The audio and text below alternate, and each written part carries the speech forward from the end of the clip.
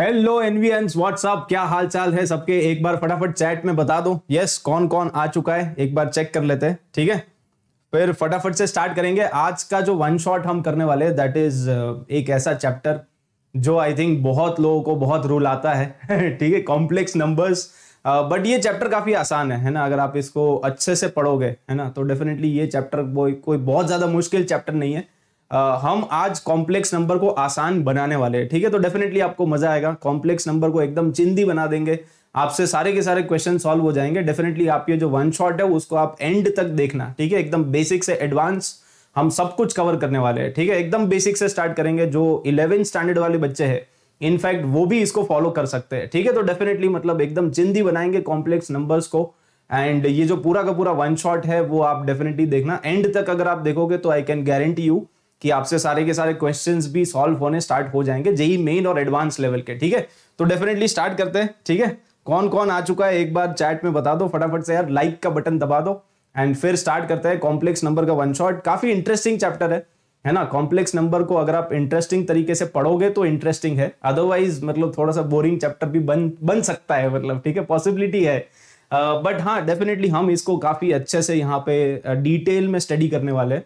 है ना, किस तरह के क्वेश्चंस इनफैक्ट जो रिसेंट ईयर क्वेश्चंस है ना, उसको भी हम डिकोड करने वाले हैं कि भाई आजकल किस तरह के क्वेश्चन है जो ट्रेंड में है। बहुत पुराने पुराने जमाने के क्वेश्चंस आप करोगे तो वो तो फिर अब एक्सपायरी डेट वाले हो गए ठीक है? तो ऑब्वियसली आपको यहाँ पे जो रिसेंट ईयर क्वेश्चन है, जो 2021 में ऑलरेडी आए थे, है ना, उस तरह के क्वेश्चन आपको यहाँ पे ज़्यादा प्रैक्टिस करने की ज़रूरत है। तो एग्जैक्टली exactly हम यही सारी चीज़ें डिस्कस करेंगे। है ना बीच बीच में दो तीन शॉर्टकट भी है तो मैं आपको बता दूँगा, जैसे आर्ग्यूमेंट निकालने का शॉर्टकट होता है। बहुत सारी चीज़ें हैं, ठीक है? तो एक एक करके डिस्कस करेंगे। यस कितने घंटे का होगा? अच्छा तुम आते ही मतलब पहले कि कितने घंटे का होगा? तो यार, इसका कुछ अप्रोक्सीमेटली आप मान के चलो पाँच छः घंटे का टाइम तो लगेगा, है ना? Approximately five hours you can assume है ना? काफ़ी लंबा सा चैप्टर है। इसमें अगर आप सब कुछ डिटेल में कवर करना चाहते हो तो टाइम तो लगेगा ऑब्वियसली ठीक है? तो पाँच छह छह घंटे आप मान के चलो total complete total chapter complete करने के लिए, ठीक है? यस और ठीक है? क्या बात है, आज तो एनवी सर ओपी चल रहा है चैट में हैश टैग बाउंस बैक चल रहा है। चलो, बढ़िया है, ठीक है? तो स्टार्ट करते हैं, फटाफट से इसको स्टार्ट करते हैं। बिफोर वी स्टार्ट अगर किसी ने चैनल को सब्सक्राइब नहीं किया तो डेफिनेटली आप अन अकेडमी आइटम्स को सब्सक्राइब कर लेना। एंड जल्दी से जल्दी इसको एक लाख सब्सक्राइबर तक फटाफट से पहुँचा दो, ठीक है? एंड साथ ही साथ आप टेलीग्राम चैनल को भी ज्वाइन कर सकते हो। यहाँ पे आपको सारे के सारे पीडीएफ नोट्स वगैरह मिल जाते हैं, ठीक है? तो टेलीग्राम चैनल को डेफिनेटली आप ज्वाइन कर लेना। सारे अपडेट्स वगैरह सब कुछ आपको यहाँ पे मिल जाएगा। उसके अलावा live daily dot me slash Atoms तो अगर आपके इलेवेंथ के किसी भी चैप्टर का बैकलॉग है and by this is the last chapter of eleventh है ना? इलेवेंथ के सारे चैप्टर्स हमने कंप्लीट कर दिए। सीक्वेंस सीरीज़ बाइनोमियल क्वाड्रेटिक है ना? पूरा अल्जेब्रा पूरा coordinate geometry straight line circle parabola ellipse hyperbola इतने सारे चैप्टर्स हमने ऑलरेडी कंप्लीट कर दिए हैं। तो अगर आप ये ये क्लास फ़र्स्ट टाइम देख रहे हो तो डेफिनेटली आप इसको विज़िट करो। यहाँ पे आपको सारे के सारे वन शॉट स्ट्रक्चर्ड फॉर्मेट में मिल जाएँगे। हर एक चैप्टर का वन शॉट है। हर एक चैप्टर का वन शॉट बहुत ही डिटेल्ड है। एंड आप इसको फॉलो कर सकते हो। शिद्दत के साथ फॉलो करोगे तो आई कैन गारंटी यू कि आप यहाँ पे जेई मेन में मचा दोगे। लिटरली मतलब मचा दोगे, ठीक है? तो डेफिनेटली आप यहाँ पे वन शॉट्स को देखना स्टार्ट कर दो अगर आपने अभी तक नहीं किया तो। साथ ही साथ अगर आप अन अकेडमी सब्सक्रिप्शन प्लेटफॉर्म पे आ सकते हो तो यहाँ पे multiple batches are there multiple teachers है है ना? मल्टीपल टीचर्स को आप यहाँ पे फॉलो कर सकते हो। सब्सक्रिप्शन लेने के बाद यहाँ पे अपना जो रैपिड रिवीजन बैच है, वो भी स्टार्ट हो चुका है तो उसको भी आप ज्वाइन कर सकते हो। ये सारी चीज़ों का आपको एक्सेस मिल जाएगा प्लस और आइकॉनिक का जो सब्सक्रिप्शन है, उसको आप प्लान कर सकते हो। एक साल, दो साल के जो सब्सक्रिप्शन है, वो रिकमेंडेड है। एनवी लाइव यूज़ कर लेना। ताकि आपको मैक्सिमम पॉसिबल डिस्काउंट भी मिल जाए ठीक है? तो एनवी सर का ये कोड आप ध्यान रखना बस। एंड डेफिनेटली अगर आपके फ्रेंड्स uh, लोग भी यहाँ पे ज्वाइन करना चाहते हो तो आप डेफिनेटली उनको भी रिकमेंड कर सकते हो। चलो स्टार्ट करें फिर। यस yes, तो स्टार्ट करते हैं। एकदम बेसिक से सबसे पहला जो टॉपिक है अपना दैट इज़ आयोटा है ना? मतलब कॉम्प्लेक्स नंबर स्टार्ट ही तो वहीं से होता है कि भाई हमारी लाइफ तो बहुत अच्छी चल रही थी सब कुछ रियल दुनिया थी। है ना? रियल दुनिया में रियल नंबर्स में हम स्टडी कर रहे थे सब कुछ। तो जितने भी चैप्टर्स आपने अभी तक पढ़े हैं, है ना, वो रियल दुनिया थी। अब आप एक नई दुनिया को एक्सप्लोर करने वाले हो, जिसको हम बोलते हैं कॉम्प्लेक्स दुनिया। तो ये जो दुनिया है, अपने आप में कॉम्प्लेक्स है, यहाँ पे सब कुछ कॉम्प्लेक्स है है ना? तो यहाँ पे आयोटा वाले टर्म्स आएँगे। Iota is nothing but square root of minus one ठीक है? तो अगर आपको आइडिया नहीं है तो मैं बता देता हूँ। पहले डेफिनेशन वगैरह आप लिख लो। तो iota is nothing but square root of minus one और ये एक इमेजिनरी नंबर है। ठीक है? आयोटा अब आयोटा की पावर्स देखो, अगर आप आयोटा की पावर्स निकालोगे ना, जैसे फॉर एग्जांपल अगर मैं आपसे पूछूँगा आयोटा की पावर वन तो चलो, वो तो आयोटा ही है। आयोटा का स्क्वायर बताओ, ये कितना आ जाएगा? इसका स्क्वायर कर दो ना आप। आयोटा का स्क्वायर कर दो। ठीक है? आयोटा का स्क्वायर करेंगे तो कितना आ जाएगा? माइनस वन आ जाएगा। आयोटा का क्यूब आयोटा का क्यूब कितना आ जाएगा? इसको आप ऐसे लिख सकते हो ना आयोटा का क्यूब तो आप इसको लिख सकते हो आयोटा मल्टीप्लाइड बाई आयोटा का स्क्वायर और आयोटा का स्क्वायर जो है, उसका वैल्यू माइनस वन है। ठीक है तो आप सब्सटीट्यूट कर दो, ये आ जाएगा माइनस आयोटा सिमिलरली आयोटा की पावर फोर क्या आ जाएगा? ये आ जाएगा, आप इसको ऐसे लिख सकते हो आयोटा स्क्वायर का स्क्वायर और आयोटा स्क्वायर कितना है? आयोटा स्क्वायर है माइनस वन तो माइनस वन का स्क्वायर तो ये वन आ जाएगा। अब इसके बाद जो पावर्स है ना, वो रिपीट करेगी। अगर आप निकालोगे आयोटा की पावर फाइव तो उसका आंसर वापस कितना आ जाएगा? आयोटा की पावर फाइव को आप ऐसे लिख सकते हो यस और नो आयोटा की पावर फाइव अगर है तो आप लिख सकते हो आयोटा इंटू आयोटा की पावर फोर और आयोटा की पावर फोर कितना होता है? वो तो वन होता है। अरे यार, ये तो चिंदी है ना तो इसका वैल्यू वन पुट कर दोगे। इसका वैल्यू वन पुट कर दोगे तो वापस आयोटा आ गया। सिमिलरली आप आयोटा की पावर सिक्स निकालो। तो आयोटा की पावर सिक्स कितना आ जाएगा? इसको आप ऐसे लिख सकते हो आयोटा मल्टीप्लाइड बाई आयोटा की पावर फाइव और यहाँ पे वैल्यू सब्सटीट्यूट कर दो। आयोटा मल्टीप्लाइड बाई आयोटा आ जाएगा ना। आयोटा की पावर फाइव क्या है? आयोटा की पावर फाइव इज़ आयोटा तो ये बन गया आयोटा स्क्वायर और आयोटा स्क्वायर का वैल्यू कितना होता है? माइनस वन तो वापस माइनस वन आ गया ना? आप ध्यान से देखो आयोटा फिर माइनस वन फिर माइनस आयोटा आएगा, फिर वन आएगा। तो पैटर्न आपको दिख गया? कितने लोगों को पैटर्न दिख गया? आयोटा की पावर सेवन निकालोगे तो यही आएगा माइनस आयोटा आएगा। आयोटा की पावर एट निकालोगे तो वापस कितना आएगा? वापस वन आएगा। तो ये पैटर्न आपको दिख गया क्या? है ना? एकदम चिंदी सा पैटर्न है। लेकिन ये जो पैटर्न है ना, ये अपने आप में काफ़ी इंटरेस्टिंग है। ये, यही पैटर्न आएगा आपका हमेशा। है ना? सिमिलरली अगर आप निकालोगे आयोटा की पावर नाइन तो वापस आएगा आयोटा है ना? फिर माइनस वन फिर माइनस आयोटा फिर वन और यही पैटर्न आपका चलता रहेगा। तो ये जो पैटर्न है, वो इतना इंटरेस्टिंग है कि अगर आपको आयोटा की कोई हायर पावर्स निकालनी है, जैसे फॉर एग्ज़ाम्पल मान लो मैं आपसे पूछ लू, है ना? जैसे यहाँ पे आप आ जाओ आयोटा की पावर 255 तो अगर आपको आयोटा की बड़ी बड़ी पावर्स निकालनी है तो उसका आप एक शॉर्टकट बना सकते हो। है ना? तो डायरेक्टली मैं आपको शॉर्टकट बता देता हूँ। ये आपको पैटर्न समझ में आ गया ना? अगर आपको पैटर्न समझ में आ गया तो आप एक्चुअली यहाँ पे क्या कर सकते हो? एक शॉर्टकट बना सकते हो। देखो, मैं डायरेक्टली आपको शॉर्टकट सिखा देता हूँ। यहाँ पे आपने देख लिया कि जो आयोटा की पावर्स है, वो कितने के बाद रिपीट करती है? आयोटा की जो पावर्स है, वो चार के बाद रिपीट करती है ना? आयोटा की पावर वन फिर आयोटा की पावर टू थ्री फोर उसके बाद फाइव सिक्स सेवन एट में सेम वैल्यूज़ आएगी। फिर नाइन टेन इलेवन ट्वेल्व में सेम वैल्यूज़ आएगी। तो चार चार के बाद रिपीट कर रहा है ना ये? अगर चार चार के बाद रिपीट कर रहा है तो एक्चुअली आप यहाँ पे शॉर्टकट क्या बना सकते हो कि जो भी आयोटा की पावर है ना, अगर आपको लेट से फॉर एग्ज़ाम्पल निकालना है आयोटा की पावर 255 तो ये निकालना कितने लोगों को आता है? इसका डायरेक्टली शॉर्टकट ये होता है कि जो भी आपकी पावर है, उसको आप डिवाइड कर दो फोर से और रिमाइंडर निकाल लो। और रिमाइंडर आप आयोटा की पावर में चिपका दो। जैसे फॉर एग्जांपल मान लो मुझे निकालना है आयोटा की पावर 255 तो आप सिंपल क्या करोगे? 255 को डिवाइड करो फोर से। है ना? क्योंकि चार चार के बाद रिपीट कर रहा है ना? तो सिंस ये चार चार के बाद रिपीट कर रहा है तो फोर से डिवाइड कर दो। तो जैसे हम फोर से डिवाइड करेंगे तो यहाँ पे क्या आएगा? ट्वेंटी फोर आएगा, फिर फिफ्टीन आएगा, फिर ट्वेल्व आएगा, और रिमाइंडर थ्री आ रहा है। आपको रिमाइंडर से मतलब है, आपको क्वेश्चन से कोई मतलब नहीं है है ना? तो रिमाइंडर कितना आ गया? थ्री आ गया। तो इसका जो वैल्यू होगा ना, वो आयोटा की पावर थ्री के बराबर होगा। जो भी रिमाइंडर आएगा, बस आयोटा की पावर में चिपका दो। सिंपल, समझ में आ गया? तो इसका वैल्यू कितना आएगा? आयोटा क्यूब और आयोटा क्यूब एक्चुअली कितना होता है? आयोटा क्यूब होता है माइनस आयोटा अरे, समझ में आया? ठीक है सिमिलरली इसका आंसर बताओ, चलो। आयोटा की पावर 150 तो अगर आपको आयोटा की पावर 150 निकालना है तो सिंपल आप क्या करोगे? 150 को डिवाइड कर लो फोर से। तो फोर से डिवाइड करेंगे तो क्या आएगा? ट्वेल्व आएगा, फिर थर्टी आएगा, फिर ट्वेंटी एट आएगा, फिर टू आएगा ना? तो रिमाइंडर कितना आ रहा है? तो रिमाइंडर आ रहा है टू अगर रिमाइंडर टू आ रहा है तो आयोटा स्क्वायर के बराबर आएगा। और आयोटा स्क्वायर कितना होता है? माइनस वन तो बस इसका आंसर आ गया माइनस वन इसका आंसर बताओ, चलो। ये समझ में आ गया? यस स्टार्टिंग में ही आपको मेरे ख्याल से एक ये काफ़ी इंटरेस्टिंग शॉर्टकट होता है है ना? तो बस आप डिवाइड कर लिया करो बेस्ट तरीका मतलब। इसमें आपका आंसर बहुत जल्दी आएगा। अदरवाइज़ आप वो करते रह जाओगे कि हम इसमें आयोटा की पावर फोर बनाएँगे। इसका प्रॉपर मेथड तो आपको पता ही होगा ना? इसमें आयोटा की पावर फोर बनाते हैं। फिर बनाने के बाद वो देखेंगे कि हाँ भाई आयोटा की पावर फोर तो वन होता है। उतना दिमाग कौन लगाएगा? सीधा डिवाइड करो और रिमाइंडर निकालो यार। है ना? तो आपको ज़्यादा यहाँ पे डिफ़िकल्ट चीज़ें करनी नहीं है। आयोटा की अगर बड़ी बड़ी पावर्स निकालनी है तो निकाल लोगे? इसमें रिमाइंडर क्या आएगा? इसमें रिमाइंडर वन आएगा? यस और नो इसमें रिमाइंडर वन आ जाएगा तो बस इसका वैल्यू आ जाएगा। आयोटा आयोटा की पावर वन चमक गया होगा मेरे ख्याल से। तो बस इसका आंसर आ जाएगा। आयोटा तो जो भी रिमाइंडर आता है, अगर आयोटा की बड़ी बड़ी पावर्स अगर आपको निकालनी है तो बस आप रिमाइंडर देख लो फोर से डिवाइड कर दो, क्योंकि ये चार चार के बाद रिपीट करता है। तो सिंस ये चार चार के बाद रिपीट करता है फोर से डिवाइड करो रिमाइंडर निकालो, जो भी रिमाइंडर आएगा चिपका दो। आयोटा की बड़ी बड़ी पावर्स को आप निकाल सकते हो, ठीक है? अब यस यहाँ पे प्रॉपर्टी भी होती है कि अगर आप कोई भी चार कॉन्जिक्यूटिव पावर्स ले लोगे ना तो उनका सम ज़ीरो आएगा। जैसे फॉर एग्ज़ाम्पल आप इन चारों को ऐड करो। अगर आप इन चारों को ऐड करोगे ना, अगर मैं आपसे पूछूँगा कि बताओ iota plus iota square plus iota cube और प्लस आयोटा की पावर फोर तो ये ज़ीरो आएगा, है ना? अल्टीमेटली ये देखो, ये आयोटा, ये माइनस आयोटा कैंसिल हो जाएगा ना?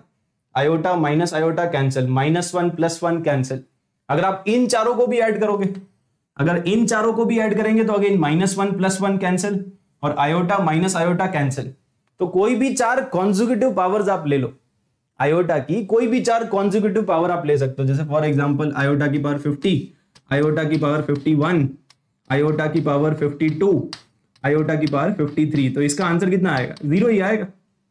कोई भी चार कॉन्जिक्यूटिव पावर्स आप ले लो, ठीक है? कोई भी चार कॉन्जिक्यूटिव पावर्स आप ले सकते हो। ठीक है? कहीं से भी स्टार्ट करो। कोई ऐसा कुछ हार्ड एंड फास्ट नहीं है। कहीं से भी आप चालू करो। आप तो 50 से चालू करो 20 से चालू करो 21 से चालू करो 22 से चालू करो बट कॉन्जिक्यूटिव आपको लेना है। ठीक है, कोई भी चार कॉन्जिक्यूटिव पावर्स ऑफ़ आयोटा उनका सम डेफिनेटली आपका कितना आता है, वो हमेशा ज़ीरो ही आता है, ठीक है? चलो एक आधा क्वेश्चन करते हैं। ये वाला क्वेश्चन आप ट्राई करो, इसका आंसर बताओ। ये कैसे करेंगे? आयोटा की बहुत सारी बड़ी बड़ी पावर्स है तो आपको इसका वैल्यू निकालना है। तो फटाफट से एक बार चैट में आंसर आ जाना चाहिए, ठीक है? यस तो फटाफट इसको यस हाँ ये बताओ आयोटा की पावर आयोटा वो भी करेंगे, वो अभी सब कुछ आएगा धीरे धीरे ठीक है? एवरीथिंग विल बी देयर ये बताओ ये कैसे करेंगे? इसमें तो आप क्या करो बेसिकली आप आयोटा की पावर टेन कॉमन ले लो न्यूमरेटर में से। ओके okay, आयोटा की पावर टेन अगर कॉमन ले लोगे तो ऊपर नीचे कैंसिल हो जाएगा ना। यहाँ पे आ जाएगा फाइव एट्टी टू फिर आयोटा की पावर फाइव एटी है ना? फिर आयोटा की पावर कितने लोगों को दिख गया? फाइव सेवेंटी एट उसके बाद आयोटा की पावर 576 और नीचे भी तो वही है ध्यान से देखो। तो कॉमन ले लो आप डिवाइड क्यों कर रहे हो? है ना? डिवाइड करने की ज़रूरत नहीं है रिमाइंडर निकालने की ज़रूरत ही नहीं है। यहाँ पे तो पूरा कैंसिल ही हो जाएगा।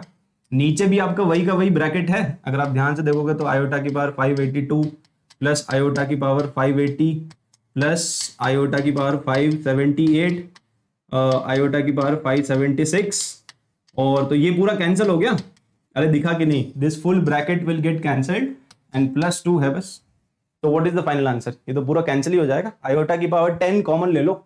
अरे यार, ये तो चिंदी क्वेश्चन था। आयोटा की पावर टेन और प्लस टू आ गया। और आयोटा की पावर टेन कितना होता है? वो आयोटा स्क्वायर हो जाएगा ना फोर से डिवाइड कर लो रिमाइंडर निकाल लो। तो ये बेसिकली आ जाएगा माइनस वन प्लस टू तो अल्टीमेटली फाइनल आंसर क्या है? वन आएगा। ठीक है तो फाइनल आंसर वन आएगा। समझ गया? यस बहुत ही चिंदी क्वेश्चन सिंपल सा क्वेश्चन अब आगे बढ़ते हैं। अब बात करते हैं what is the definition of complex numbers ठीक है तो कोई भी अगर कॉम्प्लेक्स नंबर है, उसका डेफिनेशन क्या होता है? एनी नंबर एनी नंबर दुनिया का कोई भी नंबर जिसको आप इस फॉर्मेट में रिप्रेजेंट कर सकते हो। A plus iota B where A and B are real numbers ये ए और बी क्या है? A and B are real numbers ठीक है? वो दोनों रियल है। तो उस नंबर को हम बोलेंगे कॉम्प्लेक्स नंबर दुनिया का कोई भी नंबर जिसको आप इस फॉर्मेट में रिप्रेजेंट कर सकते हो। Then that is complex number simple as that ठीक है? आप कोई भी एक नंबर ले लो, जैसे फॉर एग्ज़ाम्पल आप ले सकते हो थ्री प्लस टू आयोटा क्या ये कॉम्प्लेक्स नंबर है? क्या ये कॉम्प्लेक्स नंबर है? यस yes, ये कॉम्प्लेक्स नंबर है। दुनिया का कोई भी नंबर जिसको आप इस फॉर्मेट में रिप्रेजेंट कर सकते हो लेकिन यहाँ पे ए और बी क्या होना चाहिए? ए और बी रियल होना चाहिए है ना? This is the value of A तो ए का वैल्यू थ्री है और बी का वैल्यू टू है। अच्छा अगर मैं आपको एक नंबर दे दूँगा late say for example to तो क्या ये कॉम्प्लेक्स नंबर है? क्या ये कॉम्प्लेक्स नंबर है? ये तो रियल नंबर है। बट रियल नंबर्स भी क्या कॉम्प्लेक्स होते हैं? तो आप इसको भी ऐसे लिख सकते हो ना, टू को हम लिख सकते हैं, टू प्लस ज़ीरो आयोटा है ना? इस तरह से रिप्रेजेंट कर सकते हैं। तो अगर दुनिया का कोई भी नंबर है जिसको आप इस फॉर्मेट में रिप्रेजेंट कर सकते हो तो वो कॉम्प्लेक्स नंबर है सिंपल इज़ दैट तो ये भी एक कॉम्प्लेक्स नंबर है, ठीक है? This is also complex number अगर आप ले लोगे थ्री आयोटा तो क्या ये भी एक कॉम्प्लेक्स नंबर है? ये भी एक कॉम्प्लेक्स नंबर है, क्योंकि इसको आप ऐसे रिप्रेजेंट कर सकते हो ना ज़ीरो प्लस थ्री आयोटा तो ये भी एक कॉम्प्लेक्स नंबर है। समझ गया ना? मतलब दुनिया का कोई भी नंबर जिसको आप इस फॉर्मेट में रिप्रेजेंट कर सकते हो then that is complex number तो इनफैक्ट जितने भी रियल नंबर्स होते हैं ना, ये तो एक्चुअली रियल नंबर था. But all real numbers are also complex numbers ये जो रियल नंबर्स का सेट होता है ना all real numbers are subset of complex numbers तो आप ये भी लिख सकते हो। है ना? बचपन से आपने ये पढ़ा होगा ना, बचपन से आपने पढ़ा होगा कि भाई all natural numbers are whole numbers whole numbers are integers integers are rational rational are real and real are complex ठीक है? तो complex number is a super set of all the numbers ठीक है? मतलब जितने भी नंबर्स होते हैं दुनिया में, सारे कॉम्प्लेक्स नंबर है। इवन जो रियल नंबर है, वो भी कॉम्प्लेक्स नंबर है। समझ रहे हो? ठीक है? यस ये चमक गया क्या? Complex number is the super set of all the numbers तो जितने भी आप बचपन से पढ़ रहे हो ना natural number whole number integer rational real ये सब ये सब कॉम्प्लेक्स है। है ना? तो basically all numbers are complex numbers in short all numbers are complex numbers चाहे वो कुछ भी हो। ठीक है? कोई भी नंबर होगा, आप सोच के देखो ना, कोई भी नंबर है। उसको हम इस फॉर्मेट में रिप्रेजेंट कर ही सकते हैं। जैसे मान लो, अगर मैंने आपको एक नंबर दे दिया पाई है ना? पाई केवल आप ले लो पाई तो पाई को भी तो ऐसे लिख सकते हैं ना पाई प्लस ज़ीरो आयोटा तो ये भी कॉम्प्लेक्स नंबर है क्या? हाँ ये भी कॉम्प्लेक्स नंबर है। ये रियल है, और ज़ीरो भी रियल है। है ना? पाई क्या है? रियल नंबर है। ज़ीरो क्या है? वो भी रियल नंबर है। तो ओवरऑल ये कॉम्प्लेक्स नंबर है। ठीक है? तो ये भी एक कॉम्प्लेक्स नंबर है. Basically all numbers are complex numbers समझ गया ना? It is a super set of everything super set है एकदम. तो all numbers are complex numbers अब इसका क्लासिफिकेशन देखो. ये डेफिनेशन काफ़ी इंपॉर्टेंट है तो इसको ध्यान से सुनना. ठीक है? ये डेफिनेशन के ऊपर ही बहुत बार तो क्वेश्चन आ जाते हैं. तो आपको डेफिनेशन एकदम क्रिस्टल क्लियर होना चाहिए. तो अगर एक कॉम्प्लेक्स नंबर है, z equal to A plus I B obviously यहाँ पे जो a और b है, वो दोनों क्या है? वो दोनों रियल है. ठीक है? a and b are real numbers मतलब बेसिकली उसका वैल्यू कुछ भी हो सकता है, ठीक है? A and B are real numbers fine अच्छा यहाँ पे ये जो कॉम्प्लेक्स नंबर है, इसको हम बोलेंगे purely real if b is equal to zero अगर b का वैल्यू इक्वल टू ज़ीरो हो गया ना तो इस नंबर को हम क्या बोलेंगे? इस नंबर को हम बोलेंगे प्योरली रियल अगर ए का वैल्यू इक्वल टू ज़ीरो हो गया तो अगर ए का वैल्यू इक्वल टू ज़ीरो हो गया तो उसको हम बोलेंगे प्योरली इमेजनरी आप इमेजिन करो ना, इसका वैल्यू ज़ीरो हो गया. अगर इसका वैल्यू ज़ीरो हो गया तो केवल आयोटा वाला टर्म बचेगा. इसीलिए इसको बोलेंगे प्योरली इमेजनरी अगर बी का वैल्यू ज़ीरो हो गया, मान लो बी का वैल्यू ज़ीरो हो गया तो केवल ए बचेगा ना and this is purely real और इमेजनरी नंबर किसको बोलते हैं? इसका डेफिनेशन अगेन ध्यान में रखना. Imaginary number is that number जिसमें बी का value not equal to zero होना चाहिए. अगर बी का वैल्यू ज़ीरो नहीं है, तभी उसको बोलेंगे इमेजनरी नंबर अब एग्जांपल्स ले लो, जैसे फॉर एग्ज़ाम्पल प्योरली रियल का एग्जांपल प्योरली रियल के तो बहुत सारे एग्जांपल्स आप ले सकते हो, जैसे टू ले लो माइनस टू ले लो थ्री ले लो फाइव ले लो फाइव पॉइंट वन ले लो। ये सब क्या है? ये सब प्योरली रियल है, क्योंकि इसमें आयोटा वाला पार्ट ज़ीरो है ना। ठीक है? प्लस आयोटा इंटू ज़ीरो समझ गया? तो बी का वैल्यू ज़ीरो है। ये जितने भी नंबर्स है, सब में बी का वैल्यू कितना है? ज़ीरो समझ गया होगा? यहाँ पे ए का वैल्यू ज़ीरो है। तो बेसिकली आप इस तरह के नंबर्स ले सकते हो। Three iota root three iota ठीक है? पाई आयोटा ये सारे नंबर्स कैसे है? ये सारे नंबर्स क्या है? प्योरली इमेजनरी प्योरली इमेजनरी मतलब उसमें रियल पार्ट नहीं आना चाहिए। उसमें ए इक्वल टू ज़ीरो होना चाहिए। चमक गया ना? और यहाँ पे B not equal to zero तो बी का वैल्यू ज़ीरो नहीं होना चाहिए। जैसे फॉर एग्ज़ाम्पल मान लो, आपके पास है थ्री प्लस टू आयोटा तो यहाँ पे बी का वैल्यू कुछ ना कुछ होना चाहिए। अगर आप ये भी ले लो let's say for example five iota है ना? तो यहाँ पे भी बी का वैल्यू क्या है? ये बी का वैल्यू क्या है? नॉन ज़ीरो है। अगर बी का वैल्यू नॉन ज़ीरो है तो वो इमेजिनरी नंबर है। तो ये इमेजनरी नंबर भी है, ये प्योरली इमेजनरी भी है। ये दोनों है फाइव आयोटा समझ गया ना? बेसिकली ए का वैल्यू ज़ीरो है तो प्योरली इमेजनरी हम बोलेंगे। और बी का वैल्यू नॉन ज़ीरो है तो इमेजनरी भी बोलेंगे। ठीक है? एक और नंबर होता है, इसके बारे में आप बताओ। जैसे फॉर एग्ज़ाम्पल अगर मैं ले लू ज़ीरो तो ज़ीरो कैसा नंबर होगा? ज़ीरो को तो हम ऐसे लिख सकते हैं ना zero is nothing but zero plus iota zero तो यहाँ पे ए का वैल्यू भी ज़ीरो है, और बी का वैल्यू भी ज़ीरो है। तो ज़ीरो जो होता है ना zero is purely real and purely imaginary अगर आप डेफिनेशन को फॉलो करोगे तो it is purely real it is purely imaginary but not imaginary okay but not imaginary ये इमेजनरी नंबर नहीं है. क्यों? क्योंकि इमेजनरी नंबर उसी को बोलते हैं ना जिसमें बी का वैल्यू नॉन ज़ीरो हो। यहाँ पे तो बी का वैल्यू ज़ीरो है। समझ गया ना? बी नॉन ज़ीरो होगा, तभी तो उसको बोलेंगे इमेजनरी लेकिन यहाँ पे तो बी का वैल्यू ज़ीरो है। यहाँ पे अगर आप डेफिनेशन को फॉलो करोगे तो ए इक्वल टू ज़ीरो तो क्या ए इक्वल टू ज़ीरो है? हाँ ए इक्वल टू ज़ीरो है। क्या बी इक्वल टू ज़ीरो है? हाँ B B equal to zero A equal to zero है बी इक्वल टू ज़ीरो है। तो इसको प्योरली रियल बोलेंगे प्योरली इमेजनरी भी बोलेंगे बट ये इमेजनरी नहीं है। तो ज़ीरो अपने आप में एक ऐसा नंबर है जो प्योरली रियल भी है प्योरली इमेजनरी भी है बट इमेजनरी नहीं है। समझिए ये थोड़ा मतलब अलग टाइप का नंबर है, ठीक है? एक अलग टाइप का नंबर है it is purely real purely imaginary but not imaginary तो ज़ीरो के बारे में आप ये याद रख सकते हो, ठीक है? अच्छा कोई भी एक कॉम्प्लेक्स नंबर होता है, उसको हम ज्योमेट्रिकली रिप्रेजेंट भी कर सकते हैं। और वो जो प्लेन होता है ना, जिस प्लेन के ऊपर आप रिप्रेजेंट करते हो, उसको बोलते हैं आर्गन प्लेन इसको हम बोलते हैं आर्गन प्लेन अब जैसे आपने कार्टिशियन कोऑर्डिनेट सिस्टम पढ़ा होगा ना, जिसमें एक्स एक्सेस होती है वाई एक्सेस होती है सिमिलरली कॉम्प्लेक्स नंबर में आर्गन प्लेन होता है। ये जो आर्गन प्लेन होता है, उसमें रियल एक्सेस होती है। एक्स एक्सेस को हम बोलते हैं रियल एक्सेस और जो वाई एक्सेस होती है, उसको हम बोलते हैं इमेजनरी एक्सेस तो ये इमेजनरी एक्सेस है। और उसके ऊपर आप कोई ना कोई एक पॉइंट ले सकते हो, है ना? लेट से फॉर एग्जांपल ये पॉइंट है जेड और जेड होगा एक्स प्लस आई वाई तो उसको आप रिप्रेजेंट कर सकते हो एक्स कॉमा वाई से।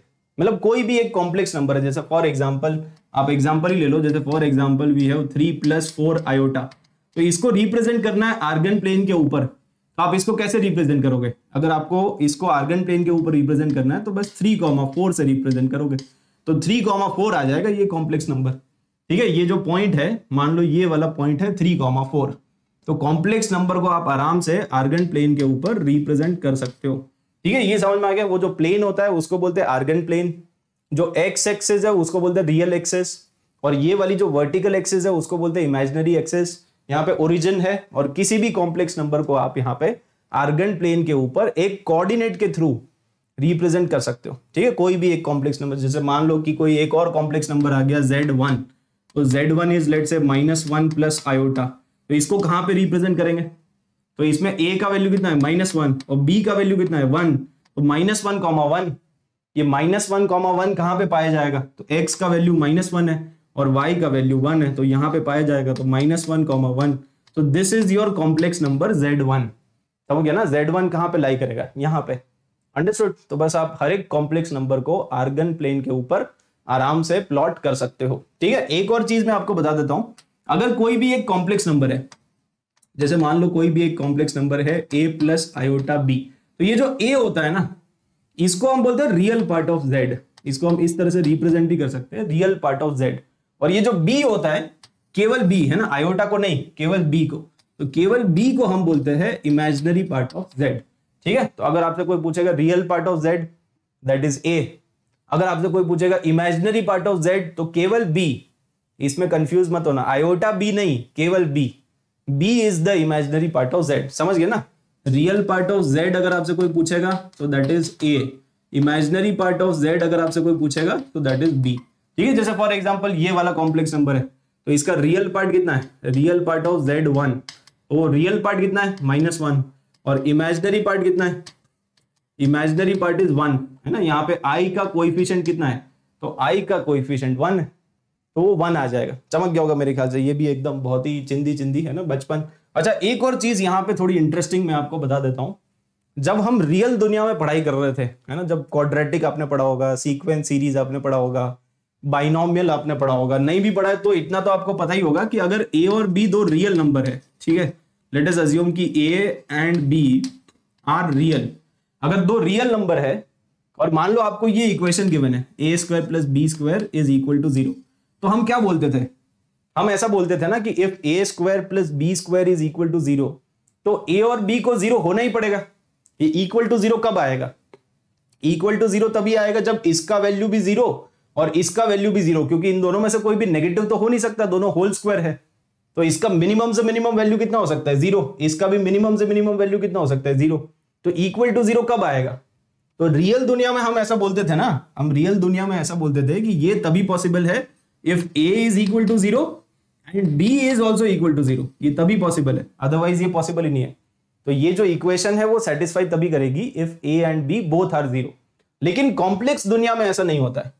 अगर आप ऐसे मान लो, ऐसी इक्वेशन गिवन है कॉम्प्लेक्स नंबर में z one square plus z two square is equal to zero तो क्या हम ऐसा बोल सकते हैं? क्या हम ऐसा बोल सकते हैं कि यहाँ पे जेड वन जेड टू को ज़ीरो होना ही पड़ेगा? यहाँ पे z1 z2 को ज़ीरो होना ही पड़ेगा? नहीं, ऐसा नहीं बोल सकते। है ना? This does not imply that z1 z2 will be zero क्यों? क्योंकि एक एग्ज़ाम्पल ले लो ना, जैसे फॉर एग्ज़ाम्पल मान लो z1 आपका जो है, वो आयोटा है। है ना? लेटेस्ट अज्यूम की z1 जो कॉम्प्लेक्स नंबर है, वो आयोटा है। तो ये बन जाएगा आयोटा का स्क्वायर और z2 को आप ले लो वन वन भी तो एक कॉम्प्लेक्स नंबर है ना? तो z2 को ले लो वन तो वन का स्क्वायर ये कितना होता है? ये ज़ीरो होता है? यस yes, क्या ये नॉन ज़ीरो है? ये तो आयोटा है. नॉन ज़ीरो नंबर है. ये भी नॉन ज़ीरो नंबर है. दोनों को स्क्वायर करके ऐड करेंगे तो अल्टीमेटली ज़ीरो ही तो आएगा क्योंकि आयोटा स्क्वायर माइनस वन होता है. तो माइनस वन और प्लस वन चमक गया ना? है ना? तो ऐसा हम रियल दुनिया में करते थे अब भूल जाओ. ठीक है? अब आप नहीं कर सकते हो. तो कॉम्प्लेक्स नंबर्स में ये मत कर देना। अगर कहीं पे भी ऐसी इक्वेशन आती है कि z one square plus z two square equal to zero तो z one z two zero नहीं होता है। ये पहले होता था बचपन। अब बचपन बीत गया। कॉम्प्लेक्स नंबर्स आ गया। ठीक है? यस ये भी क्लियर है आपको। ये छोटी मोटी बातें हैं। आगे बढ़ते हैं। Algebra of complex numbers algebra of complex numbers मतलब अगर दो कॉम्प्लेक्स नंबर आपको गिवन है तो उनको ऐड कैसे करेंगे? सब कैसे करेंगे? तो ये बहुत ही चिंदी है। ये तो आप डायरेक्टली आंसर्स बता दो। चलो। है ना? दो कॉम्प्लेक्स नंबर को ऐड करना है तो रियल पार्ट को रियल पार्ट के साथ ऐड करेंगे और कॉम्प्लेक्स पार्ट को कॉम्प्लेक्स पार्ट के साथ ऐड करेंगे। जैसे z one plus z two निकालना है तो जेड वन क्या है? थ्री प्लस फोर आयोटा ठीक है? और जेड टू क्या है? जेड टू हमारे पास है टू माइनस आयोटा अब दोनों को ऐड करना है तो जो रियल पार्ट है, उसको रियल पार्ट के साथ ऐड कर लो तो थ्री प्लस टू कितना आ जाएगा? थ्री प्लस टू फाइव आ जाएगा। और जो इमेजनरी पार्ट है, उसको इमेजनरी पार्ट के साथ ऐड कर लो तो फोर आयोटा माइनस आयोटा वो बन जाएगा थ्री आयोटा चमक गया ना? तो इसका आंसर तो ये आ जाएगा फाइव प्लस थ्री आयोटा चमक गया होगा। इसमें किसी को कोई दिक्कत? अगला वाला निकालो, चलो। माइनस कैसे करते हैं? दो कॉम्प्लेक्स नंबर को माइनस करना है तो three plus four iota minus two minus iota तो बेसिकली ये बन जाएगा थ्री माइनस टू तो थ्री माइनस टू वन आ जाएगा। और अगले वाले में कितना आ जाएगा? फोर प्लस वन फाइव तो फाइव आयोटा बहुत ही चिंदी। ठीक है? ये अगर मतलब किसी को नहीं आता है तो अब इसमें क्या किया जाए? Three plus four iota. Multiply कैसे करते हैं? मल्टीप्लाई भी वैसे ही करते हैं जैसे करते ठीक है? मल्टीप्लाई भी वैसे ही करते हैं जैसे अभी तक करते हैं। इसमें क्या ही मतलब। ये अगेन सिंपल है। तो मल्टीप्लाई करने के लिए डिस्ट्रीब्यूटिव प्रॉपर्टी लगा दो थ्री इंटू टू तो सिक्स आ जाएगा। ठीक है? फिर अगला क्या आएगा? Three into minus iota. तो माइनस थ्री आयोटा आ जाएगा। फिर अगला, इन दोनों को मल्टीप्लाई करोगे तो एट आयोटा आ जाएगा। ठीक है? फिर अगले वाले को मल्टीप्लाई करोगे तो वो कितना बन जाएगा? फोर आयोटा इंटू आयोटा तो minus four iota square minus four iota square और आयोटा स्क्वायर को आप पुट कर सकते हो माइनस वन ठीक है? तो अगले स्टेप में आप सिंपल क्या करो? सिक्स इन दोनों को तो कंबाइन कर लो। तो ये बन जाएगा फाइव आयोटा और यहाँ पे आयोटा स्क्वायर को माइनस वन पुट कर दो। तो आयोटा स्क्वायर को माइनस वन पुट कर देंगे तो अल्टीमेटली ये कितना आ गया? टेन बन जाएगा। ठीक है? So this is the final answer तो दो कॉम्प्लेक्स नंबर को मल्टीप्लाई कैसे करते हैं? वो क्लियर है क्या? दो कॉम्प्लेक्स नंबर को कैसे मल्टीप्लाई करते हैं? That is also clear divide कैसे करेंगे? ना डिवाइड यहाँ पे कर देते हैं एक्चुअली अगले पेज पे। Z1 वन बाई जेड जब भी आप डिवाइड करोगे ना तो डिनोमिनेटर को रैशनलाइज करना पड़ेगा। तो ये पहला कॉम्प्लेक्स नंबर है और दूसरा कॉम्प्लेक्स नंबर है टू माइनस आयोटा तो ये जो डिनोमिनेटर है ना, उसको आप रैशनलाइज कर लो। है ना? रैशनलाइज करने के लिए बस आप आयोटा को माइनस आयोटा से रिप्लेस कर दो कॉन्जुगेट आ जाएगा। तो कॉन्जुगेट से मल्टीप्लाई डिवाइड कर लो बस। तो यहाँ पे आपको मल्टीप्लाई करना पड़ेगा टू प्लस आयोटा से, और इधर भी मल्टीप्लाई करना पड़ेगा टू प्लस आयोटा से। कॉन्जुगेट समझ में आ गया ना? कॉन्जुगेट मतलब सिंपल आयोटा की जगह माइनस आयोटा रिप्लेस कर दो। आयोटा की जगह माइनस आयोटा से रिप्लेस कर दो कॉन्जुगेट बन जाएगा। तो डिनोमिनेटर को रैशनलाइज कर लो। अब डिनोमिनेटर को रैशनलाइज करेंगे तो न्यूमरेटर में क्या आएगा? पहले तो ये बताओ, चलो। तो थ्री इंटू टू सिक्स अगला टर्म आ जाएगा प्लस थ्री आयोटा फिर अगला टर्म आएगा प्लस एट आयोटा और प्लस फोर आयोटा स्क्वायर ठीक है? और नीचे क्या आएगा? नीचे आ जाएगा a minus b a plus b है ना? तो a minus b a plus b will be a square minus b square ये आ जाएगा। अब अल्टीमेटली आयोटा स्क्वायर का वैल्यू माइनस वन पुट कर दो। तो जैसे ही आप आयोटा स्क्वायर का वैल्यू माइनस वन पुट कर दोगे तो यहाँ पे आ जाएगा six plus eleven iota plus four into minus one और नीचे बन जाएगा फोर माइनस माइनस वन ठीक है? तो अल्टीमेटली ये कितना बन जाएगा? अल्टीमेटली यहाँ पे आ जाएगा टू प्लस इलेवन आयोटा और नीचे कितना आ जाएगा? नीचे हमारे पास आ जाएगा फाइव इसको अलग अलग भी कर दो तो टू बाई फाइव और plus eleven iota divided by five अच्छा एक बात बताओ, है ना, ये आंसर तो आ गया। एक बात बताओ, अगर आपसे कोई पूछेगा कि what is the real part of what is the real part of z one divided by z two तो बता दोगे ना। Z1 divided by Z two इसको हमने निकाला तो रियल पार्ट कितना आया?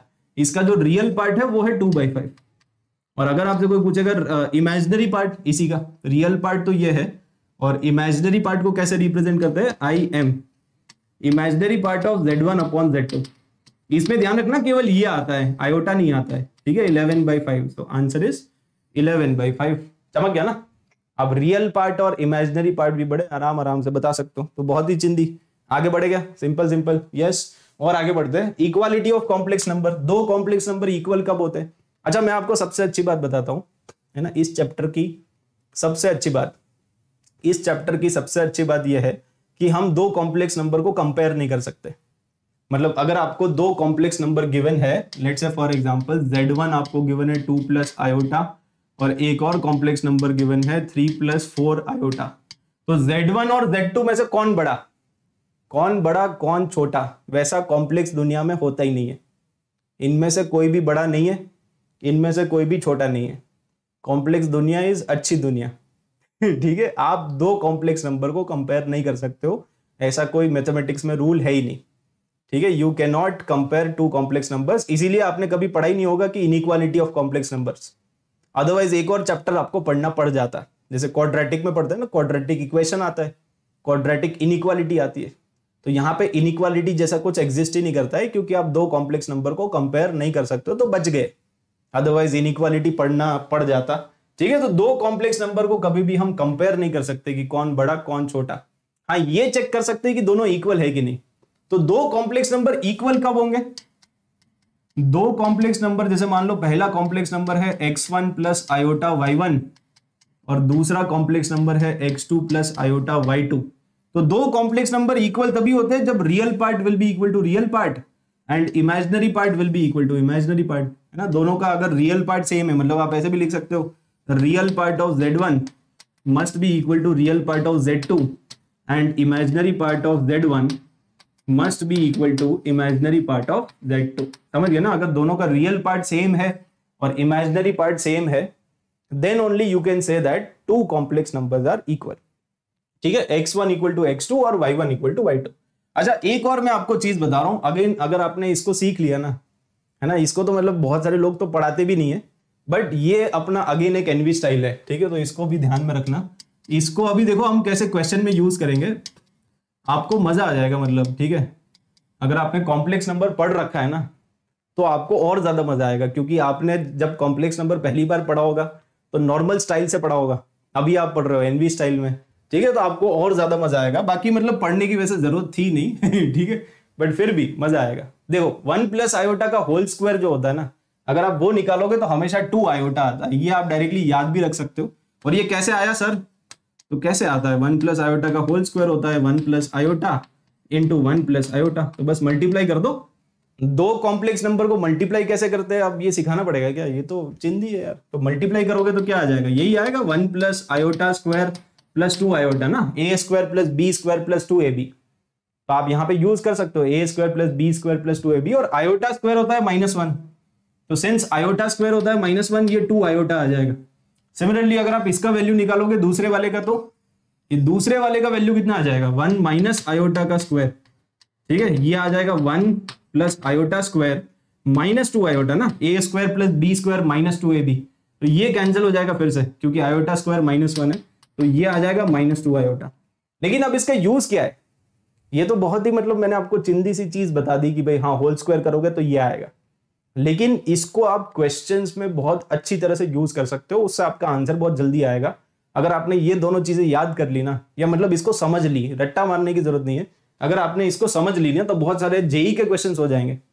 जैसे ये क्वेश्चन आया था, जेई मेन 2020 में, अगर मुझे इस क्वेश्चन को करना है तो ये क्वांटिटी इक्वल टू ये क्वांटिटी इक्वल टू वन है। अपने को एम और एन का वैल्यू निकालना है।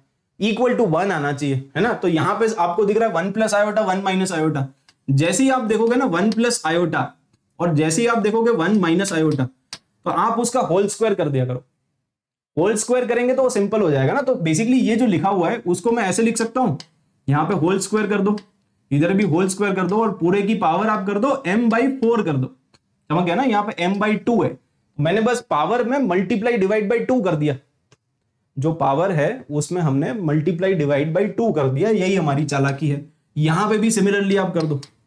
वन प्लस आयोटा का स्क्वायर नीचे आ जाएगा आयोटा माइनस वन का स्क्वायर और पूरे की power n divided by six and this is equal to one अब इसका वैल्यू कितना होता है? ये जो वन प्लस आयोटा का होल स्क्वायर होता है, वो होता है टू आयोटा और नीचे वाला होता है माइनस टू आयोटा अभी तो हमने सीखा।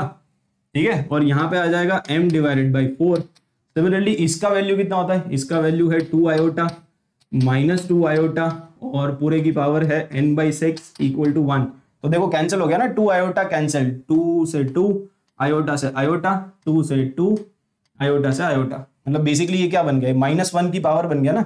दिस इज़ माइनस वन की पावर m बाई फोर और माइनस वन की power n by six equal to one अब सोचो इक्वल टू वन कब आएगा?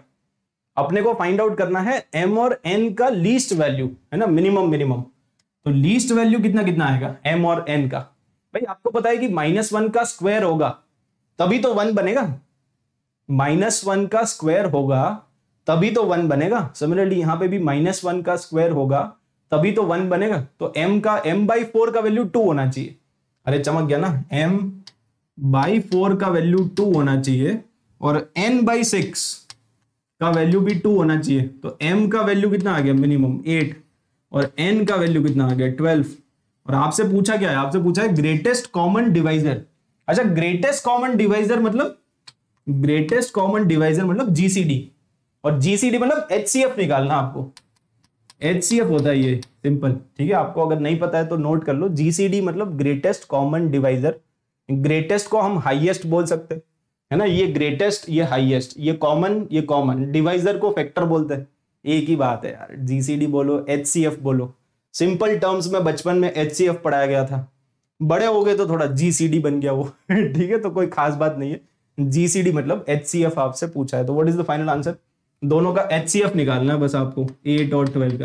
तो एच कितना आएगा? फोर आएगा। ठीक है? So this is the final answer समझ गया ना? तो इस तरह से करोगे तो आप मतलब डेफिनेटली जल्दी कर पाओगे। और ऐसे काफ़ी सारे क्वेश्चन है। अगला क्वेश्चन भी देख लो तो अगले क्वेश्चन में भी आपको दिख रहा है वन माइनस आयोटा तो जैसे ही आपको वन माइनस आयोटा दिख जाए ना, बस एनवी सर को याद कर लेना थोड़ा सा। ठीक है? यहाँ पे पावर एन है और वन माइनस आयोटा का स्क्वायर कर दो और पूरे की पावर आप कर दो N minus two divided by two मतलब मल्टीप्लाई डिवाइड बाई टू कर दिया सिंपल अब इसको मैं क्या लिख सकता हूँ अगले स्टेप में? अब ये बन गया टू आयोटा की पावर एन और अगले स्टेप में वन माइनस आयोटा का होल स्क्वायर होता है माइनस टू आयोटा ठीक है? माइनस टू आयोटा की पावर आ जाएगा N minus two by two ठीक है? N minus two by two ठीक है? बस माइनस वन को बाहर निकाल लो। ये, ठीक है? ये आ गया। अब बेसिकली आप माइनस वन को बाहर निकाल लो। तो ये ऐसा बन जाएगा ना टू आयोटा की पावर एन है और माइनस वन को बाहर निकाल लो।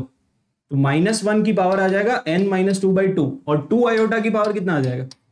तो टू आयोटा की पावर भी आ जाएगा N minus two by two अब इन दोनों को क्लब कर लो ना। इन दोनों को क्लब कर लो। तो इन दोनों को क्लब कर लेंगे तो पावर्स को सब्ट्रैक्ट करेंगे ना तो बेसिकली पावर कितना बन जाएगा? इन दोनों को माइनस कर दो। पावर को माइनस कर दो, समझ गए? पावर को माइनस करेंगे तो ऐसा कुछ आएगा। है ना? टू आयोटा की पावर ये। तो ये कितना बन गया? ये आ जाएगा two N minus N plus two upon two तो ये बन रहा है N plus two by two मतलब बेसिकली अगले स्टेप में आ जाएगा टू आयोटा की पावर कितना? N plus two divided by two और नीचे है माइनस वन की power N minus two divided by two ये आ रहा है। और हम चाहते हैं कि इसका वैल्यू क्या बन जाए? हम चाहते हैं कि इसका वैल्यू बन जाए पॉजिटिव इंटीजर तो इसका वैल्यू पॉजिटिव इंटीजर कब बनेगा? सोचो। You need to find out the least value of N minimum से मिनिमम वैल्यू एन का। अब तो पुट करके चेक कर सकते हो यार। लेकिन आपको पता है कि आयोटा आ रहा है। तो सिंस आयोटा आ रहा है तो आयोटा का आयोटा की पावर फोर करना पड़ेगा ना। आयोटा की पावर फोर करोगे, तभी वो वन बनेगा। ठीक है? आयोटा की पावर फोर करोगे, तभी तो वो वन बनेगा। तो ये N plus two by two जो है, उसका वैल्यू कितना बनना चाहिए? N plus two by two का वैल्यू बनना चाहिए फोर और अगर इसका वैल्यू फोर बनेगा तो एन का वैल्यू कितना बनेगा? आप तो हिट एंड ट्रायल से चेक भी कर सकते हो इसके बाद तो। एन की वैल्यूज़ आप पुट करते जाओ one two three four five six seven eight nine ten तो मिनिमम से मिनिमम कौन सा आएगा? जहाँ पे ये पॉजिटिव इंटीजर बनना चाहिए। ठीक है? तो मिनिमम से मिनिमम वो आएगा। जब ये N plus two by two ये कितना बन जाएगा? ये बन जाएगा इक्वल टू फोर यही आ रहा है क्या? चेक करो एक बार। तो यहाँ से एन का वैल्यू सिक्स आ रहा है। तो एन का वैल्यू सिक्स लेना पड़ेगा आपको। एन का वैल्यू सिक्स ले सकते हो। ठीक है?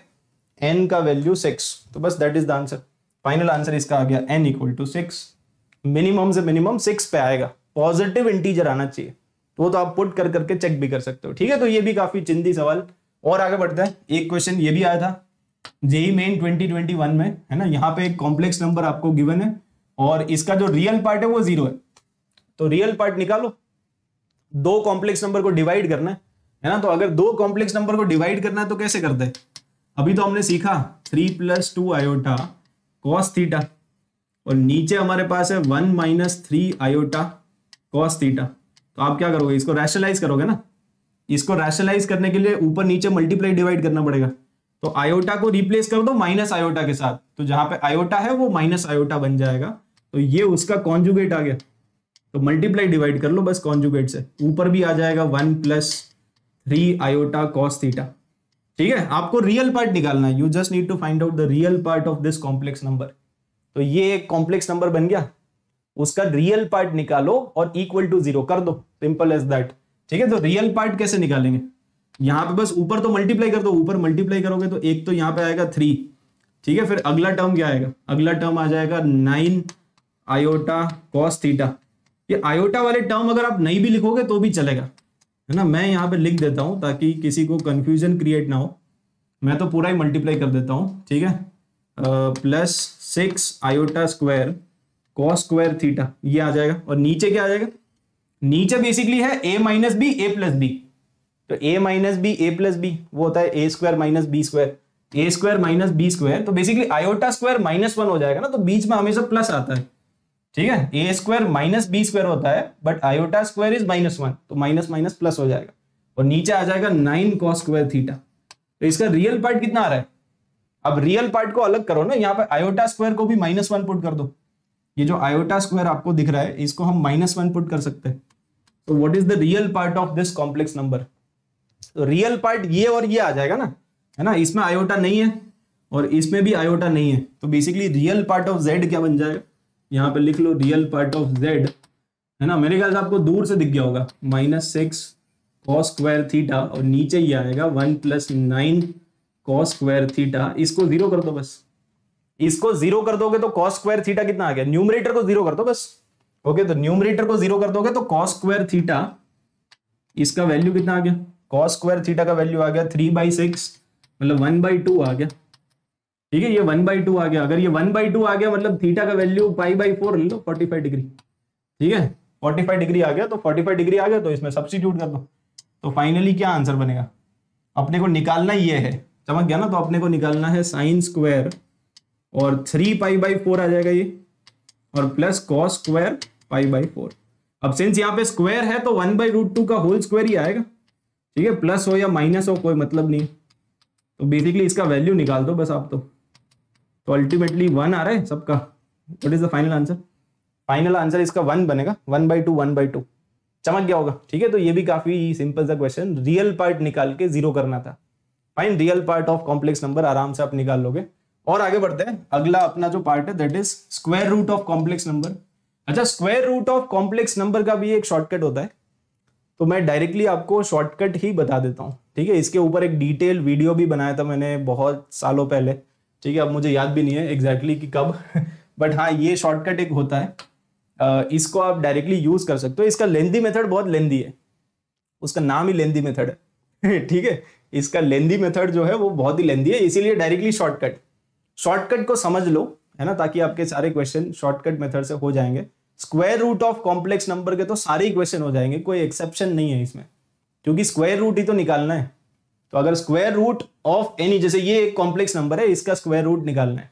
ठीक है? ए प्लस आयोटा बी एक कॉम्प्लेक्स नंबर है, इसका स्क्वायर रूट निकालना है। तो मान लेते हैं कि जो आंसर निकल के आएगा, वो आएगा एक्स प्लस आई वाई अब ये एक्स और वाई को निकालने का डायरेक्ट एक शॉर्टकट फॉर्मूला वो शॉर्टकट फॉर्मूला ये है कि आप ये जो ए और बी है ना, उसको स्क्वायर करके ऐड कर दो। मतलब ये पाइथागोरस थ्योरम टाइप का आप अज्यूम कर सकते हो। तो under root of A square plus B square यहाँ पे भी under root of A square plus B square अब एक बार आपको करना है प्लस ए और डिवाइडेड बाई टू और एक बार आपको करना है minus A divided by two मतलब ये ये रियल पार्ट जो रियल पार्ट है उसको ऐड करो डिवाइड बाई टू करो। माइनस करो डिवाइड बाई टू करो। एक एग्ज़ाम्पल करते तभी ये क्लियर होगा, ठीक है? देखो, इसका एक एग्ज़ाम्पल ये वाला ले लो, जैसे फॉर एग्ज़ाम्पल ये, ठीक है? इसका जो आंसर है, वो कुछ ना कुछ आएगा। अच्छा एक चीज़ और मैं आपको बता देता हूँ, जब भी आप square root of complex number निकाल दो आंसर आते हैं हमेशा। Always you will get two answers तो पहले ही आप प्लस माइनस तो लिख लिया करो, ठीक है? हमेशा दो आंसर आएँगे, एक प्लस एक माइनस ऑलवेज हंड्रेड ठीक है? बीच में जो साइन है, वो आप बीच में लगा दो। ठीक है, यहाँ पे आयोटा भी लगा दो तो बस ऐसा कुछ आपका आंसर आएगा। यहाँ पे आएगा एक्स और यहाँ पे आएगा वाई बस अब आपको एक्स और वाई का वैल्यू निकालना है। सिंपल तो ऐसा बेसिक स्ट्रक्चर आप डायग्राम बना लो बेसिकली जैसे बायोलॉजी में बनाते हैं, ठीक है तो ये डायग्राम बना दिया। अब एक्स और वाई का वैल्यू निकालने का शॉर्टकट क्या था? यहाँ पे लिखो एक्स स्क्वायर यहाँ पे लिखो वाई स्क्वायर है ना? आपको करना है under root of three square plus four square मतलब बेसिकली पाइथागोरस थ्योरम तो अंडर रूट ऑफ़ ये कितना आएगा? ये अलग से निकाल लिया करो आप। Three square plus four square तो ये कितना आ जाएगा बताना? आप अगर करोगे under root of three square plus four square तो फाइव आएगा ना? तो यहाँ पे फाइव लिख लो। यहाँ पे भी फाइव लिख लो। ठीक है? आपको सिंपल कुछ नहीं करना है। ये जो कॉम्प्लेक्स नंबर है, अगर आप मॉड्यूलस समझते हो तो मॉड्यूलस निकालना है। है ना? मॉड्यूलस वैसे अभी हम पढ़ेंगे। बट अगर आप नहीं समझते हो तो आप under root of three square plus four square कर लो। मॉड्यूलस ऑफ़ कॉम्प्लेक्स नंबर उसमें एक बार आपको ये जो रियल पार्ट है ना एक बार ऐड करके डिवाइड बाई टू करना है और एक बार सब्ट्रैक्ट करके डिवाइड बाई टू करना है। तो बस यहाँ से एक्स स्क्वायर कितना आ गया? यहाँ से एक्स स्क्वायर का वैल्यू आ गया फोर और वाई स्क्वायर का वैल्यू आ गया वन तो एक्स का वैल्यू आप लिख दोगे टू और वाई का वैल्यू लिख दोगे वन इसमें प्लस माइनस और ये सब यूज़ करने की आपको ज़रूरत नहीं वो हमने पहले ही लगा दिया है। ओके वो सब प्लस माइनस कुछ नहीं आएगा, यही शॉर्टकट है। तो ये एक्स का वैल्यू टू और वाई का वैल्यू वन तो बस दिस इज़ द आंसर समझ गया। तो ये अपना फाइनल आंसर आ गया। यस ये क्लियर है क्या? और एग्जांपल्स करें। चलो, थोड़े और एग्जांपल्स करते हैं। तो ये तो हमने कर दिया, है ना? दिस इज़ डन ये ट्राई करो। इसमें क्या आंसर आएगा? इसमें बेसिकली जो आंसर आएगा ना, उसमें आप पहले बेसिक डायग्राम बनाओगे। बेसिक डायग्राम में बीच में जो साइन होता है, वही साइन बीच में आता है। तो बस ऐसा डायग्राम बनेगा। भाई, बीच में साइन कौन सा है? माइनस का। तो आपका जो आंसर है, उसमें भी बीच में साइन कौन सा आएगा? माइनस का आएगा। अब एक्स स्क्वायर और वाई स्क्वायर आपको निकालना पड़ेगा। तो एक्स स्क्वायर और वाई स्क्वायर निकालोगे तो three four five Pythagorean triplet एक बार plus three divided by two करो और एक बार minus three divided by two करो। तो यहाँ से एक्स का वैल्यू कितना निकलेगा? एक्स का वैल्यू वही निकलेगा टू और वाई का वैल्यू निकलेगा वन तो बस दिस इज़ द आंसर ठीक है आंसर आ गया। यहाँ पे आंसर क्या आएगा? इसका आंसर अगर आप निकालना चाहते हो तो अगेन आप यहाँ पे लिख लो प्लस माइनस बीच में कौन सा साइन है? बीच में साइन है प्लस का तो आप भी प्लस ही लिखोगे। है ना? बीच में जो साइन है, वो आप कॉपी पेस्ट ज़्यादा दिमाग नहीं लगाना है। ओके तो ये। और उसके बाद एक्स स्क्वायर और वाई स्क्वायर निकालने के लिए। तो एक्स स्क्वायर और वाई स्क्वायर निकालने के लिए सबसे पहले तो आप इन दोनों को स्क्वायर करके ऐड करोगे ना। तो A square plus B square और उसका रूट तो under root of three square plus four वो तो फाइव ही आएगा। ठीक है? तो पाइथागोरियन ट्रिपलेट यहाँ पे तो फाइव ही आएगा। और एक बार आपको ये ये रियल पार्ट है। ठीक है? This is the real part of Z तो उसको ऐड करना है। तो अब यहाँ पे ध्यान रखना कि एक बार आपको रियल पार्ट को ऐड करना है और एक बार आपको सब्ट्रैक्ट करना है और डिवाइड बाय टू करना है। तो बस यहाँ पे x का वैल्यू आ जाएगा वन और y का वैल्यू आएगा टू उल्टा हो जाएगा। इधर वन और इधर टू तो दिस इज़ द आंसर और इसमें माइनस आ जाएगा बस। बीच में माइनस है ना? तो इसका आंसर आ जाएगा प्लस माइनस एक्स का वैल्यू वही आएगा और y का बीच में माइनस आएगा। ठीक है? बीच में माइनस और फिर y का वैल्यू टू आएगा। ये चमका? y का वैल्यू टू आ जाएगा। So this is the answer understood yes ये चमक गया होगा मेरे ख्याल से। एक और क्वेश्चन करो। चलो, ये ये चारों का आंसर बताओ। एक एक करके, है ना? तो इन चारों का आंसर क्या क्या आएगा? इसका आंसर यहाँ पे लिखते हैं प्लस माइनस बीच में क्या है? प्लस तो लगा दो और आयोटा लगा दो। ठीक है? एक्स और वाई का वैल्यू निकालना है। तो एक्स स्क्वायर वाई स्क्वायर अब ये ये, इसमें पाइथागोरियन ट्रिपलेट क्या होता है? Seven, twenty four, twenty five होता है ना? तो ट्वेंटी फाइव आ जाएगा। ट्वेंटी फाइव में एक बार प्लस सेवन करोगे और एक बार ट्वेंटी फाइव में माइनस सेवन कर दोगे। तो ये कितना बन रहा है? यहाँ से आ जाएगा X square equal to sixteen और Y square equal to Y square equal to nine आ जाएगा। ठीक है? तो एक्स का वैल्यू कितना? फोर और वाई का वैल्यू कितना? थ्री तो बस दिस इज़ द आंसर ठीक है? सिमिलरली यहाँ पे आंसर क्या आ जाएगा? यहाँ पे भी अगर आप करोगे तो एक्स स्क्वायर और वाई स्क्वायर का सेम ही आएगा यहाँ पे भी, है ना तो twenty five plus seven by two और twenty five minus seven by two तो इसका आंसर क्या बनेगा? इसका जो फाइनल आंसर बनेगा, वो बनेगा प्लस माइनस बीच में माइनस बीच में माइनस है ना तो माइनस आयोटा एक्स का वैल्यू एक्स का वैल्यू फोर है ना? एक्स का वैल्यू वही जो हमने पहले निकाला था. तो फोर और यहाँ पे थ्री तो बस ये आंसर है. मतलब फोर माइनस थ्री आयोटा और प्लस माइनस अंडरस्टूड और सिमिलरली यहाँ पे क्या आ जाएगा? इसमें एक्स और वाई का वैल्यू इंटरचेंज हो जाता है मतलब। यहाँ पे अगर आप एक्स स्क्वायर और वाई स्क्वायर निकालने जाओगे तो ट्वेंटी फाइव तो आएगा ही। ओके ट्वेंटी फाइव तो आएगा ही, लेकिन इसमें आपको प्लस करना पड़ेगा माइनस सेवन और डिवाइडेड बाई टू यहाँ पे आपको माइनस करना पड़ेगा माइनस सेवन और डिवाइडेड बाई टू समझ गया ना? एक बार प्लस माइनस सेवन एक बार माइनस माइनस सेवन तो ये बन जाएगा x square equal to nine और y square equal to sixteen ठीक है तो इसका आंसर क्या बनेगा? इसमें भी प्लस माइनस आएगा। बीच में कौन सा साइन आएगा? प्लस का। ओके, आयोटा भी आएगा। और एक्स का वैल्यू थ्री है वाई का वैल्यू फोर है। ठीक है मतलब थ्री प्लस फोर आयोटा और plus minus three plus four iota और प्लस माइनस ठीक है सिमिलरली यहाँ पे, इसका मैं डायरेक्टली लिख दू। प्लस माइनस बीच में माइनस आएगा, आयोटा आएगा और यहाँ पे थ्री और फोर ही आएगा बस। ठीक है, चमक गया होगा। So this is the direct answer और इसके ऊपर जेई वाला क्वेश्चन भी कर लो। ठीक है इसके ऊपर जेई मेन 2020 में क्वेश्चन आया था। तो बेसिकली इन्होंने रूट ऑफ़ माइनस फिफ्टी लिख दिया। तो रूट ऑफ़ माइनस फिफ्टी क्या होता है? रूट ऑफ़ फिफ्टी फोर मतलब ये होता है नाइन इंटू सिक्स ये तो थ्री रूट सिक्स हो गया ना। तो बेसिकली ये जो लिखा हुआ है, आप इसको अगर ध्यान से देखोगे तो root of minus fifty four जो होता है ना, उसको हम लिख सकते हैं। This is root of minus one into six into nine तो बेसिकली ये लिखा हुआ है थ्री रूट सिक्स आयोटा ये लिखा हुआ है। ये दिख गया सबको? तो बस रिप्लेस कर दो ताकि एटलीस्ट आयोटा के फॉर्मेट में आ जाए अपना।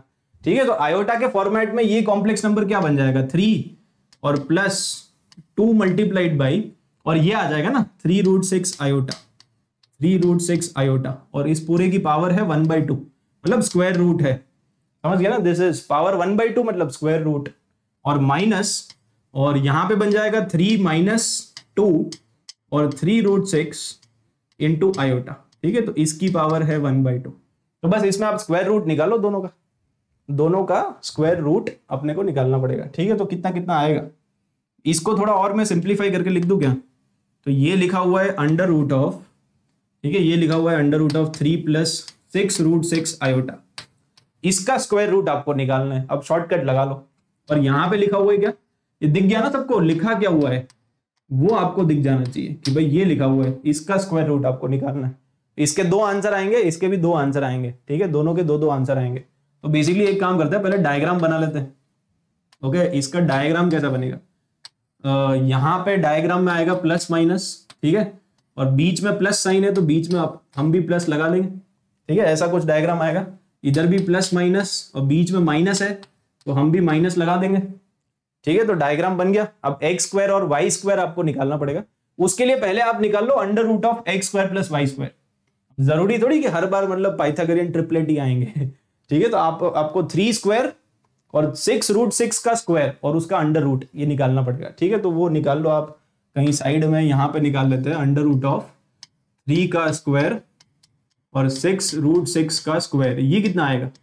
इसको करोगे तो ये नाइन और ये कितना बन जाएगा? ये बन जाएगा टू वन सिक्स तो अल्टीमेटली ये बन गया टू ट्वेंटी फाइव तो फिफ्टीन आ गया ना ये तो? दिख गया? फिफ्टीन ये फिफ्टीन आ गया। अगर ये 15 आ गया तो एक्स स्क्वायर और वाई स्क्वायर निकालो। एक्स स्क्वायर और वाई स्क्वायर निकालने के लिए 15 तो आएगा ही दोनों में।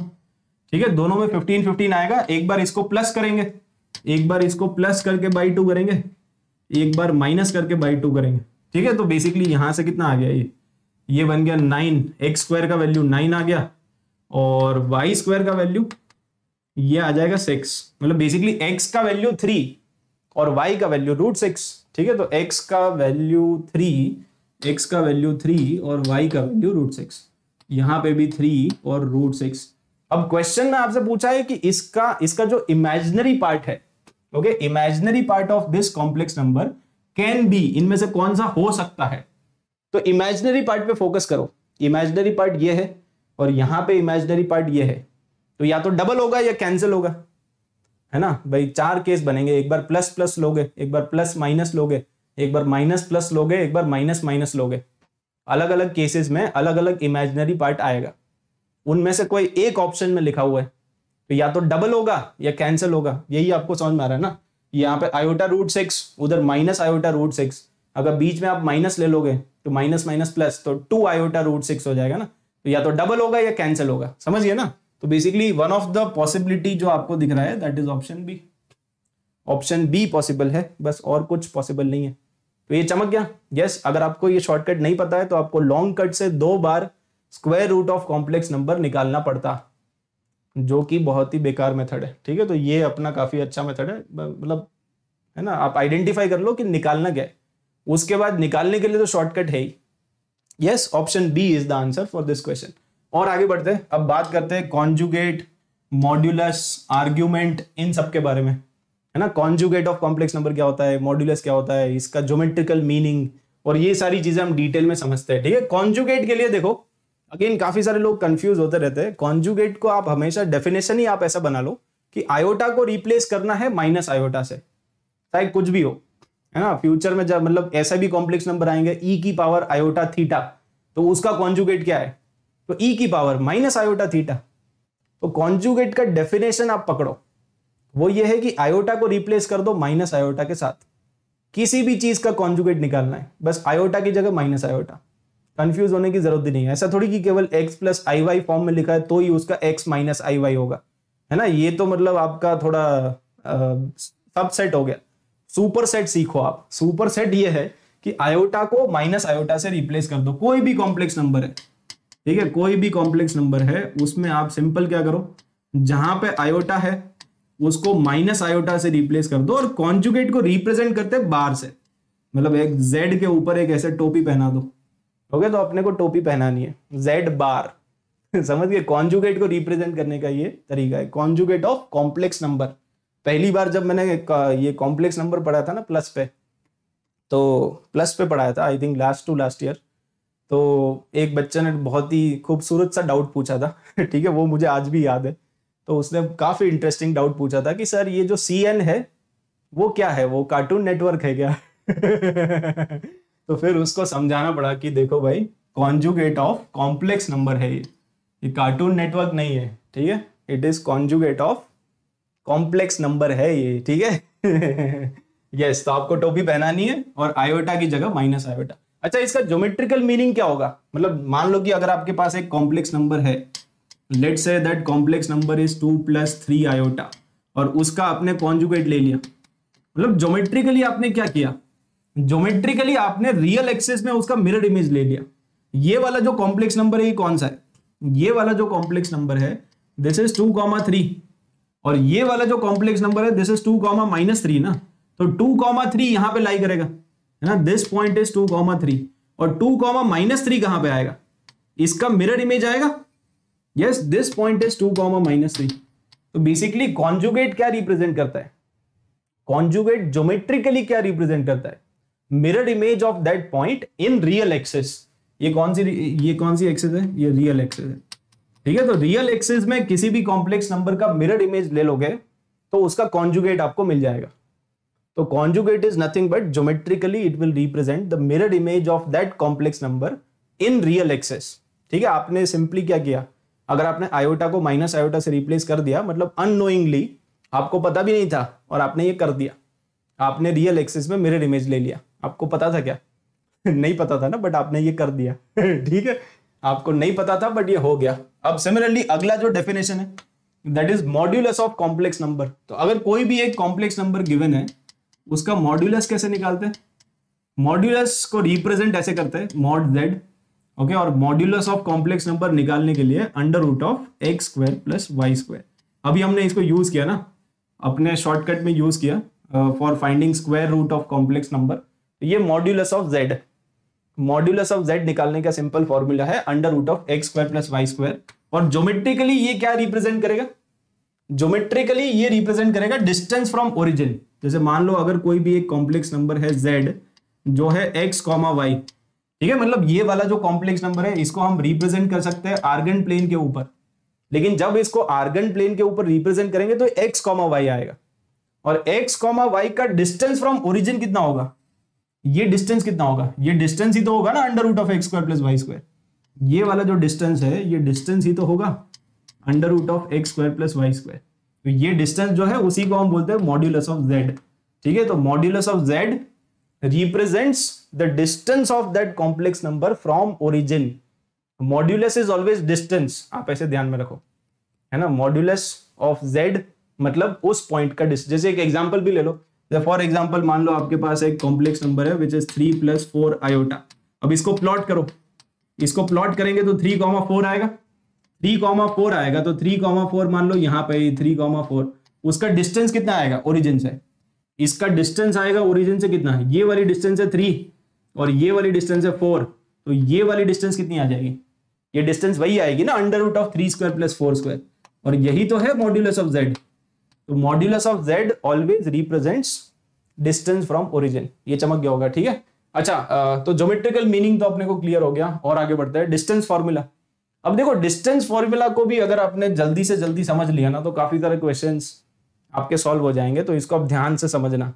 अगर कोई भी दो कॉम्प्लेक्स नंबर है, जैसे फॉर एग्ज़ाम्पल मान लो ये कॉम्प्लेक्स नंबर है जेड वन और ये कॉम्प्लेक्स नंबर है जेड टू मान लेते हैं कि ये वाला जो कॉम्प्लेक्स नंबर है, ये है एक्स वन वाई वन और दूसरा वाला जो कॉम्प्लेक्स नंबर है, वो है एक्स टू वाई टू अब ये तो हमने आर्गन प्लेन पे रिप्रेजेंट कर दिया, इसलिए कोऑर्डिनेट फॉर्म में है। लेकिन एक्चुअली ये Z1 Z2 क्या होंगे? अगर मैं आपसे पूछूँगा कि Z2 कौन सा कॉम्प्लेक्स नंबर है तो Z2 के जो कोऑर्डिनेट्स है, वो है x2 y2 तो Z2 एक्चुअली ये वाला कॉम्प्लेक्स नंबर होगा ना x2 प्लस आयोटा y2 इस तरह से रिप्रेजेंट करेंगे। और Z1 क्या होगा? Z1 होगा x1 प्लस आयोटा y1 अब यहाँ पे कॉन्सेप्ट ये होता है डिस्टेंस फॉर्मूला डिस्टेंस फॉर्मूला मतलब अगर आपको किसी भी दो कॉम्प्लेक्स नंबर के बीच में जो डिस्टेंस है, ये डिस्टेंस अगर आपको निकालनी है ना तो ये होती है modulus of z one minus z two आप simple modulus of z one minus z two निकालो. That is the distance between two complex numbers देखो, अगर मैं इसमें निकाल के दिखाता हूँ आपको, है ना? एक बार निकालना z two minus z one निकालो आप, और फिर उसका मॉड्यूलस कर लेंगे, ठीक है? तो जेड टू कितना है? जेड टू है x two plus iota y two ठीक है? और जेड वन कितना है? तो Z1 है X1 प्लस आयोटा Y1 ठीक है? दोनों का वैल्यू सब्सटीट्यूट कर दिया। वैल्यू सब्सटीट्यूट करके जो रियल पार्ट है, उनको क्लब कर लो। तो यहाँ पे X2 और यहाँ पे X1 तो X2 माइनस एक्स वन ये आ गया। और आयोटा के साथ क्या आ गया? आयोटा के साथ आ जाएगा y two minus y one ये आ गया। अब ये कॉम्प्लेक्स नंबर है।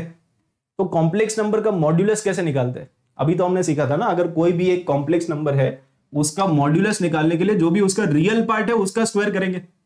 और जो इमेजिनरी पार्ट है, उसका स्क्वायर करेंगे। तो यहाँ पे रियल पार्ट कौन है? यहाँ पे ये पूरा रियल पार्ट है ना तो इसका मॉड्यूलस आ जाएगा under root of x two minus x one का होल स्क्वायर और y two minus y one का होल स्क्वायर ये चमक गया? तो बेसिकली डिस्टेंस फॉर्मूला ही तो आ गया। अगर आप ध्यान से देखोगे तो ये डिस्टेंस फॉर्मूला ही तो आ गया। मतलब इन शॉर्ट अगर आपको दो कॉम्प्लेक्स नंबर के बीच में डिस्टेंस निकालना है तो आप केवल modulus of z one minus z two निकाल लो। ये समझ में आया? अगर आपको दो कॉम्प्लेक्स नंबर के बीच में डिस्टेंस निकालना है तो आप simple modulus of z one minus z two निकाल लो।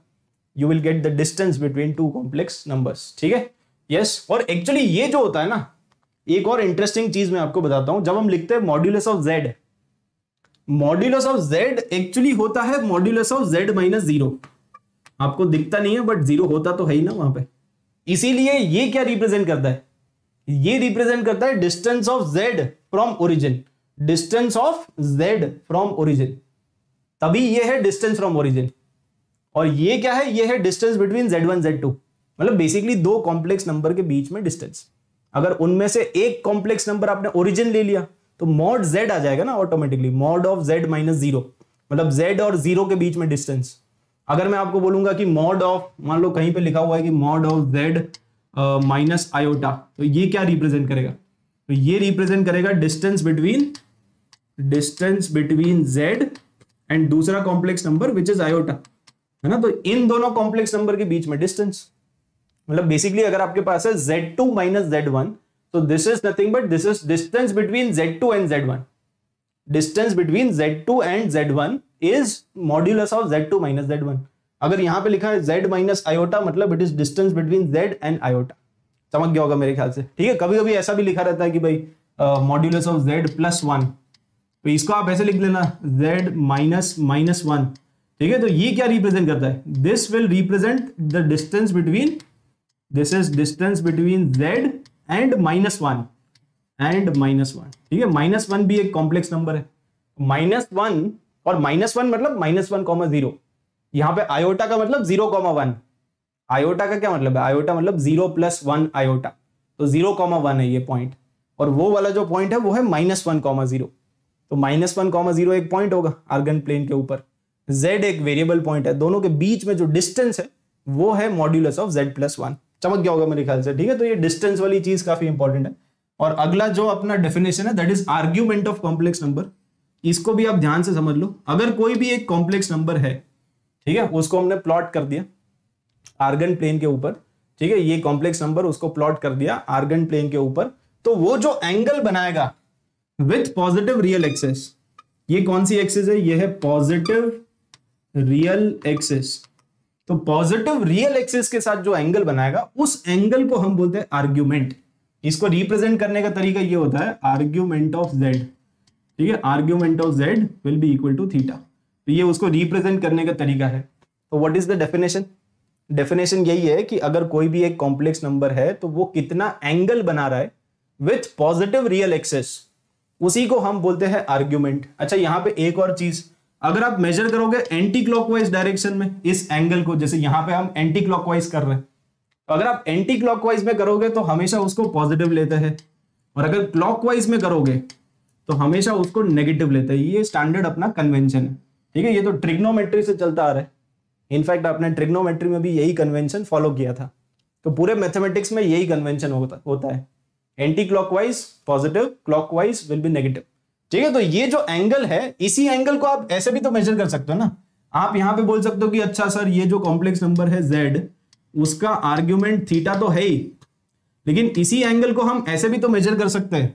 मान लो कि किसी एक बच्चे का मन आ गया और उसने ऐसे मेजर कर दिया कि यहाँ से उसने स्टार्ट किया, एक पूरा सर्कल कंप्लीट किया और फिर यहाँ तक आ गया।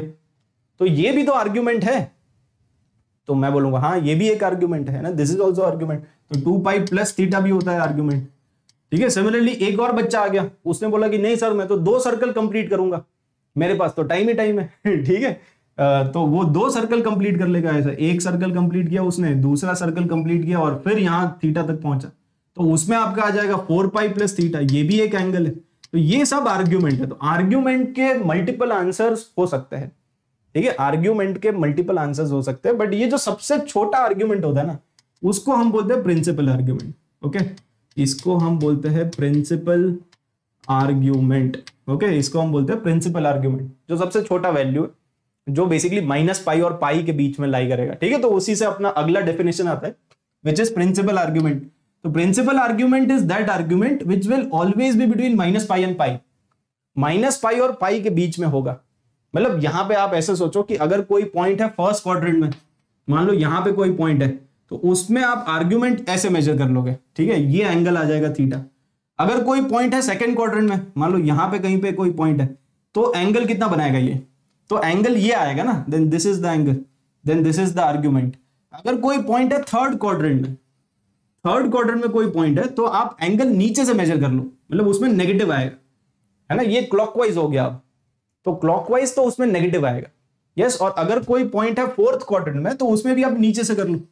यहाँ पे कहीं पे फोर्थ क्वार्टर में कोई पॉइंट है तो यहाँ पे भी आप जो आर्ग्यूमेंट है, उसको नीचे से मेजर कर सकते हो।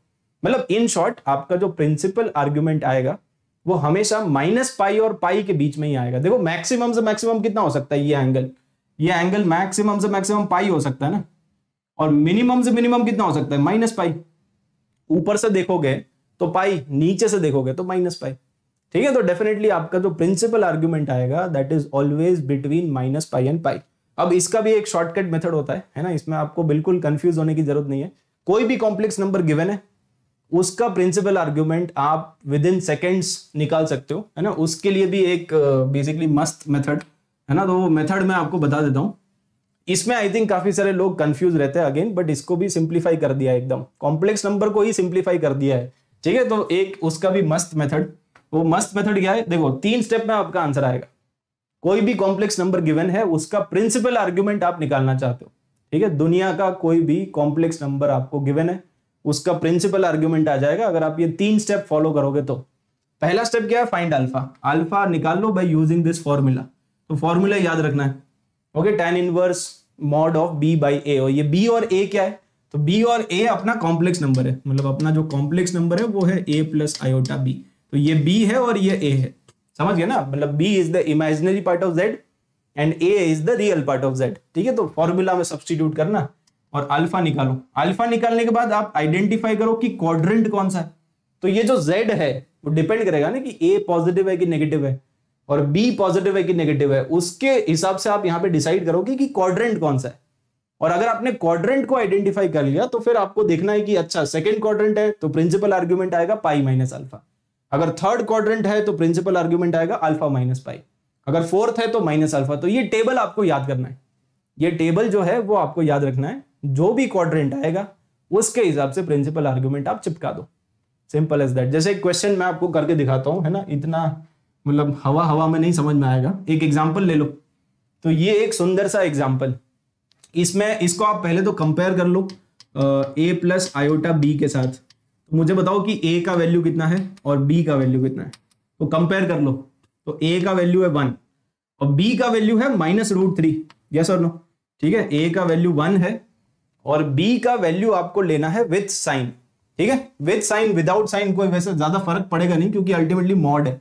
तो आप अल्फ़ा का वैल्यू निकालो स्टेप नंबर वन तो स्टेप नंबर वन है अल्फ़ा का वैल्यू टेन इनवर्स और ये टेन इनवर्स अच्छा जो इलेवेंथ वाले बच्चे हैं उनके लिए अगर इनवर्स और ये सब आप, आपको नहीं आता है तो आप सिंपल टेन अल्फ़ा ले लो। ये टेन इनवर्स को इधर भेज दो ये बन जाएगा टेन अल्फ़ा तो आप तो ऐसे लिख लो tan alpha equal to mod of B by A ठीक है ताकि जो इलेवेंथ वाले बच्चे हैं वो भी ज़्यादा कंफ्यूज नहीं होंगे। टेन इनवर्स से अपने को कोई मतलब भी नहीं है वैसे भी। तो बस ये फॉर्मूला में सब्सटीट्यूट कर दो। फॉर्मूला में सब्सटीट्यूट करोगे तो minus root three divided by one तो ये अल्टीमेटली रूट थ्री आ रहा है? तो अगर टेन अल्फ़ा रूट थ्री आ रहा है तो अल्फ़ा का वैल्यू कितना? अगर ये रूट थ्री आ रहा है तो अल्फ़ा का वैल्यू कितना? सिक्सटी डिग्री ना मतलब पाई बाई थ्री ठीक है, ये पाई बाई थ्री आ गया. यस सिक्सटी डिग्री अल्फ़ा आ गया पाई बाई थ्री और ये क्वाड्रेंट कौन सा है?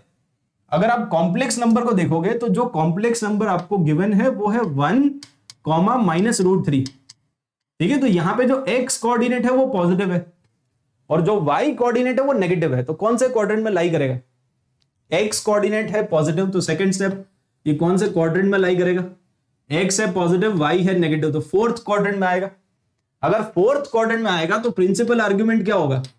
तो प्रिंसिपल आर्ग्यूमेंट के लिए आपको यूज़ करना है माइनस अल्फ़ा तो what is the answer minus alpha मतलब minus pi by three is the answer तो इसका प्रिंसिपल आर्ग्यूमेंट आएगा माइनस पाई बाई थ्री और प्रिंसिपल आर्ग्यूमेंट का मतलब वही है कि ये एंगल मतलब ये जो पॉइंट है वो आपका फोर्थ क्वाड्रेंट में है। अगर ये फोर्थ क्वाड्रेंट में है तो ये जो एंगल आएगा ना, वो एक्चुअली आपका आएगा पाई बाई थ्री बट ये सिंस क्लॉकवाइज है है ना, ये आप क्लॉकवाइज जा रहे हो ना क्लॉकवाइज जा रहे हो मतलब minus pi by three is the answer तो ये आपका आंसर आ जाएगा। ठीक है? चलो, और सिमिलरली एक दो एग्जांपल और कर लेते जैसे इसका आप प्रिंसिपल आर्ग्यूमेंट निकालो, और इसका भी आप प्रिंसिपल आर्ग्यूमेंट निकालो। तो फटाफट एक बार चैट में, है ना, फटाफट से प्रिंसिपल आर्ग्यूमेंट लिख दो, चलो, है ना, दो कॉम्प्लेक्स नंबर आपको गिवन है प्रिंसिपल आर्ग्यूमेंट तीन तीन स्टेप में आपका आंसर आ जाएगा, ठीक है?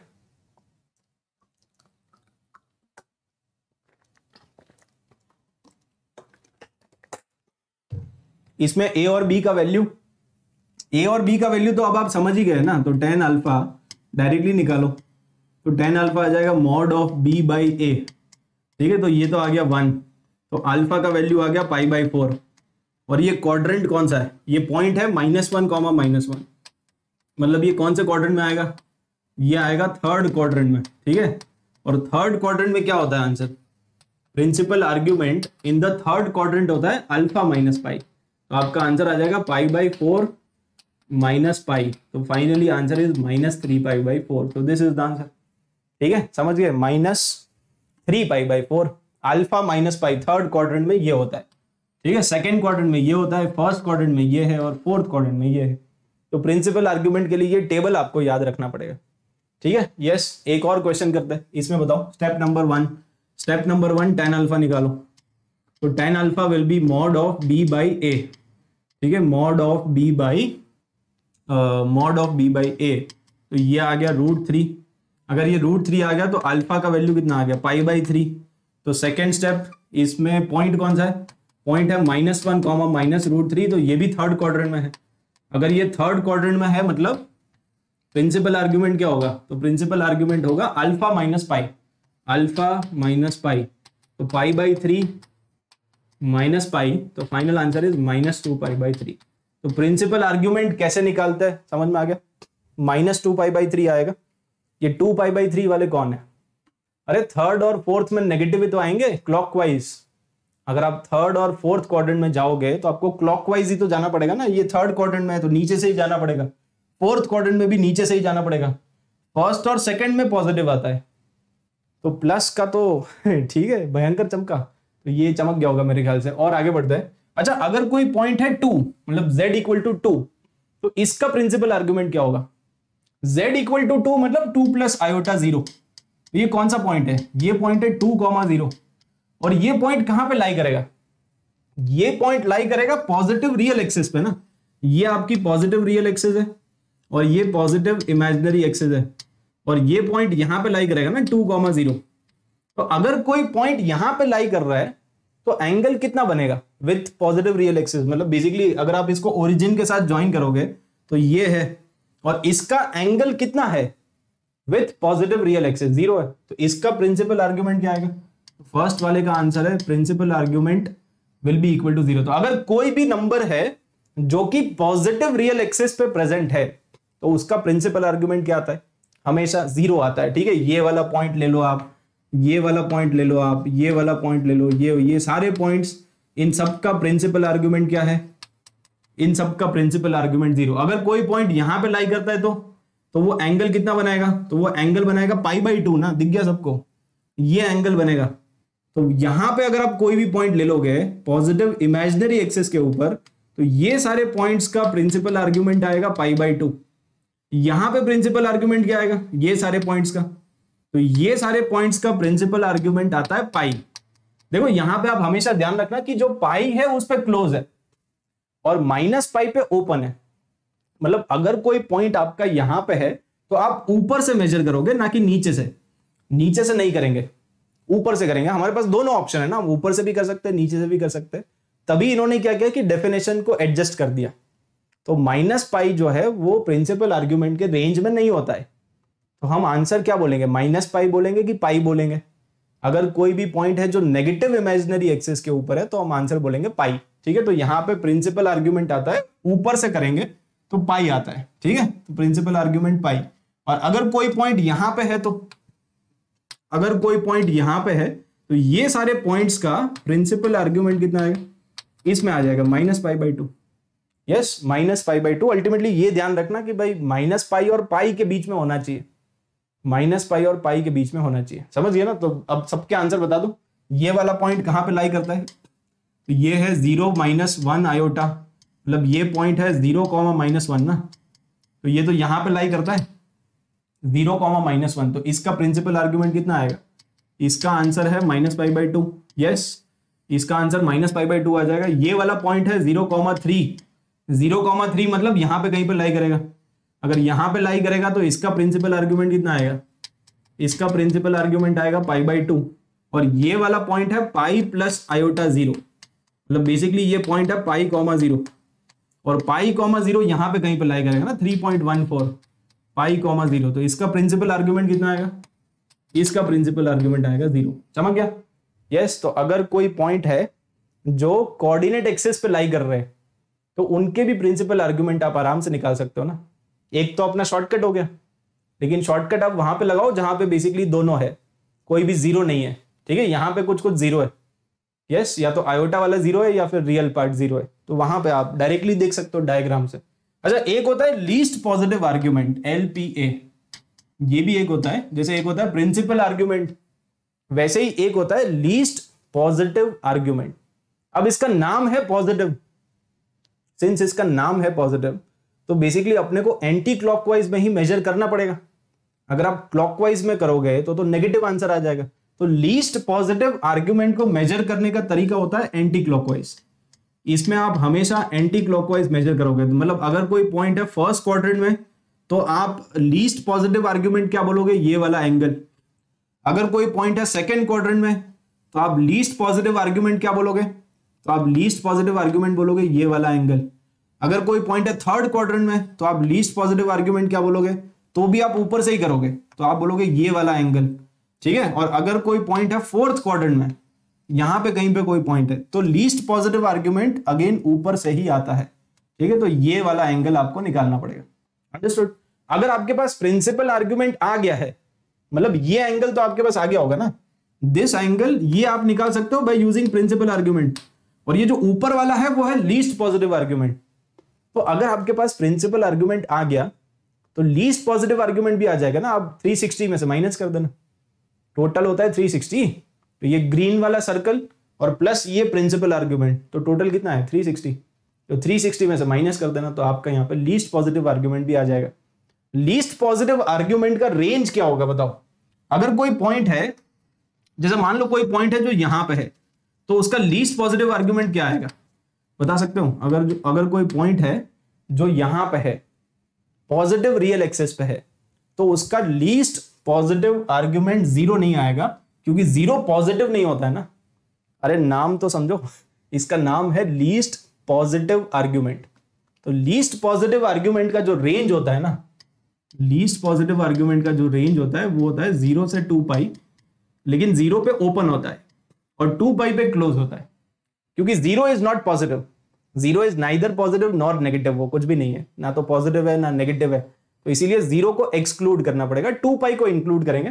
तो अगर कोई पॉइंट यहाँ पे प्रेजेंट है तो उसका लीस्ट पॉजिटिव आर्ग्यूमेंट आएगा टू पाई ना कि ज़ीरो है ना? टू पाई लेना पड़ेगा अपने को। अच्छा अगर कोई पॉइंट यहाँ पे है तो? अगर कोई पॉइंट यहाँ पे है तो उसका लीस्ट पॉजिटिव आर्ग्यूमेंट क्या आएगा? पाई बाई टू आएगा, क्योंकि आप ऐसे मेजर करोगे। अगर कोई पॉइंट यहाँ पे है तो आप ऐसे मेजर करोगे। ठीक है? तो यहाँ पे लीस्ट पॉजिटिव आर्ग्यूमेंट क्या आएगा?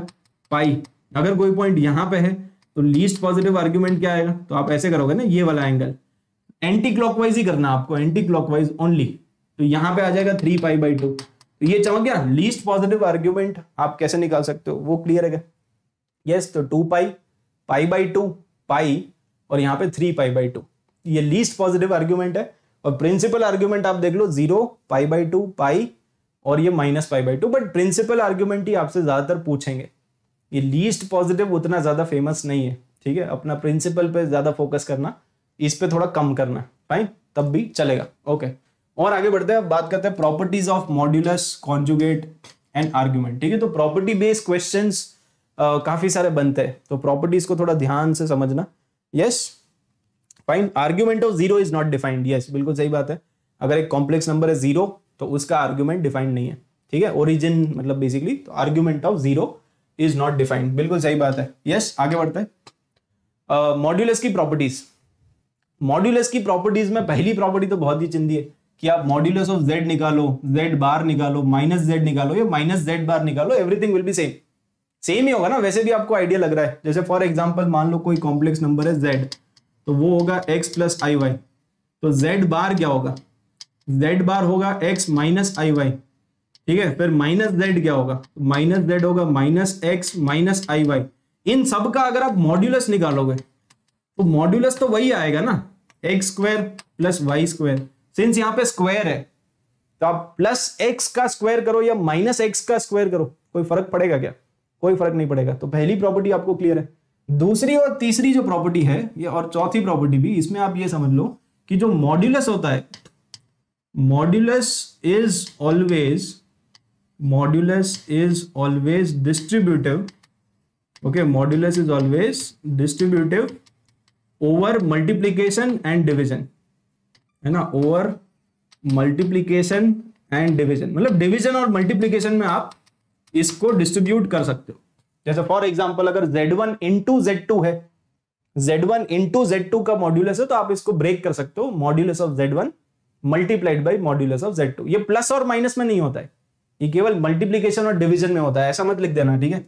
कभी अगर ऐसा आ गया कि z1 one plus z two का मॉड्यूलस तो क्या इसको हम ऐसे लिख सकते हैं? Modulus of z1 one plus modulus of z2 नहीं, ये नहीं होता है। मतलब नॉट ऑलवेज ये कभी कभी हो सकता है। कभी कभी हो सकता है, आपने जैसे वेक्टर्स में पढ़ा होगा ना। ठीक है, ये कभी कभी हो सकता है बट नॉट ऑलवेज अंडरस्टूड तो ये कोई प्रॉपर्टी नहीं है। बट हाँ मल्टीप्लीकेशन में और डिविजन में आप हमेशा उसको डिस्ट्रीब्यूट कर सकते हो। ठीक है? मल्टीप्लीकेशन में आप अलग कर सकते हो। डिवीज़न में भी आप दोनों को अलग अलग कर सकते हो। Modulus of z one divided by modulus of z two and अगर ये वाली प्रॉपर्टी आ गई, जैसे फोर्थ वाली जो प्रॉपर्टी है that is just extension of second property ये जो सेकंड प्रॉपर्टी है, उसी को आप एक्सटेंड कर दो। सेकंड प्रॉपर्टी को एक्सटेंड करोगे तो ऐसा लिखा हुआ ना z into z into z ऐसा कितनी बार लिखा हुआ एन नंबर ऑफ़ टाइम्स ये लिखा हुआ है।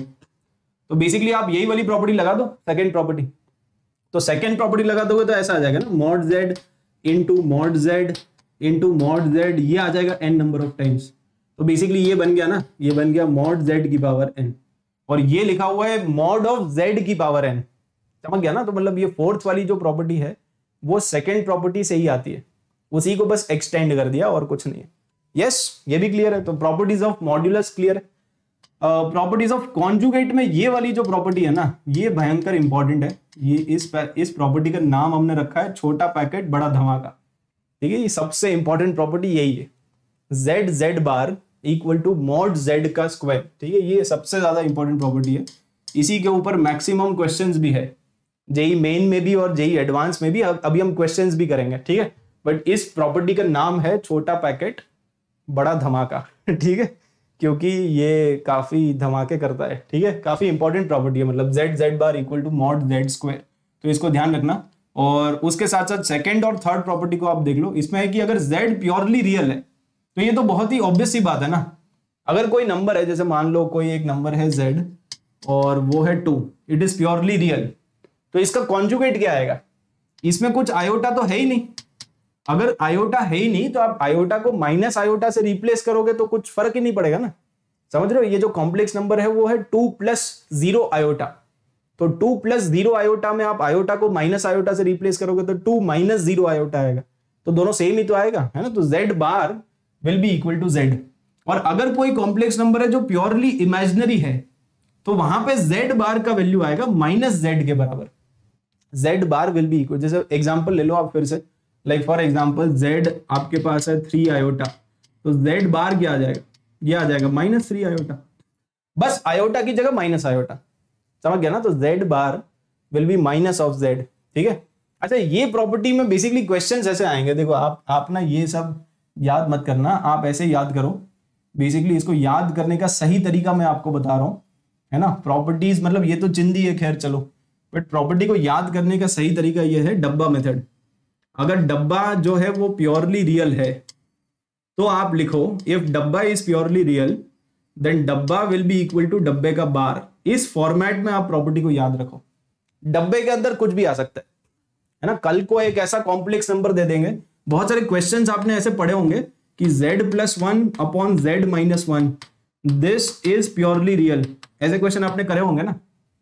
ऐसे क्वेश्चन आपने थोड़े बहुत अगर पढ़ा है कॉम्प्लेक्स नंबर तो करे होंगे कि z plus one upon z minus one is purely real तो इसमें कॉन्सेप्ट क्या लगाना होता है? जैसे ही आप पढ़ोगे कि हाँ ये डब्बा है और ये डब्बा जो है ना, वो प्योरली रियल है तो आप इसमें कॉन्सेप्ट क्या अप्लाई करोगे? डब्बा इक्वल टू डब्बे का बार। अगर कोई भी कॉम्प्लेक्स नंबर है, कोई भी डब्बा है जो प्योरली रियल है तो आप डब्बा और डब्बे का बार दोनों को इक्वेट कर दो। ठीक है तो आप बेसिकली यहाँ पे कंडीशन क्या बनाओगे? Z plus one upon z minus one ये डब्बा और डब्बे का बार, इस पूरे का बार ले लो। ठीक है? इस पूरे का बार ले लो और इक्वेट कर लो। और जो बार होता है ना, वो डिस्ट्रीब्यूटिव होता है। आप अगली तीनों प्रॉपर्टीज़ देख लो, ये ये और ये। तो जो बार है मतलब जो टोपी है, वो आप इंडिविजुअल इंसानों के ऊपर पहना सकते हो। जैसे ये दोनों के ऊपर टोपी है तो दोनों टोपी पहन लेंगे, है ना? जेड वन बार और जेड टू बार अलग अलग हो जाएगा। इसमें भी अगर दोनों के ऊपर टोपी है तो जेड वन टोपी जेड टू टोपी। समझ गए ना? दोनों के ऊपर बार बार आ जाएगा। यस ये बार बार वाली कहानी समझ में आ गई। ठीक है? मतलब बेसिकली आप ऐसे याद कर लो, इन तीनों को अगर याद करना है तो आप ऐसे याद कर लो कि यहाँ पे Z1 है, यहाँ पे Z2 है, बीच में प्लस आए माइनस आए मल्टीप्लीकेशन आए डिविजन आए, कुछ भी आए, पूरे का अगर बार है है ना प्लस माइनस मल्टीप्लाई डिवाइड कुछ भी देन यू कैन डिस्ट्रीब्यूट इसको आप डिस्ट्रीब्यूट कर सकते हो। तो Z1 bar plus minus multiply divide कुछ भी हो, ठीक है? और Z2 बार। आप इंडिविजुअल टोपी पहना सकते हो। इंडिविजुअल टोपी पहना दो। तो बार को आप डिस्ट्रीब्यूट कर सकते हो। मतलब यहाँ पे जो बार है ना, वो इंडिविजुअल जेड के ऊपर आ जाएगा बस अगले स्टेप में। तो अगले स्टेप में ये ऐसा बन जाएगा। अगले स्टेप में ये जो होल बार है, वो हट जाएगा और इंडिविजुअल जो भी कॉम्प्लेक्स नंबर है, उनके ऊपर आ जाएगा। और ये वन का बार तो वन ही होता है ना, वो तो प्योरली रियल है। तो जो वन है, उसके ऊपर भी टोपी आएगा। लेकिन वन का बार इज़ वन तो आप सिंपल उसको वन लिख सकते हो। अंडरस्टूड तो आप इंडिविजुअल टोपी पहना सकते हो। Fine that is the property in conjugate argument की सारी प्रॉपर्टीज़ जो होती है ना that is same as the properties of log ठीक है लॉग की प्रॉपर्टीज़ आप याद रखो। लॉग की जैसी प्रॉपर्टी होती है ना, वैसी जैसे आपने पढ़ा होगा ना लॉग एम एन तो लॉग एम एन होता है log m plus log n log of m by n log m minus log n ठीक है, और लॉग ऑफ़ एक्स की पावर ए तो ये जो पावर होती है, वो आगे आ जाती है। याद है आपको? तो ये वाली प्रॉपर्टी भी है। और अगर आर्ग्यूमेंट ऑफ़ जेड बार है argument of z bar will become minus argument of z और सब में आपने यहाँ पे लगा दिया टू के पाई ये टू के पाई क्यों लगाया? ये टू के पाई इसलिए लगाया क्योंकि आर्ग्यूमेंट है ना आर्ग्यूमेंट की तो इनफाइनाइट वैल्यूज़ हो सकती है ना। अभी तो हमने पढ़ा था कि अगर कोई एक कॉम्प्लेक्स नंबर जेड है तो उसका आर्ग्यूमेंट ये भी है, उसका आर्ग्यूमेंट थीटा भी है, उसका आर्ग्यूमेंट ये भी है है ना? थीटा भी है टू पाई प्लस थीटा भी है उसका argument four pi plus theta भी है तो ये सारे आर्ग्यूमेंट्स हैं। लेकिन प्रिंसिपल आर्ग्यूमेंट का वैल्यू कोई एक ही होगा जो कि माइनस पाई और प्लस पाई के बीच में होगा। समझ गए? तो प्रिंसिपल आर्ग्यूमेंट के लिए आपको ये एडजस्ट करना पड़ेगा और उसी को एडजस्ट करने के लिए ये टू के पाई यहाँ पे जुड़ जाता है।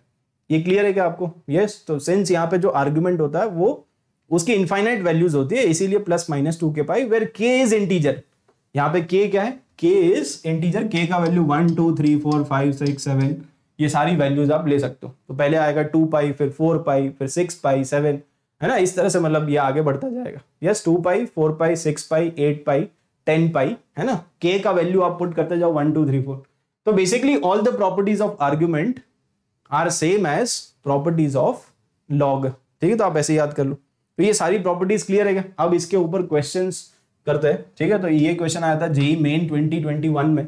और ये काफ़ी चिंदी क्वेश्चन है, ठीक है? ये एक बार ट्राई करो, देखो।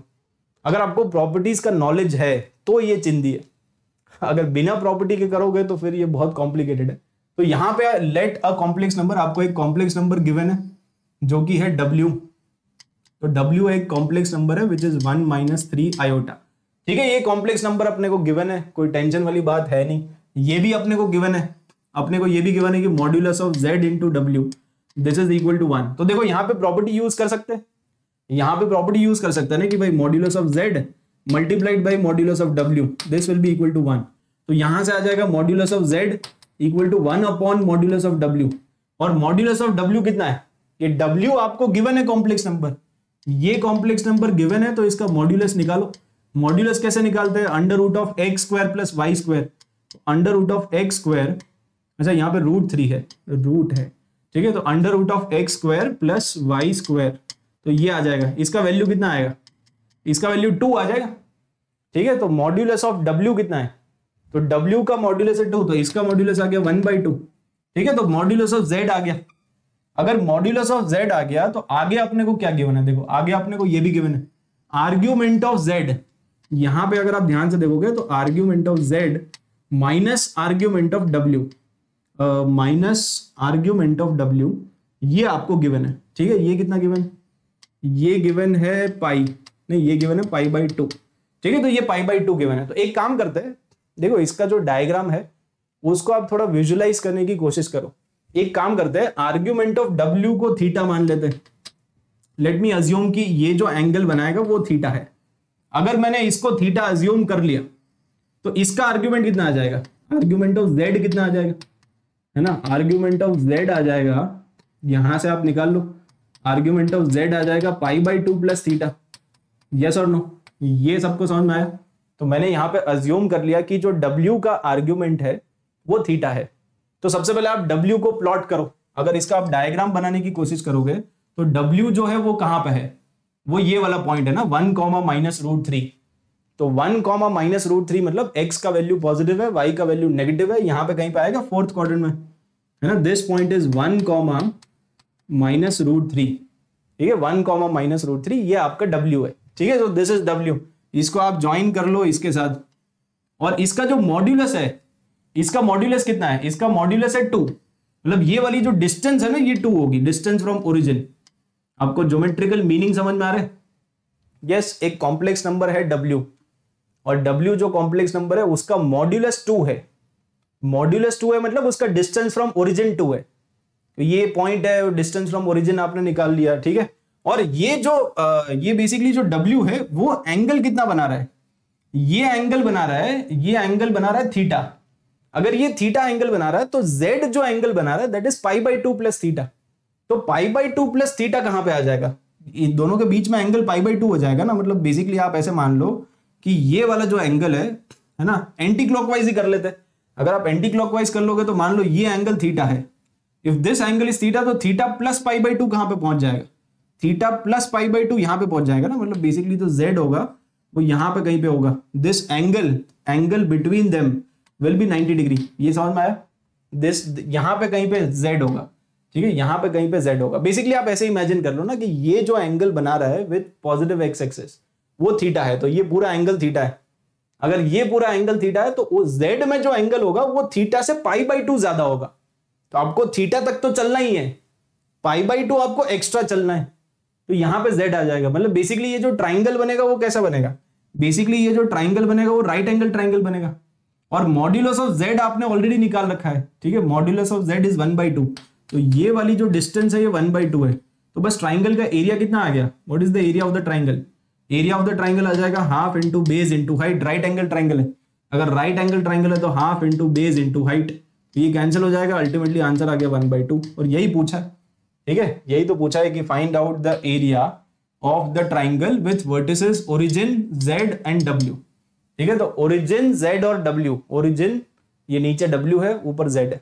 वो एरिया आपको बताना है, ठीक है? अगर आप प्रॉपर डायग्राम नहीं भी बनाओगे ना तो भी चलेगा।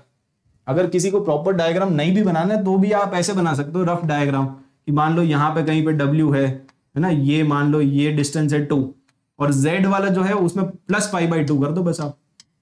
इसका जो भी एंगल है, ठीक है? मान लो इसका जो भी एंगल है थीटा तो theta plus pi by two तो बस दोनों के बीच में 90 डिग्री एंगल होगा। तो आपको चमक गया कि राइट एंगल ट्राइंगल है। अगर राइट एंगल ट्राइंगल है तो ये वाली ये वाली साइड है वन बाई टू और ये वाली साइड है two half into base into height तो वैसे ही आप मतलब दिमाग में कर सकते हो। प्रॉपर डायग्राम बनाने की ज़रूरत भी नहीं है। यस चमका। कितने लोगों को चमक गया? अरे, चमका की नहीं? One by two is the answer yes option b is the answer for this question तो ये जेई मेन 2021 का, है ना? सिंपल सा क्वेश्चन आपको क्लियर हो गया। और आगे बढ़ते हैं। अब बात करते हैं रिप्रेजेंटेशन ऑफ़ कॉम्प्लेक्स नंबर्स की। तो रिप्रेजेंट कैसे कर सकते हैं हम? कॉम्प्लेक्स नंबर्स को हम अलग अलग फॉर्मेट में रिप्रेजेंट कर सकते हैं। ओके तो मेनली यहाँ पे चार बेसिक फॉर्मेट है। पहला है कार्टिशन फॉर्म दूसरा है पोलर फॉर्म जिसको हम ट्रिग्नोमेट्रिक फॉर्म भी बोलते हैं। तीसरा यूलर फॉर्म या एक्सपोनेंशियल फॉर्म भी बोलते हैं इसको। Okay exponential form okay exponential form भी बोलते हैं, या फिर वेक्टर फॉर्म तो ये चारों के चारों अपने को पढ़ने हैं Cartesian form polar form Euler form और वेक्टर फॉर्म ठीक है तो एक एक करके पढ़ते हैं। तो ये वाला जो फॉर्मेट आपने पढ़ा है एक्स प्लस आई वाई इसी को बोलते हैं कार्टिशियन फॉर्म मतलब अगर कोई भी कॉम्प्लेक्स नंबर आपको इस फॉर्मेट में गिवन है है ना? लेट से थ्री प्लस टू आयोटा अगर इस फॉर्मेट में आपको गिवन है तो इसी को हम बोलते हैं कार्टिशियन फॉर्म ठीक है? तो कार्टिशियन फॉर्म तो आप ऑलरेडी आपने पढ़ी रखा है है ना? X plus i y that is Cartesian form अच्छा कार्टिशियन फॉर्म से आगे बढ़ते हैं। सेकंड अपना ट्रिग्नोमेट्रिक फॉर्म या पोलर फॉर्म तो अगर किसी भी कॉम्प्लेक्स नंबर को इसको ध्यान से सुनना है, ठीक है? यहाँ तक तो बहुत बेसिक था बिल्कुल ये आपने जो पढ़ रखा था वही कार्टिशियन फॉर्म था, नाम है बस। ठीक है, इसमें आप देखो, अगर कोई भी एक कॉम्प्लेक्स नंबर है, उसको रिप्रेजेंट करना है पोलर फॉर्म में या ट्रिग्नोमेट्रिक फॉर्म में तो उसका बेसिक फॉर्मेट ये होता है r into cos theta plus iota sine theta यहाँ पे आर क्या है? यहाँ पे r is the modulus of z r is the modulus of z and theta is the argument of z argument मतलब बेसिकली आप यहाँ पे प्रिंसिपल आर्ग्यूमेंट को ले सकते हो। ठीक है? You can take principal argument तो basically r into cos theta plus iota sine theta जैसे फॉर एग्ज़ाम्पल एक एग्ज़ाम्पल ले लेते हैं ताकि सबको क्लियर हो जाए। लेट से फॉर एग्ज़ाम्पल मैं आपको जेड दे दूँगा कार्टिशियन फॉर्म में। आप उसको कन्वर्ट कर दो पोलर फॉर्म में। Like for example let's say हमारे पास है वन माइनस आयोटा ले लो आप। Okay one minus iota one minus iota एक कॉम्प्लेक्स नंबर है। ये कॉम्प्लेक्स नंबर है कार्टिशियन फॉर्म में, क्योंकि ये तो x plus i y form है। इसको कन्वर्ट करना है पोलर फॉर्म में। तो पोलर फॉर्म में कन्वर्ट करने के लिए आपको दो चीज़ें निकालनी पड़ेगी। एक आपको निकालना पड़ेगा मॉड्यूलस ऑफ़ जेड और एक आपको निकालना पड़ेगा आर्ग्यूमेंट ऑफ़ जेड ये दोनों चीज़ें निकालो, है ना? तो मॉड्यूलस ऑफ़ जेड कैसे निकालते हैं? तो under root of one square plus one square आ जाएगा। तो इसका वैल्यू तो रूट टू आ गया। ये क्लियर है क्या? Modulus of z modulus of z क्या होता है? Under root of x square plus y square ना? तो एक्स का वैल्यू वन है और वाई का वैल्यू माइनस वन है। तो one square plus one square ही लिख दो आप तो। या one square plus minus one square लिख दो। एक ही बात है, ठीक है? अल्टीमेटली तो एक ही बात है तो रूट टू आएगा। आर्ग्यूमेंट कैसे निकालते हैं? आर्ग्यूमेंट निकालने का वो तीन स्टेप का मेथड है ना अपना तो वो लगा दो बस प्रिंसिपल आर्ग्यूमेंट आपको निकालना है। तो पहला स्टेप क्या होता है? तो आर्ग्यूमेंट निकालने के लिए पहला स्टेप होता है, आप टेन अल्फ़ा निकालोगे। तो टेन अल्फ़ा कितना आएगा? टेन अल्फ़ा आएगा mod of b by a ठीक है? तो mod of b by a तो बी का वैल्यू माइनस वन है और ए का वैल्यू वन अल्टीमेटली वन आ रहा है। तो अल्फ़ा का वैल्यू कितना दिख गया? फाइव बाई फोर दिख गया सबको। सेकेंड स्टेप में क्या करेंगे? क्वाड्रेंट तो कौन सा क्वाड्रेंट है? वन कॉमा माइनस वन है। तो x positive y negative fourth quadrant अगर फोर्थ क्वाड्रेंट है तो प्रिंसिपल आर्ग्यूमेंट क्या आएगा? तो प्रिंसिपल आर्ग्यूमेंट निकल के आएगा माइनस अल्फ़ा तो माइनस फाइव बाई फोर आ गया। तो ये आपका प्रिंसिपल आर्ग्यूमेंट आ गया। तो अगर इसी कॉम्प्लेक्स नंबर को तो फाइनल आंसर क्या आएगा? ये वाला जो कॉम्प्लेक्स नंबर है वन माइनस आयोटा इसी को रिप्रेजेंट करना है अगर पोलर फॉर्म में। तो पोलर फॉर्म में इसका आंसर आ जाएगा रूट टू और यहाँ पे आप लिख सकते हो कॉस थीटा और थीटा कितना है? Minus five by four okay cos theta plus iota sine theta और इसका वैल्यू मतलब मज़े की बात यह है कि इसका वैल्यू अगर आप निकालोगे ना तो यही आ रहा होगा आप चेक करो। है ना? अगर आप ये सब, सबका वैल्यू सब्सटीट्यूट करोगे cos minus five by four और sine minus five by four और पूरा सिंप्लीफाई करोगे तो अल्टीमेटली वो वन माइनस आयोटा ही बन रहा होगा। है ना? वो अल्टीमेटली वन माइनस आयोटा ही तो वन माइनस आयोटा को ही थोड़ा एक अलग स्टाइल से लिखा हुआ है। लिखने का स्टाइल है बस। समझ गए? ये लिखने का स्टाइल है और हाँ एक और चीज़ मैं आपको बताता हूँ। ये जो cos theta plus iota sine theta होता है ना उसको लिखने का भी एक शॉर्ट फॉर्म होता है जिसको हम बोलते हैं सी आई एस ये सी आई एस एक शॉर्ट शॉर्ट फॉर्म है बेसिकली इसको लिखने का। इसका मतलब होता है cos theta plus iota sine theta तो आप आ, अगर आप ये लेंदी मतलब आप मान लो थोड़े आलसी हो आपको ये पूरा नहीं लिखना है cos theta plus iota sine theta तो आप इसको सिंपल ऐसे लिख सकते हो सी आई एस और ब्रैकेट में थीटा तो थीटा का वैल्यू आप ब्रैकेट में सप्लाई कर दो तो ये भी वही है मतलब। अल्टीमेटली इसका भी मतलब वही है। तो अगर आपको किसी बुक में या किसी क्वेश्चन में ऐसा दिखाई दे सी आई एस इसका सिंपल मतलब होता है cos theta plus iota sine theta और ब्रैकेट में जो है वो थीटा है बेसिकली ठीक है? सी आई एस सिस और ट्रांस ठीक है? चमक गया होगा मेरे ख्याल से। तो सिंपल है ना ये? आप पोलर फॉर्म में कन्वर्ट कर लोगे। अगर कोई भी कॉम्प्लेक्स नंबर आपको कार्टिशियन फॉर्म में गिवन है तो पोलर फॉर्म में कन्वर्ट कर सकते हैं। सिमिलरली अगला वाला अपना जो है दैट इज़ यूलर फॉर्म या एक्सपोनेंशियल फॉर्म तो एक्सपोनेंशियल फॉर्म में या यूलर फॉर्म में कैसे कन्वर्ट करते तो उसका बेसिक फॉर्मेट ये होता है।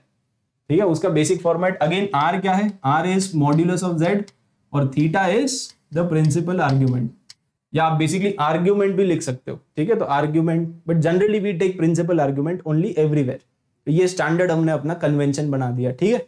तो थीटा की जगह आप प्रिंसिपल आर्ग्यूमेंट ले लो। जैसे सिमिलरली ये वाला जो कॉम्प्लेक्स नंबर था, यही वाला एग्ज़ाम्पल आप फिर से ले लो। है ना? यही वाला एग्ज़ाम्पल अगर आप फिर से ले लोगे तो इसमें हमने क्या क्या निकाला था? इसमें मॉड्यूलस ऑफ़ जेड हमने निकाला था रूट टू और आर्ग्यूमेंट कितना निकाला था? माइनस फाइव बाई फोर तो इसको आप रिप्रेजेंट करो ये वाले फॉर्मेट में। तो ये वाले फॉर्मेट में रिप्रेजेंट करेंगे तो ये आएगा आर इंटू ई की पावर आयोटा थीटा और थीटा का वैल्यू है माइनस फाइव बाई फोर तो बस ये। तो ये आपका एक्सपोनेंशियल फॉर्म आ गया। समझिए एक्सपोनेंशियल फॉर्म में कैसे रिप्रेजेंट करते हैं? बस आर निकाल लो थीटा निकाल लो सब्सटीट्यूट कर दो। आर और थीटा आपको निकालना पड़ेगा।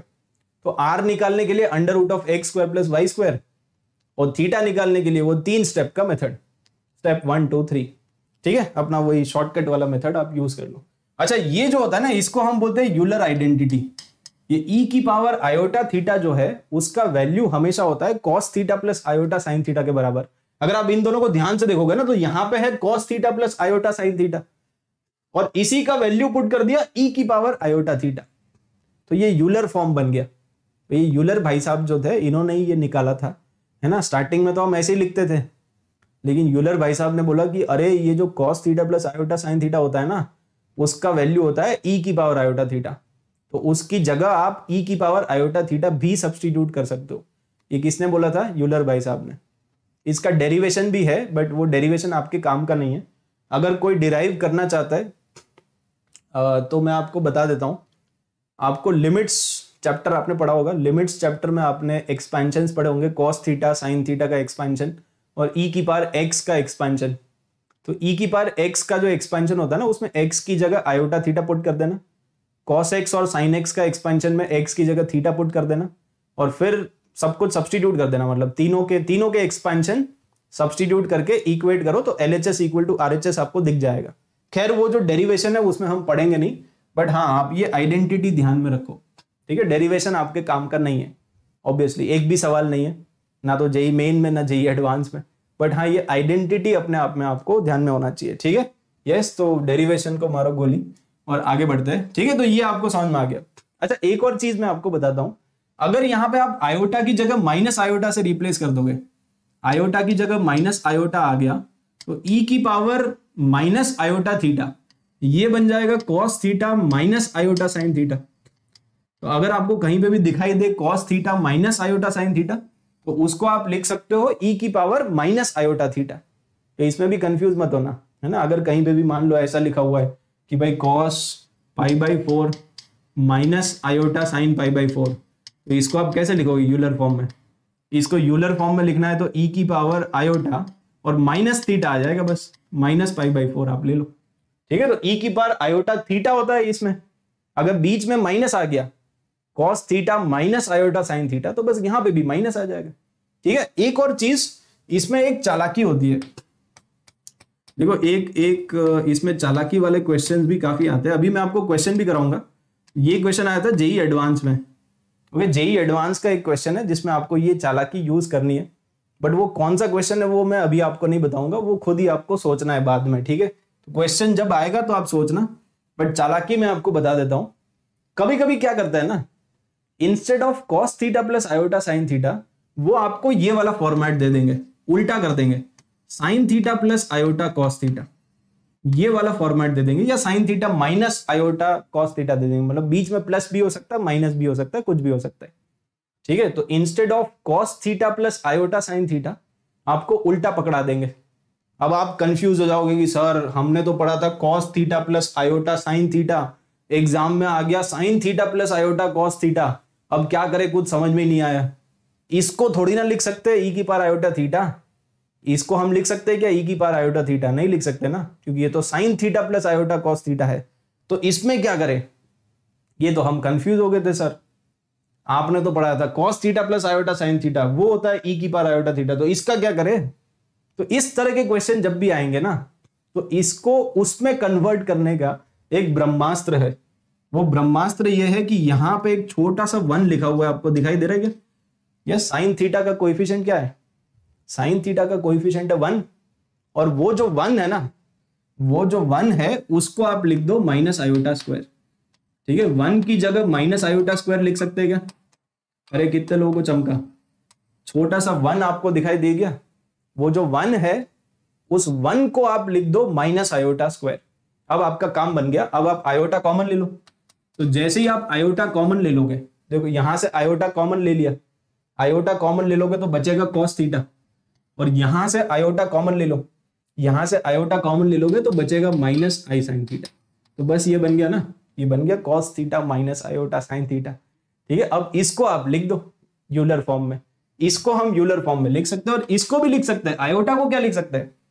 आयोटा को भी आप कन्वर्ट कर सकते हो ना। यूलर फॉर्म में कैसे कन्वर्ट करेंगे आयोटा को? आयोटा को ऐसे कन्वर्ट करेंगे। आयोटा का क्या मतलब? आयोटा का मतलब ज़ीरो प्लस वन आयोटा यही तो होता है। तो इसका मॉड्यूलस निकालो, इसका आर्ग्यूमेंट निकालो। इसका मॉड्यूलस कितना आएगा? What will be the modulus of z ये आयोटा का मॉड्यूलस कितना आएगा? Under root of zero square plus one square तो ये तो वन आएगा। और प्रिंसिपल आर्ग्यूमेंट कितना आएगा इसका? इसका प्रिंसिपल आर्ग्यूमेंट ये पॉइंट है ज़ीरो कॉमा वन और ज़ीरो कॉमा वन कहाँ पे पाया जाएगा? यहाँ पे ना। अगर ज़ीरो कॉमा वन यहाँ पे है तो एंगल कितना बनेगा? पाई बाई टू यस तो इसका जो आर्ग्यूमेंट आएगा, वो पाई बाई टू आएगा। तो बेसिकली आयोटा को मैं यूलर फॉर्म में कैसे लिख सकता हूँ? ये चमका, अगर आपको आयोटा को लिखना है आयोटा को लिखना है यूलर फॉर्म में तो उसका आर का वैल्यू कितना है? यहाँ पे जो आर होता है r is modulus of z तो मॉड्यूलस ऑफ़ जेड का वैल्यू वन है, ठीक है? तो आर इंटू ई की पावर आयोटा थीटा और थीटा का वैल्यू है पाई बाई टू तो ये आ गया दिस इज़ आयोटा है ना? और इसको आप वैसे भी सोच सकते हो मतलब ई की power iota pi by two लिखा हुआ है। तो ये बन जाएगा कॉस पाई बाई टू जो कि ज़ीरो होता है है ना? तो cos pi by two zero और plus iota sine pi by two sine pi by two होता है वन चमक गया ना? तो आयोटा को आप ऐसे लिख सकते हो। दिस इज़ आयोटा और ये क्या बन जाएगा? तो आयोटा की जगह आप लिख लो ई की power iota pi by two ठीक है? ये बेसिकली आयोटा को हमने रिप्रेजेंट कर दिया यूलर फॉर्म में। अगर आयोटा को यूलर फॉर्म में रिप्रेजेंट करोगे तो ये आएगा। This is iota in Euler form ठीक है? एंड मल्टीप्लाइड बाई ई की पावर ये बन जाएगा माइनस आयोटा थीटा अब दोनों को आप क्लब कर सकते हो, है? दोनों को क्लब कर लेंगे। तो बेसिकली आयोटा और pi by two minus theta चमक गया होगा मेरे ख्याल से? ठीक है तो ये ब्रह्मास्त्र आपको समझ में आया? ऐसे क्वेश्चन आएँगे, जिसमें आपको क्या करेंगे? Sine theta plus iota cos theta या साइन थीटा माइनस भी हो सकता है। है ना? अगर यहाँ पे माइनस होगा तो यहाँ पे माइनस आएगा, फिर यहाँ पे प्लस आ जाएगा। तो वो आप एडजस्ट कर लेना बट बेसिकली प्लस या माइनस अगर उल्टा है sine theta plus iota cos theta है तो आप जो साइन थीटा का कोइफिशिएंट है उसमें माइनस आयोटा स्क्वायर लिख दो और फिर कॉमन ले लो। दैट इज़ द बेस्ट चालाकी दैट यू कैन डू ठीक है? समझ में आ गया? यस yes, और लास्ट अपना जो फॉर्मेट है दैट इज़ वेक्टर फॉर्म और ये जो वेक्टर फॉर्म है ना इसके एप्लीकेशन बहुत ज़्यादा है। वेक्टर uh, फॉर्म अपने आप में बहुत ही जिंदी है। मतलब अगर कोई भी कॉम्प्लेक्स नंबर है जेड है ना? उसको आप वेक्टर की तरह भी ट्रीट कर सकते हो। Two dimensional vector three dimensional नहीं ओनली टू डायमेंशनल वेक्टर अगर कोई भी एक कॉम्प्लेक्स नंबर है थ्री प्लस टू आयोटा तो उसको आप वेक्टर फॉर्म में भी लिख सकते हो। Three i cap plus two j cap इस तरह से। मतलब बेसिकली किसी भी कॉम्प्लेक्स नंबर को आप ट्रीट कर सकते हो एज अ वेक्टर तो जो भी आपने वेक्टर्स में पढ़ा है ना, जैसे वेक्टर लॉ ऑफ़ एडिशन होता है, वो सारी चीज़ें आप कॉम्प्लेक्स नंबर में भी लगा सकते हो। ठीक है तो complex numbers are nothing but it is a two dimensional vector इसमें कोई के कैप वाला कॉम्पोनेंट नहीं आता कभी भी। बस आई कैप आएगा जे कैप आएगा। कभी भी के कैप नहीं आता है। ओके तो complex numbers are nothing but two D vectors two dimensional vectors समझ गए? यस अच्छा ब्रेक ओके चलो ब्रेक भी लेंगे है ना? अभी थोड़ी देर में ब्रेक लेते हैं। एक बार देख लेते हैं इसके बाद आ, अगला टॉपिक है अपना which is locus of Z ठीक है? तो लोकस ऑफ़ जेड से अपने को स्टार्ट करना है है ना? चलो एक एक यहीं पे ब्रेक ले लेते हैं। आई थिंक ऑलरेडी चार तो बज गए। तो लेटेस्ट टेक अ ब्रेक एक छोटा सा ब्रेक ले लेते हैं। लोकस ऑफ़ जेड से हम बाद में स्टार्ट करेंगे ठीक है? चलो ले लो ब्रेक ले लो। फाइन यहीं पे एक ब्रेक लगा देते हैं। अपना वही स्टैंडर्ड ब्रेक ठीक है? तो कोई बार्गेनिंग अलाउड नहीं है। आ, हाँ। अपना वही 25 मिनट का स्टैंडर्ड ब्रेक रख लेते हैं। ओके चलो तो मिलते हैं, ठीक है?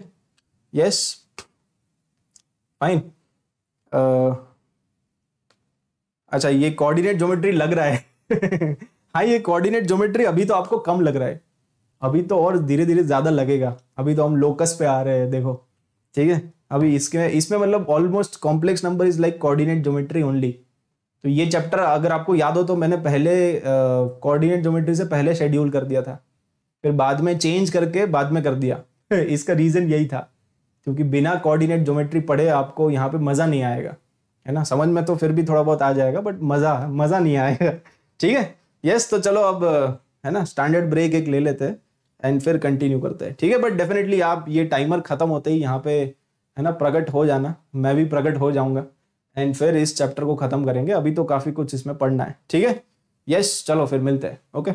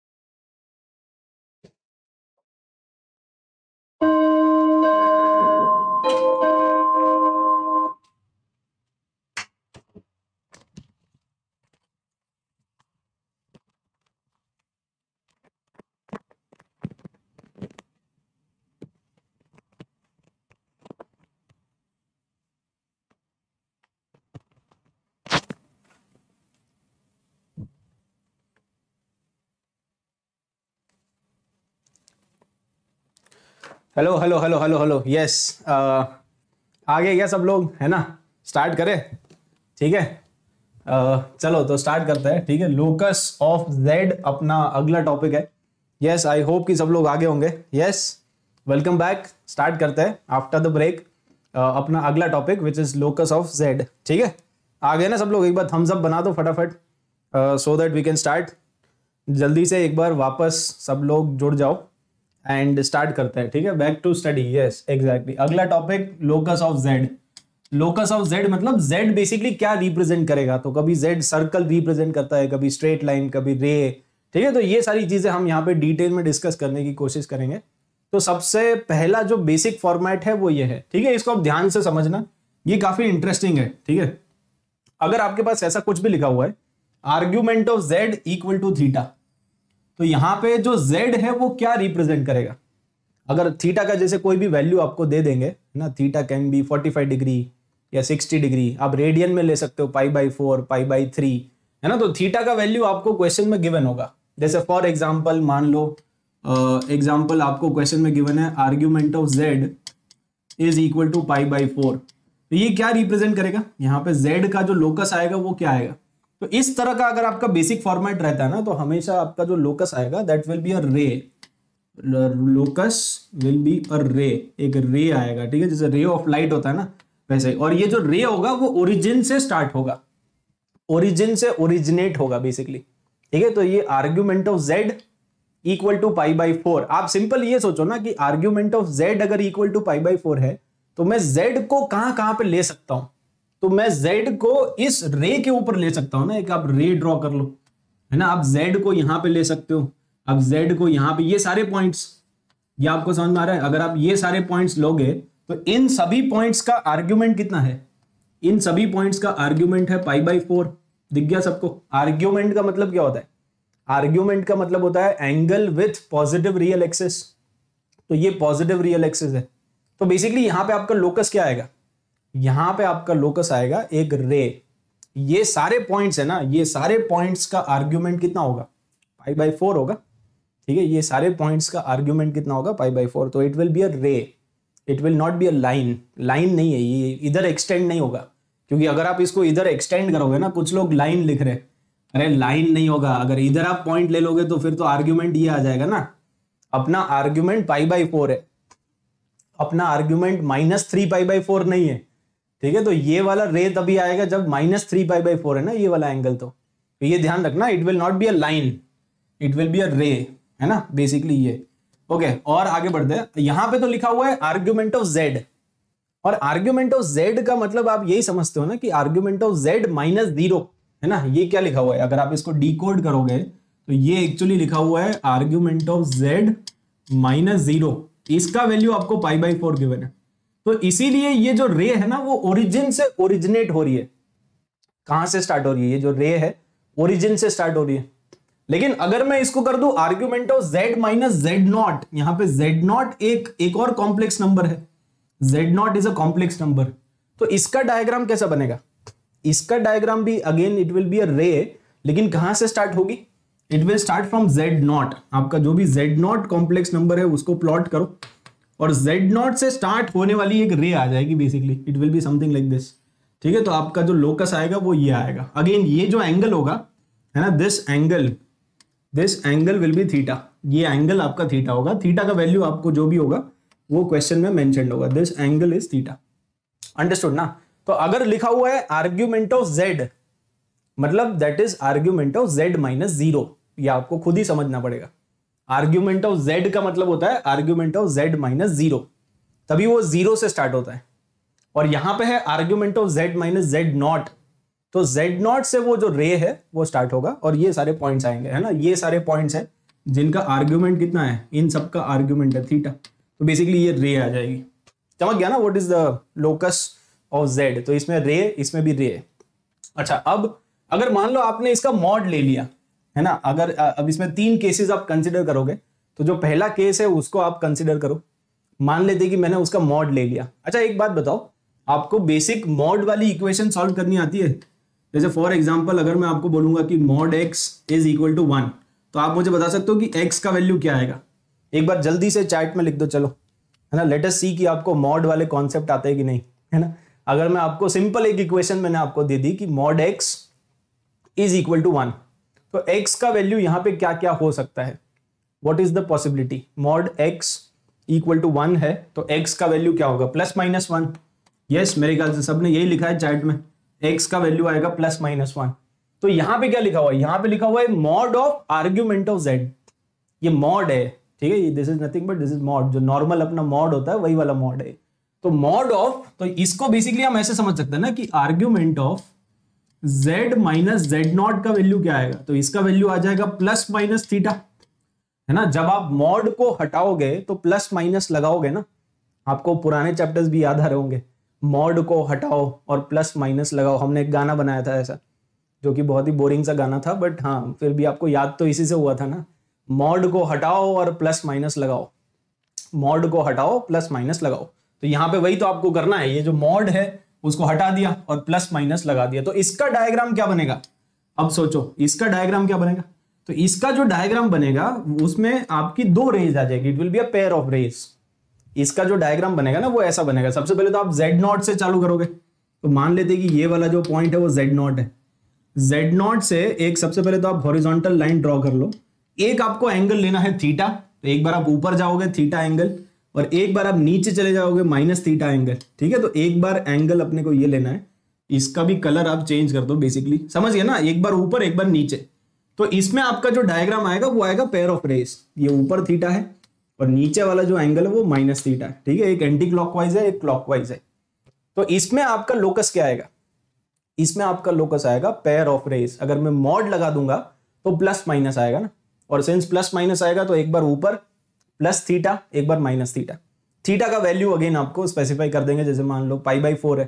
तो एक बार आपको लेना है प्लस पाई बाई फोर एक बार आपको लेना है माइनस पाई बाई फोर ठीक है सिमिलरली ये जो दूसरी वाली इक्वेशन है, इसका डायग्राम क्या बनेगा? इसमें लिखा हुआ है mod of something something less than equal to theta तो अब मुझे आप ये बताओ कि अगर मैं इसी को ऐसे कर दूँ, है ना, अगेन बेसिक्स पे चले जाओ अब तो बेसिक्स क्या कहता है? अगर मैं इसको ऐसे लिख दूँ तो एक्स का वैल्यू किसके किसके बीच में होगा?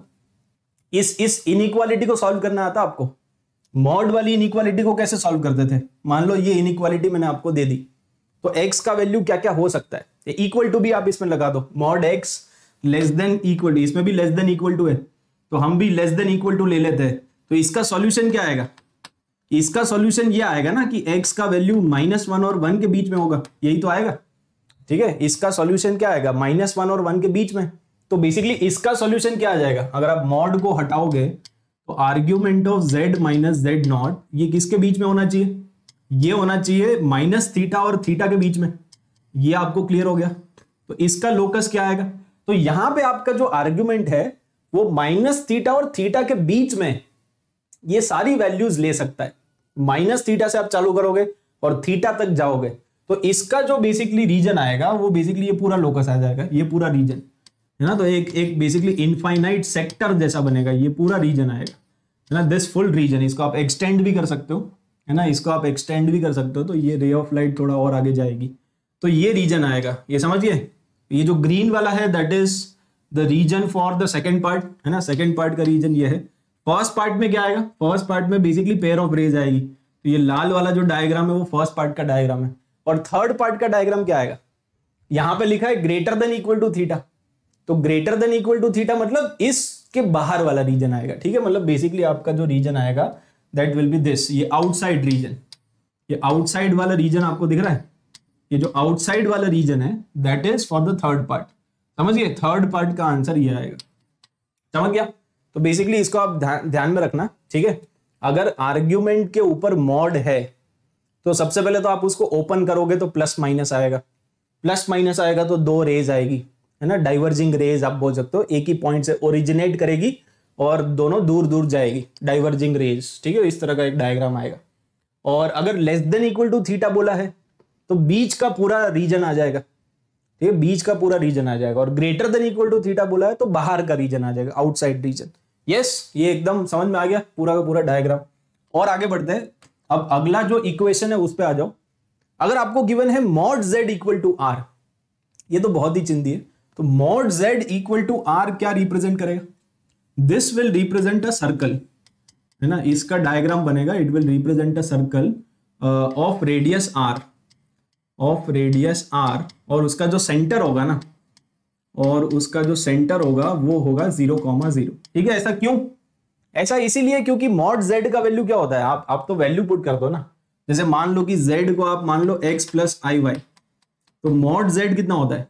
मॉड जेड होता है under root of x square plus y square and this is equal to R तो यहाँ से आपके पास आ गया ना x square plus y square equal to R square तो ये किसकी इक्वेशन है? This is the equation of circle है ना? It is nothing but it is the equation of circle जिसका सेंटर है ज़ीरो कॉमा ज़ीरो और उसका रेडियस है आर यस yes, ये चमका? अच्छा लैग आ गया क्या बीच में? ओहो एक सेकेंड अभी तो सही चल रहा है आई गेस अच्छा छोटा सा लैग आ गया होगा बीच में, कोई नहीं बड़े बड़े देशों में छोटी मोटी बातें तो चलती रहती है। फाइन छोटा मोटा लैग है, चला गया। ये समझ में आ गया? It will represent a it will represent a circle जिसका रेडियस आर है, और इसको भी अगर आप ध्यान से देखोगे ना तो ये भी लिखा हुआ है जेड माइनस ज़ीरो है ना? Z minus zero equal to R है। तभी इसका जो सेंटर है ना, तभी इसका जो सेंटर है वो ओरिजिन है। तभी इसका सेंटर है ओरिजिन और इसका रेडियस है आर समझ गया? तो अगर मैं ज़ीरो की जगह z नॉट अगर मैं कर दू, है ना? इंस्टेड ऑफ़ ज़ीरो अगर मैं ऐसा कर दू let say for example modulus of z minus Z naught equal to R तो ये क्या रिप्रेजेंट करेगा?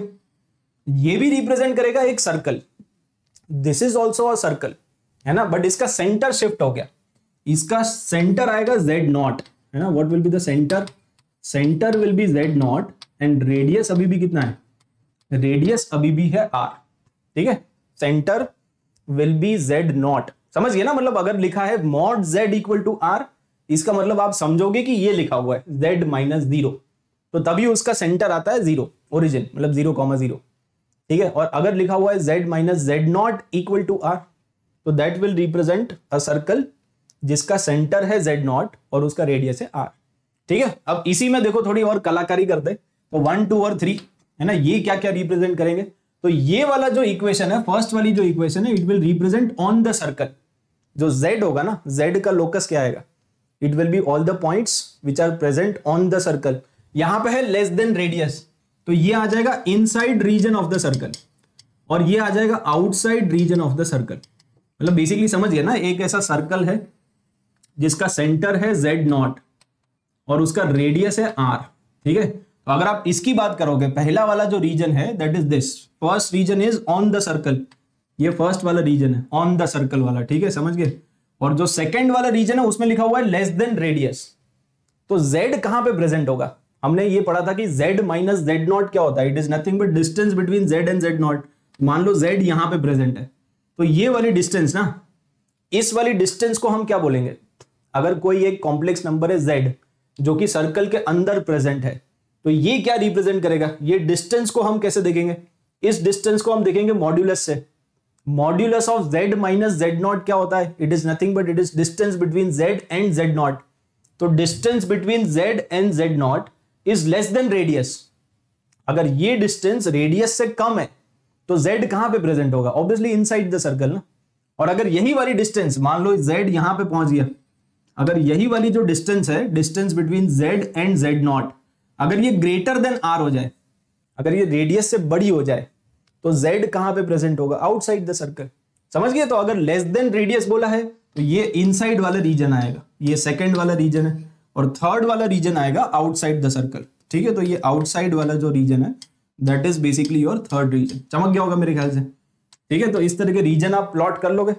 ये रीजन प्लॉट करने वाले भी काफ़ी सारे क्वेश्चन जेई में आते हैं। ठीक है? तो अब जेई वाला क्वेश्चन ही कर लेते हैं।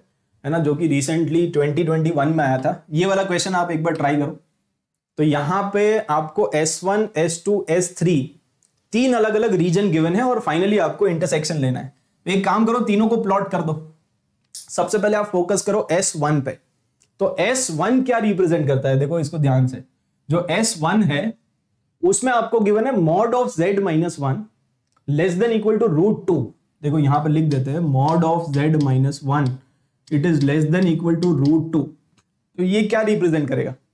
It will represent a circle ये z minus z naught less than equal to r है। है ना? तो इसका लोकस आएगा inside the circle inside the circle and on the circle भी आएगा क्योंकि इक्वल टू भी है। ठीक है? तो on the circle and plus inside the circle तो ये उसका लोकस आएगा। और वो जो सर्कल है, उसका सेंटर क्या होगा? सेंटर ये होता है ना हमेशा। z माइनस जेड नॉट तो z नॉट का वैल्यू क्या है? आप कंपेयर कर लो ना, z माइनस जेड नॉट तो z नॉट का वैल्यू वन है। दिख गया सबको? Z नॉट का वैल्यू वन है। वन मतलब वन प्लस आयोटा ज़ीरो मतलब इसका सेंटर होगा वन कॉमा ज़ीरो गया? इसका जो सेंटर होगा, वो होगा वन कॉमा ज़ीरो और रेडियस कितना होगा? रेडियस ये होगा आर ठीक है? So radius is root two तो इसका डायग्राम कैसा बनेगा? इसका डायग्राम आप बना लो। तो जो S1 है, उसका डायग्राम यहाँ पे बना लेते हैं। ठीक है? तो बेसिकली ये इमेजिनरी एक्सेस, ये रियल एक्सेस और अपना जो सेंटर है, वो है वन कॉमा ज़ीरो पे।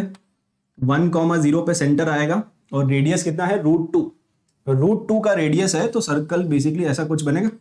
ठीक है? इस तरह का डायग्राम आ जाएगा। This point is one comma zero चमक गया होगा मेरे ख्याल से। एक सर्कल आप ड्रॉ कर लो। और ये जो सर्कल है, उसका रेडियस है रूट टू तो सिंस रेडियस रूट टू है है ना तो ये बेसिकली इससे बाहर चला जाएगा ना, ये डिस्टेंस रूट टू है। और यहाँ तक ये तो ओरिजिन है। यस तो चमक गया होगा सर्कल थोड़ा सा ऐसे बाहर चला जाएगा। तो one comma zero is the centre radius उसका है रूट टू और ये एस वन क्या रिप्रेजेंट करता है? एस वन रिप्रेजेंट करता है ऑन द सर्कल या फिर इन साइड द सर्कल क्योंकि लेस देन इक्वल टू है। लेस देन भी है और इक्वल टू भी है तो on the circle inside the circle ये दोनों ही आएँगे, ठीक है? अच्छा दूसरा वाला रीजन कौन सा है?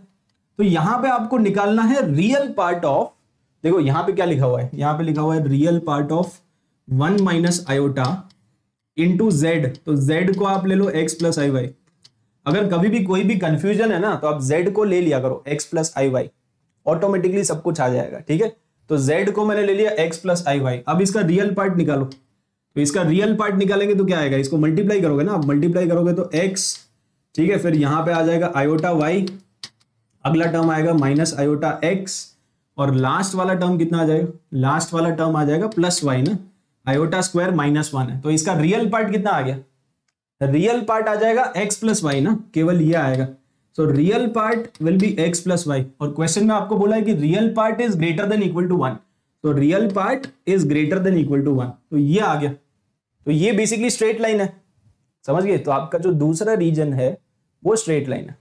और वो कौन सी स्ट्रेट लाइन है? X plus y equal to one तो पहले तो आप x plus y equal to one को प्लॉट कर लो। अगर x plus y equal to one को प्लॉट करेंगे तो वो स्ट्रेट लाइन ऐसी बनेगी, है ना? वो इससे पास करेगी और इससे भी पास करेगी। ये वाला पॉइंट बेसिकली आपका है ज़ीरो कॉमा वन तो दोनों से पास करेगी ना? Straight line will be something like this ये स्ट्रेट लाइन बनेगी। यस और नो ये वाली जो स्ट्रेट लाइन है, ये है x plus y equal to one तो आपका रीजन कौन सा आएगा? अपने को चाहिए x plus y greater than equal to one तो greater than equal to one मतलब इस लाइन के ऊपर वाला रीजन कि नीचे वाला रीजन वो आपको चेक करना पड़ेगा। वो कैसे चेक करते हैं, सबको आता है क्या? अगर x plus y greater than equal to one बोला है, आप उसमें ओरिजिन को पुट करो। ज़ीरो कॉमा ज़ीरो को पुट कर दिया करो। ठीक है तो ज़ीरो कॉमा ज़ीरो को पुट करेंगे तो सेटिस्फाई कर रहा है क्या? ये तो zero greater than equal to one आ रहा है। और ये क्या होता है? ये तो फॉल्स होता है। ठीक है तो ये फॉल्स आ रहा है। मतलब सेटिस्फाई नहीं कर रहा है। अगर सेटिस्फाई नहीं कर रहा है तो ओरिजिन कंटेनिंग वाला रीजन नहीं आएगा। ओरिजिन यहाँ पे प्रेजेंट है ना। तो नीचे वाला रीजन नहीं आएगा, क्योंकि ओरिजिन सेटिस्फाई नहीं कर रहा है। सिंस यहाँ पे ओरिजिन सेटिस्फाई नहीं कर रहा है तो नीचे वाला रीजन नहीं आएगा तो कौन सा वाला रीजन आएगा? ऊपर वाला रीजन आएगा। ठीक है? तो इस लाइन के ऊपर वाला region that is S two ठीक है? तो मैं यहाँ पे शेड नहीं कर रहा हूँ बट आपको क्लियर है ना, इस लाइन के ऊपर वाला पूरा रीजन और एस वन क्या है? एस वन है inside the circle on the circle और एस थ्री क्या है? देखो तो एस थ्री में बोला है imaginary part of z is less than equal to one imaginary part of z क्या होता है? जेड है एक्स प्लस आई वाई तो imaginary part of z will be y ना? तो imaginary part of z is y and that is less than equal to one तो y less than equal to one इसको plot करो। तो y less than equal to one वो ऐसा बनेगा, है ना? It will be this line again एक स्ट्रेट लाइन है which is y equal to one और वाई इक्वल टू वन के नीचे वाला रीजन ना? इसके नीचे वाला रीजन है ना? क्योंकि आपको क्वेश्चन में बोला है कि y less than equal to one तो अल्टीमेटली इंटरसेक्शन क्या आ जाएगा? आपका जो एस वन है, वो इनसाइड द सर्कल है है ना? तो इनसाइड द सर्कल होना चाहिए, इस लाइन के ऊपर होना चाहिए और इस लाइन के नीचे होना चाहिए। तो बेसिकली आपका कॉमन रीजन क्या आ गया? तो कॉमन रीजन ये आ गया ना? This is the common region ये पूरा कॉमन रीजन आ जाएगा। और अगर ये पूरा कॉमन रीजन है तो बेसिकली आपको यही बताना था कि भाई ये सिंगलटन सेट है या इसमें एग्जैक्टली exactly दो एलिमेंट है। या इनफाइनाइट एलिमेंट है। तो बहुत सारे पॉइंट्स है ना इस रीजन में तो। इस रीजन में कितने पॉइंट है? इनफाइनाइट हज़ारों, लाखों, है ना? बहुत सारे पॉइंट्स है। तो बेसिकली इसका आंसर आएगा इनफाइनाइट ठीक है? तो आपका जो कॉमन रीजन है, उसमें कितने पॉइंट्स आ रहे हैं? बस यही पूछा था। कॉमन रीजन बहुत बड़ा आ रहा है। तो बेसिकली बहुत सारे पॉइंट ऑफ़ इंटरसेक्शन है। चमक गया? Yes yes. इस तरह के क्वेश्चन कर लोगे? है ना? कौन क्या रिप्रेजेंट करता है? यही आपको प्लॉट ही तो करना है। तो आप z को ले लिया करो, x प्लस आई वाई और बाकी कुछ स्टैंडर्ड इक्वेशन है। जैसे सर्कल की हो गई, जैसे रे की हो गई आर्ग्यूमेंट वाले हमने पढ़े थे। ठीक है तो उस तरह की इक्वेशन आपको यहाँ पे दे सकते हैं। फाइन और आगे बढ़ते हैं, चलो।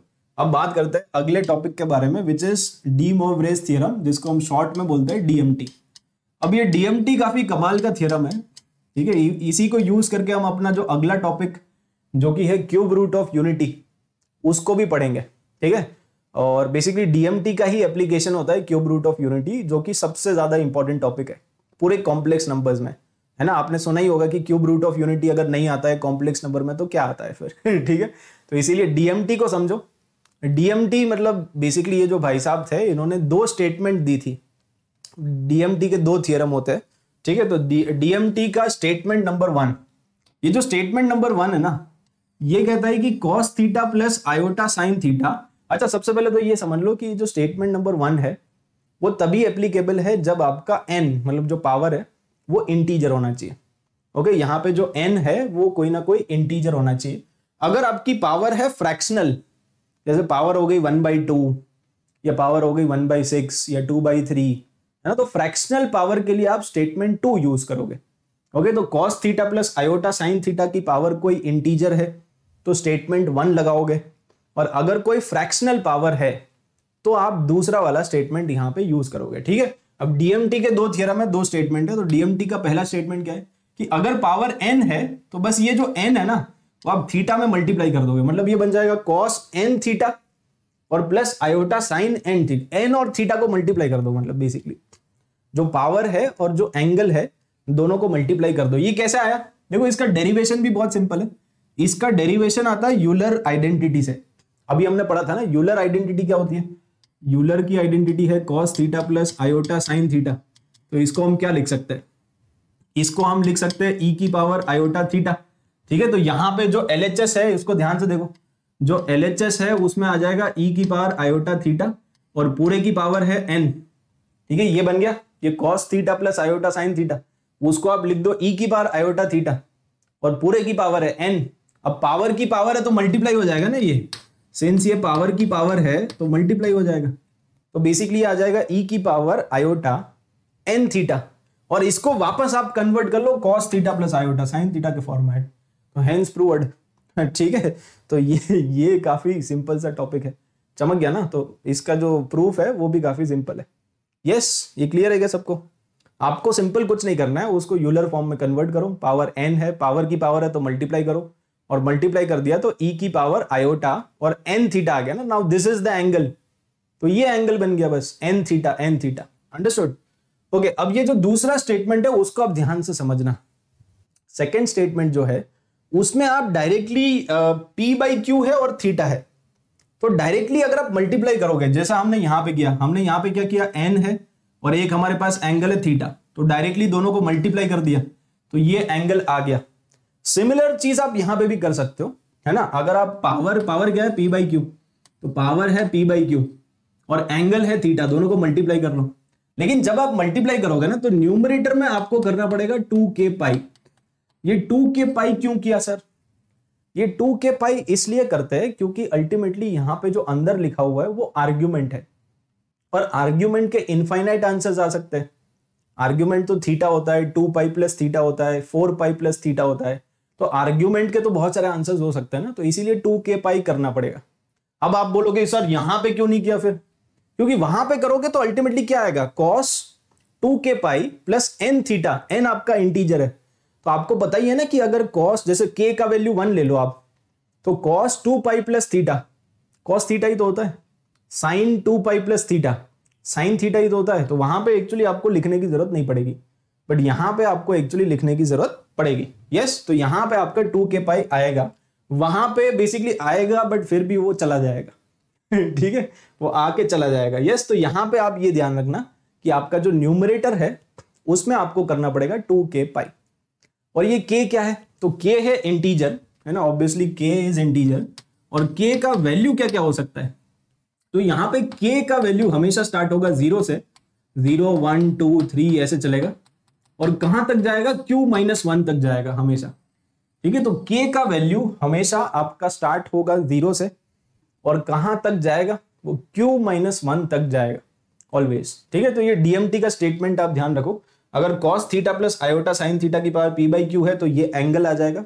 ओके एंगल कैसे निकाला? वो क्लियर है क्या? पी बाई क्यू और थीटा मल्टीप्लाई कर दिया।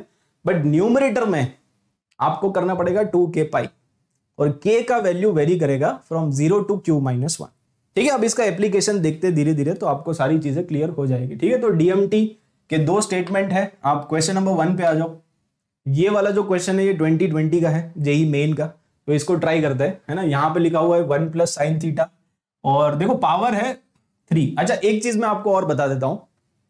कॉम्प्लेक्स नंबर्स में ये स्टेटमेंट ध्यान रखना, ठीक है?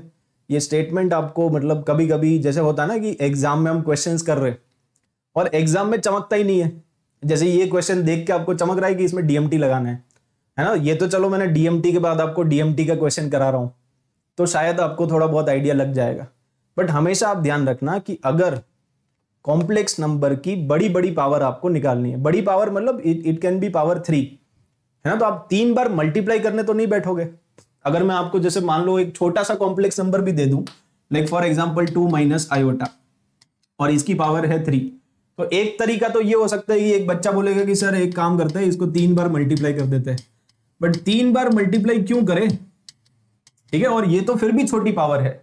अगर मान लो कल को आ गया कि टू माइनस आयोटा की पावर फाइव या टू माइनस आयोटा की पावर हंड्रेड या टू माइनस आयोटा की पावर टू हंड्रेड तो जब भी बड़ी बड़ी पावर्स है तो वहाँ पे आपके दिमाग में तुरंत चमकना चाहिए कि डीएमटी का सवाल है। है ना? कॉम्प्लेक्स नंबर की बड़ी बड़ी पावर पूछी है। That means it is a question of DMT और कोई पूरे चैप्टर में कोई थियरम ही नहीं है जो आप लगा सकते हो। अगर कॉम्प्लेक्स नंबर की फ्रैक्शनल पावर या बड़ी बड़ी पावर तो ये आप लिख लो मतलब है ना? ये काफ़ी इंपॉर्टेंट है। अगर कोई भी एक कॉम्प्लेक्स नंबर है, उसकी बड़ी बड़ी पावर्स आपको निकालनी है, या फिर कॉम्प्लेक्स नंबर की फ्रैक्शनल पावर्स आपको निकालनी है। ठीक है? फ्रैक्शनल पावर्स या बड़ी बड़ी पावर्स तो आप क्या यूज़ करोगे? आप लगाओगे डीएमटी जो डीएमटी बाबा, उसको याद कर लेना। डीएमटी के दो थियरम है स्टेटमेंट वन और स्टेटमेंट टू ये जो बड़ी बड़ी पावर है, वो अगर इंटीजर है तो आप पहला वाला स्टेटमेंट यूज़ करोगे। और फ्रैक्शनल पावर में आप सेकेंड वाला जो थियरम है, उसको यूज़ कर लेंगे। ठीक है?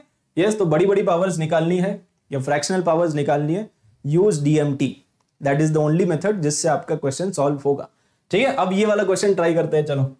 तो इस वाले क्वेश्चन को ट्राई करने के लिए यहाँ पे लिखा है वन प्लस साइन थीटा और प्लस आयोटा कॉस थीटा नीचे भी है वन प्लस साइन थीटा अब वन प्लस साइन थीटा का कोई एस सच फॉर्मूला होता नहीं है। ना ट्रिग्नोमेट्री में मतलब अगर मैं चाहूँ कि इसको सिंप्लीफाई कर ले, इसको सिंप्लीफाई करना पॉसिबल है क्या? इसको सिंप्लीफाई करना पॉसिबल नहीं है। बट अगर वो जो वन प्लस साइन थीटा है अगर वो वन प्लस कॉस थीटा में कन्वर्ट हो जाए तो वन प्लस कॉस थीटा का फॉर्मूला आपने को पता है?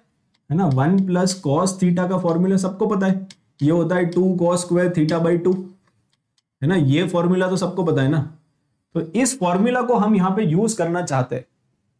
बट यहाँ पे दिक्कत यही है कि वन प्लस साइन थीटा है। तो साइन थीटा को आप साइन को कॉस में कैसे कन्वर्ट करते हैं? अगर ये ये जो एंगल आपको दिख रहा है, साइन ऑफ़, साइड में कर लेते हैं, sine of two pi by nine. ये एंगल आपको दिख रहा है। इसको कॉस में कन्वर्ट करना है। तो कॉस में कन्वर्ट करना तो pi by two minus theta कर दो बस। ये तो आप बचपन से पढ़ते आ रहे हो ना sine theta is equal to cos of pi by two minus theta यही होता है ना, आप यहाँ पे साइड में लिख भी लो। साइन थीटा ये होता है cos pi by two minus theta तो ये वाला यूज़ कर लो आप। है ना तो ये कॉस में कन्वर्ट हो जाएगा। और कॉस में कितना आ जाएगा ये? तो ये कॉस में आ जाएगा नाइन माइनस तो फाइव पाई बाई एटीन आ जाएगा। ये आ गया। ठीक है तो बेसिकली ये साइन को आप कॉस में कन्वर्ट कर लो और जो कॉस है उसको साइन में कन्वर्ट कर लो। तो अब ये क्वेश्चन क्या बन जाएगा? देखो, अब ये क्वेश्चन बन गया। अब ये क्वेश्चन बन गया वन प्लस कॉस और टू पाई बाई नाइन की जगह क्या आ जाएगा? फाइव पाई बाई एटीन ये आ जाएगा। ठीक है प्लस आयोटा और कॉस की जगह साइन आ जाएगा। क्योंकि कॉस थीटा को आप क्या लिख दोगे? कॉस थीटा को आप लिख दोगे sine of ninety minus theta तो साइन बन जाएगा ये। यहाँ पे आ जाएगा फाइव पाई बाई एटीन ठीक है तो ये आ गया। और नीचे क्या है? नीचे आपका आ जाएगा one plus cos five pi by eighteen और यहाँ पे बस माइनस है। Minus iota sine five pi by eighteen अब ये फाइव पाई बाई एटीन को क्या करो? थोड़ी देर के लिए थीटा अज्यूम कर लो। और पूरे की पावर है थ्री ठीक है? पूरे की पावर थ्री है हमारे पास। तो अब एक काम करते हैं, थोड़ी देर के लिए ये जो फाइव पाई बाई एटीन है, उसको थीटा बोल देते अगर इसको थीटा बोल देंगे तो ये लिखा हुआ है वन प्लस कॉस थीटा उसका क्या फॉर्मूला होता है? ये सिंप्लीफाई हो जाएगा ना बेसिकली तो one plus cos theta one plus cos theta तो ये होता है two cos square theta by two और यहाँ पे आ जाएगा आयोटा और साइन थीटा है ना ये। तो साइन थीटा को आप लिख सकते हो two sine theta by two और कॉस थीटा बाई टू ऐसे लिख सकते हैं। ठीक है? नीचे क्या आ जाएगा? नीचे आ जाएगा two cos square theta by two same to same है ना? ये नीचे तो सेम टू सेम है, बस बीच में माइनस आ जाएगा। और यहाँ पे two sine theta by two और कॉस थीटा बाई टू अब बहुत सारी चीज़ें कैंसिल हो जाएगी ना? ये पूरा है और इस पूरे की पावर है थ्री ठीक है? पूरे की पावर है थ्री अब देखो क्या क्या कैंसिल हो जाएगा। यहाँ पे आप कॉमन निकाल के कैंसिल कर लो। हम कॉमन क्या क्या निकाल सकते हैं? टू कॉमन निकाल सकते हैं। तो टू कैंसिल हो जाएगा और cos theta by two cos theta by two यहाँ पे भी कॉस थीटा बाई टू और कॉस थीटा बाई टू वो कैंसिल हो गया। तो बचेगा क्या? बचेगा केवल ये, है ना? क्या क्या बचेगा अपने पास? यहाँ पे बचेगा कॉस थीटा बाई टू ये बचेगा plus iota sine theta by two और नीचे आ गया cos theta by two minus iota sine theta by two अरे चमका कि नहीं? तो ये आ गया और इस पूरे की पावर है थ्री अब इसको आप कन्वर्ट कर लो, है ना? इसको आप कन्वर्ट कर लो यूलर फॉर्म में। तो ये है cos theta by two plus iota sine theta by two तो इसको मैं क्या लिख सकता हूँ? इसको हम लिख सकते हैं ई e की power iota theta by two yes और नीचे वाले को हम क्या लिख सकते हैं? नीचे है, बीच में माइनस है। अगर बीच में माइनस है तो ई e की power minus iota theta by two आ जाएगा। माइनस आयोटा और थीटा बाई टू ठीक है, ये पूरा। और इसका होल क्यूब ये आ गया। तो अल्टीमेटली ये बन जाएगा ई e की power iota theta by two plus theta by two ना? मतलब दोनों को क्लब कर लो। ये नेगेटिव है डिनोमिनेटर में। तो जब न्यूमरेटर में जाएगा तो पॉजिटिव हो जाएगा। ठीक है? तो इन दोनों की पावर को कंबाइन कर दिया। तो ये आ गया और इसका होल क्यूब तो अल्टीमेटली ये क्या बन गया? ये अल्टीमेटली बन जाएगा ई e की पावर आयोटा और थ्री थीटा बन जाएगा। और थीटा का वैल्यू पुट कर दो अब आप। तो थीटा का वैल्यू कितना है? थ्री इंटू थीटा हमने लिया था five pi by eighteen so three into five pi by eighteen ठीक है, अब इसको सॉल्व कर लो तो ये बेसिकली आ गया ई e की पावर आयोटा और फाइव पाई बाई सिक्स आ गया। ठीक है तो ये आ गया। तो इसका वैल्यू कितना आएगा? ऑप्शंस देख लो। ठीक है, अब आप ऑप्शंस देख लो। बेसिकली आपको निकालना है ई e की power iota five pi by six तो ये तो ऐसे लिख देंगे ना, इसको लिख देंगे cos five pi by six plus iota sine five pi by six और फाइव पाई बाई सिक्स को आप लिख सकते हो five minus five by six मतलब समझ गए बेसिकली है ना? ये। तो बस वैल्यूज़ निकालो अब। फाइनली कौन सा आंसर आएगा? Five minus five by six मतलब सेकेंड क्वाड्रेंट तो सेकेंड क्वाड्रेंट में ये कितना आएगा? ये है साइन थर्टी ये तो वन बाई टू आ जाएगा, है ना? तो आयोटा और इसका वैल्यू तो वन बाई टू आ जाएगा। यहाँ पे आ जाएगा minus root three by two तो ultimately this is the answer ये देखो कौन से ऑप्शन में है। Minus root three plus iota और divided by two option C आएगा। ठीक है? यस ये चमका। ये कितने लोगों को चमक गया? सिंपल तो डीएमटी जब भी आपको यूज़ करना है तो बस आप सिंपल इसको स्टैंडर्ड फॉर्म में कन्वर्ट कर लो यूलर फॉर्म में कन्वर्ट कर लो, और फिर पावर की पावर है तो आप मल्टीप्लाई कर सकते हो। ठीक है? Since we are having power की पावर आप यहाँ पे आराम से मल्टीप्लाई कर सकते हो। Yes option C is the answer और आगे बढ़ते हैं। अगला क्वेश्चन ट्राई करो। अगेन आप इस क्वेश्चन को देखो बस। और देख के बताओ कि इसमें क्या यूज़ करना चाहिए। आपको फील आ रही है? है ना? जैसे ही आप देखोगे कॉम्प्लेक्स नंबर की बड़ी बड़ी पावर तो क्या करें? कॉम्प्लेक्स नंबर की बड़ी बड़ी पावर तो इसमें तो एक ही तरीका होता है सर वो होता है डीएमटी डीएमटी बाबा को याद कर लो एनवी सर को याद कर लो, ठीक है? तो बेसिकली आपका क्वेश्चन हो जाएगा। मतलब एनवी सर ने जो बोला था, उसको याद कर लो। इसकी पावर आपको निकालना है हंड्रेड ठीक है? और इसकी पावर जब हंड्रेड आप निकालोगे तो वो इस फॉर्मेट में कुछ ना कुछ आएगा। तो फिर कंपेयर करके हम पी और क्यू निकालेंगे तो इसको आप सिंप्लीफाई करो। और इसको सिंप्लीफाई कैसे करें? इसको सिंप्लीफाई करने के लिए आप सिंपल इसको यूलर फॉर्म में लिख दो।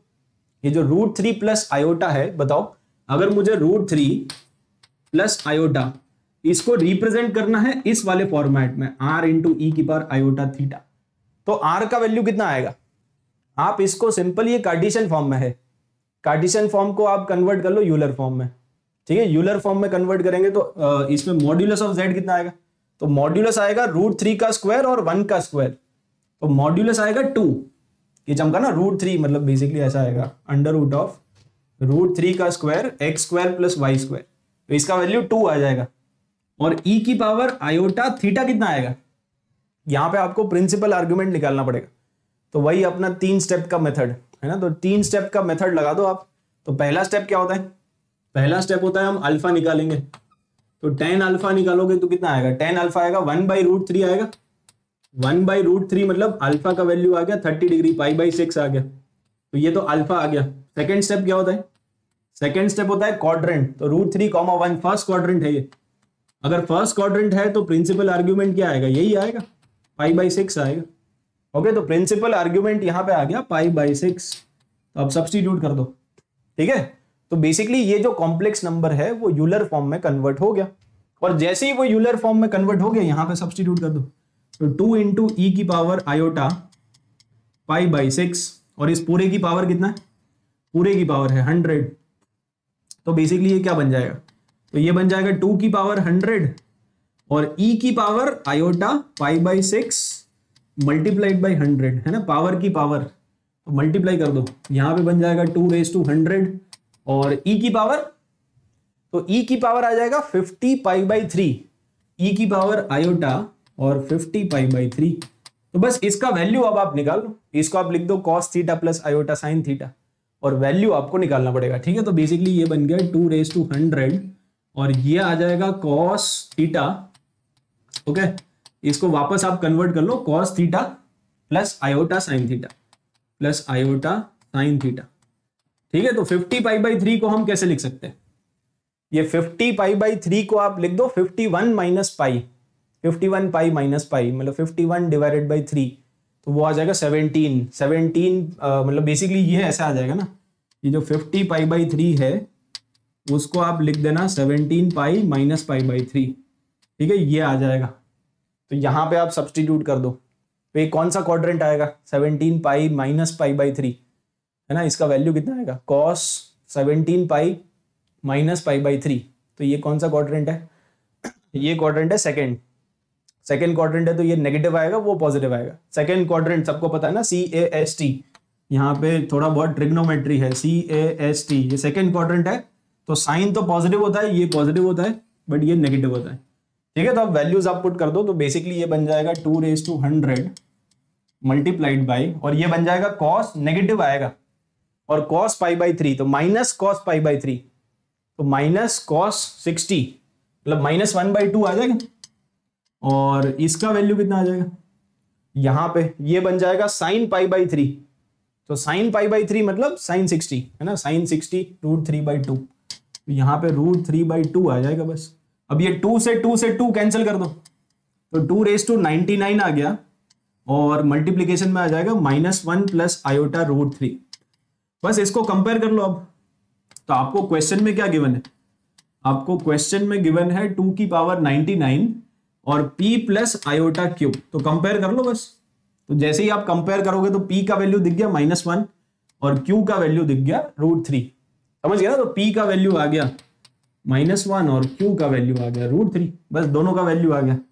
तो आपसे ये पूछा है क्वेश्चन में कि एक ऐसी क्वाड्रेटिक इक्वेशन बताओ, जिसके रूट है p और q तो कैसे निकालते हैं क्वाड्रेटिक इक्वेशन क्वाड्रेटिक इक्वेशन ये होता है ना x square minus sum of roots into x और plus product of roots equal to zero बस ये यूज़ कर लो। ठीक है तो x square minus sum of roots तो सम ऑफ़ रूट्स आ जाएगा रूट थ्री माइनस वन और प्रोडक्ट ऑफ़ रूट्स कितना आ जाएगा? प्रोडक्ट ऑफ़ रूट्स आ जाएगा माइनस रूट थ्री तो बस ये ऑप्शन में होना चाहिए। ठीक है? अब आप देख लो कि ये कौन सा ऑप्शन है। अरे चमका तो ये कौन सा ऑप्शन है? ये आई थिंक ऑप्शन ए आ गया। ठीक है? तो इसका फाइनल आंसर आएगा ऑप्शन ए चमक गया? तो इस तरह के क्वेश्चन कर लोगे। अगर इंटीग्रल पावर है अच्छा एक चीज़ और आप यहाँ पे हमेशा ध्यान रखना कि यहाँ पे तो हमने क्या किया था कि यूलर फॉर्म में कन्वर्ट कर लिया।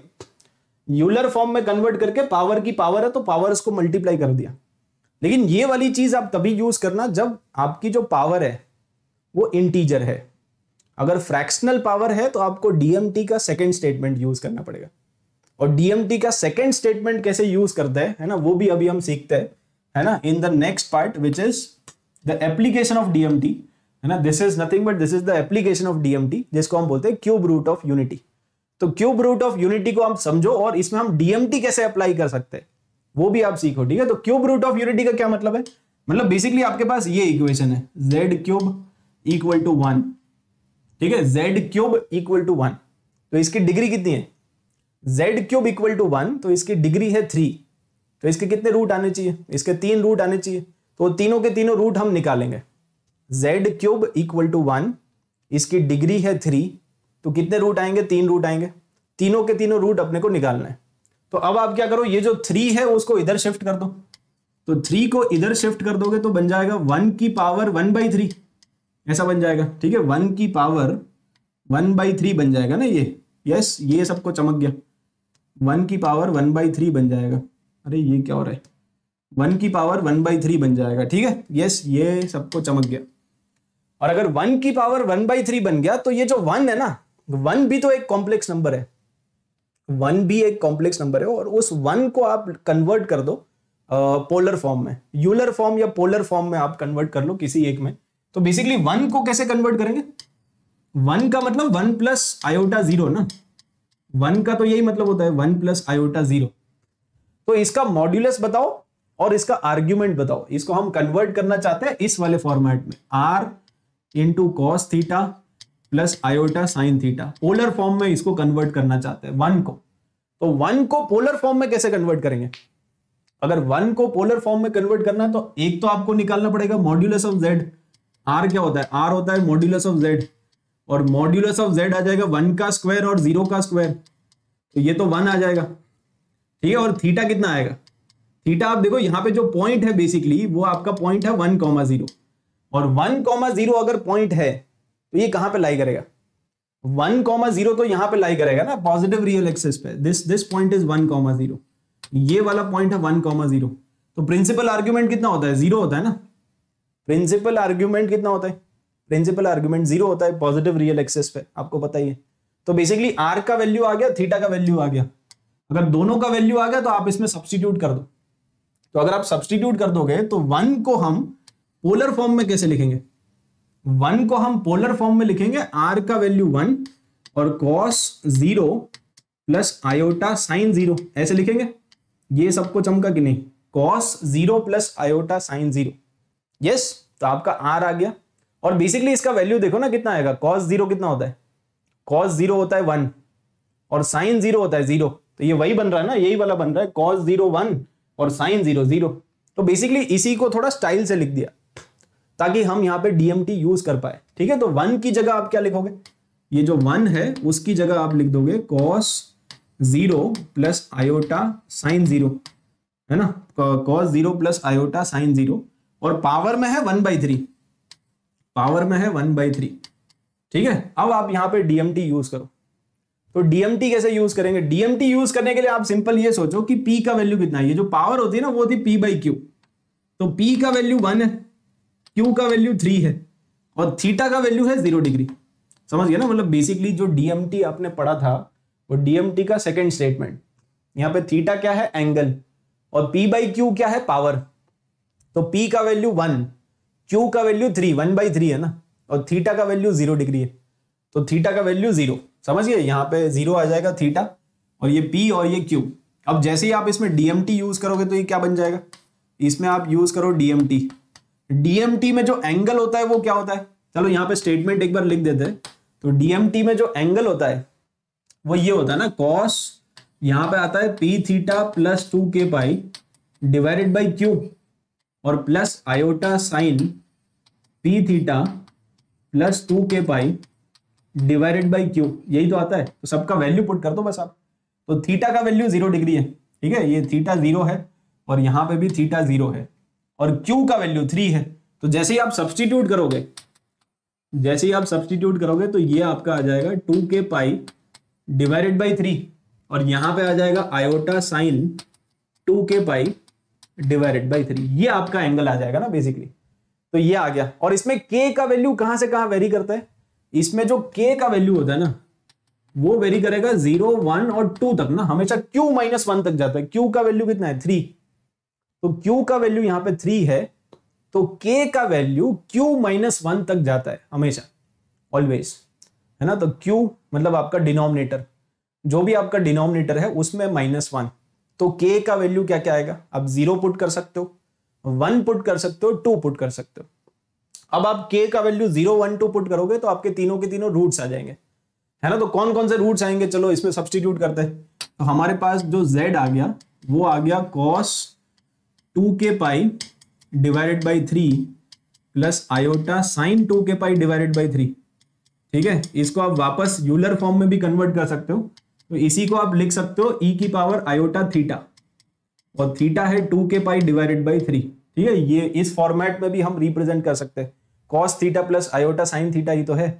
तो ई e की पावर आयोटा थीटा। समझ गए? अब इसमें आप के का वैल्यू पुट करना स्टार्ट करो। एक बार के का वैल्यू पुट करेंगे ज़ीरो एक बार के का वैल्यू पुट करेंगे वन और एक बार के का वैल्यू पुट करेंगे टू ठीक है? ज़ीरो वन टू तो ज़ीरो पुट करेंगे तो क्या आएगा? पहला रूट आएगा। और पहला रूट कितना आएगा बताओ?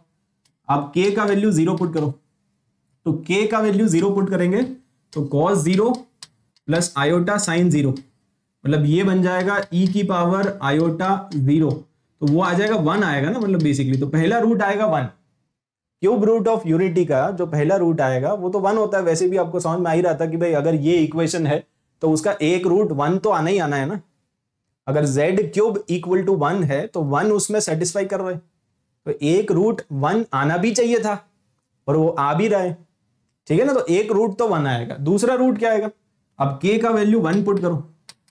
तो k का वैल्यू वन पुट करेंगे तो कॉस और k का वैल्यू वन तो cos two pi by three plus iota sine two pi by three ये आ जाएगा। ठीक है तो इसको आप इस तरह से भी रिप्रेजेंट कर सकते हो। ई e की power iota two pi by three ऐसे भी रिप्रेजेंट कर सकते हो। और इसका वैल्यू कितना आएगा?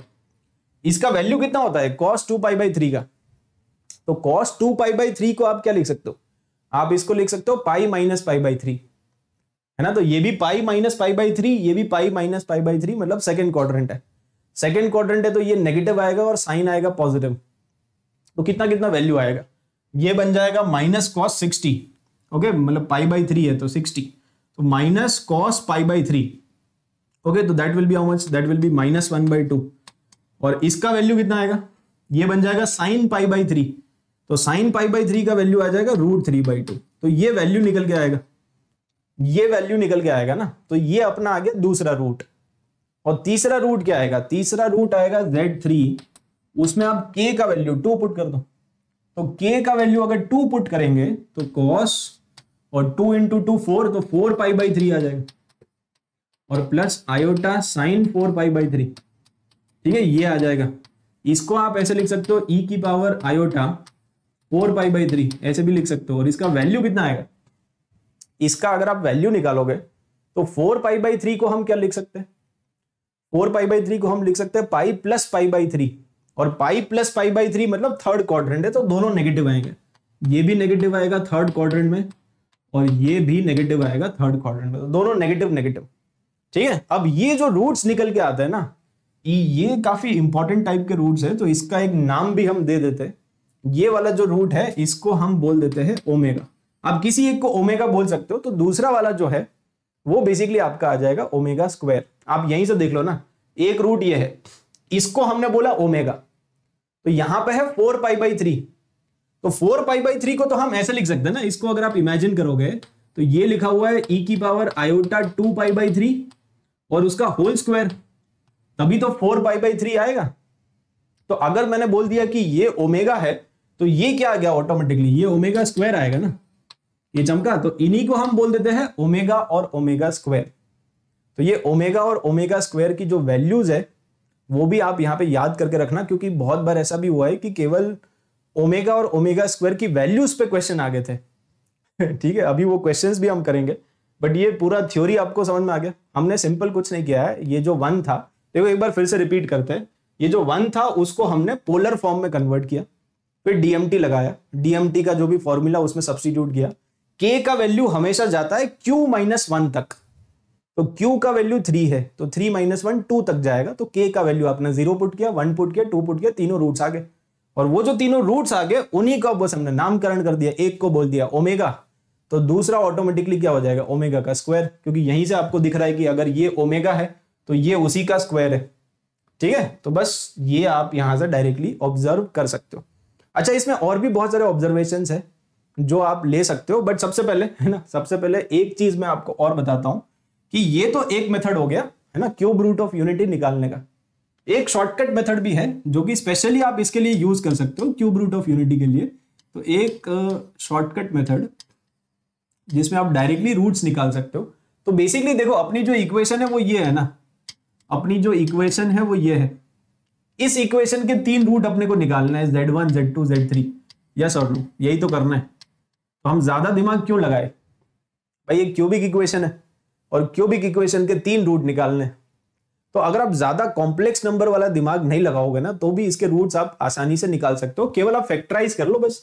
इसको आप A cube minus B cube मान के फैक्टराइज कर लो। तो इसको फैक्टराइज करेंगे तो इसके फैक्टर्स आएँगे ए माइनस बी और A square plus A B plus B square ये फैक्टर्स आ जाएँगे। A cube minus B cube लगा दिया। और फिर यहाँ से बेसिकली z माइनस वन का वैल्यू ज़ीरो होगा।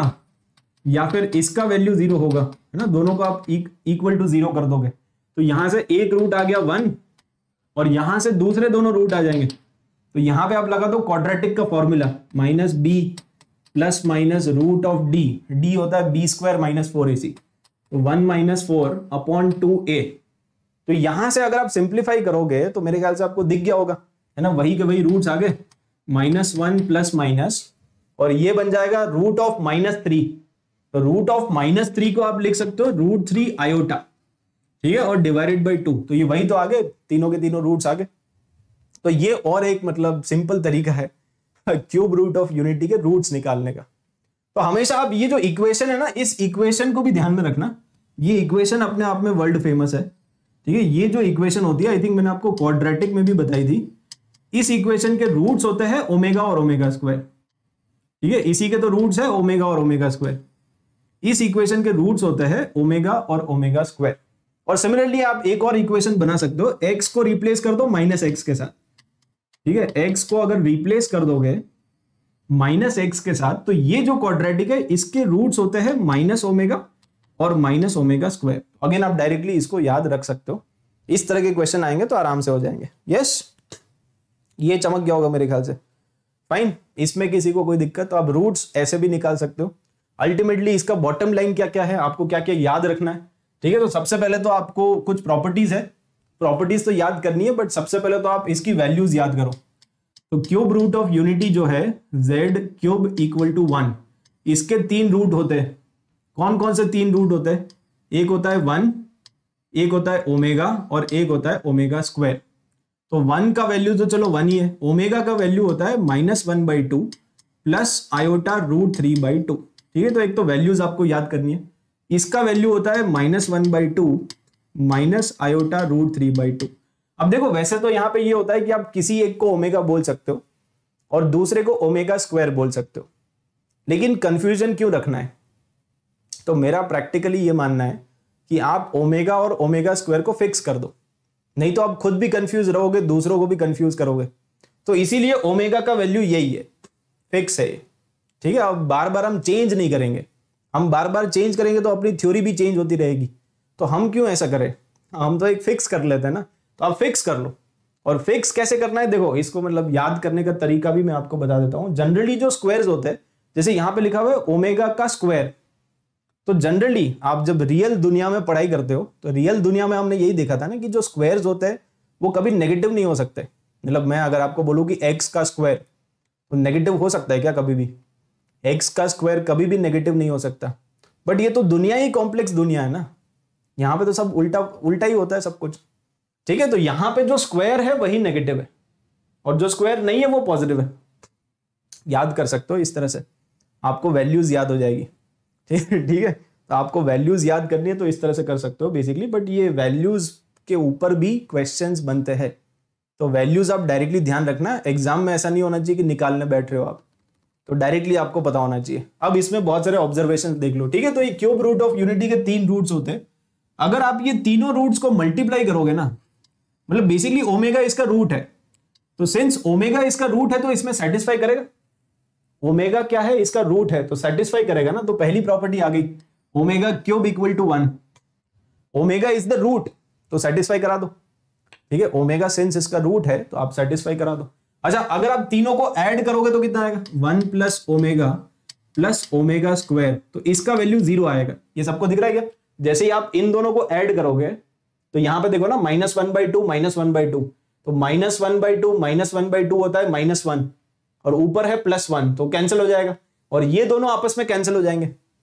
दिख गया? तो अगर आप तीनों के तीनों रूट्स को ऐड करोगे तो ये भी एक भयंकर प्रॉपर्टी है कि one plus omega plus omega square का वैल्यू ज़ीरो होता है। ठीक है? तो ये दो प्रॉपर्टी आपको क्लियर है सुपर इंपॉर्टेंट है ये मतलब दिस इज़ इसमें आप मतलब दस पंद्रह स्टार लगा लो, ठीक है? Star star star star star star बहुत सारे स्टार्स ये भी सुपर इंपॉर्टेंट है। तो ये ध्यान रखना, इसके ऊपर बहुत सारे क्वेश्चन आते हैं। ओमेगा क्यूब का वैल्यू होता है वन और sum of roots one plus omega plus omega square होता है ज़ीरो ठीक है? ये आपको क्लियर हो गया। अच्छा एक और प्रॉपर्टी है, ये थर्ड वाली प्रॉपर्टी वो ये कहती है कि आप तीनों रूट्स को ले लो। इसको ध्यान से समझो, चलो। एक है वन, एक है ओमेगा और एक है ओमेगा स्क्वायर। तीनों के तीनों रूट्स को आप ले लो।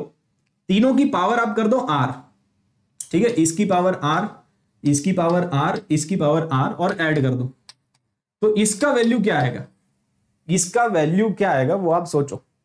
तो यहाँ पे देखो दो पॉसिबिलिटीज होती है हमेशा। इसकी इसकी प्रॉपर्टी को आप समझो। आपने क्या किया कि तीनों रूट्स ले लिए वन, ओमेगा ओमेगा स्क्वायर। और तीनों की पावर आपने एक फिक्स ये आर क्या है? एक फिक्स नंबर है एक, एक कांस्टेंट है। आप आर की जगह के कर सकते हो है ना? अगर आपको कांस्टेंट वाली फील चाहिए तो आर की जगह के भी कर सकते हो। ये आर इज़ अ कांस्टेंट तो एक कांस्टेंट पावर हमने कर दी तीनों की है ना? जैसे आप तीनों की पावर टेन कर सकते हो या तीनों की पावर इलेवन कर सकते हो तीनों की पावर ट्वेल्व कर सकते हो। जनरली जो क्वेश्चन एग्ज़ाम में आता है उसमें तीनों की पावर दे देते हैं जिस ईयर में आया है। जैसे 2022 में आएगा तो आर का वैल्यू ले लेंगे 2022 ऐसा, ठीक है? तो जिस ईयर में आता है, उसके हिसाब से बदलता रहता है but R is a constant यहाँ पे जो आर है, वो एक कॉन्स्टेंट है, उसका कुछ ना कुछ वैल्यू होगा। It will have some value अच्छा अब इसको समझो। इसकी वैल्यू क्या पॉसिबल है? इसकी वैल्यू या तो थ्री आएगी, या ज़ीरो आएगी।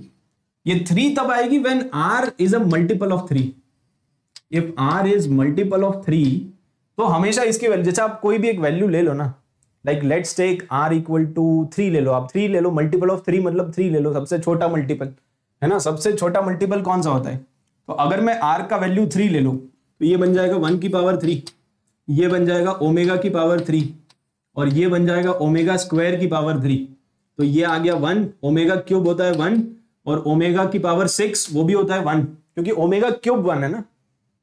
समझ गया? Since omega cube is one तो one plus one plus one three आएगा।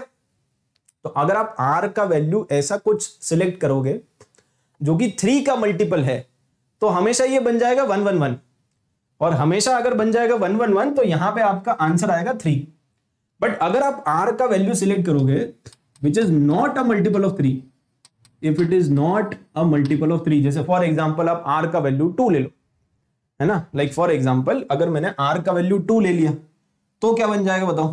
तो यहाँ पे क्या आएगा?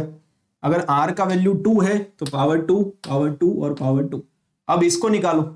इसको निकालोगे तो ये वन ये ओमेगा स्क्वायर और ये ओमेगा की पावर फोर ओमेगा की पावर फोर को आप क्या लिख सकते हो? ओमेगा की पावर फोर को आप लिख सकते हो ओमेगा इंटू ओमेगा क्यूब और ओमेगा क्यूब होता है वन ओमेगा क्यूब होता है वन तो ये क्या बन गया? ये बन गया one plus omega square plus omega तो ये तो यही बन गया ना? तो अल्टीमेटली आंसर कितना आएगा? ज़ीरो चमक गया? तो अगर आर का वैल्यू आप ऐसा कुछ भी ले लोगे, जो कि थ्री का मल्टीपल नहीं है तो हमेशा आपका ज़ीरो आता है। और अगर थ्री का मल्टीपल लोगे तो आपका आंसर थ्री आएगा। समझ गया अब आप देख लो कि टू ज़ीरो टू टू जो है, वो थ्री का मल्टीपल है कि नहीं? अगर थ्री का मल्टीपल है तो थ्री आंसर आएगा।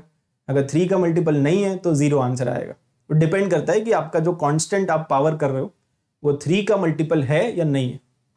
अगर थ्री का मल्टीपल है तो थ्री आएगा, नहीं है तो ज़ीरो आएगा। दो ही आंसर पॉसिबल है। ठीक है? तो ये थर्ड वाली प्रॉपर्टी भी आपको क्लियर हो गई। यस और आगे बढ़ते हैं।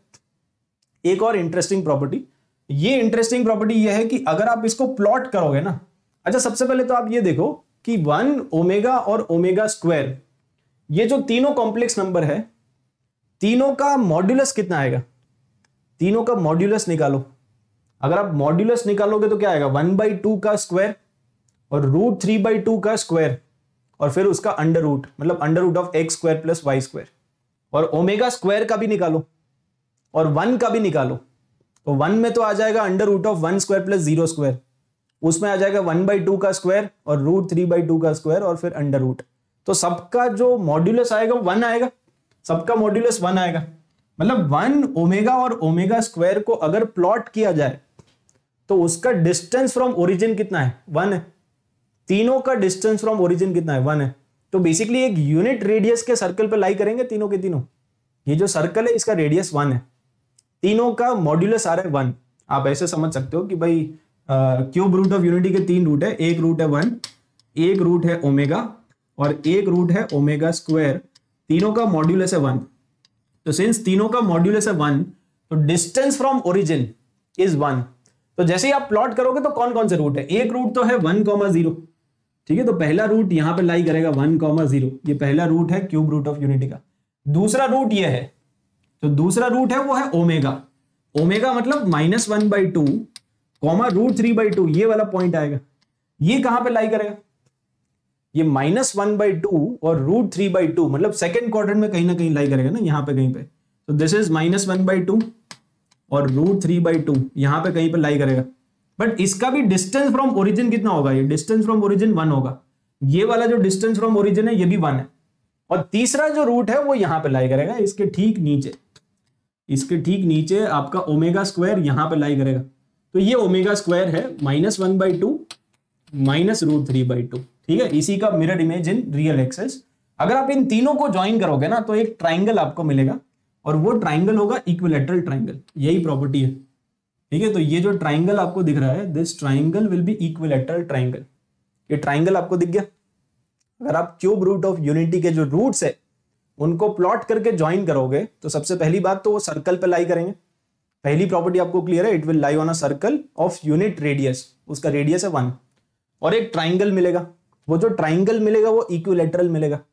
It will be equilateral triangle है ना? इसमें भी आप क्या निकाल सकते हो? इसकी साइड लेंथ निकाल सकते हो।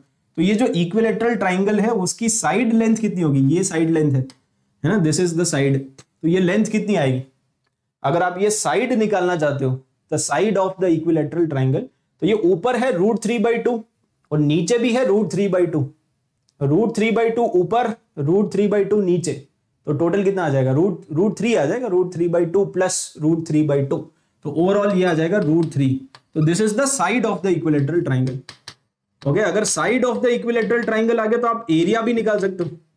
एरिया होता है रूट थ्री बाई फोर और साइड का स्क्वायर ठीक है तो आप एरिया भी निकाल सकते हो। इस ट्राइंगल का एरिया आएगा three root three by four fine तो you can find out area also आप ये सारी चीज़ें निकाल सकते हो। ठीक है तो बेसिक प्रॉपर्टी यही है कि अगर आप उनको प्लॉट करोगे तो एक इक्विलेटरल ट्राइंगल आएगा। और वो जो इक्विलेटरल ट्राइंगल है, उसका सेंट्रॉइड अच्छा आपको पता है कि इक्विलेटरल ट्राइंगल में सेंट्रॉइड बोलो, या सरकम सेंटर बोलो, या इन सेंटर बोलो, या ऑर्थो सेंटर बोलो, सब कुछ एक ही होता है। इक्विलेटरल ट्राइंगल में यही सेंट्रॉइड है ओरिजिन पे आएगा ये सारे पॉइंट्स है ना? सेंट्रॉइड भी यही है ऑर्थो सेंटर भी यही है सरकम सेंटर भी यही है, और इन सेंटर भी यही है। तो सारे के सारे ओरिजिन पे आएँगे। ठीक है? तो बेसिकली अगर आप क्यूब रूट ऑफ़ यूनिटी को प्लॉट करोगे आर्गन प्लेन पे, और फिर एक ट्राइंगल बनेगा, वो ट्राइंगल के जितने भी पॉइंट्स है सेंट्रॉइड ऑर्थो सेंटर वो सब ओरिजिन पे आएँगे। एवरीथिंग विल बी ओरिजिन और ये ओरिजिन क्यों है? तो उसके लिए तो आप कर सकते हो ना x one plus x two plus x three divided by three और y one plus y two plus y three divided by three आपको पता ही सेंट्रॉइड कैसे निकालते हैं? सेंट्रॉइड ऑफ़ एनी ट्राइंगल किसी भी ट्राइंगल का सेंट्रॉइड ठीक है? तो ये भी एक प्रॉपर्टी आपकी बन जाएगी। फाइन चलो अब क्वेश्चंस पे आते हैं। ठीक है? तो ये वाला क्वेश्चन आप ट्राई करो। ये क्वेश्चन है जेई मेन 2020 का। तो इसको कैसे करेंगे जेई मेन 2020 अच्छा सबसे पहले तो आपको इसमें दिख रहा है वन माइनस आयोटा तो वन माइनस आयोटा के लिए मैंने आपको एक सिखाया था एनवी स्टाइल याद है? वन माइनस आयोटा का क्या करेंगे? वन माइनस आयोटा को क्या करते हैं? वन माइनस आयोटा का स्क्वायर कर दो। वो होता है माइनस टू आयोटा याद आ गया? तो बेसिकली इसको आप ऐसे करो, देखो, इसको सिंप्लीफाई करने का सबसे अच्छा तरीका है, एक तो आप क्या करो, ये जो न्यूमरेटर है ना न्यूमरेटर में डिवाइड बाई टू कर दो। डिवाइड बाई टू कर दो और मल्टीप्लाई बाई टू भी कर दो तो टू की पावर थर्टी आपको करना पड़ेगा। और जो डिनोमिनेटर है डिनोमिनेटर को आप ऐसे लिख दो। डिनोमिनेटर को आप लिख दो स्क्वायर और स्क्वायर की पावर फिफ्टीन ऐसे लिख दो। ठीक है, यहाँ पे डिवाइड बाई टू क्यों किया? क्योंकि अब ये ओमेगा बन गया, ध्यान से देखो।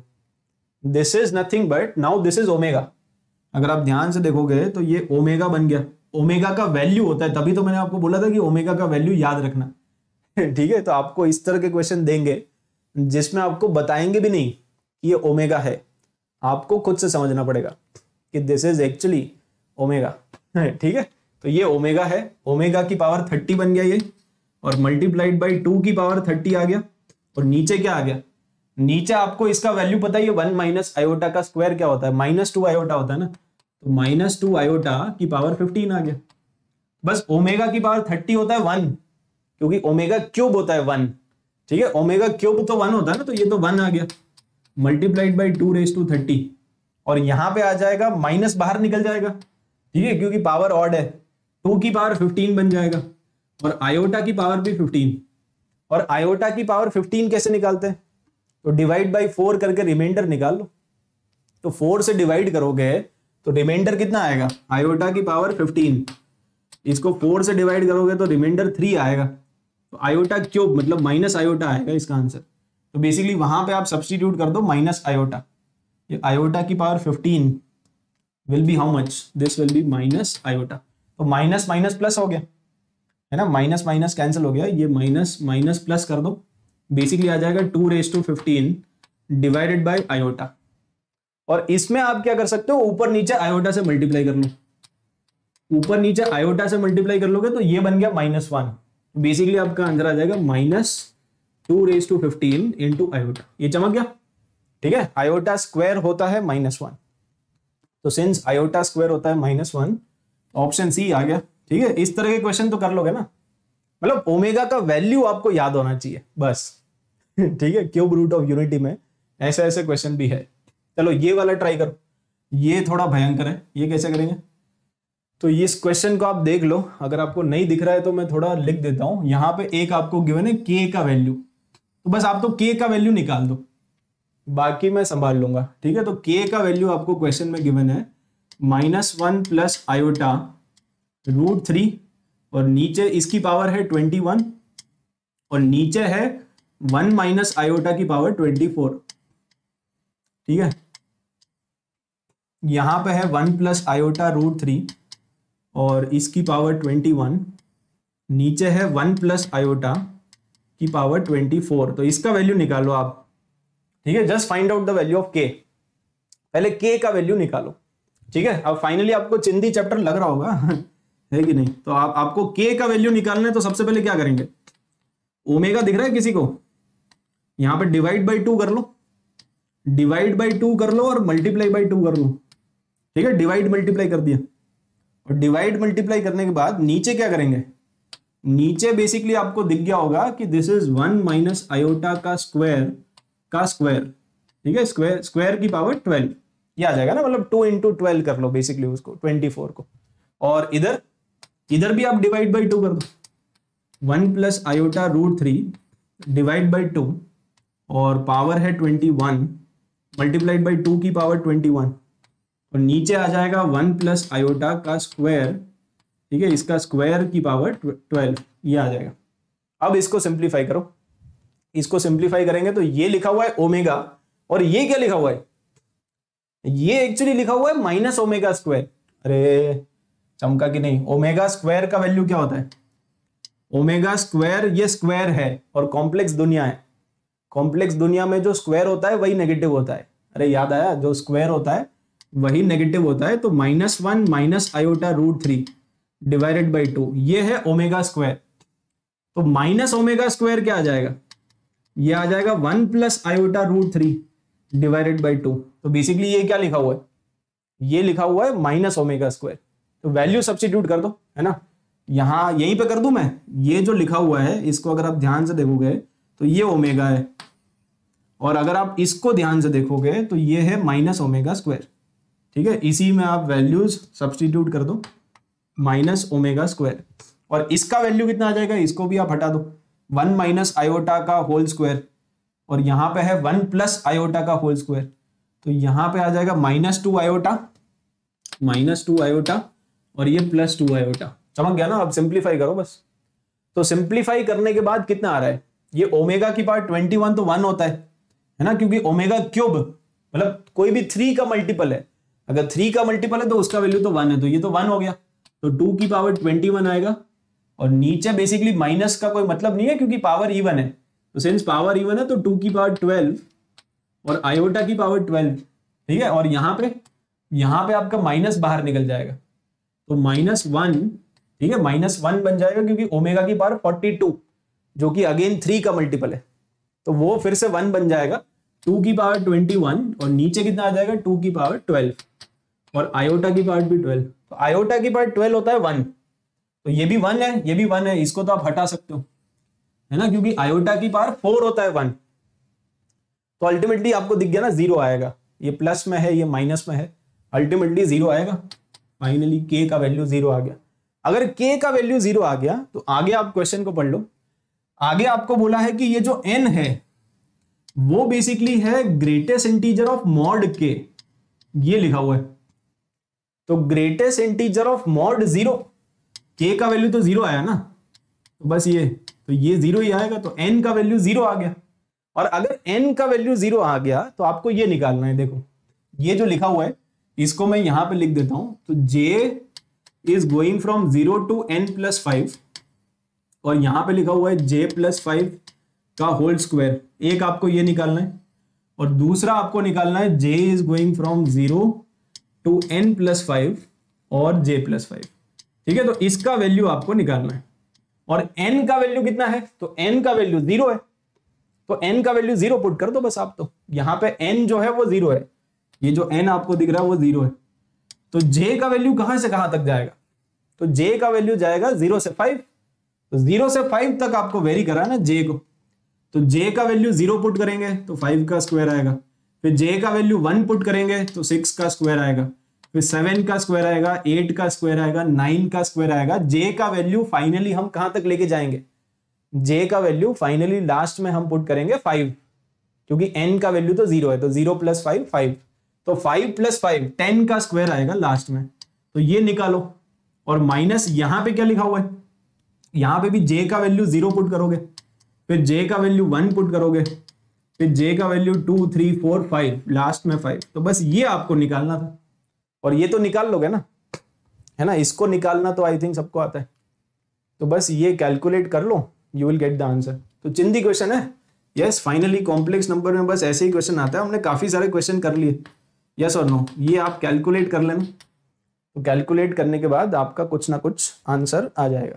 फाइन आंसर अब आप निकाल लेना, जो भी है।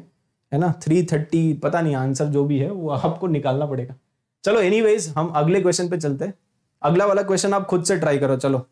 है ना? देखते हैं कि तुम्हें समझ में आता है कि नहीं। तो यहाँ पे ए एंड बी क्वेश्चन मैं समझा देता हूँ। A and b are real numbers ठीक है? ए और बी क्या है? रियल है। और आपको क्वेश्चन में गिवन है टू प्लस अल्फ़ा की power four this is equal to a plus b alpha तो ये क्वेश्चन में गिवन है। और अल्फ़ा का वैल्यू भी आपको क्वेश्चन में गिवन है ये। तो अल्फ़ा का जो वैल्यू है ना, उसको देख के मतलब आँखों में चमक आ रही है कि नहीं? अल्फ़ा का वैल्यू देख के क्या लग रहा है? अल्फ़ा का वैल्यू देख के लग रहा है कि अल्फ़ा ही ओमेगा है। लग रहा है कि नहीं? है ना? तो ये फालतू में मतलब ये ये रिवील नहीं करना चाहते कि अल्फ़ा ही ओमेगा है।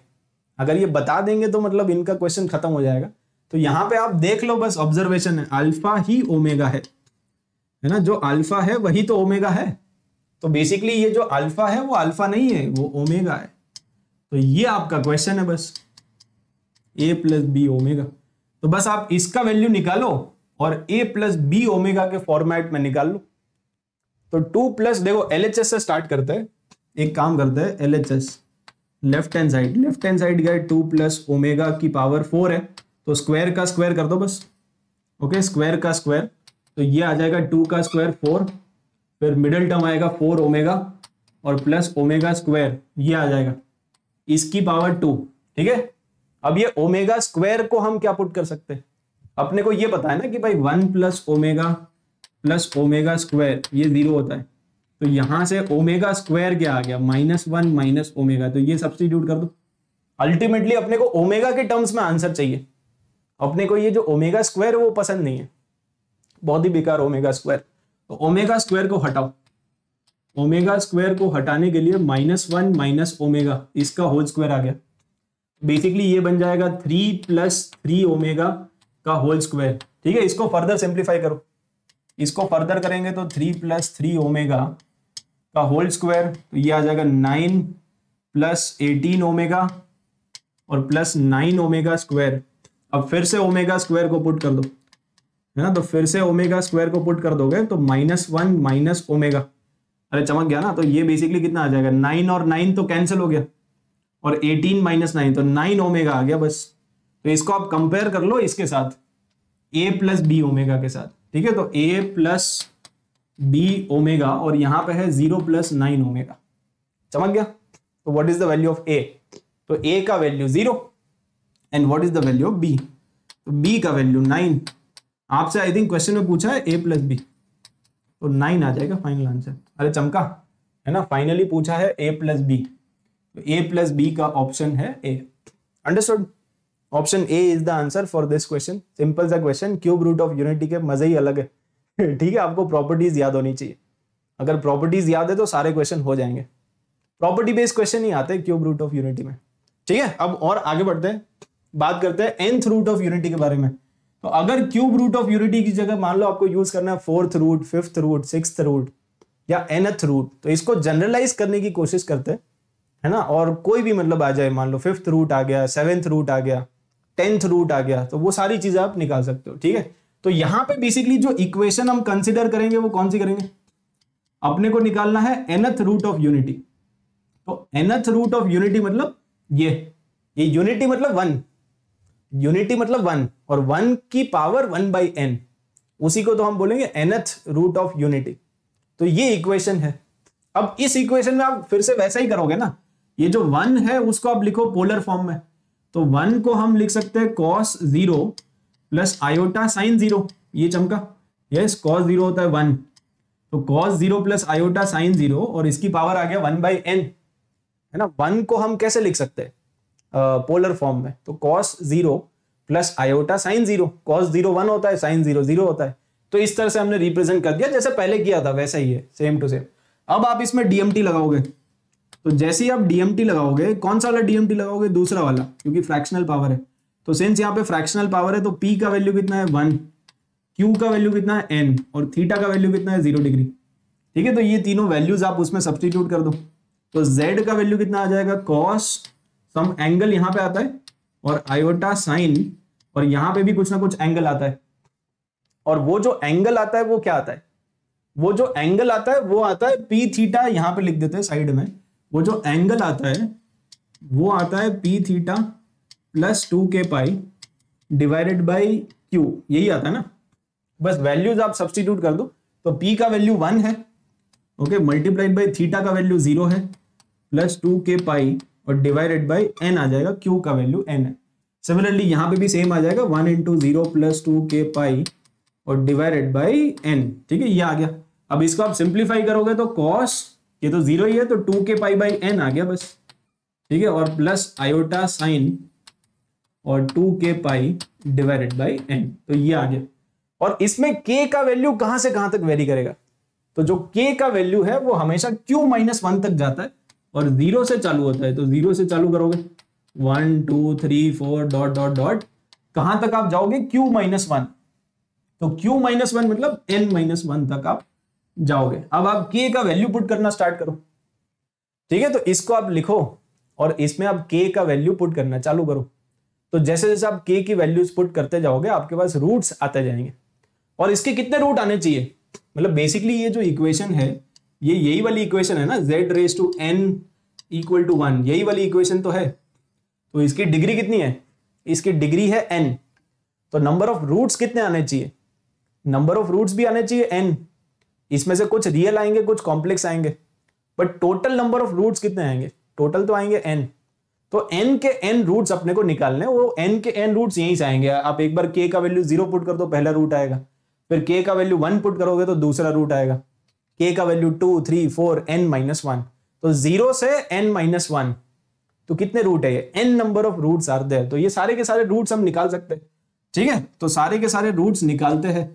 Z का वैल्यू आपके पास है cos two K pi divided by N plus iota sine two K pi divided by N ठीक है? अब ये काफ़ी लेंदी सा है। तो एक काम करते हैं, इसको यूलर फॉर्म में कन्वर्ट कर लेते हैं। तो आयोटा टू के पाई डिवाइडेड बाई एन अब इसी में पुट कर देते हैं, बस के का वैल्यू हम लेंदी सा क्यों करें, है ना? तो इसीलिए एक काम करते हैं, इसको मैंने ऐसे लिख दिया यूलर फॉर्म में कन्वर्ट कर लिया। इसमें आप के का वैल्यू पुट करो। तो के का वैल्यू वन पुट करेंगे, फिर के का वैल्यू टू पुट करेंगे। मतलब zero one two three four five last में पुट करेंगे के का वैल्यू एन माइनस वन ठीक है? तो सबसे पहले के का वैल्यू ज़ीरो पुट करो। तो पहला रूट क्या आएगा? तो पहला रूट आएगा ई e की पावर आयोटा ज़ीरो वो तो आ जाएगा वन और एक रूट वन आना भी चाहिए। अगर ये इक्वेशन है तो ऑब्वियसली वन इसमें सेटिस्फाई करता है ना। तो एक रूट वन आना भी तो चाहिए। जैसे क्यूब रूट ऑफ़ यूनिटी में भी एक रूट आता है वन तो यहाँ पे भी जो पहला रूट आएगा, वो आएगा वन और यही एक मात्र रियल रूट है। बाकी सारे कॉम्प्लेक्स आएँगे। ये रियल रूट है, ठीक है? दिस इज़ रियल रूट बाकी जितने भी आएँगे, वो सब कॉम्प्लेक्स आएँगे। देखो, दूसरा कितना आएगा? दूसरे के लिए के का वैल्यू वन पुट करो। तो के का वैल्यू वन पुट करोगे तो टू पाई बाई एन आ जाएगा। तो टू पाई बाई एन आ जाएगा। समझ, ये दूसरा रूट आ गया, फिर तीसरा रूट क्या आएगा? तीसरा रूट आएगा आयोटा और के का वैल्यू टू तो के का वैल्यू टू पुट करोगे तो फोर पाई बाई एन और सिमिलरली लास्ट में एनथ रूट क्या आएगा? तो जो एनथ रूट आएगा, वो आएगा ई e की पावर आयोटा और टू और के का वैल्यू एन माइनस वन और पाई बाई एन तो ये आ गया। ठीक है? अब देखो हम क्या कर सकते हैं, जैसे वहाँ पे हमने बोला था, है ना, इसको ओमेगा बोल दिया था ना वहाँ पे। सिमिलरली आप ये वाला जो रूट है, इसको अल्फ़ा बोल दो। ये वाला जो रूट है, उसको अल्फ़ा बोल दो। अगर मैं इस वाले रूट को अल्फ़ा बोल दूँ तो ये क्या लिखा हुआ है? ये लिखा हुआ है अल्फ़ा का स्क्वायर क्योंकि यहाँ पे है टू पाई बाई एन और टू पाई बाई एन का स्क्वायर करोगे, तभी तो आएगा ना फोर पाई बाई एन तो अगर ये अल्फ़ा बोल दिया मैंने तो ये ऑटोमेटिकली क्या है? अल्फ़ा स्क्वायर उसके अगला क्या आएगा? अल्फ़ा का क्यूब. फिर अल्फ़ा की पावर फोर और ये जो लास्ट वाला है, ये आ जाएगा अल्फ़ा की पावर एन माइनस वन यहाँ पे एन माइनस वन है ना? तो बेसिकली अल्फ़ा की पावर मतलब आप ऐसे सोचो कि के का वैल्यू जब टू पुट किया तो अल्फ़ा स्क्वायर के का वैल्यू वन पुट किया तो अल्फ़ा की पावर वन के का वैल्यू एन माइनस वन तो अल्फ़ा की पावर एन माइनस वन तो ये सारे रूट्स आ जाएँगे. है ना? तो ये सारे क्या है? रूट्स है. एनथ रूट ऑफ़ यूनिटी के रूट्स है। मतलब बेसिकली आप ऐसे समझ सकते हो कि ये जो इक्वेशन है, z की power n equal to one इस इक्वेशन के कितने रूट होते हैं? इस इक्वेशन के n नंबर ऑफ़ रूट्स होते हैं। जो पहला रूट है वो है वन दूसरा रूट है अल्फ़ा तीसरा रूट है अल्फ़ा स्क्वायर फिर अल्फ़ा क्यूब और फिर डॉट डॉट डॉट लास्ट वाला जो रूट है वो है अल्फ़ा एन माइनस वन ठीक है तो ये सारे के सारे रूट्स आ गए। और यहाँ पे आप अल्फ़ा का वैल्यू याद रखना। है ना? जैसे वहाँ पे हमने ओमेगा का वैल्यू याद रखा था। तो यहाँ पे आपको अल्फ़ा का वैल्यू याद रखना है। वो है ई e की power iota two pi by N ठीक है? अल्फ़ा का वैल्यू है ई e, यहाँ से देख लो ना आप ये। तो ये अल्फ़ा का वैल्यू है। अल्फ़ा का वैल्यू है ई e की power iota two pi by N अब इसमें भी आप बहुत सारे ऑब्जर्वेशन ले सकते हो। जैसे पहला ऑब्जर्वेशन तो ये है कि जो टोटल नंबर ऑफ़ रूट्स है एन है। Okay total number of roots तो एन है। बट इनमें से रियल कितना है? तो रियल केवल वन है। बाकी सब कॉम्प्लेक्स है क्योंकि बाकी सब में आयोटा आ रहा है। आयोटा आयोटा आयोटा ठीक है? तो बाकी जितने भी है, सब कॉम्प्लेक्स है। तो अगर आपसे पूछेंगे कि कितने रियल कितने कॉम्प्लेक्स तो एक रियल और N minus one complex total N है। अंडरस्टूड तो ये एक पहला ऑब्जर्वेशन दूसरा ऑब्जर्वेशन आप ये ले सकते हो कि जितने भी रूट्स है, वो सब जीपी में है। All the roots are in GP है ना? क्योंकि one alpha alpha square alpha cube तो जितने भी रूट्स होते हैं, वो हमेशा जीपी में होते हैं, जैसे हमने क्यूब रूट ऑफ़ यूनिटी में भी देखा था। वन ओमेगा ओमेगा स्क्वायर है ना? Similarly fourth root of unity में भी आएगा one alpha alpha square alpha cube N minus one तक जाएगा। और जीपी आएगी हमेशा। ठीक है? एक और ऑब्जर्वेशन आप ये भी ले सकते हो कि आप सम ऑफ़ रूट्स निकालो। जैसे हमने वहाँ पे सम ऑफ़ रूट्स कितना निकाला था? वहाँ पे सम ऑफ़ रूट्स था one plus omega plus omega square और उसका वैल्यू ज़ीरो था। और प्रोडक्ट ऑफ़ रूट्स कितना था? One into omega into omega square तो वो था ओमेगा क्यूब और ओमेगा क्यूब का वैल्यू वन था. मतलब बेसिकली अगर आप पीछे जाके देखोगे तो ये सम ऑफ़ रूट्स है और ये प्रोडक्ट ऑफ़ रूट्स है। है ना? तीनों को मल्टीप्लाई करोगे तो ओमेगा क्यूब भी तो आएगा। तो प्रोडक्ट ऑफ़ रूट्स का वैल्यू वन है और सम ऑफ़ रूट्स का वैल्यू ज़ीरो है। सिमिलरली अगर आप यहाँ पे भी निकालोगे ना तो यहाँ पे भी सम ऑफ़ रूट्स का वैल्यू ज़ीरो आएगा। लेकिन प्रोडक्ट ऑफ़ रूट्स थोड़ा अलग आएगा तो निकाल के देखते हैं, ठीक है? तो सबसे पहले आप निकालो सम ऑफ़ रूट्स पहली प्रॉपर्टी पहली प्रॉपर्टी क्या है कि अगर आप सम ऑफ़ रूट्स निकालोगे तो वो ज़ीरो आएगा, हमेशा। It will always be zero ऐसा क्यों? ऐसा इसीलिए क्योंकि ये सारे रूट्स आप लिखो और फिर उनका सम निकालना है। तो आप इसमें सम ऑफ़ जीपी लगा दो बस। है ना? Just use sum of GP तो सम ऑफ़ जीपी क्या होता है? फ़र्स्ट टर्म और फिर कॉमन रेशियो की power number of terms minus one upon common ratio minus one यही फॉर्मूला होता है। ठीक है? ए इंटू आर की power N minus one upon R minus one और अल्फ़ा का वैल्यू मैंने आपको बोला था कि याद कर लो।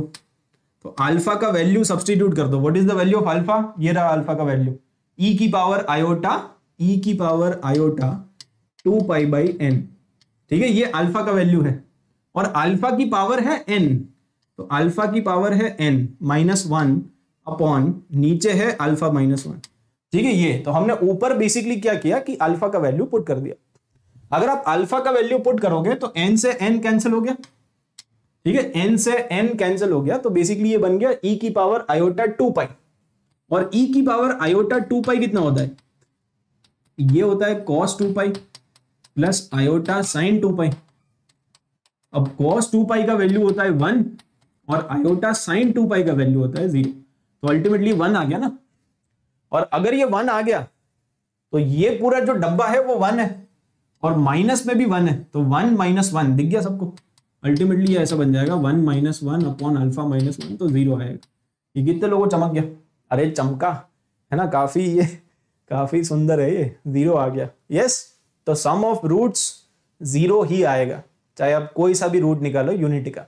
है ना थर्ड रूट या मतलब cube root fourth root fifth root कुछ भी निकालो sum of roots will always be zero अच्छा प्रोडक्ट ऑफ़ रूट्स तो प्रोडक्ट ऑफ़ रूट्स में ऐसा होता है है ना, जैसे हमने क्यूब रूट ऑफ़ यूनिटी के लिए निकाला था तो क्यूब रूट ऑफ़ यूनिटी मतलब एन का वैल्यू ऑड है। एन का वैल्यू थ्री है ना। क्यूब रूट ऑफ़ यूनिटी का क्या मतलब है? आप इसको याद ऐसे करो। क्यूब रूट ऑफ़ यूनिटी मतलब एन का वैल्यू थ्री हमने पावर किया था वन बाई थ्री अगर एन का वैल्यू ऑड है तो वन आता है।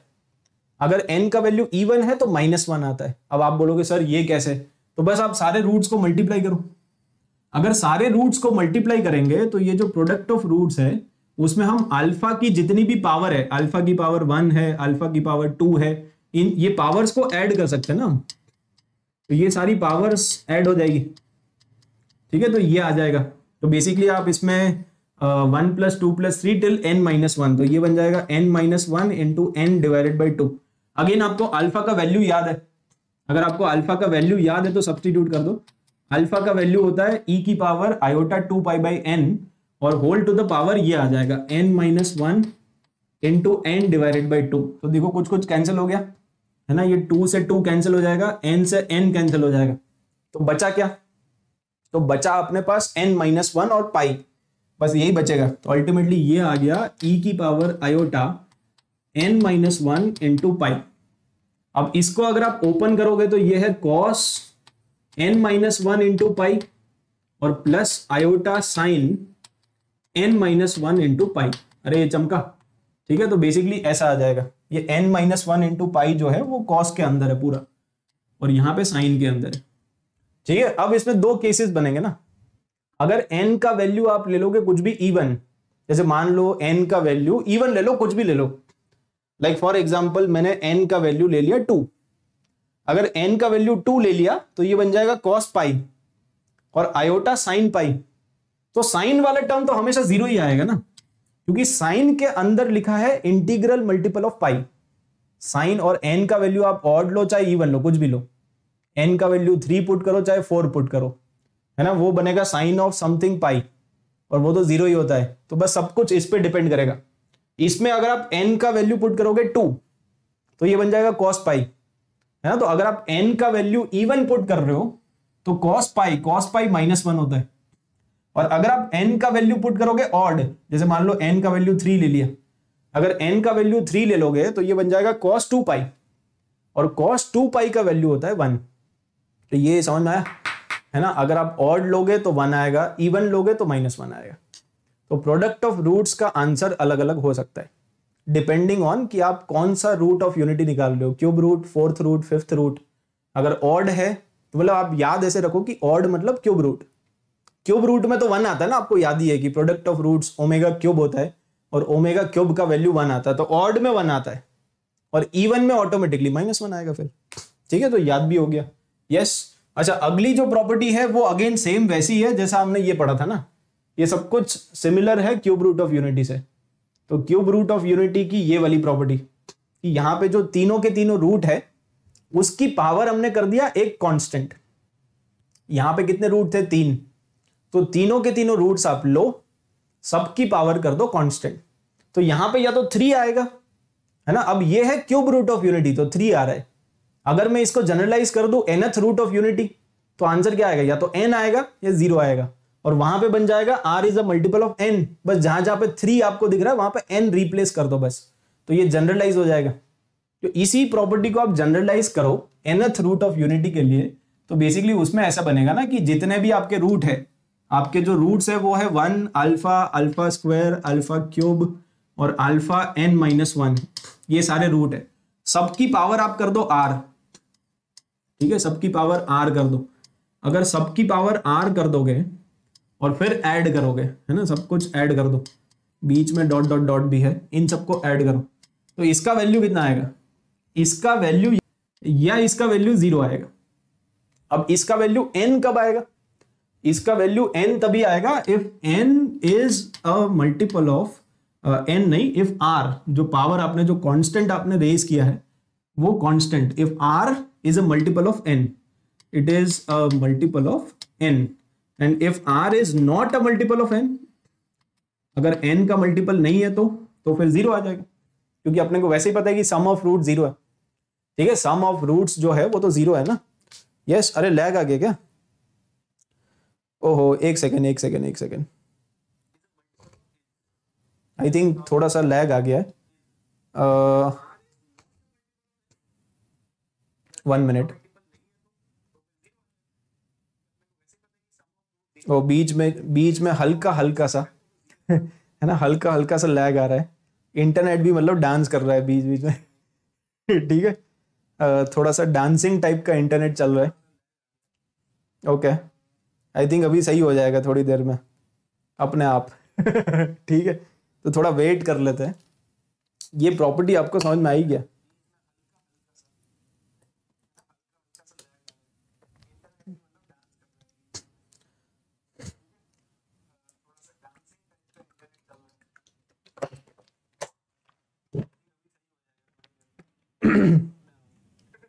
अभी ठीक है ना? ओके, इसको रिपीट कर देते हैं। हाँ ठीक है, ये वाली जो प्रॉपर्टी है, ये वैसी है जैसे ये वाली प्रॉपर्टी आप इसको देख लो मतलब।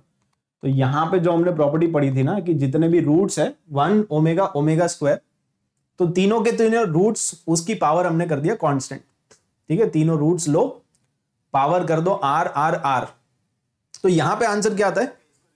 यहाँ पे आपका आंसर आता है या तो थ्री या ज़ीरो है ना? या तो थ्री आएगा या ज़ीरो आएगा। थ्री कब आएगा?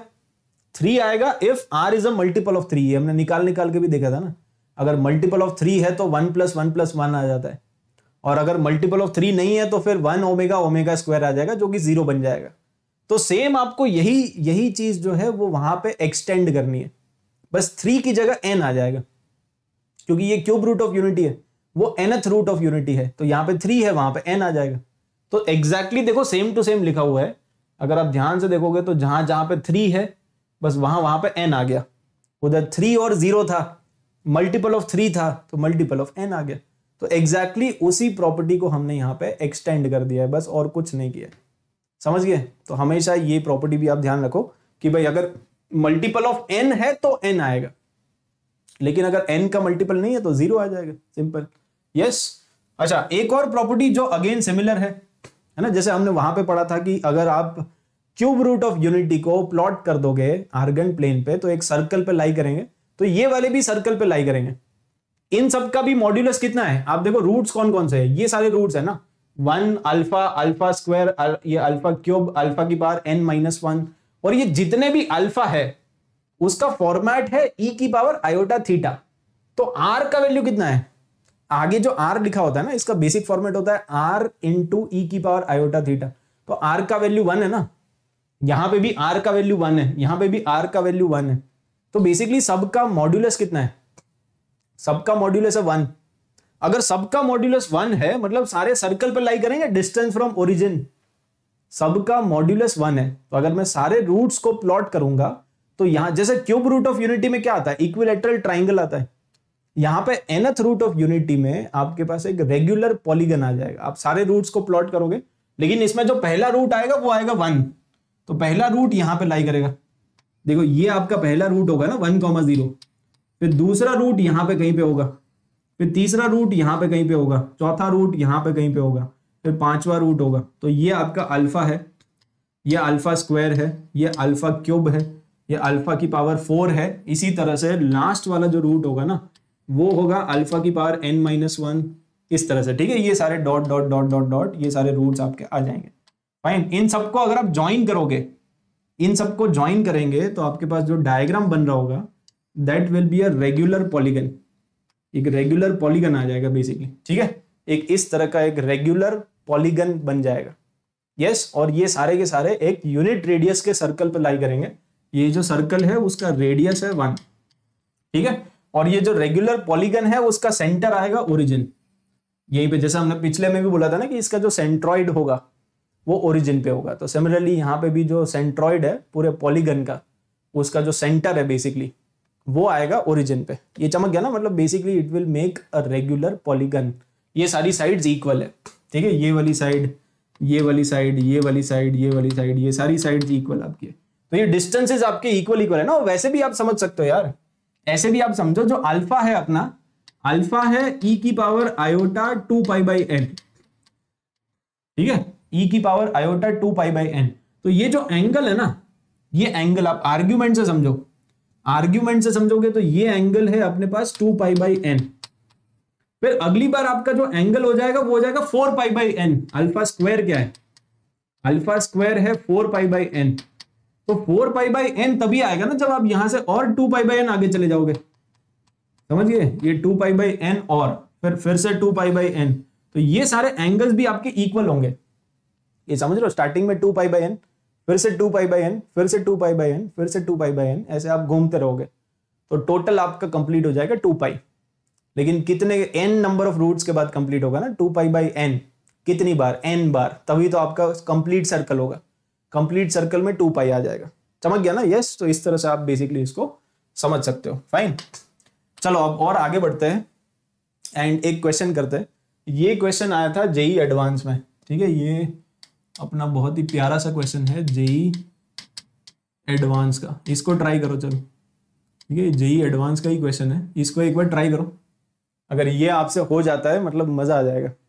अच्छा सबसे पहले तो आप यहाँ पे देखो, मैंने आपको कुछ सिखाया था। है ना? यहाँ पे सिग्मा के अंदर क्या लिखा हुआ है? आपको क्या चमक रहा है? पहले ये बताओ। चलो चैट में लिखो एक बार फटाफट। क्वेश्चन को देखते ही आपको दिख रहा है sine theta plus iota sine theta minus iota cos theta sine theta minus iota cos theta है ये। ये cos theta minus iota sine theta नहीं है। तो इसको देखते ही कुछ आपको चमक रहा रहेगा जो हमने पढ़ा था। हमने क्या पढ़ा था? यहाँ पे आपको खुद से आइडिया आ रहा है कि नहीं? आपको खुद से आइडिया आ रहा है कि sine theta minus iota cos theta है। ये cos theta minus iota sine theta नहीं है। साइन माइनस आयोटा कॉस है। तो क्या करना पड़ेगा? अपना चालाकी। यस, अपनी चालाकी क्या है? अपना ब्रह्मास्त्र वाली चालाकी। तो यहाँ पे जो वन लिखा हुआ है, उसको आप लिख दोगे माइनस आयोटा स्क्वायर। ठीक है? साइन का जो कोइफिशिएंट है, वो वन है।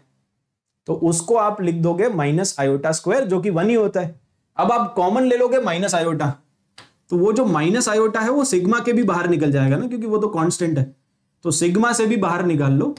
के इक्वल टू वन से लेके twelve okay k equal to one से लेके ट्वेल्व ठीक है? और अंदर क्या बचेगा? माइनस आयोटा आपने कॉमन ले लिया। तो माइनस आयोटा कॉमन ले लिया तो यहाँ पे बचेगा cos theta okay cos theta और यहाँ पे आपने माइनस आयोटा कॉमन ले लिया।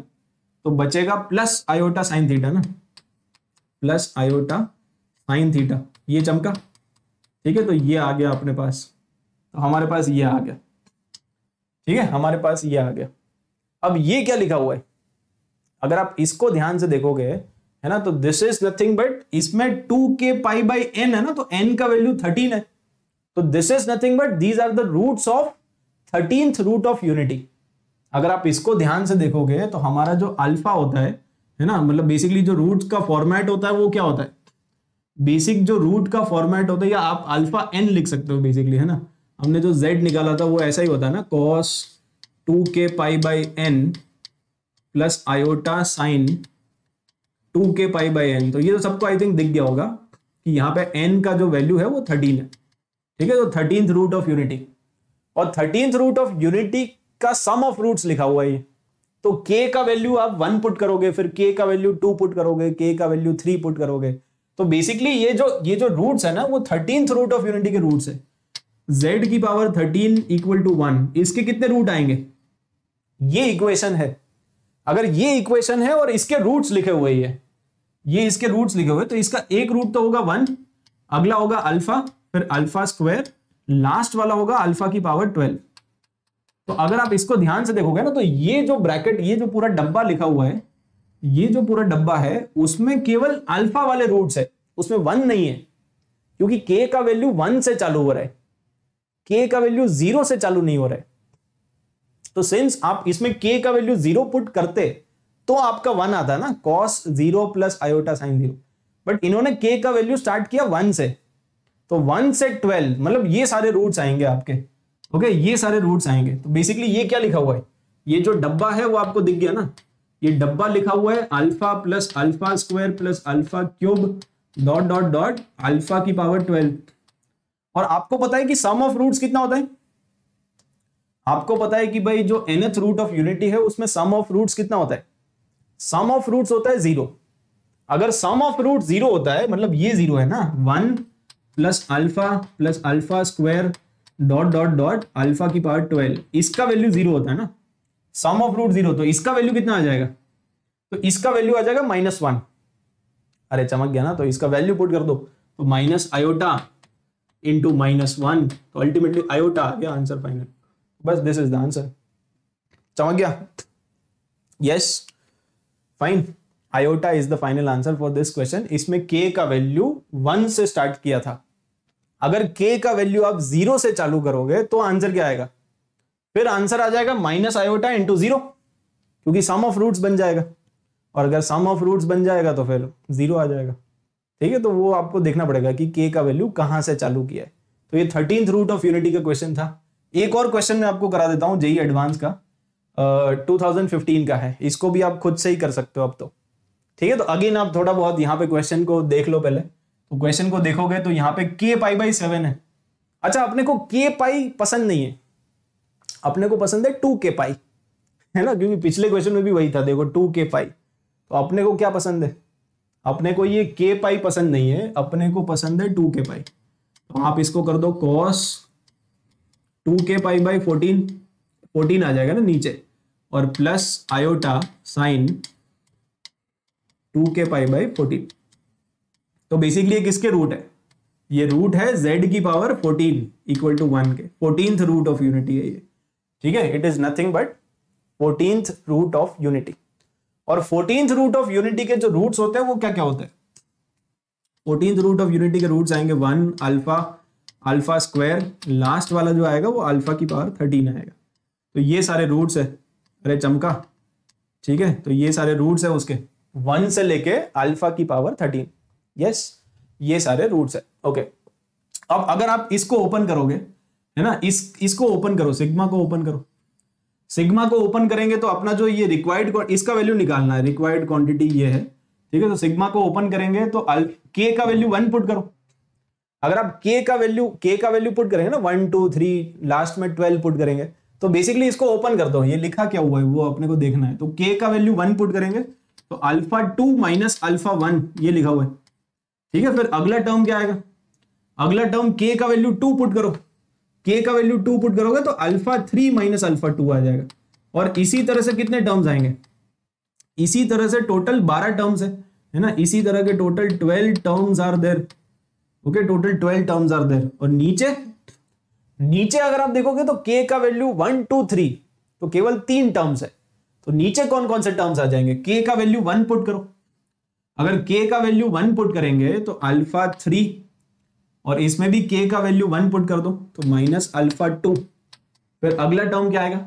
अगला टर्म जो आएगा के का वैल्यू टू पुट कर दो। तो के का वैल्यू टू पुट कर दोगे तो अल्फ़ा सेवन और इसमें अल्फ़ा सिक्स और यहाँ पे नेक्स्ट के का वैल्यू थ्री पुट कर दो। तो के का वैल्यू थ्री पुट कर दोगे तो अल्फ़ा इलेवन और माइनस अल्फ़ा टेन ये आ गया ना मतलब बेसिकली नीचे कितने टर्म्स आएँगे? तीन। और ऊपर कितने टर्म्स आएँगे? बारह। ओके अब अगर आप ध्यान से देखोगे तो हमने ये पढ़ा था कि ये जो सारे रूट्स होते हैं, वो बेसिकली एक रेगुलर पॉलीगन बनाते इनका डायग्राम बना लो डायग्राम से आपको चमक जाएगा। बेसिकली देखो, ये एक सर्कल बनाओगे आप। तो मान लेते हैं कि हमारे पास एक यूनिट रेडियस का सर्कल है। ठीक है so this is the circle और ये सर्कल के ऊपर लाई करेंगे सारे रूट्स पहला रूट आएगा यहाँ पे वन दूसरा रूट यहाँ पे आएगा अल्फ़ा या अल्फ़ा वन आप उसको बोल दो। दूसरा रूट यहाँ पे आएगा अल्फ़ा टू फिर यहाँ पे आएगा अल्फ़ा थ्री और इसी तरह से आपके सारे रूट्स आते जाएँगे, ठीक है? इसी तरह से अल्फ़ा फोर आएगा अल्फ़ा फाइव आएगा अल्फ़ा सिक्स आएगा। ये सारे रूट्स है। Alpha four alpha five alpha six इसी तरह से टोटल कितने रूट्स है? टोटल फोर्टीन रूट्स है मतलब है ना? फोर्टीन रूट ऑफ़ यूनिटी है ना? अब हमने ये पढ़ा था कि ये बेसिकली डायग्राम क्या बनेगा? डायग्राम बनेगा रेगुलर पॉलीगन तो इनको अगर आप ज्वाइन करोगे तो it is nothing but it is a regular polygon okay it is regular polygon अगर रेगुलर पॉलीगन है तो ये सारी डिस्टेंसेस इक्वल है। और ये डिस्टेंस ही तो है। ये दो Z2 माइनस जेड का मॉड क्या रिप्रेजेंट करता है? Z2 माइनस जेड का mod so this is nothing but this represents the distance between two complex numbers alpha two और अल्फ़ा वन तो अल्फ़ा टू और अल्फ़ा वन कहाँ कहाँ पे है? अल्फ़ा टू यहाँ पे है। अल्फ़ा वन यहाँ पे है। तो डिस्टेंस बिटवीन देम तो डिस्टेंस इज़ नथिंग बट ये तो इस साइड ऑफ़ द पॉलीगन आप ए मान लो। तो ये जो साइड ऑफ़ द पॉलीगन है, उसको मैंने ए मान लिया। तो ये क्या लिखा हुआ है? ये ए लिखा हुआ है। ये भी क्या लिखा हुआ है? ए अगला वाला भी क्या है? ए तो ये ए कितनी बार है? ये बारह बार है ट्वेल्व इंटू ए और नीचे क्या लिखा हुआ है? नीचे अगर आप देखोगे तो यहाँ पे भी कॉन्जिक्यूटिव है। थ्री और टू सेवन और सिक्स और इलेवन और टेन समझ गया ना? तो ये भी कॉन्जिक्यूटिव है। Alpha three minus alpha two क्या रिप्रेजेंट करेगा? Alpha three minus alpha two ये वाली डिस्टेंस और ये वाली डिस्टेंस है। ए तो ये सारी डिस्टेंस भी सेम है ना? ये भी यहाँ पे आ जाएगा थ्री ए तो ये ए से ए कैंसिल हो गया अल्टीमेटली आंसर आपका फोर आ गया। तो अगर आप ज्योमेट्री से बस देख लोगे, ठीक है? बस इसमें देखना था। बस आपको ये देखना था कि ऊपर बारह टर्म्स है, नीचे तीन है तो twelve by three twelve by three four बस इतना ही करना था। बाकी सब तो आप दिमाग में कर सकते हो। इसको तो आप विजुलाइज कर सकते हो ना कि भाई ये बेसिकली डिस्टेंस ही तो है। और डिस्टेंस इक्वल होती है, आपको प्रॉपर्टी पता है। If the distance is equal तो अल्टीमेटली आपका आंसर आ गया। ठीक है? यस ये क्लियर है एकदम। इसमें किसी को कोई दिक्कत कोई दिक्कत नहीं है। Yes now break please okay तो अब फाइनली वैसे भी अपना जो अगला टॉपिक है, वो अगला टॉपिक नहीं है। वो अगला चैप्टर है। ठीक है? तो अगर आप मतलब बेसिकली अगर आपने कॉम्प्लेक्स नंबर कहीं पे भी पढ़ा हुआ है तो आपको पता होगा कि ज्योमेट्री ऑफ़ कॉम्प्लेक्स नंबर अपने आप में एक अलग चैप्टर है। ठीक है तो ये ये भी काफ़ी इसमें काफ़ी कुछ है सीखने का है ना? तो एक छोटा सा ब्रेक ले लेते हैं। उसके बाद अपना अगला जो पोर्शन है वो चा, चालू करेंगे which is geometry of complex numbers basically geometry of complex numbers के बारे में थोड़ा बहुत मैं आपको बता देता हूँ है ना? ज्योमेट्री ऑफ़ कॉम्प्लेक्स नंबर्स में आप सब कुछ पढ़ोगे जो आपने कोऑर्डिनेट ज्योमेट्री में पढ़ा है। जैसे कि स्ट्रेट लाइन की इक्वेशन कैसे लिखते हैं? कॉम्प्लेक्स नंबर्स में। अभी तो आपको मतलब रियल दुनिया में आता है ना। कॉम्प्लेक्स दुनिया में स्ट्रेट लाइन की इक्वेशन कैसे दिखती है? कॉम्प्लेक्स दुनिया में सर्कल कैसे दिखते हैं? कॉम्प्लेक्स दुनिया में इलिप्स हाइपरबोला पैराबोला ये कैसे दिखते हैं? है ना? और कॉम्प्लेक्स दुनिया में बेसिकली सर्कल में जो major arc minor arc semi circle ये सारी चीज़ों की इक्वेशन कैसे लिखते हैं? स्ट्रेट लाइन की इक्वेशन कैसे लिखते हैं? है ना? किसी एक पॉइंट का रिफ्लेक्शन कैसे निकालते हैं स्ट्रेट लाइन में? कॉम्प्लेक्स दुनिया में। तो ये सारी चीज़ें हम पढ़ने वाले हैं। यस कितना बचा है? बचा तो बहुत है। ठीक है तो अभी अप्रोक्सीमेटली दो घंटे और लगेंगे आफ्टर द ब्रेक है ना? अप्रोक्स दो घंटे तो मान के ही चलो। यस yes, तो काफ़ी बड़ा चैप्टर है। बट आई थिंक सबको मज़ा आ रहा होगा काफ़ी इंटरेस्टिंग भी है और ज्योमेट्री ऑफ़ कॉम्प्लेक्स नंबर से ही मैक्सिमम क्वेश्चन आता है। मतलब जेई में। ठीक है तो इसको मिस मत करना। और exactly after twenty five minutes सब लोग आ जाना। ठीक है तो ब्रेक को फटाफट से स्टार्ट कर देते हैं। ज्योमेट्री ऑफ़ कॉम्प्लेक्स नंबर से हम चालू करेंगे। यस तो एक ब्रेक ले लो और मिलते हैं ब्रेक के बाद। ठीक है? चलो तो ठीक है? ओके चलो तो फटाफट इसको शेयर भी कर देना ठीक है? लेक्चर को शेयर कर देना चैनल को सब्सक्राइब कर लेना एंड डेफिनेटली uh, आप यहाँ पे फटाफट जैसे ही ये टाइमर खत्म होता है तो आ जाना। ठीक है? ओके चलो।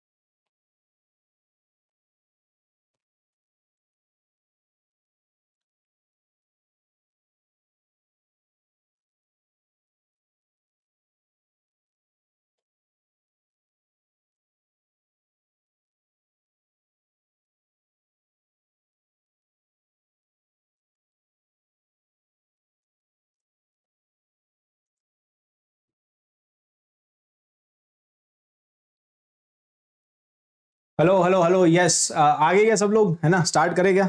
एक बार फटाफट थम्स अप बना दो चैट में, है ना कौन कौन आ चुका है आफ्टर द ब्रेक तो स्टार्ट करते हैं ज्योमेट्री ऑफ़ कॉम्प्लेक्स नंबर से स्टार्ट करेंगे। ये अपने आप में एक अलग चैप्टर है, ठीक है ज्योमेट्री ऑफ़ कॉम्प्लेक्स नंबर तो इसमें हम वो सब कुछ पढ़ेंगे जो हम कोऑर्डिनेट ज्योमेट्री में पढ़ चुके हैं। स्ट्रेट लाइन की इक्वेशन सर्कल की इक्वेशन है ना circular arc major arc minor arc वो सारी डिस्कशन अपने को करनी है। यस यस यस चलो तो स्टार्ट करें। फाइन मेरे ख्याल से सब लोग आ चुके हैं, है ना? आई थिंक इतने सारे थम्स अप अपने को चैट में दिख रहे हैं। चलो स्टार्ट करते हैं। ज्योमेट्री ऑफ़ कॉम्प्लेक्स नंबर आप हेडिंग डाल लो। अगला जो हेडिंग है, और सुपर इंपॉर्टेंट है। आई थिंक अगर आप मैक्सिमम क्वेश्चंस देखोगे ना, जेई मेन और एडवांस के तो मैक्सिमम क्वेश्चन यहीं से बनते हैं ज्योमेट्री ऑफ़ कॉम्प्लेक्स नंबर तो आपको इक्वेशन देख के पहचानना आना चाहिए कि भाई हाँ ये इक्वेशन सर्कल की है। ये इक्वेशन स्ट्रेट लाइन की है। ठीक है, ये इक्वेशन इलिप्स की है, ये इक्वेशन हाइपरबोला की है। तो वो आपको देख के पहचानना आना चाहिए, है ना? तो वही हम सीखने वाले हैं ज्योमेट्री ऑफ़ कॉम्प्लेक्स नंबर में, जो कि आप अपना अगला जो हेडिंग है उसको डाल लो। एंड सबसे पहले अपना जो डिस्कशन है, एकदम बेसिक से स्टार्ट करते हैं, एक बार फिर से रिवाइज कर लेते हैं डिस्टेंस फॉर्मूला तो डिस्टेंस फॉर्मूला वैसे तो हम पढ़ चुके हैं, है ना? डिस्टेंस फॉर्मूला हमने यही पढ़ा था कि अगर एक कॉम्प्लेक्स नंबर है जेड वन और दूसरा कॉम्प्लेक्स नंबर है जेड टू तो उन दोनों के बीच में अगर मुझे डिस्टेंस निकालना है तो ये डिस्टेंस हम कैसे निकाल सकते हैं?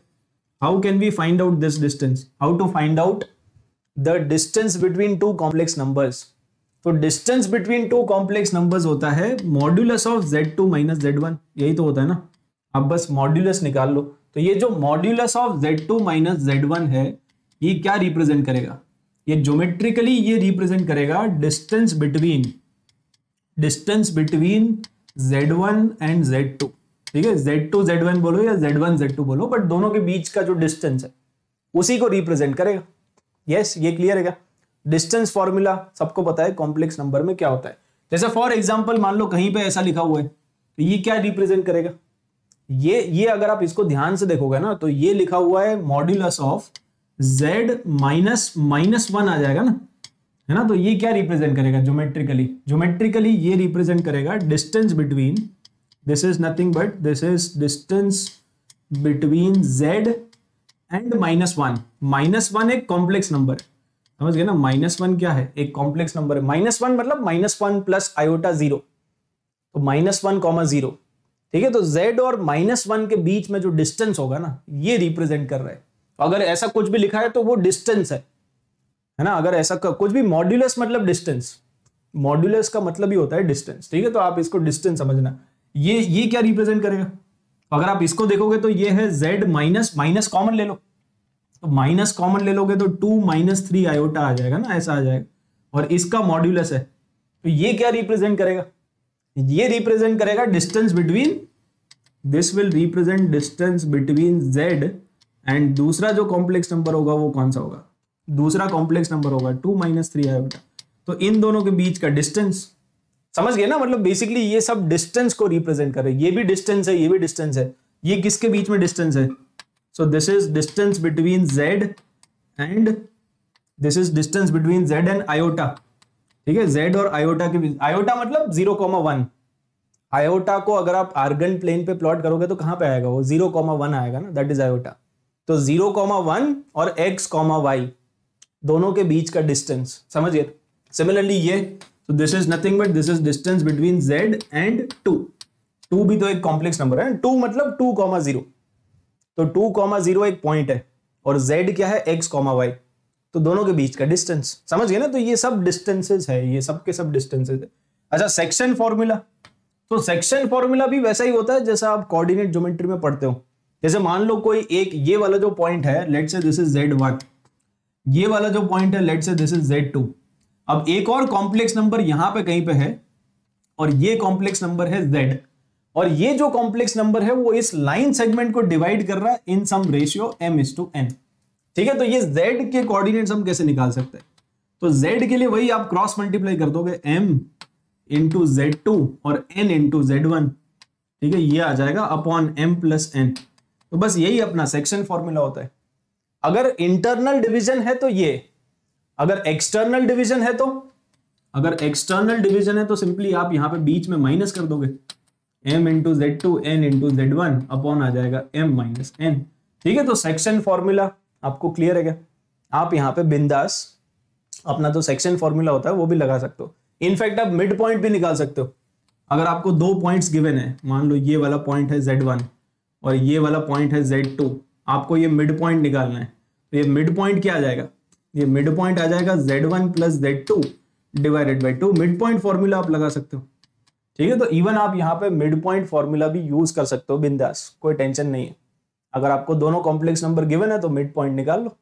Z one plus z two divided by two आ जाएगा। ठीक है तो ये सेक्शन फॉर्मूला आप आराम से लगा सकते हो।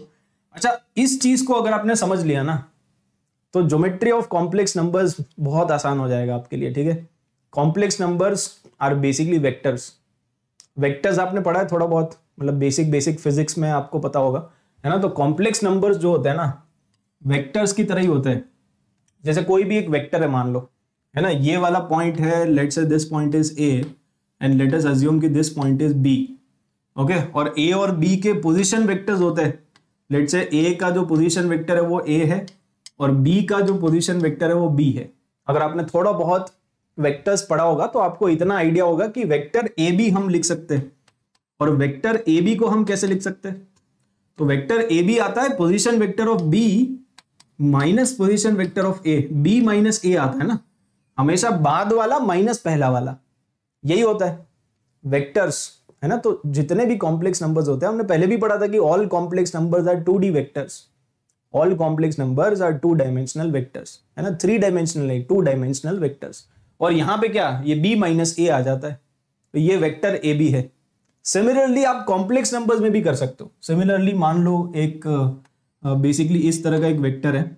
ये वाला जो पॉइंट है लेट्स से दिस इज़ जेड वन है ना? ये पॉइंट है ए और ए को रिप्रेजेंट कर रहा है जेड वन और ये पॉइंट है बी बी को रिप्रेजेंट कर रहा है जेड टू मतलब बेसिकली आपको कॉम्प्लेक्स नंबर्स गिवन होंगे ना। लाइक फॉर एग्ज़ाम्पल मान लो ये वाला कॉम्प्लेक्स नंबर आपको गिवन है टू प्लस आयोटा तो ये जेड क्या हो? ये टू कॉमा वन हो गया।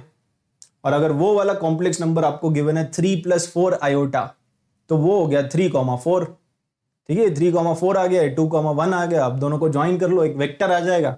और वो वेक्टर कैसे निकालेंगे? ये जो वेक्टर ए बी है, उसको निकालने के लिए आप सिंपल वही करोगे फिर से, है ना? Z two minus z one तो z two minus z one आ जाएगा हमेशा। तो हमेशा यही होता है, बाद वाला माइनस पहले वाला। ओके? तो बाद वाला कौन सा है? बाद वाला है जेड टू और फिर पहले वाला कौन सा है? जेड वन ठीक है तो हमेशा यही होता है बी माइनस ए यहाँ पे भी आप देख लो बी माइनस ए तो बाद वाला माइनस पहले वाला। मतलब जो भी वेक्टर का हेड है ना हेड माइनस टेल आएगा। तो ये हेड माइनस टेल हेड और टेल आपको पता है ना? जहाँ पे एरो होता है तो जो एरो है, वो हेड है। और यहाँ पे ये टेल है, जहाँ से वो स्टार्ट हो रहा है। जहाँ से स्टार्ट हो रहा है, वो टेल है। या आप ऐसे समझ सकते हो कि फाइनल माइनस इनिशियल यहाँ से ओरिजिनेट हो रहा है ना वेक्टर यहाँ से ऐसे निकला और फिर ऐसे गया। कहाँ पे गया? वहाँ पहुँचा। तो ये फाइनल माइनस इनिशियल तो final minus initial head minus tail या बाद माइनस पहला। कैसे भी आप समझ लो। But ultimately all complex numbers are like vectors ठीक है? ये आप जितना जल्दी समझ जाओगे ना, उतनी चीज़ें आसान हो जाएगी। अब देखो, इसी को यूज़ करके हम यहाँ पे पढ़ने वाले हैं अपना अगला concept which is the concept of rotation है ना? इसमें आई थिंक काफ़ी लोगों को दिक्कत आती होगी। इसको एकदम सिंप्लीफाई कर दिया। इसको एकदम सिंप्लीफाई कर देते हैं। ठीक है? देखो, इसको समझो पहले तो आप, ठीक है? कॉन्सेप्ट ऑफ़ रोटेशन को आप समझो। इसमें आपको वेक्टर्स यूज़ करने पड़ेंगे। मतलब बेसिकली इसमें कॉन्सेप्ट इतना ही है कि एक वेक्टर है। इस वेक्टर को हमने रोटेट कर दिया। एक दूसरा वेक्टर आ गया। और ये वेक्टर और ये वेक्टर जो है, उसका लेंथ भी चेंज हो रहा है। तो हम केवल रोटेट नहीं कर रहे। हम रोटेट तो कर ही रहे। उसके साथ साथ उसका जो मैग्नीट्यूड है, उसको भी इंक्रीज कर रहे तो ब्लू वाला जो वेक्टर वो छोटा है और रेड वाला जो वेक्टर वो थोड़ा बड़ा है। ठीक है तो बेसिकली हम यहाँ पे रोटेशन तो कर ही रहे साथ साथ उसका जो मैग्नीट्यूड है, उसका जो लेंथ है, वो भी हम इंक्रीज कर रहे हैं। अच्छा एक चीज़ और आप यहाँ पे बता दो। अगर ये वेक्टर है, ठीक है, अगर ये वेक्टर है तो आपने ये भी पढ़ा था ना कि हम इस वेक्टर का मैग्नीट्यूड निकाल सकते हैं और जो मैग्नीट्यूड होता है, वही होता है लेंथ ऑफ़ द एरो है ना? जो मैग्नीट्यूड होता है, वही इस एरो का लेंथ होता है। मतलब बेसिकली मान लो एक वेक्टर है जिसका मैग्नी वेक्टर का मैग्नीट्यूड होता है डायरेक्शन होता है। तो डायरेक्शन तो ये वाला है है ना? दिस इज़ द डायरेक्शन और इसका जो मैग्नीट्यूड होगा लेटेस्ट अज्यूम की एक ए बी वेक्टर है जिसका मैग्नीट्यूड है फाइव तो फाइव का क्या मतलब? मतलब वो जो एरो है, उसका लेंथ होगा फाइव यूनिट्स तो सिमिलरली यहाँ पे जो मैग्नीट्यूड है, ये कैसे निकालेंगे? ये लेंथ ऑफ़ द एरो कैसे निकालेंगे? तो लेंथ ऑफ़ द एरो होता है z two minus z one यही तो होगा, इसका मैग्नीट्यूड इसका मॉड्यूलस ठीक है, अपने को पता है कि दो कॉम्प्लेक्स नंबर के बीच में डिस्टेंस कैसे निकालते हैं। तो दो कॉम्प्लेक्स नंबर के बीच में डिस्टेंस कैसे निकालते हैं? Z two minus z one का मॉड्यूलस मतलब बेसिकली आप यहाँ पे बोल सकते हो मैग्नीट्यूड ऑफ़ वेक्टर या फिर मॉड्यूलस ऑफ़ कॉम्प्लेक्स नंबर इन दोनों से अपना काम चल जाएगा ना। है ना? यहाँ पे अगर आप देखोगे वेक्टर्स में तो बेसिकली उसका मैग्नीट्यूड होता है। और कॉम्प्लेक्स नंबर में देखोगे तो उसका मॉड्यूलस होता है। बट अल्टीमेटली दोनों एक ही चीज़ है।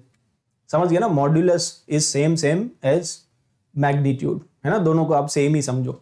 तो बेसिकली ये जो लेंथ ऑफ़ द एरो है ना that is nothing but that is z two minus z one उस तरह से आप इसको इमेजिन कर सकते हो।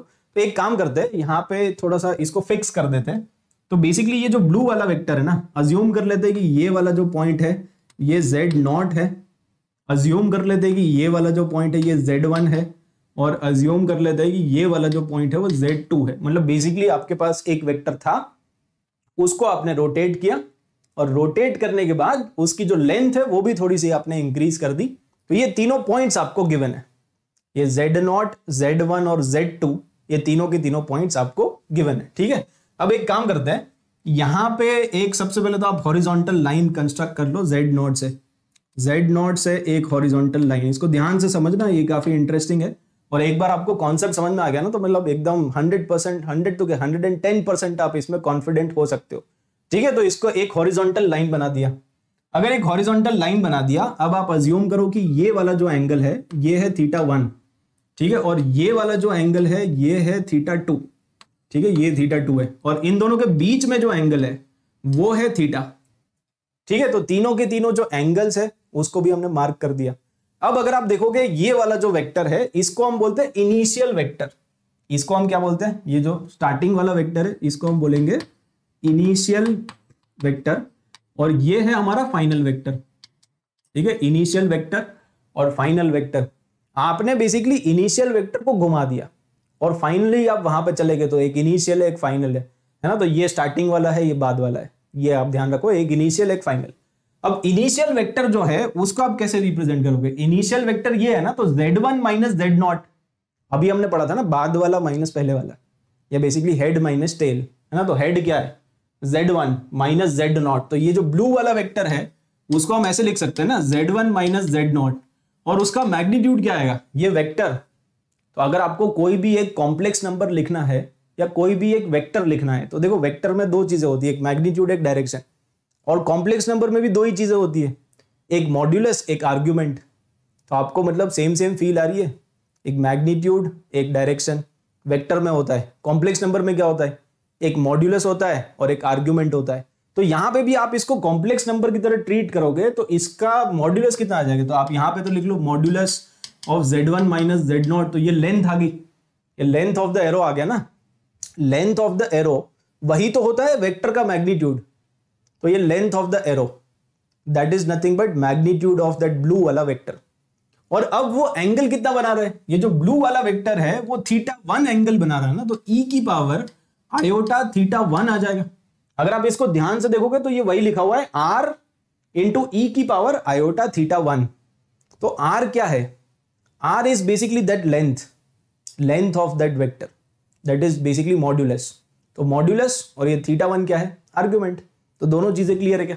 अब सिमिलरली जो फाइनल वाला वेक्टर है तो जो फाइनल वाला वेक्टर है, वो आपका है Z2 two minus Z naught है ना? Final minus initial head minus tail तो हेड माइनस टेल और उसका लेंथ कितना आएगा? उसका मॉड्यूलस कितना आएगा? तो वहाँ पे आ जाएगा z two minus z naught का मॉड्यूलस और ई e की पावर उसका आर्ग्यूमेंट कितना है? कितना एंगल बना रहा है वो? वो कितना एंगल बना रहा है? थीटा टू एंगल बना रहा है। तो ये दूसरी इक्वेशन आ गई। और दोनों इक्वेशन को डिवाइड कर दो। मतलब basically equation two divided by equation one कर दो। तो जैसे ही आप इक्वेशन टू और वन को डिवाइड करोगे, है ना, ये इक्वेशन टू और ये इक्वेशन वन यहाँ पे आ जाएगा equation two divided by equation one ठीक है इक्वेशन टू और वन को डिवाइड करना है। तो इक्वेशन टू में है ई e की पावर आयोटा थीटा टू और नीचे है ई e की पावर आयोटा थीटा वन तो बेसिकली इन दोनों को क्लब कर लो। तो अगर इन दोनों को क्लब कर लेंगे तो क्या आ जाएगा? इन दोनों को क्लब कर लोगे तो आपके पास आ जाएगा ई e की पावर आयोटा और theta two minus theta one और theta two minus theta one कितना है? डायग्राम से देखो। Theta two minus theta one तो वो तो थीटा है। तो उसको आप सिंपली यहाँ पे सब्सटीट्यूट कर सकते हो थीटा तो z two minus z naught upon z one minus z naught ये आ जाएगा magnitude z two minus z naught upon z one minus z naught और e की पावर आयोटा थीटा तो बस यही आपका बेसिकली एक फॉर्मूला बन गया, जिसको हम बोलते हैं कॉन्सेप्ट ऑफ़ रोटेशन मतलब ये इनिस ये फाइनल वेक्टर ये इनिशियल वेक्टर इसको आप याद ऐसे रखो, देखो। याद करने का तरीका ये, याद करने का तरीका क्या ये फाइनल वेक्टर है। अब याद ऐसे रखोगे फाइनल डिवाइडेड बाय इनिशियल ये क्या है? ये फाइनल और इनिशियल वेक्टर्स है। ठीक है? Final divided by initial vector फिर यहाँ पे आएगा मैग्नीट्यूड ऑफ़ फाइनल और यहाँ पे आएगा मैग्नीट्यूड ऑफ़ इनिशियल अब कभी कभी ऐसा भी होता है कि फाइनल वेक्टर और इनिशियल वेक्टर का मैग्नीट्यूड सेम है। मतलब आपने केवल रोटेशन किया है। मतलब ये वेक्टर था और इसको रोटेट कर दिया बस। आपने मैग्नीट्यूड चेंज नहीं किया। तो उस केस में ये दोनों कैंसिल हो जाएँगे। भाई अल्टीमेटली ये वेक्टर है, उसको आपने केवल रोटेट किया। अगर केवल रोटेट करोगे तो इसका लेंथ आपने चेंज नहीं किया ना। अगर लेंथ चेंज नहीं किया तो ये दोनों कैंसिल हो जाएँगे। दोनों लेंथ सेम है। Length of the final vector, length of the initial vector same है तो वो कैंसिल हो जाएगा। और यहाँ पे आता है ई e की पावर आयोटा थीटा और ये जो थीटा है ना, वो आपको हमेशा लेना होता है एंटी क्लॉकवाइज में। अगर एंटी क्लॉकवाइज है तो ही वो पॉजिटिव आएगा। अगर क्लॉकवाइज में अगर आप ले लोगे ना तो फिर आपको नेगेटिव लेना पड़ेगा। तो ये कन्वेंशन भी आप ध्यान रखना। ये जो थीटा है, यहाँ पे अगर आप ध्यान से देखोगे तो हमने थीटा लिया है एंटी क्लॉकवाइज डायरेक्शन में। ये कौन सा डायरेक्शन है? एंटी क्लॉकवाइज डायरेक्शन है तो हमने सिंस यहाँ पे एंटी क्लॉकवाइज लिया है इसीलिए पॉजिटिव आ रहा है। अगर आप क्लॉकवाइज ले लोगे तो नेगेटिव लेना पड़ेगा। तो थीटा का वैल्यू आपको वो देख के सब्सटीट्यूट करना है। अगर एंटी क्लॉकवाइज है तो पॉजिटिव अगर क्लॉकवाइज है तो नेगेटिव है ना? तो बेसिकली ये आपका कॉन्सेप्ट बन जाएगा। दिस इज़ द कॉन्सेप्ट यही रोटेशन का यही कॉन्सेप्ट है ठीक है? तो ये आपको समझ में आ गया? यस yes, ये एकदम मतलब क्रिस्टल क्लियर है। इस, इसका एप्लीकेशन भी अभी हम देखेंगे है ना? कि इसको अप्लाई कैसे करते हैं क्वेश्चंस में। बट यहाँ तक तो आपको क्लियर है, ठीक है? और इसको थोड़ा डिटेल में समझते हैं। अच्छा इसको डिटेल में समझने से पहले कुछ स्पेशल केसेस है, और ये जो स्पेशल केसेस है ना, इसी पे ज़्यादा क्वेश्चन आते हैं। तो ये काफ़ी इंपॉर्टेंट है, इसको ध्यान से समझना। ये जो स्पेशल केसेस है ना, क्योंकि कॉन्सेप्ट ऑफ़ रोटेशन बहुत ही कॉम्प्लेक्स सा कॉन्सेप्ट है, ठीक है? तो उस पर क्वेश्चन बहुत कम बनते हैं। बट हाँ मैक्सिमम क्वेश्चन आपके बनेंगे स्पेशल केसेस पे। अब स्पेशल केसेस क्या है? स्पेशल केसेस ये है कि अगर आपके पास मान लो कोई भी एक कॉम्प्लेक्स नंबर है, कोई भी एक जनरल सा कॉम्प्लेक्स नंबर आप ले लो तो जनरल सा कॉम्प्लेक्स नंबर में यूलर फॉर्म में अज्यूम कर रहा हूँ, ठीक है? एक एक तरीका तो हो सकता है कि भाई मैं कॉम्प्लेक्स नंबर को अज्यूम कर लू x plus i y but x plus i y लेने का मन नहीं है। हमारा मन है यूलर फॉर्म में लेने का। तो हमने यूलर फॉर्म में एक कॉम्प्लेक्स नंबर को अज्यूम कर लिया। एक जनरल कोई भी एक कॉम्प्लेक्स नंबर है, जो कि कहीं पे भी हो सकता है सर्कल के ऊपर, ठीक है? सर्कल ऑफ़ रेडियस आर होगा ना? ये जो रेडियस होगा वो आर होगा, क्योंकि उसका जो मैग्नीट्यूड है वो आर है। और मैग्नीट्यूड क्या रिप्रेजेंट करता है? डिस्टेंस फ्रॉम ओरिजिन तो वो जो कॉम्प्लेक्स नंबर जेड है, उसका डिस्टेंस फ्रॉम ओरिजिन कितना है? उसका डिस्टेंस फ्रॉम ओरिजिन है आर और वो एंगल कितना बना रहा है? वो एंगल बना रहा है थीटा इसका तो यही मतलब हुआ ना? है ना? इसका सिंपल यही मतलब हुआ कि ये एंगल थीटा है और डिस्टेंस कितना है आर फ्रॉम ओरिजिन तो ये एक जनरल सा मैंने जेड ले लिया। Which is a general complex number अब इस कॉम्प्लेक्स नंबर को अगर आप मल्टीप्लाई करोगे माइनस वन से तो देखो माइनस ये जितने भी है ना, अगर आप माइनस वन से मल्टीप्लाई करोगे तो बेसिकली ये जो कॉम्प्लेक्स नंबर है, वो रोटेट हो जाएगा by an angle of 180 degree इसमें रोटेट हो जाएगा बाई 90 डिग्री इसमें रोटेट हो जाएगा बाई माइनस नाइनटी डिग्री उसमें रोटेट होगा बाई 120 डिग्री और उसमें रोटेट हो जाएगा बाई माइनस वन डिग्री अब ऐसा क्यों होता है? सबसे पहले तो आप ये समझो कि ये जितने भी कॉम्प्लेक्स नंबर्स आपको दिख रहे हैं ना जिससे हम मल्टीप्लाई कर रहे हैं, उन सब का मैग्नीट्यूड वन है। देखो माइनस वन का मैग्नीट्यूड क्या होता है? माइनस वन मतलब minus one plus iota zero तो उसका मैग्नीट्यूड उसका मॉड्यूलस कितना आएगा? उसका मॉड्यूलस आएगा वन फिर आयोटा आयोटा का मतलब ज़ीरो प्लस वन आयोटा तो उसका भी मॉड्यूलस कितना आएगा? वन तो सबका मॉड्यूलस वन आएगा इवन ओमेगा ओमेगा का जो मॉड्यूलस होता है, वो कितना होता है?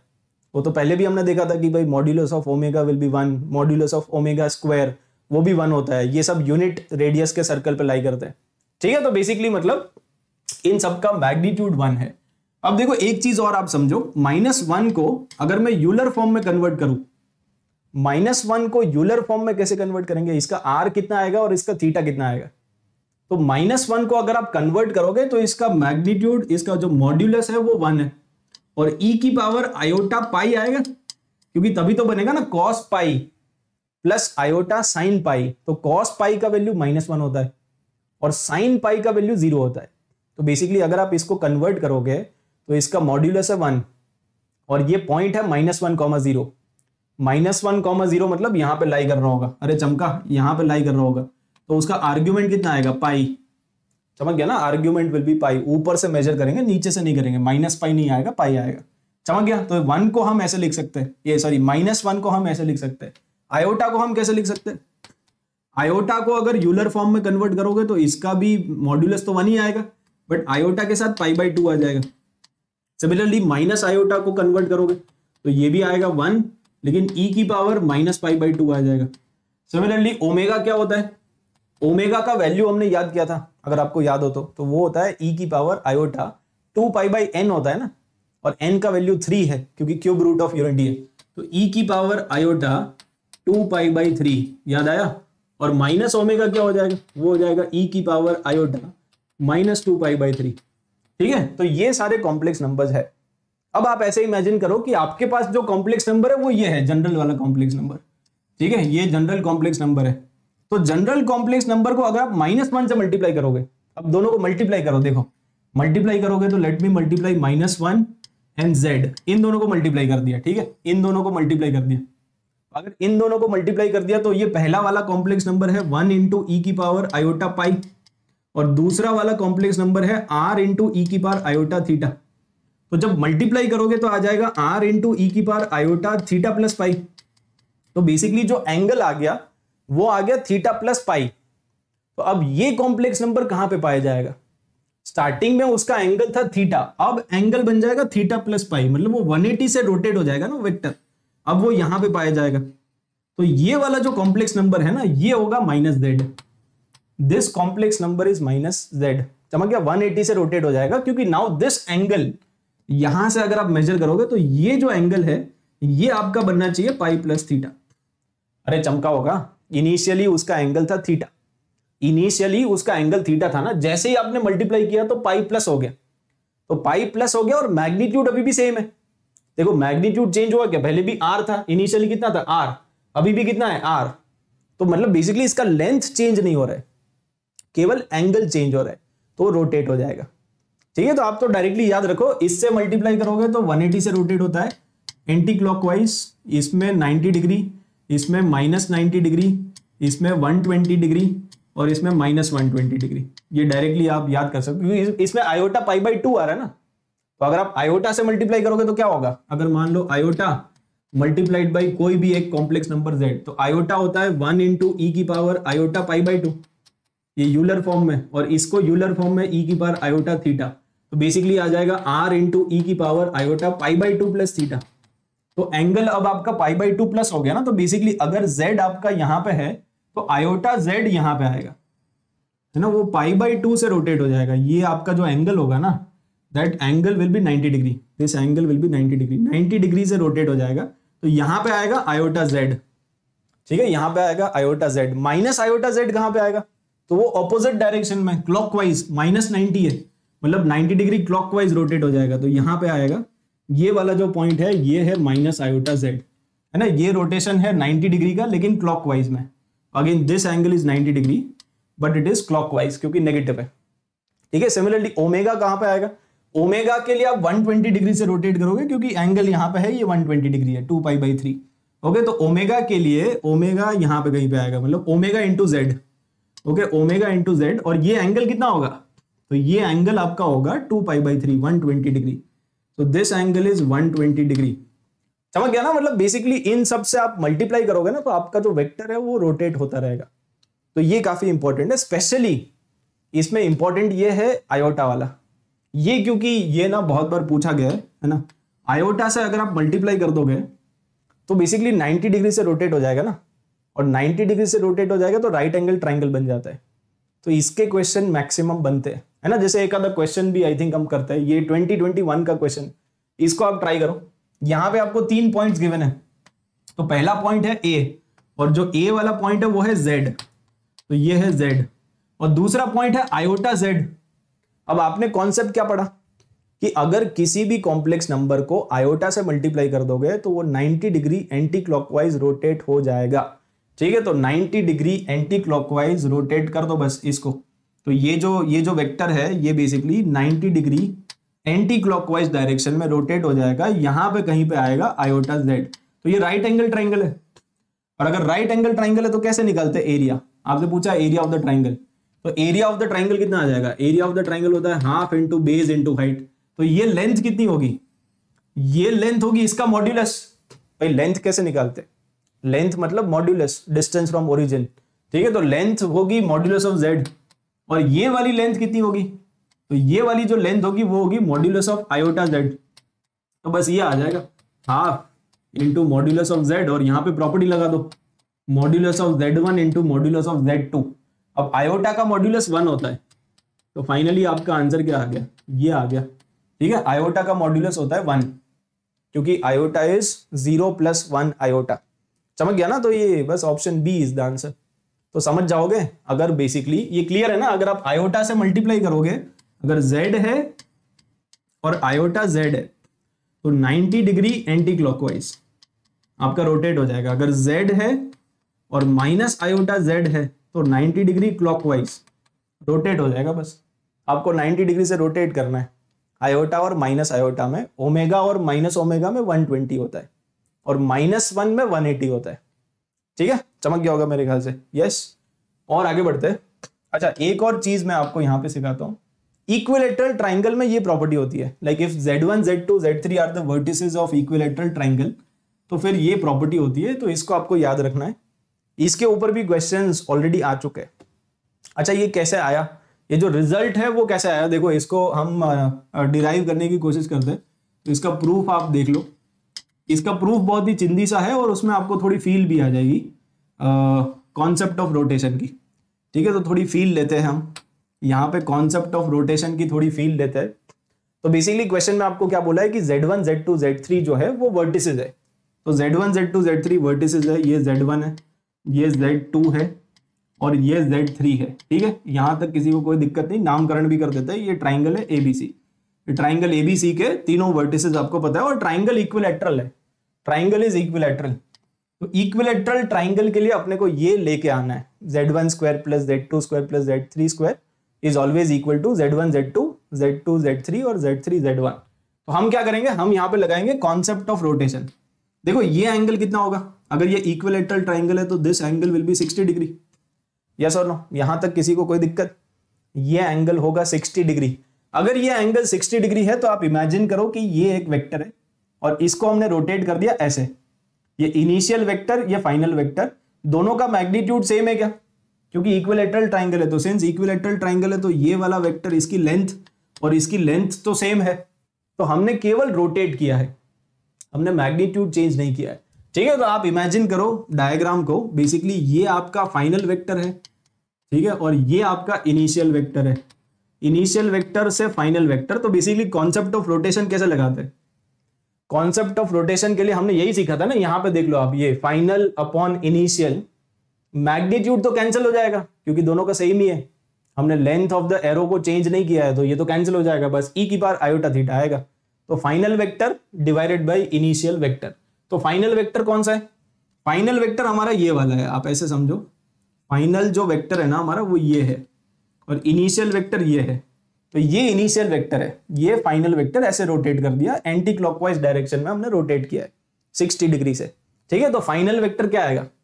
फाइनल वेक्टर ये आएगा ना, और उसमें भी हेड माइनस टेल करते हैं तो z three minus z one आएगा। ठीक है हेड माइनस टेल और ये फाइनल वेक्टर इनिशियल वेक्टर ये है तो z two minus z one यहाँ पे आ जाएगा z2 two minus z one और लेंथ तो सेम है। ठीक है, ये वाला जो वेक्टर है, उसी को रोटेट किया है बस। तो ये लेंथ और ये लेंथ सेम है, क्योंकि इक्विलेटरल ट्राइंगल है। तो जो लेंथ वाला पार्ट है, वो तो कैंसिल हो जाएगा, केवल e की पावर आयोटा और पाई बाई थ्री आ जाएगा बस, है ना? सिक्सटी डिग्री सिक्सटी डिग्री मतलब रेडियन में लिख लो आप पाई बाई थ्री तो एक इक्वेशन तो ये आ गई। ठीक है तो ये इक्वेशन सबको क्लियर है। ये हमने कॉन्सेप्ट ऑफ़ रोटेशन इसमें लगा दिया। कॉन्सेप्ट ऑफ़ रोटेशन कैसे लगाते हो वो एकदम क्रिस्टल क्लियर है। अब एक और इक्वेशन अपने को बनानी पड़ेगी तो उसको बनाने के लिए देखो। अब थोड़ा डायग्राम मॉडिफाई करते हैं, ये सब हटा देते हैं, ठीक है? ये एरो भी हटा देते हैं। अब आप समझो, अब आप ये वाला एंगल ले लो। बेसिकली ये वाला जो एंगल है, ये एंगल भी तो 60 डिग्री होगा ना? और ये भी एंटी क्लॉकवाइज है। ये भी एंटी क्लॉकवाइज है ना? अल्टीमेटली आप अभी भी तो ऐसे ही जा रहे हो। तो एंटी क्लॉकवाइज है। ये अगर एंटी क्लॉकवाइज है तो आपका ये वाला जो वेक्टर है, ये फाइनल वेक्टर है। ठीक है? और ये इनिशियल वेक्टर है। This is initial vector this is final vector तो अब इसमें फिर से आप लगाओ। इसमें फिर से आप लगा दो कॉन्सेप्ट ऑफ़ रोटेशन तो कॉन्सेप्ट ऑफ़ रोटेशन लगाएँगे तो final vector will be z two minus z three यहाँ पर आएगा z two minus z three और इनिशियल वेक्टर कौन सा है?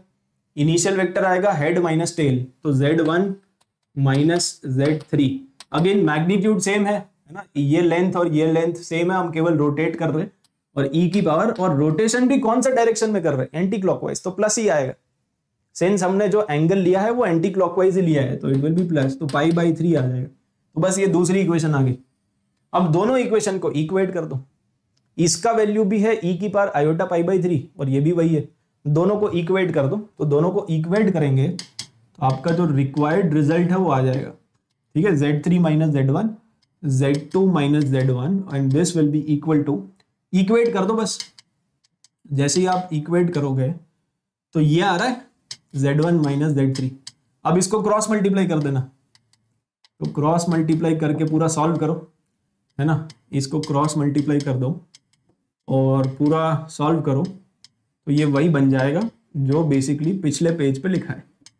अरे चमका कि नहीं? बस अब कैलकुलेशन है। इसको ओपन करेंगे तो Z3 थ्री जेड वन और Z3 थ्री जेड वन दो बार आएगा। और और कौन कौन से टर्म्स आएँगे?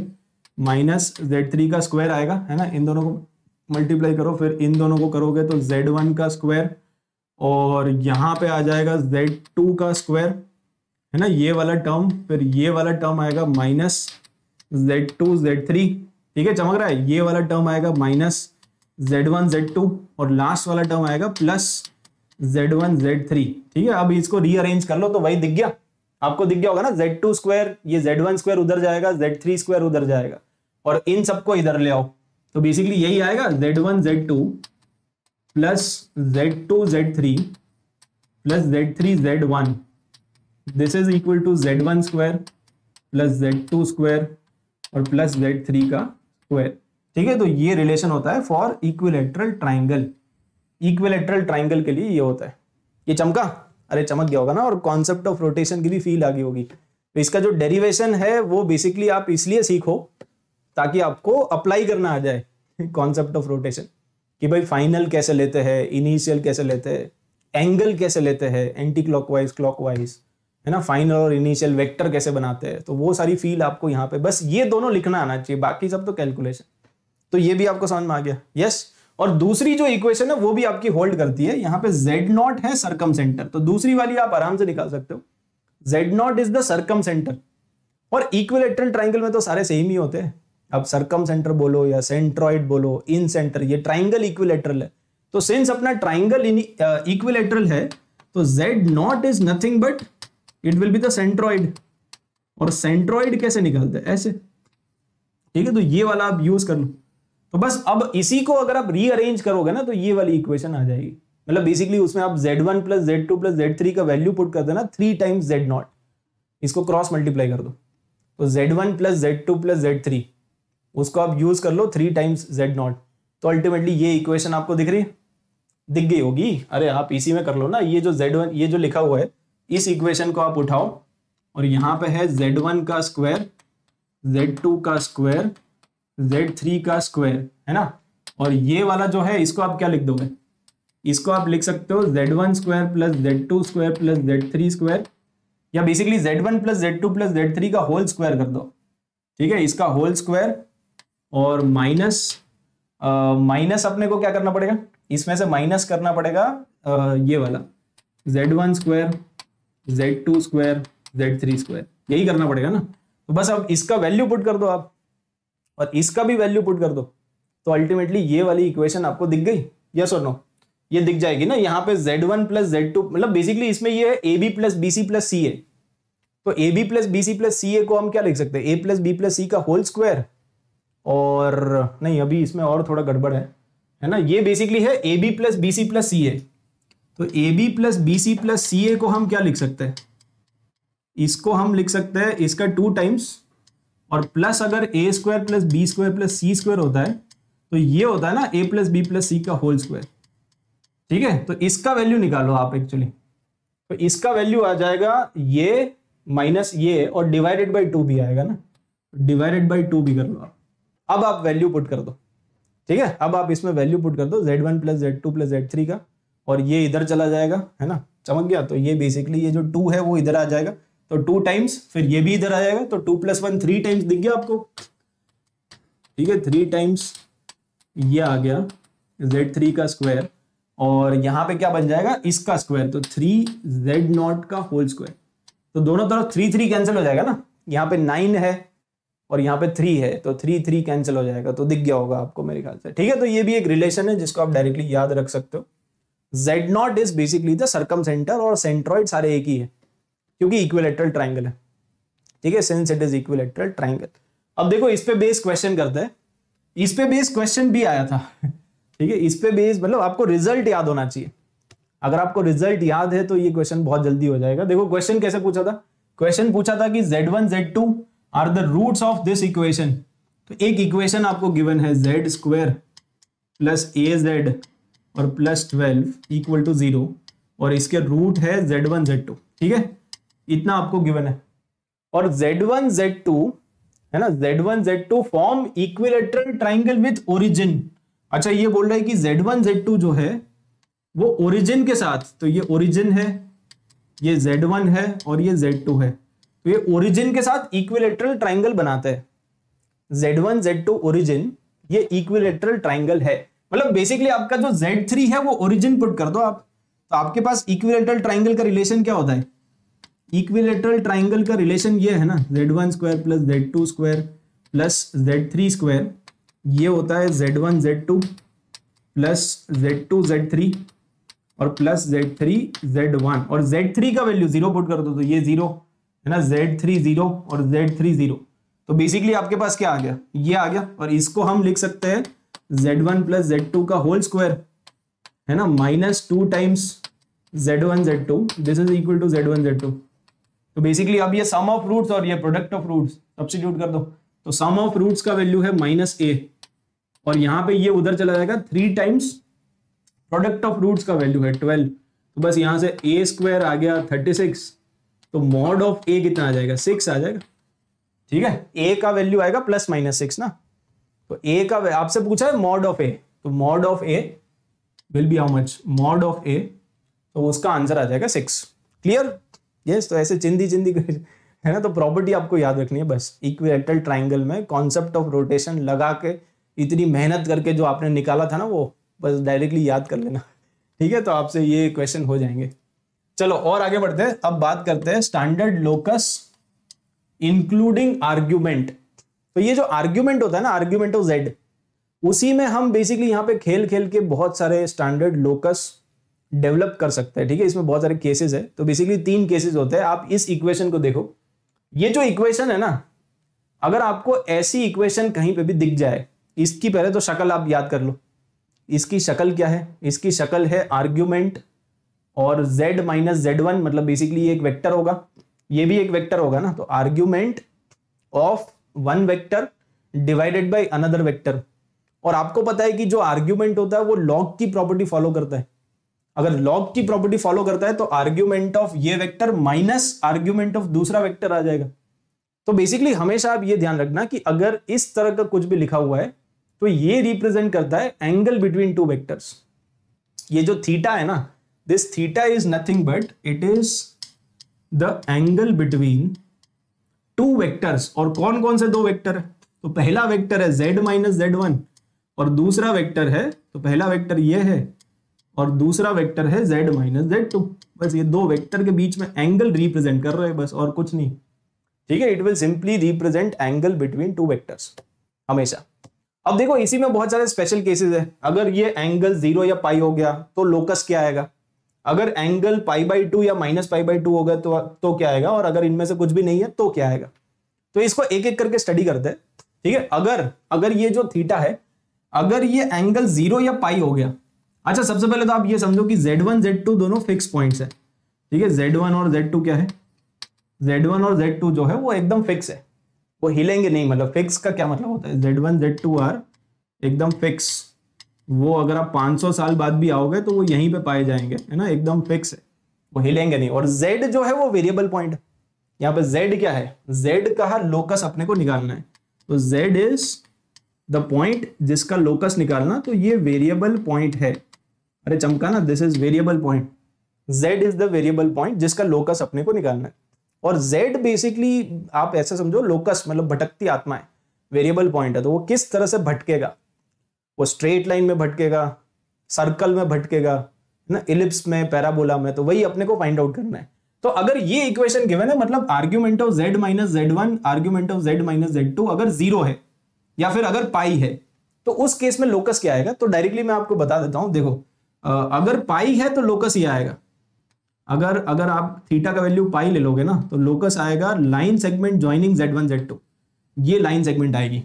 Like if theta is equal to pi if theta का value is equal to pi then this is the locus locus मतलब बेसिकली जेड जो है, वो इसके ऊपर भटकेगा। जेड यहाँ पे हो सकता है, यहाँ पे हो सकता है, यहाँ पे यहाँ पे यहाँ पे। ये सारे पॉइंट्स ये जो सारे पॉइंट्स है ना basically if theta is equal to pi locus आपका आएगा line segment joining Z one Z two and if theta is equal to zero तो फिर ये आएगा। If theta is equal to zero तो आप इसी को एक्सटेंड कर लो, है ना? तो बेसिकली या तो ये रे आएगी, या नीचे की तरफ़ आएगी। ठीक है? मतलब अगर थीटा का वैल्यू पाई है तो ये ब्लू वाला जो है, वो लोकस है। और अगर थीटा का वैल्यू ज़ीरो है तो जो ग्रीन वाला है, वो लोकस है। ये तब आएगा जब थीटा का वैल्यू ज़ीरो डिग्री होगा। अब ऐसा क्यों? ऐसा क्यों है ना? मतलब ये डाइजेस्ट नहीं हो रहा है। अगर ये डाइजेस्ट नहीं हो रहा है तो आप ऐसे समझ सकते हो। देखो, इसको मैं थोड़ा समझाने की कोशिश करता हूँ। आप मान लो कि z आपका यहाँ पे है, थोड़ी देर के लिए। ठीक है? ये मान लो आपका z है। तो ये क्या लिखा हुआ है? यहाँ पे बेसिकली मैंने आपको समझाया कि ये थीटा जो है, वो एंगल बिटवीन टू वेक्टर्स है। और कौन कौन से दो वेक्टर है? एक वेक्टर है जेड माइनस जेड वन तो जेड माइनस जेड वन अब वेक्टर जो भी होता है, वो हमेशा बी माइनस ए होता है। है ना? तो ये आपका बी है और ये आपका ए है। तो जो वेक्टर है वो कहाँ से कहाँ पॉइंट करेगा? जेड वन से जेड पॉइंट करेगा। तो जेड वन से जेड तो ये आपका वेक्टर बनेगा। जेड वन से जेड की तरफ़ पॉइंट करेगा। जेड वन से जेड की तरफ़ पॉइंट करेगा ना? और दूसरा जो वेक्टर है वो पॉइंट करेगा जेड टू से जेड की तरफ़। तो दूसरा वेक्टर ये है। दोनों के बीच में एंगल कितना है? एक वेक्टर ऐसा जा रहा है, दूसरा वेक्टर ऐसे आ रहा है। तो दोनों के बीच में एंगल कितना है? अरे 180 डिग्री का एंगल दिख गया होगा। और अगर आप z ले लोगे यहाँ पे, अब देखो ये सब कचरा हटाओ, है ना? ये कचरा हटा दो और फिर कुछ ज़्यादा ही कचरा हो गया। चलो छोड़ो। आप मान के चलो कि अगर मैं z यहाँ पे ले लू, अगर मैं z यहाँ पे ले लू तो अब ये वेक्टर क्या बनेगा? देखो तो अब ये vector z minus Z one मतलब z1 से z की तरफ़ तो z1 से z की तरफ़ तो एक वेक्टर ये आएगा। Z1 से चालू करो और z की तरफ़ आपको जाना तो एक वेक्टर ये है। और दूसरा वेक्टर आएगा z2 से z की तरफ़ तो दूसरा वेक्टर भी यही आएगा। तो दोनों के बीच में एंगल कितना है? ज़ीरो डिग्री का एंगल है। तो चमक गया ना, अगर आप पॉइंट यहाँ पे लोगे या यहाँ पे लोगे, तभी आपका एंगल ज़ीरो डिग्री आएगा। अगर आप पॉइंट बीच में ले लोगे तो एक वेक्टर ऐसे आएगा, एक वेक्टर ऐसे आएगा। तो दोनों के बीच में एंगल कितना? 180 बट खैर, आपको इतना भी ज़्यादा दिमाग नहीं लगाना है, ये डायरेक्टली याद रखना है कि अगर ये एंगल होता है पाई तो बीच वाला आता है। और अगर एंगल होता है ज़ीरो तो outside Z one Z two आता है। ये चमक गया होगा मेरे ख्याल से। अब आ, अगले वाले केस पे बढ़ते हैं। टाइप टू है ना सेकेंड जिसमें थीटा का वैल्यू या तो पाई बाई टू है या फिर माइनस पाई बाई टू है। तो अगर थीटा का वैल्यू पाई बाई टू या माइनस पाई बाई टू है तो उस केस में आपका जो लोकस आएगा वो सेमी सर्कल आएगा। मतलब मान लो ये Z1 है और मान लो कि ये Z2 है। ठीक है? इन दोनों को ज्वाइन करो। और बेसिकली Z इस तरह से लाई कर रहा है। मान लो Z यहाँ पे कहीं पे है, वो भटकती आत्मा है। अब अपने को यही फाइंड आउट करना है कि ये कैसे भटकेगा। तो ये सेमी सर्कल में भटकेगा। ऐसा क्यों सर ऐसा इसीलिए क्योंकि दोनों के बीच में एंगल 90 डिग्री तभी आएगा ना सेमी सर्कल में ही तो आएगा। ये z माइनस जेड वन है, ये z माइनस जेड टू है, और दोनों के बीच में जो एंगल है वो 90 डिग्री है। तो अगर एंगल 90 डिग्री है तो ऊपर वाला सेमी सर्कल आएगा। और अगर एंगल अगर एंगल माइनस नाइनटी डिग्री है तो नीचे वाला एंगल ये आ जाएगा सेमी सर्कल ठीक है? तो ऊपर वाला सेमी सर्कल आएगा for plus pi by two ये ऊपर वाला सेमी सर्कल आ जाएगा if theta is equal to pi by two और नीचे वाला सेमी सर्कल आ जाएगा if theta is equal to minus five by two समझ गया ना? क्योंकि सेमी सर्कल में ही तो होता है। सेमी सर्कल में ही तो होता है एंगल पाई बाई टू ठीक है? तो दूसरे केस में क्या आएगा? Semicircle will be the locus है ना? इट विल बी ये सेमी सर्कल्स है। ठीक है? ये दोनों सेमी सर्कल्स है। और Z1 Z2 will be diameter Z1 Z2 are nothing but they are the end points of diameters तो आप लिख भी सकते हो। यहाँ पे जो Z1 और Z2 है Z1 और Z2 जो है, इसमें they are the end points of diameter अरे चमका। End points of diameter they are the end points of diameter और दो वेक्टर के बीच में एंगल 90 डिग्री है। तो अगेन ये ये रिप्रेजेंट करता है एंगल बिटवीन टू वेक्टर्स और अगर थीटा का value zero, pi, plus pi by two, minus pi by two, इन सब में से नहीं है मतलब अगर ऊपर वाले केसेस नहीं है, अगर ये भी नहीं है, ये भी नहीं है तो क्या रिप्रेजेंट करेगा? तो उसमें आपका जो लोकस आएगा, वो आएगा आर्क या तो मेजर आर्क आएगा, या माइनर आर्क आएगा, वो डिपेंड करेगा कि थीटा का वैल्यू जो है, वो एक्यूट है कि ऑप्ट्यूज है. देखो मतलब बेसिकली आप ऐसे समझो, यहाँ पे Z1 है आपके पास, यहाँ पे Z2 है आपके पास, और जो थीटा का वैल्यू है, वो मान लो कि एक्यूट एंगल है. ठीक है लेटेस्ट अज्यूम ये जो थर्ड वाला केस है, उसको समझो, ठीक है, ये थर्ड वाला केस चल रहा है। तो थर्ड वाले केस में अगर एंगल आपका एक्यूट है है ना तो जेड हम कहाँ पे ले सकते हैं? तो जेड हम ले सकते हैं मेजर आर्क पे। मतलब एक इस तरह का मेजर आर्क आएगा समथिंग लाइक दिस ओके और अगर थीटा का वैल्यू ऑप्ट्यूस है तो आपका जो लोकस आएगा, वो आएगा माइनर आर्क ये नीचे वाला। ठीक है तो अगर थीटा का वैल्यू जो है if that is obtuse if that is obtuse तो आपका जो आएगा, वो आएगा माइनर आर्क ठीक है? ये वाला जो एंगल है, ये बेसिकली जेड है. और Z is the variable point ये दोनों फिक्स पॉइंट है. जेड वन जेड टू एकदम फिक्स है. अब जेड का वैल्यू आप इस पूरे आर्क पे कहीं पे भी ले सकते हो ना? अगर आप यहाँ पे लोगे तो भी एंगल तो उतना ही आएगा. अरे सर्कल की प्रॉपर्टी होती है ना, आप यहाँ पे ले लो तो भी एंगल तो उतना ही आएगा. ये एंगल भी थीटा है, ये एंगल भी थीटा है, ये एंगल भी थीटा है. तो angle between two vectors fix है ना थीटा और सिमिलरली नीचे बट नीचे जो एंगल बनेगा, है ना, अगर आप नीचे पॉइंट लोगे तो नीचे जो एंगल बनेगा, वो बेसिकली ऑप्ट्यूस एंगल बनेगा। वो बेसिकली क्या होगा 90 से बड़ा होगा ना, ये एंगल थोड़ा बड़ा बनेगा। तो बेसिकली वहाँ पे ऑप्ट्यूस एंगल आएगा, ऊपर एक क्यूट एंगल आएगा। अंडरस्टूड चमक गया? कितने लोगों चमक गया? तो बस आप ये ध्यान रखो कि ये जो ये जो चीज़ है, ये अलग अलग लोकस रिप्रेजेंट कर सकती है। अगर थीटा का वैल्यू ज़ीरो या पाई है तो स्ट्रेट लाइन आएगा। अब ज़ीरो है तो बेसिकली बाहर वाला स्ट्रेट लाइन आएगा। पाई है तो अंदर वाला स्ट्रेट लाइन आएगा। इसमें सेमी सर्कल आएगा और इसमें मेजर और माइनर आर्क आएगा। चमक गया? यस ये पूरा सब कुछ एकदम क्लियर है क्या? ये कौन कौन से में कौन कौन सा लोकस आता है? अब क्वेश्चंस करते हैं, चलो। तो जैसे ये वाला क्वेश्चन आया था, एकदम जेई मेन में बहुत ही चिंदी मतलब जिसको कह सकते हैं कि भाई क्वेश्चन हटा दो। ठीक है? यहाँ पे गिवन है कि ये ये पूरा एक डब्बा है, वो रियल है। तो अगर कोई भी कॉम्प्लेक्स ये पूरा डब्बा रियल है और अगर ये पूरा डब्बा रियल है तो रियल का आर्ग्यूमेंट कितना आता है? रियल है वो पूरा। अगर वो पूरा रियल है तो उसका आर्ग्यूमेंट कितना आएगा? ये जो पूरा कॉम्प्लेक्स नंबर है, ये पूरा कॉम्प्लेक्स नंबर रियल है। रियल मतलब मान लो ना कि डब्बे का वैल्यू या तो फाइव होगा या माइनस थ्री होगा। तो ये पॉइंट या तो फाइव कॉमा ज़ीरो है या माइनस थ्री कॉमा ज़ीरो है। तो मतलब इसका आर्ग्यूमेंट क्या है? इसका आर्ग्यूमेंट आएगा या तो ज़ीरो या पाई ज़ीरो या पाई आ सकता है ना? Because it is real real मतलब यहाँ पे भी लाई कर सकता है, यहाँ पे भी लाई कर सकता है ना? ये पूरी रियल एक्सिस पे लाई कर सकता है। मतलब बेसिकली आपको क्वेश्चन में गिवन है कि इट इज़ रियल अगर रियल है तो रियल एक्सिस पे लाई करेगा। तो उसका आर्ग्यूमेंट क्या आएगा? या तो ज़ीरो या पाई।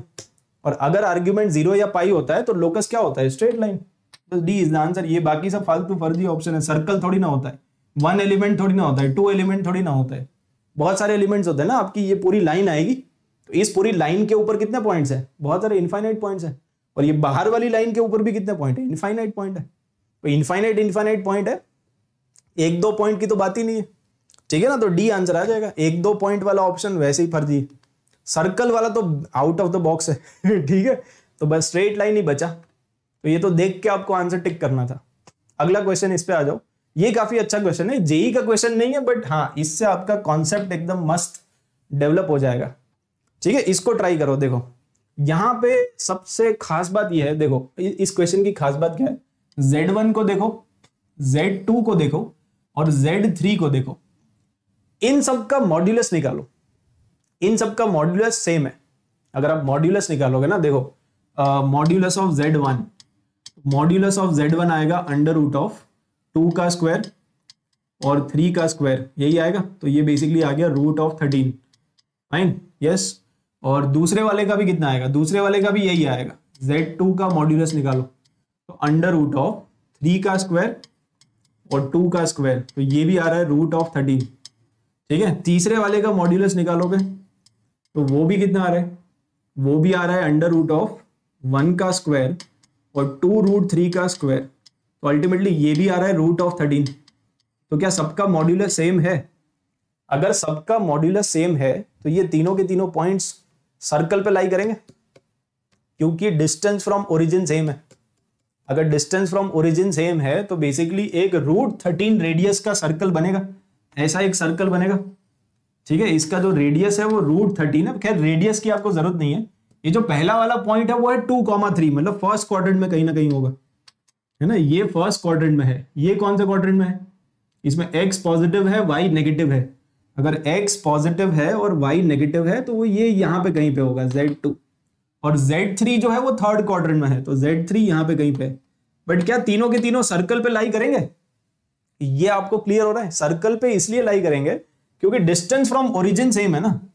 Distance from origin distance from origin और डिस्टेंस फ्रॉम ओरिजिन सेम है। रूट थर्टीन रूट थर्टीन और रूट थर्टीन तो डिस्टेंस फ्रॉम ओरिजिन ही तो होता है modulus of z modulus of z होता है डिस्टेंस फ्रॉम ओरिजिन अब आप ऑप्शन चेक करो। तो ये क्या रिप्रेजेंट करता है? इसको अगर आप ध्यान से देखोगे ना तो ये ये सेम है। देखो आप पहले तो इसको ऑप्शन को ध्यान से देख लो। ये ये ये और ये सब सेम है। Z three by z two z three by z two हर जगह। और z three by z two का मतलब ये होता है। मतलब बेसिकली लिखा हुआ है argument of z three minus zero और जेड टू माइनस ज़ीरो मतलब यहाँ पे कौन कौन से दो वेक्टर है? This will always represent angle between two vectors अरे, ये तो अपनी पहली बात हो गई ना। ये क्या रिप्रेजेंट करेगा? ये रिप्रेजेंट करेगा एंगल बिटवीन टू वेक्टर्स तो एंगल बिटवीन टू वेक्टर्स को ही तो रिप्रेजेंट कर रहे हैं। अगर आप ध्यान से देखोगे तो ये पहला वेक्टर है z three minus zero z three minus zero मतलब ओरिजिन के साथ ज्वाइन कर लो तो ये वेक्टर है पहला वेक्टर ठीक है this is the first vector z three minus zero और दूसरा वेक्टर है z two minus zero z two minus zero मतलब ये। तो बेसिकली ये वाला एंगल है ना, ये क्या रिप्रेजेंट करता है? ये रिप्रेजेंट करता है this angle angle between two vectors समझ गए? ये रिप्रेजेंट करता है एंगल बिटवीन टू वेक्टर्स तो अब आप देखो कि कौन सा ऑप्शन सही होना चाहिए। अब इसको अगर आप ज्वाइन करोगे Z1 के साथ, अगर आप इसको ज्वाइन करोगे Z1 के साथ तो वो एंगल कितना आना चाहिए? तो ये जो एंगल आना चाहिए थीटा बाई टू आना चाहिए ना हाफ़ आना चाहिए। यस और नो ये एंगल आना चाहिए थीटा बाई टू और ये एंगल कौन सा है? ये वाला ऑप्शन आएगा ना मतलब बेसिकली चलो पहले तो आप इसको एनालाइज करो। ये जो है, इसको आप एनालाइज करो, क्योंकि ये भी हर जगह सेम है, देखो।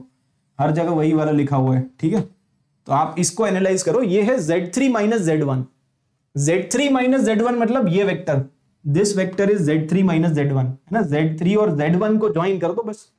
और z two minus z one मतलब इन दोनों को ज्वाइन कर दो। तो ये जो एंगल है, ये क्या रिप्रेजेंट करता है? दिस रिप्रेजेंट्स एक काम करो ना नामकरण कर दो आप। नामकरण कर देंगे तो ये पॉइंट है मान लो ए ये पॉइंट है बी और ये पॉइंट है सी और ये पॉइंट है ओ ओरिजिन ठीक है? तो ये रिप्रेजेंट करता है angle A C B angle A C B और ये रिप्रेजेंट करता है क्या? ये रिप्रेजेंट करता है एंगल एओ बी अब आप देख लो कि रिलेशन क्या है दोनों में। जो एंगल एओ बी है, वो डबल होना चाहिए। तो angle A O B is double of angle A C B यही वाला ऑप्शन अपना करेक्ट है। ठीक है, बाकी सारे ऑप्शन गलत है। यहाँ पे क्या लिखा हुआ है कि angle A C B is equal to angle AO B equal तो नहीं है ना? यस और नो क्लास टेंथ का थियरम है एग्जैक्टली बट कॉम्प्लेक्स नंबर में देखना आना चाहिए ना कि इसका मतलब क्या है। तो ये सिंपली रिप्रेजेंट करता है angle between two vectors angle A O B और ये सिंपली रिप्रेजेंट करता है एंगल ए सी बी तो क्या दोनों इक्वल होंगे? एओ बी और ए सी बी इक्वल नहीं होंगे, ये तो गलत है। अच्छा दूसरा ऑप्शन भी आप चेक कर लो। ये है Z3 और Z2 के बीच में एंगल तो Z3 और Z2 के बीच में angle so that is angle AOB और ये क्या रिप्रेजेंट करता है?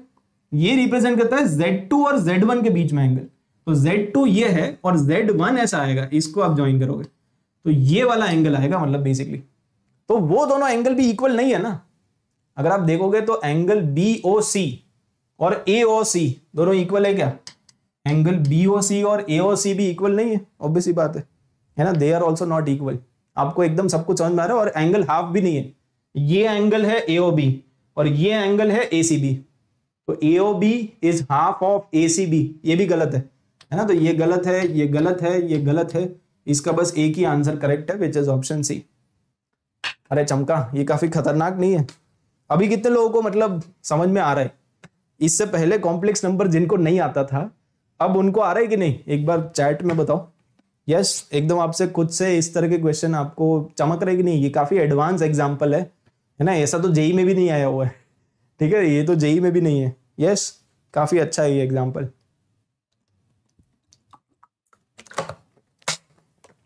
यस मज़ा आ रहा है. ओके चलो. और आगे बढ़ते हैं. अगर आपको मज़ा आ रहा है तो एक जिंदी सा जेई वाला क्वेश्चन करके दिखा दो. यहाँ पे कुछ कुछ लिखा हुआ है. यहाँ पे जो लिखा हुआ है, वो मैं लिख देता हूँ. Argument of z minus one upon z plus one तो प्लस वन को आप लिख दो माइनस ऑफ़ माइनस वन तो ये अपना स्टैंडर्ड फॉर्म आ गया ना? तो ये अपना स्टैंडर्ड फॉर्म दिख गया. जेड माइनस जेड वन और जेड माइनस जेड टू तो ये क्या रिप्रेजेंट करेगा? एंगल बिटवीन टू वेक्टर्स और एंगल बिटवीन टू वेक्टर्स आपको गिवन है पाई बाई फोर अगर angle between two vectors pi by four है तो ये क्या रिप्रेजेंट करेगा? मतलब जो एंगल है वो ज़ीरो नहीं है पाई नहीं है पाई बाई टू नहीं है माइनस पाई बाई टू भी नहीं है तो ये क्या आएगा? आर्क आएगा, है ना? एक सर्कल का ही आर्क आएगा तो वो जो सर्कल है उसका सेंटर और रेडियस बताना है आपको। सिंपल सा क्वेश्चन तो कौन कौन से कॉम्प्लेक्स नंबर है? यहाँ पे जेड वन जो है वो वन है और जेड टू जो है वो माइनस वन है। ठीक है? तो हमारा जो जेड वन जेड टू है वो है वन और माइनस वन तो जेड वन जो है, वो एक्चुअली है वन कॉमा ज़ीरो अरे वन का क्या मतलब? वन का मतलब वन कॉमा ज़ीरो और दूसरा जो कॉम्प्लेक्स नंबर है जेड टू वो एक्चुअली आपका है minus one comma zero minus one comma zero और जेड को आपको इस तरह से लेना है है ना? जेड एक भटकती आत्मा है। तो जेड को इस तरह से लेना है ताकि ये जो एंगल आ जाए, वो एंगल कितना आ जाए? वो एंगल पाई बाई फोर आ जाए। अब एंगल पाई बाई फोर तभी आएगा जब आप इसको एक मेजर आर्क पे लोगे। ऐसा कुछ एक मेजर आर्क टाइप का बनेगा। ठीक है? एग्जैक्टली तो नहीं बट हाँ आप ऐसा कुछ डायग्राम बना लो। ये चमका कि नहीं? ऐसा कुछ डायग्राम बनेगा। है ना? सर्कल अगर आपको पूरा ही कंप्लीट करना है तो आप ऐसे पूरा सर्कल कंप्लीट कर सकते हो। यस yes, अब ये माइनस वन कॉमा ज़ीरो है ये वन कॉमा ज़ीरो है। सेंटर हम मान लेते हैं कि यहाँ पे कहीं पे आएगा। लेट अस अज्यूम कि सेंटर यहाँ पे कहीं पे आएगा। ये एंगल कितना गिवन है आपको? ये एंगल आपको गिवन है पाई बाई फोर भाई अल्टीमेटली ये एक वेक्टर है ना। ये वाला वेक्टर है जेड प्लस वन और ये वेक्टर है z माइनस वन और दोनों वेक्टर के बीच में एंगल पाई बाई फोर है। तो ये एंगल आपको पाई बाई फोर गिवन है। और सेंटर मान लेते हैं, यहाँ पे कहीं पे है। तो सेंटर अपने को निकालना है मतलब जो भी सेंटर होगा that we want to find out अच्छा तो पहली बात तो आपको ये दिख रही है कि सेंटर थोड़ा ऊपर ही आएगा। अगर सेंटर थोड़ा ऊपर ही आएगा तो मतलब बेसिकली कौन सा पॉइंट है जो ऊपर है? अब देख लो, एक ही ऑप्शन है। ठीक है तो वैसे ही मतलब आपका आंसर आ जाएगा। बट अगर वैसा नहीं करना चाहते हो तो फिर भी एक आप इसका प्रॉपर मेथड भी देख लो। इसका प्रॉपर मेथड ये है कि अगर मैं इसको ज्वाइन कर दूँगा तो ये एंगल कितना आएगा? ये एंगल पाई बाई फोर है ना फोर्टी फाइव है। तो ये पूरा एंगल कितना होगा? यहाँ से लेके यहाँ तक। ये पूरा एंगल होगा पाई बाई टू डबल होता है ना। अगर वो फोर्टी फाइव है तो सेंटर पे कितना होता है? तो फोर्टी फाइव का डबल नाइनटी होता है। और अगर ये नाइनटी है तो नाइनटी का आधा कर दो। तो ये एंगल कितना होगा? तो ये एंगल फोर्टी फाइव डिग्री होगा फिर से। और अगर ये 45 डिग्री है, ये लेंथ है वन ठीक है? ये राइट एंगल ट्राइंगल आपको दिख रहा है, छोटा सा। ये छोटा सा एक राइट एंगल ट्राइंगल आपको दिख रहा होगा, ये लेंथ है वन तो ये जो ट्राइंगल है, उसमें ये वाली लेंथ भी वन ही आएगी। और अगर ये लेंथ वन आएगी तो ये पॉइंट कितना आ गया? तो ये पॉइंट आ गया ज़ीरो कॉमा वन तो बस सेंटर आ गया। और सेंटर आ गया तो रेडियस भी आ गया ना। रेडियस आपका यहाँ से आएगा। दिस इज़ रेडियस अगर ये वन है, ये 45 डिग्री है ना तो 45 डिग्री है तो वन वन दोनों सेम होंगे।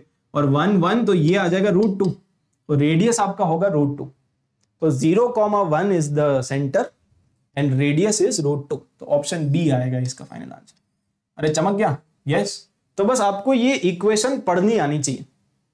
अगर आपको ये पढ़नी आती है ना कि भाई इसका मतलब क्या है अगर आपको ये पढ़ना आता है तो बेसिकली आपका क्वेश्चन हो जाएगा।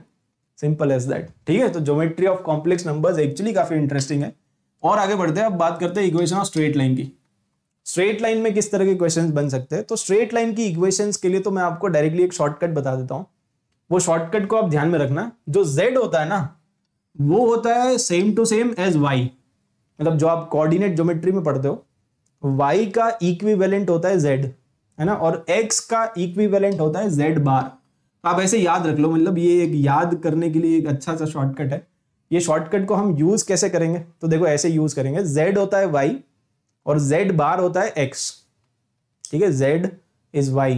Z bar is x. अब जो general equation of straight line हमने पढ़ी थी कोऑर्डिनेट ज्योमेट्री में, वो ऐसी होती है ना a x plus b y plus c equal to zero ये तो कोऑर्डिनेट ज्योमेट्री की जनरल इक्वेशन है। तो कॉम्प्लेक्स नंबर्स में भी सिमिलर ही होती है। तो ये होती है ना a bar z plus a z bar plus b लेकिन यहाँ पे ध्यान रखना, ये जो बी होना चाहिए, वो रियल होना चाहिए। है ना? तो बी इज़ रियल और ये जो ए है, ये ए या अल्फ़ा जो भी है दैट इज़ कॉम्प्लेक्स वो एक कॉम्प्लेक्स नंबर है।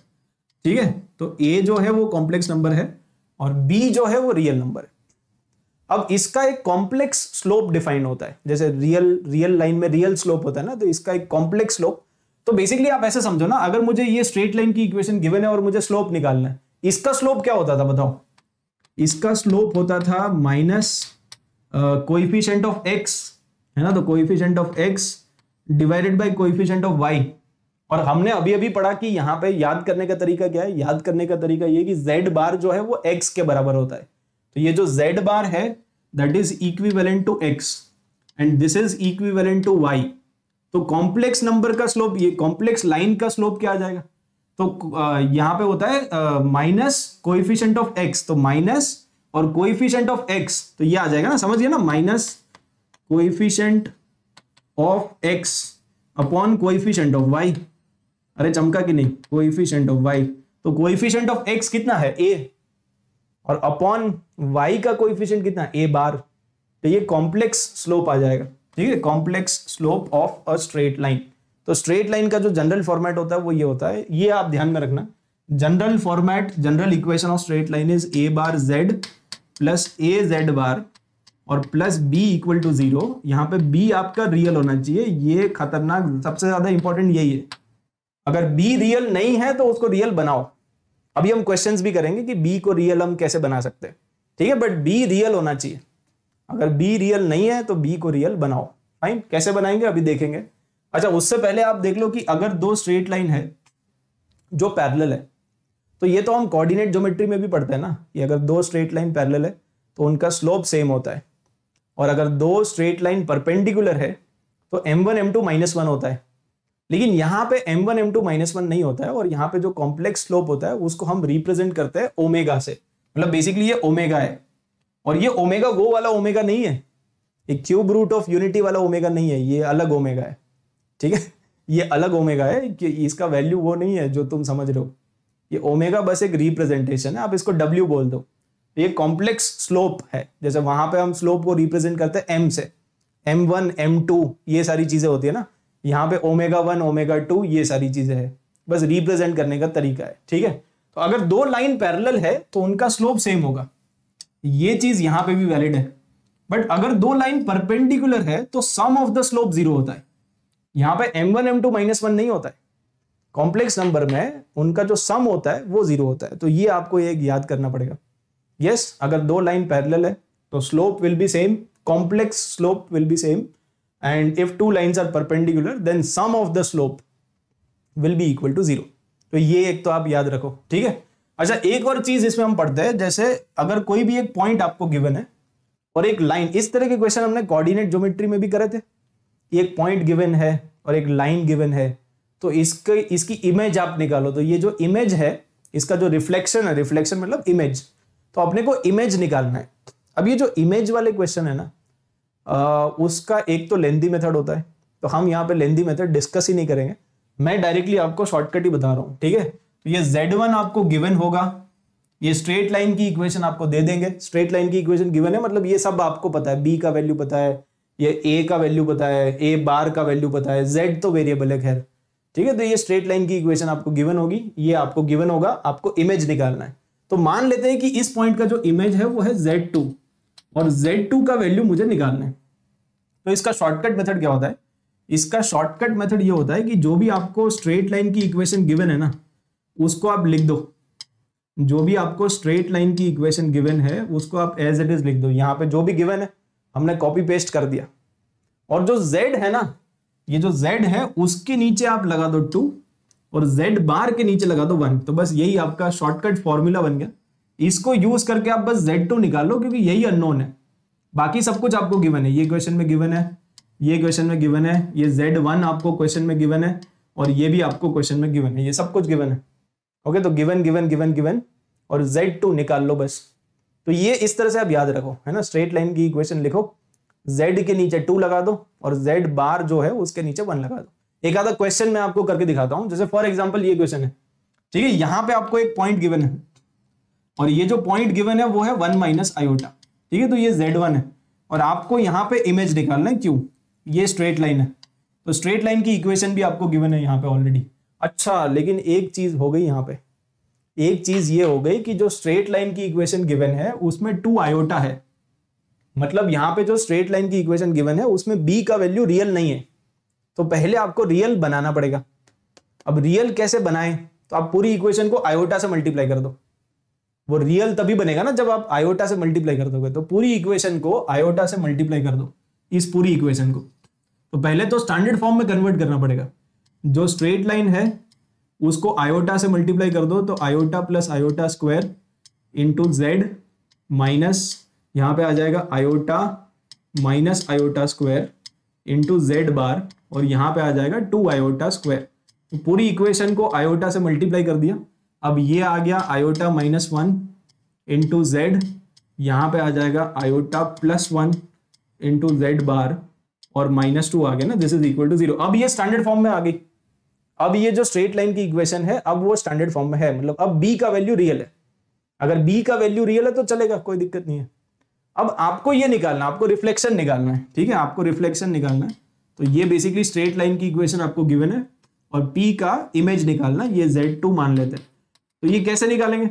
इसको निकालने के लिए मैंने आपको समझाया, इधर टू लगा दो, इधर वन लगा दो। और वैल्यू पुट कर दो बस।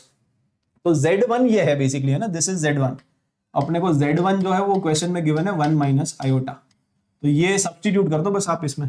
तो अब कैलकुलेशन आपको करना है iota minus one into z two minus यहाँ पे आ जाएगा आयोटा प्लस वन और जेड वन बार तो जेड वन का बार जेड वन का बार आ जाएगा वन प्लस आयोटा ठीक है? इसका बार और minus two equal to zero बस अब यहाँ से इसको सिंप्लीफाई कर लो और जेड टू निकालो बस।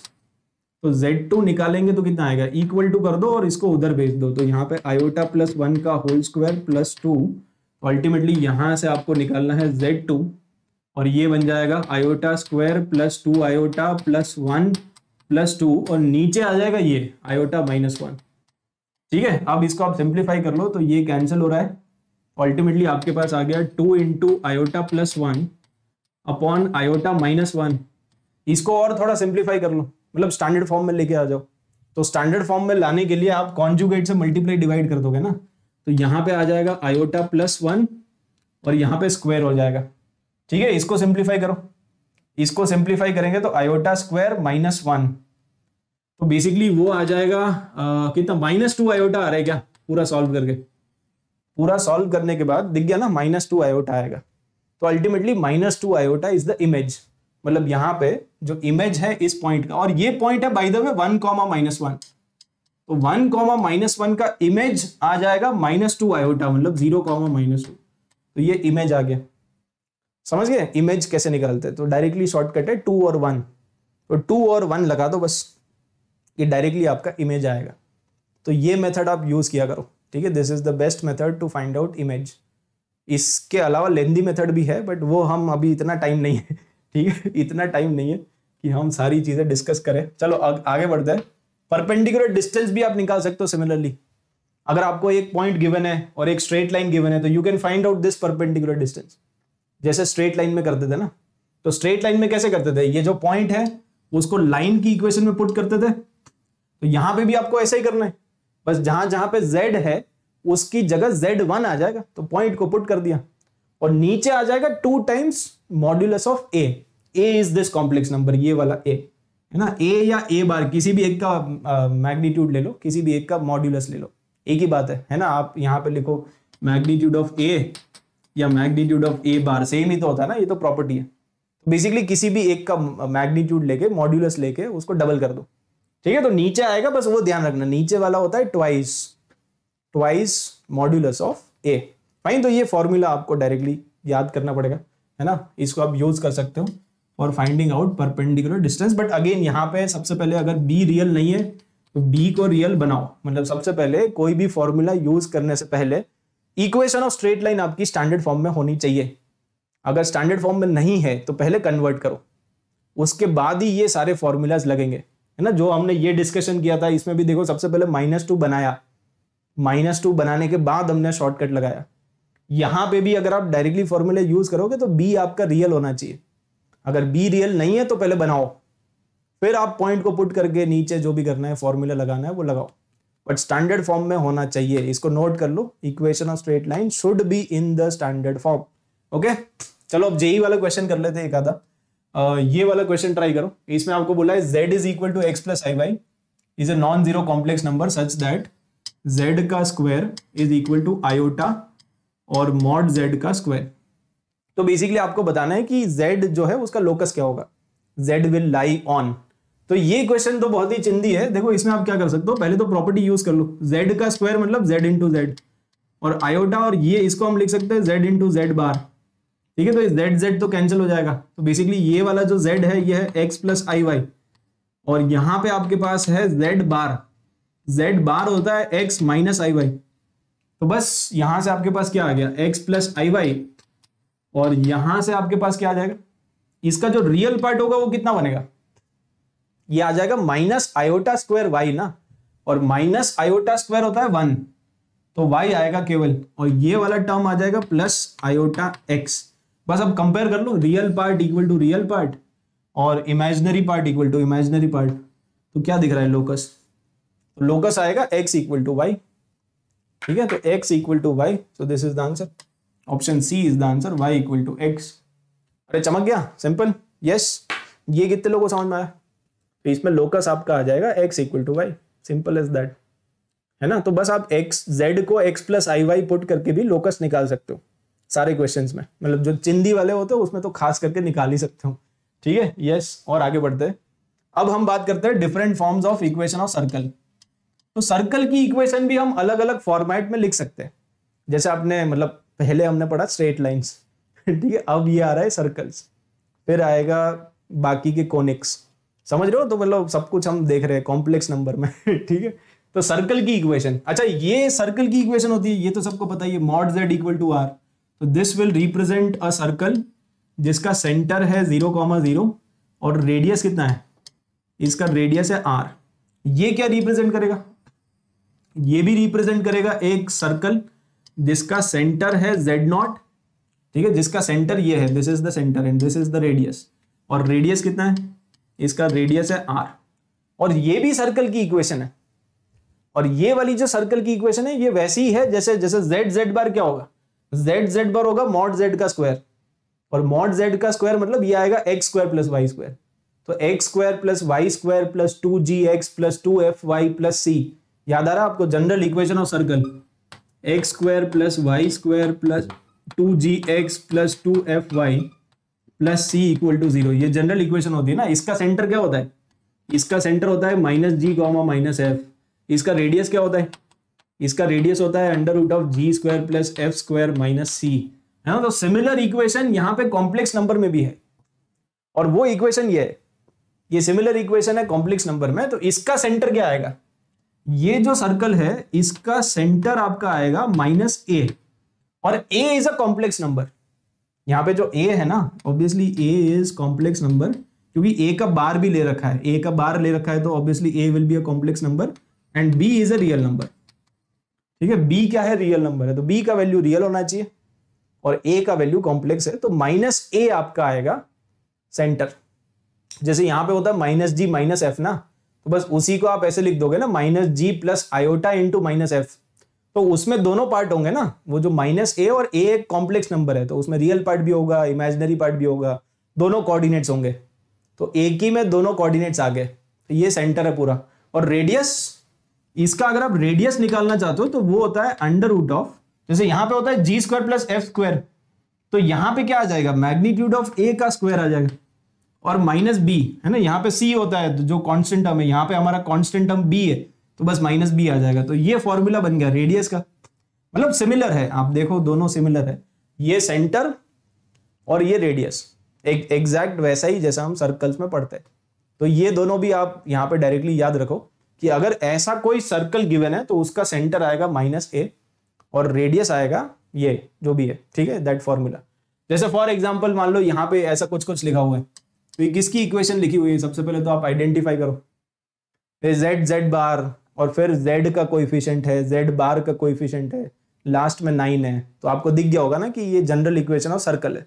सर्कल की अगर जनरल इक्वेशन है तो सबसे पहले तो आप इसको स्टैंडर्ड फॉर्म में रिप्रेजेंट करो। तो स्टैंडर्ड फॉर्म आएगा जेड जेड बार ये माइनस को अंदर ले जाओ। माइनस को अंदर ले जाएँगे तो minus three plus four iota into z और इस माइनस को भी अंदर ले जाओ। माइनस को अंदर लेके जाओगे तो ये आ जाएगा ना, माइनस आएगा। Minus three, minus four.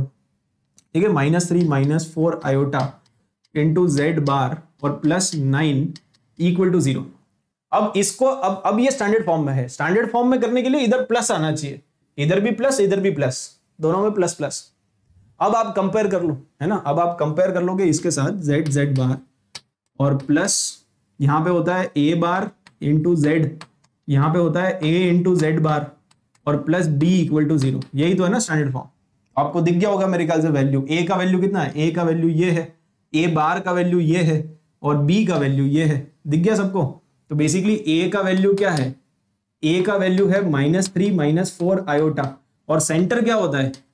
Centre of the circle होता है माइनस ए तो माइनस ए कितना आ जाएगा? माइनस ए आ जाएगा थ्री प्लस फोर आयोटा मतलब बेसिकली जो सर्कल का सेंटर है, वो है थ्री कॉमा फोर अरे चमका थ्री कॉमा फोर आ जाएगा माइनस ए और रेडियस अगर आप रेडियस निकालोगे तो रेडियस होता है under root of magnitude of a का स्क्वायर माइनस बी अब मैग्नीट्यूड ऑफ़ ए कितना आएगा? ये ए है, ये कॉम्प्लेक्स नंबर है, इसका मैग्नीट्यूड तो ये आ जाएगा under root of three square plus four square ना? तो इसका मैग्नीट्यूड आ जाएगा फाइव तो आपको करना है मैग्नीट्यूड का स्क्वायर तो फाइव का स्क्वायर ठीक है फाइव का स्क्वायर और माइनस बी और बी का वैल्यू नाइन है। तो ये तो ये ये कितना आ जाएगा? ये फोर आ जाएगा। ठीक है twenty five minus nine sixteen sixteen का रूट तो सिक्सटीन का रूट कितना हो जाएगा? फोर हो जाएगा। अरे चमका कि नहीं? तो अगर कोई सर्कल गिवन है तो सेंटर और रेडियस निकाल लोगे। ठीक है, अगर इतना भयंकर सा सर्कल गिवन है। अगर भयंकर सा सर्कल गिवन है तो बस थोड़ा आराम आराम से निकाल लेना। और इसी पे बेस्ड एक क्वेश्चन आया था, जेई मेन 2021 में, बस आपको सेंटर और रेडियस निकालना था। सेंटर भी नहीं, खाली रेडियस ठीक है तो ये बेसिकली क्वेश्चन में आपको इस तरह की एक इक्वेशन गिवन है। और ये रिप्रेजेंट करता है सर्कल को। और बाकी सब ये ए डी सब रियल कॉन्स्टेंट्स है then which of the following condition is correct ठीक है तो बेसिकली एक सर्कल की इक्वेशन आपको क्वेश्चन में गिवन है। और वो जो सर्कल की इक्वेशन गिवन है, उसमें कोइफिशिएंट है ए यहाँ पे अल्फ़ा है मतलब बेसिकली अच्छा यहाँ पे थोड़ा गड़बड़ है। इसको आप कर लो अल्फ़ा बार आएगा यहाँ पे और यहाँ पे जेड बार आएगा। मतलब बेसिकली ये गिवन है आपको क्वेश्चन में ए मॉड जेड का square plus alpha bar z plus alpha z bar और प्लस डी ठीक है? Plus d equal to zero तो सबसे पहले तो आप क्या करोगे? इसको स्टैंडर्ड फॉर्म में कन्वर्ट करना पड़ेगा ना। और स्टैंडर्ड फॉर्म में कन्वर्ट करने के लिए ए से डिवाइड कर दो। तो ए से डिवाइड कर दो पहले तो। तो ए से डिवाइड करोगे तभी तो ये आएगा। डिवाइडेड बाई ए आ जाएगा। यहाँ पे आ जाएगा alpha upon a into z bar और यहाँ पे आ जाएगा d by a equal to zero तो ये सर्कल की इक्वेशन आ गई और ये बेसिकली मॉड जेड का स्क्वायर होता है जेड जेड बार तो ये आपको स्टैंडर्ड फॉर्म दिख गया होगा ना? स्टैंडर्ड फॉर्म कितने लोगों को दिख गया? This is nothing but z z bar चमक गया होगा? ठीक है? तो अब बेसिकली इसका रेडियस निकालो। अपने को क्वेश्चन में बोल रहा है कि ये सर्कल को रिप्रेजेंट करता है। अगर सर्कल को रिप्रेजेंट करता है तो कुछ ना कुछ रियल रेडियस आना चाहिए। तभी तो रियल सर्कल बनेगा। तो रेडियस जो आना चाहिए रेडियस कितना होगा रेडियस तो रेडियस होगा under root of under root of यहाँ पे आ जाएगा अल्फ़ा बाई ए का होल स्क्वायर ठीक है? इसका मैग्नीट्यूड का होल स्क्वायर बेसिकली आप कर सकते ठीक है? अल्फ़ा अपॉन ए इसका मैग्नीट्यूड का होल स्क्वायर और माइनस जो कांस्टेंट टर्म है तो वो है डी बाई ए अरे चमक गया ना मतलब बेसिकली यही वाला फॉर्मूला हमने यूज़ किया है। ओके ये, यहाँ से भी, यहाँ पे जो भी आएगा, उसका मैग्नीट्यूड का स्क्वायर और माइनस आपका कांस्टेंट टर्म तो यहाँ पे भी तो वही है। तो अगर आप इसको सिंप्लीफाई करोगे तो क्या आ गया? अगर इसको सिंप्लीफाई करेंगे तो यही आ रहा है ना मतलब basically you will get alpha का स्क्वायर माइनस ए डी और नीचे आ जाएगा ए स्क्वायर अब ये जो क्वांटिटी है वो ग्रेटर देन ज़ीरो होना चाहिए। मतलब रूट के अंदर है ना।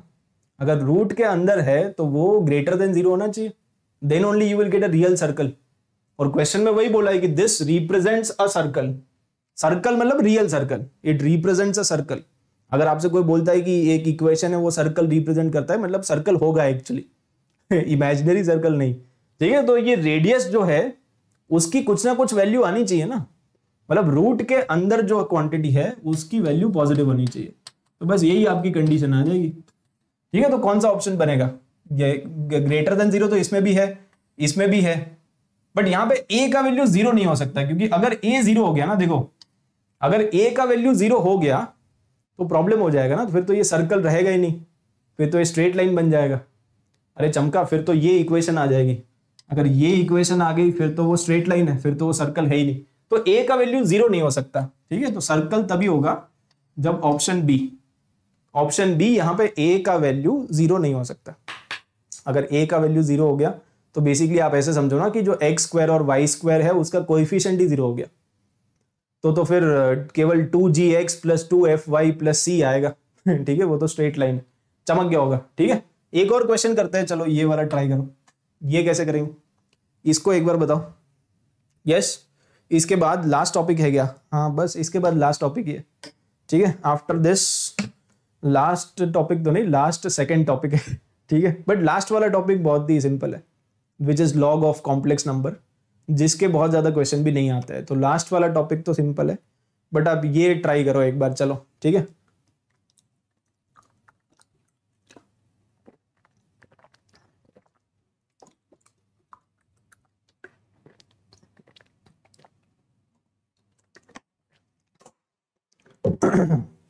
ठीक है, ये वाला क्वेश्चन ना काफ़ी अच्छा है। मतलब ये आप समझ सकते हो कि ये जेई मेन का नहीं एडवांस का है। काफ़ी अच्छा क्वेश्चन है। ठीक है, इसमें देखो, सबसे पहले तो क्या बोला है? ये ये एक इक्वेशन अपने को गिवन है। ये क्या रिप्रेजेंट करेगा? अगर आप ध्यान से देखो तो ये इक्वेशन है mod of z minus z naught और less than equal to r तो ये हमने पढ़ा था ना। This is inside the circle inside या ऑन द सर्कल क्योंकि इक्वल टू भी है।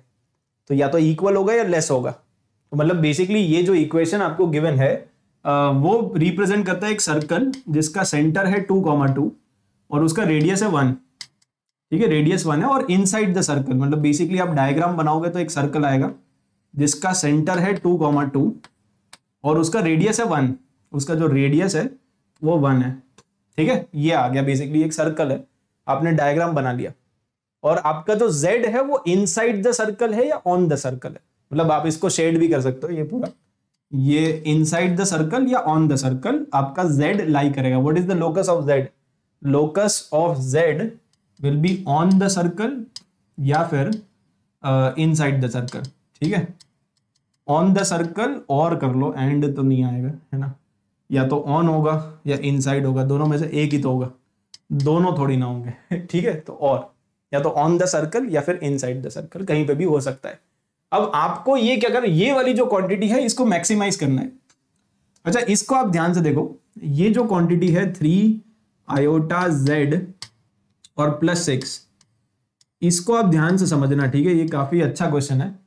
इसमें से आप क्या करो थ्री आयोटा कॉमन ले लो। थ्री आयोटा कॉमन ले लो, ताकि वहाँ पे जेड बचे केवल। तो थ्री आयोटा कॉमन ले लेंगे। तो बेसिकली यहाँ पे आ जाएगा z plus six upon three iota, ऐसा कुछ बन जाएगा।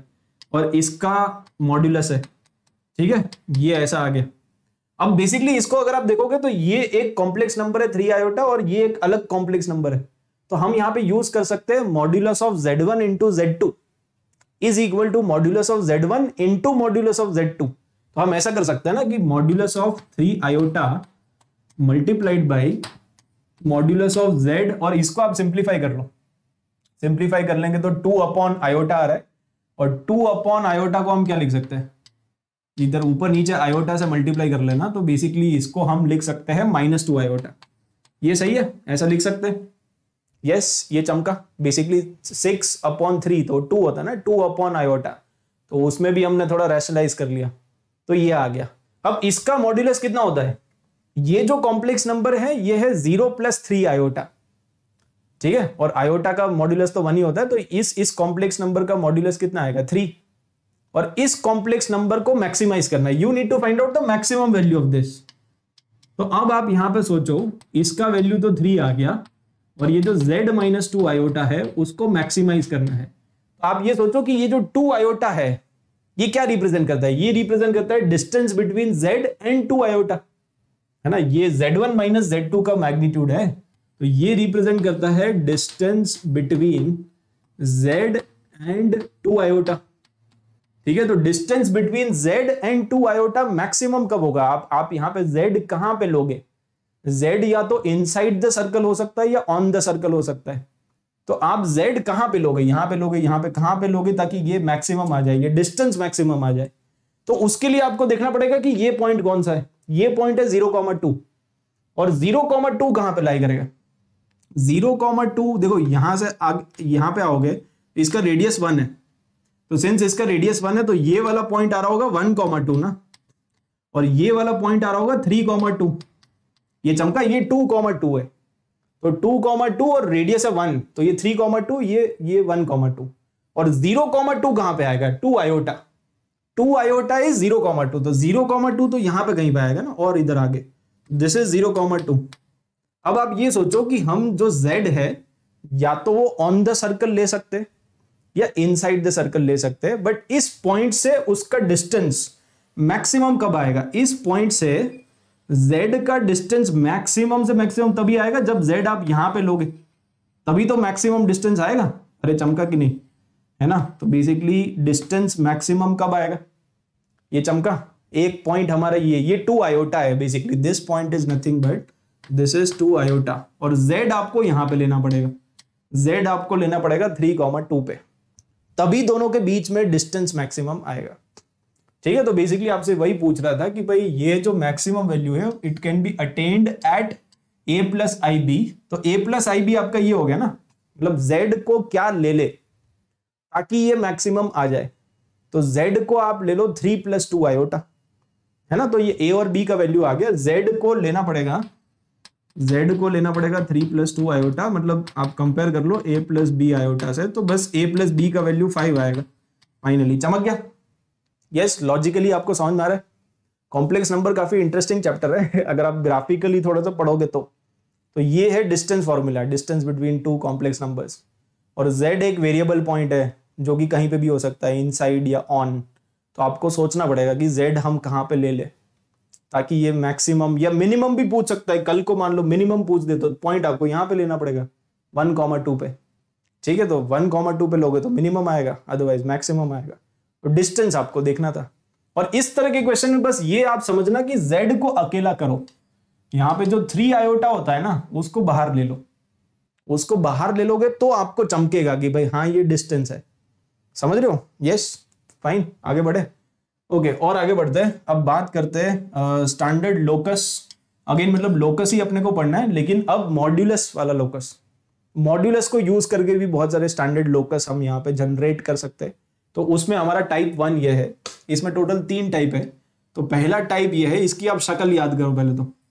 अगर ऐसा कुछ भी आता है, जैसे हमने आर्ग्यूमेंट की शक्ल याद कर ली ना, कि argument of z one minus z two upon z three minus z two something मतलब ऊपर एक वेक्टर नीचे एक वेक्टर और फिर आर्ग्यूमेंट अगर थीटा है तो वो अलग अलग चीज़ें रिप्रेजेंट करेगा। सिमिलरली यहाँ पे भी आप इसकी शक्ल याद करो, अगर something something divided by something something equal to k है। अगेन यहाँ पे z1 z2 है, वो फिक्स पॉइंट है। Z1 and z2 are fix points और z हमारी भटकती आत्मा है, जिसका लोकस अपने को फाइंड आउट करना है, वो वेरिएबल पॉइंट है। ठीक है तो वेरिएबल पॉइंट का ही तो लोकस निकालते हैं। लोकस का तो मतलब ही होता है पाथ कि वो किस पाथ में चलेगा? ये जो भटकती आत्मा है, वो उसका पाथ क्या होगा? तो बेसिकली अगर अगर के का वैल्यू इसमें दो केस बनेंगे, अगर के का वैल्यू वन है, अगर के का वैल्यू वन है तो तो ऐसा हो जाएगा ना, देखो। इसमें आप प्रॉपर्टी लगा सकते हो। तो प्रॉपर्टी लगाएँगे तो mod of z one upon mod of z two ये मॉड को अलग अलग कर सकते हैं and this is equal to one अगर के का वैल्यू वन है तो तो ये क्रॉस मल्टीप्लाई हो जाएगा। और क्रॉस मल्टीप्लाई हो जाएगा तो ऐसा आ जाएगा। तो इस केस में लोकस क्या बनेगा? तो इस केस में आपका जो z का लोकस बनेगा, वो आएगा perpendicular bisector of line segment joining z1 z2 मतलब आप ऐसे समझो, यहाँ पे मान लो आपका z1 है, और यहाँ पे मान लो आपका z2 है, और ये z1 z2 एकदम फिक्स है। वो हिलेंगे नहीं, ठीक है? z1 z2 क्या है? z1 z2 एकदम फिक्स है। वो कहीं नहीं जाएँगे, एकदम फिक्स वो हिलेगा नहीं, ठीक है? तो z का लोकस क्या आएगा? Z का लोकस आएगा परपेंडिकुलर बाइसेक्टर है ना? Perpendicular bisector of this line segment ये जो लाइन सेगमेंट आपको दिख रहा है ना Z1 Z2 को ज्वाइन करने वाला जो लाइन सेगमेंट है, उसका perpendicular bisector it will be perpendicular and it will be bisector basically आप ऐसा सोचो ना कि अगर आप Z इसके ऊपर कहीं पे भी ले सकते हो, जो Z है ना, वो भटकती आत्मा है और वो परपेंडिकुलर बाइसेक्टर के ऊपर कहीं पे भी भटक सकता है। तो उसका जो लोकस आएगा it will be a straight line जो Z है, वो इस लाइन के ऊपर कहीं पे भी भटक सकता है। और ऐसा क्यों? और थोड़ा सा डिटेल में समझो। अगर मैं Z इस लाइन के ऊपर लूँगा, तभी तो ये डिस्टेंसेस बराबर बराबर आएगी ना। और ये डिस्टेंस ही तो है। ये Z माइनस जेड वन का मॉड्यूलस क्या होता है? Z माइनस जेड वन का modulus is nothing but distance between Z and z one तो ये है distance between Z and z one और ये है distance between Z and z two और ये दोनों डिस्टेंस बराबर कब होगी? ये दोनों डिस्टेंस बराबर तभी होगी जब आप Z को कहाँ पे लोगे? परपेंडिकुलर बाइसेक्टर पे लोगे। क्योंकि तभी तो दोनों ट्राइंगल एकदम कॉन्ग्रुएंट बनेंगे ना। सिमेट्रिक डायग्राम बनेगा ना। अरे चमका यस तो बेसिकली आपका जो लोकस आ जाएगा, वो आएगा perpendicular bisector of line segment joining Z1 Z2 और अगर k का वैल्यू वन नहीं है तो? अगर k का वैल्यू वन नहीं है, यहाँ पे k है तो यहाँ पे भी k आ जाएगा। तो उस केस में आपका जो लोकस बनेगा, वो बनेगा एक सर्कल उस केस में आपका जो जेड होगा, वो सर्कल पे भटकेगा. ठीक है? ये, इसके क्वेश्चन अभी हम करेंगे सर्कल वाले. बट बेसिकली आप ये याद रखो कि अगर के का वैल्यू वन है तो परपेंडिकुलर बाइसेक्टर अगर के वन नहीं है तो सर्कल फाइन ये दो केसेस ही होते. हैं अब देखो, इसके क्वेश्चन आप ट्राई करो थोड़े. अगेन ये क्वेश्चन काफ़ी अच्छा क्वेश्चन है. है ना? जेई मेन का है बट काफ़ी अच्छा क्वेश्चन है. इसको ट्राई करो. इसमें देखो आपको सबसे पहले तो इस इक्वेशन को देखो सबसे पहले। ये वाली जो इक्वेशन है, इस इक्वेशन को देख के आपको कुछ चमक रहे? Z प्लस आयोटा और यहाँ पे वन है तो क्रॉस मल्टीप्लाई कर सकते हो आप। Z माइनस थ्री आयोटा अगर आप इसको ध्यान से देखोगे तो ये है z माइनस माइनस आयोटा ठीक है? और यहाँ पे आपके पास है z माइनस थ्री आयोटा तो बेसिकली ये क्या रिप्रेजेंट करेगा? This is nothing but perpendicular bisector z minus z one equal to z minus z two ठीक है तो यही यही वाला फॉर्मेट आ गया, z minus z one equal to z minus z two तो it will represent perpendicular bisector of what perpendicular bisector perpendicular bisector of line segment perpendicular bisector of line segment joining perpendicular bisector of line segment joining minus iota and minus iota को join करेगा and किसको join करेगा? And three iota. समझ गया ना? मतलब basically ये आपका जेड वन है। और थ्री आयोटा जो है वो जेड टू है। माइनस आयोटा मतलब क्या? माइनस आयोटा मतलब जो पॉइंट आएगा कार्टिशन प्लेन पे, वो आएगा ज़ीरो कॉमा माइनस वन और ये वाला जो पॉइंट है, ये है ज़ीरो कॉमा थ्री तो ये दोनों पॉइंट्स को आप प्लॉट करो। कहाँ कहाँ पे लाई करेंगे? अगर आप डायग्राम बनाओगे तो एक पॉइंट है ज़ीरो कॉमा माइनस वन और दूसरा पॉइंट है ज़ीरो कॉमा थ्री तो परपेंडिकुलर बाइसेक्टर कैसा बनेगा? तो आपकी जो लाइन सेगमेंट है वो तो ये है है ना? This is the line segment और ये जो लाइन सेगमेंट है, इस लाइन सेगमेंट का परपेंडिकुलर बाइसेक्टर इस लाइन सेगमेंट का परपेंडिकुलर बाइसेक्टर ऐसा बनेगा। ठीक है? और उसकी इक्वेशन क्या आएगी? उसकी इक्वेशन आएगी y इक्वल टू वन ना? उसकी इक्वेशन आएगी y इक्वल टू वन मतलब बेसिकली आपका ये जो z है, वो इस स्ट्रेट लाइन पे भटक रहा है। उसका लोकस यही है, ठीक है? यहाँ पे कहीं पे होगा। इस स्ट्रेट लाइन पे होगा। ये आपको चमक गया। अगर आप यहाँ पे लोकस ऑफ़ जेड के बारे में सोचोगे तो जेड इज़ परपेंडिकुलर बाइसेक्टर तो वो लाइन सेगमेंट आपने ड्रॉ कर ली ग्रीन वाली, और उसका परपेंडिकुलर बाइसेक्टर तो वाई इक्वल टू वन आएगा। तो बेसिकली आपका जो जेड है, वो इस लाइन पे कहीं ना कहीं भटक रहा है। तो हम जेड को कैसे अज्यूम कर सकते हैं? क्या मैं जेड को ऐसे अज्यूम कर सकता हूँ? एक्स प्लस आयोटा इंटू क्योंकि अगर जेड इस लाइन पे है तो उसका जो इमेजिनरी पार्ट आएगा, वो तो डेफिनेटली वन ही आएगा ना। ये पॉइंट होगा एक्स कॉमा वन बट उसका जो इमेजिनरी पार्ट आएगा, वो हंड्रेड परसेंट वन ही आएगा। क्योंकि वो उस लाइन पे लाई कर रहा है, y equal to one x का वैल्यू कुछ भी आ सकता है। बट वाई का वैल्यू तो वन ही आएगा ना। क्योंकि जेड उस लाइन पे है। तो हमने जेड को अज्यूम कर लिया एक्स प्लस आयोटा क्योंकि वो उस लाइन पे है। अगर z आ गया आपका तो आप इस पे सब्सटीट्यूट कर दो, w आ जाएगा। तो w निकालो आप। W क्या है? तो अपने को यहाँ पे एक काम करते हैं, अगले वाले पे लिख लेते हैं w तो w is z z bar और माइनस टू जेड और प्लस टू ठीक है तो बस आप वैल्यू सब्सटीट्यूट कर दो। तो z क्या है? Z हमारे पास है x प्लस आयोटा और z बार आ जाएगा x माइनस आयोटा और यहाँ पे अगेन x प्लस आयोटा और प्लस टू अब आप इसको सिंप्लीफाई करो।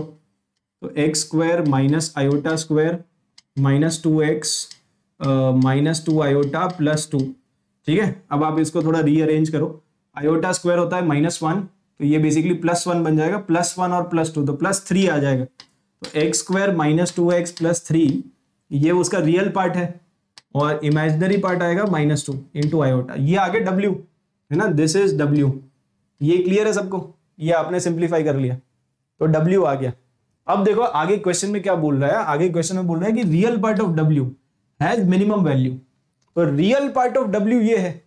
What is real part of W आप मुझे बताओ रियल पार्ट ऑफ़ डब्ल्यू इज़ दिस और क्वेश्चन में कह रहा है कि ये मिनिमम है. तो ये मिनिमम कब होगा? ये मिनिमम तभी होगा जब two x minus two equal to zero ना? मतलब डिफ्रेंशिएट कर दो आप. मिनिमाइज करना है. उसको मिनिमाइज करना है। मिनिमाइज करने के लिए क्या करते हैं? डिफरेंशिएट करके ज़ीरो कर कर सकते हो आप। या परफेक्ट स्क्वायर बना के भी आप सोच सकते हो। ठीक है? तो इसको बेसिकली मिनिमाइज करना है। इसका मिनिमम वैल्यू कब आएगा?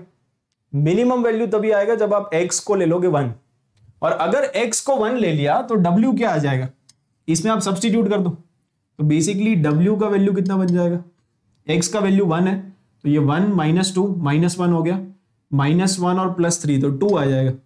और यहाँ पे है माइनस टू आयोटा तो ये डब्ल्यू आ गया। ठीक है? आपको क्वेश्चन में यही बोला है कि भाई रियल पार्ट ऑफ़ डब्ल्यू जो है इट हैज़ मिनिमम वैल्यू तो मतलब वो तभी हो पाएगा जब एक्स इक्वल टू वन ठीक है? अब ये कह रहा है then find out the minimum value of n जो कि एक नेचुरल नंबर है फॉर विच डब्ल्यू की पावर एन इज़ रियल तो अब आपको बेसिकली ये जो डब्ल्यू की पावर एन है, वो निकालना है।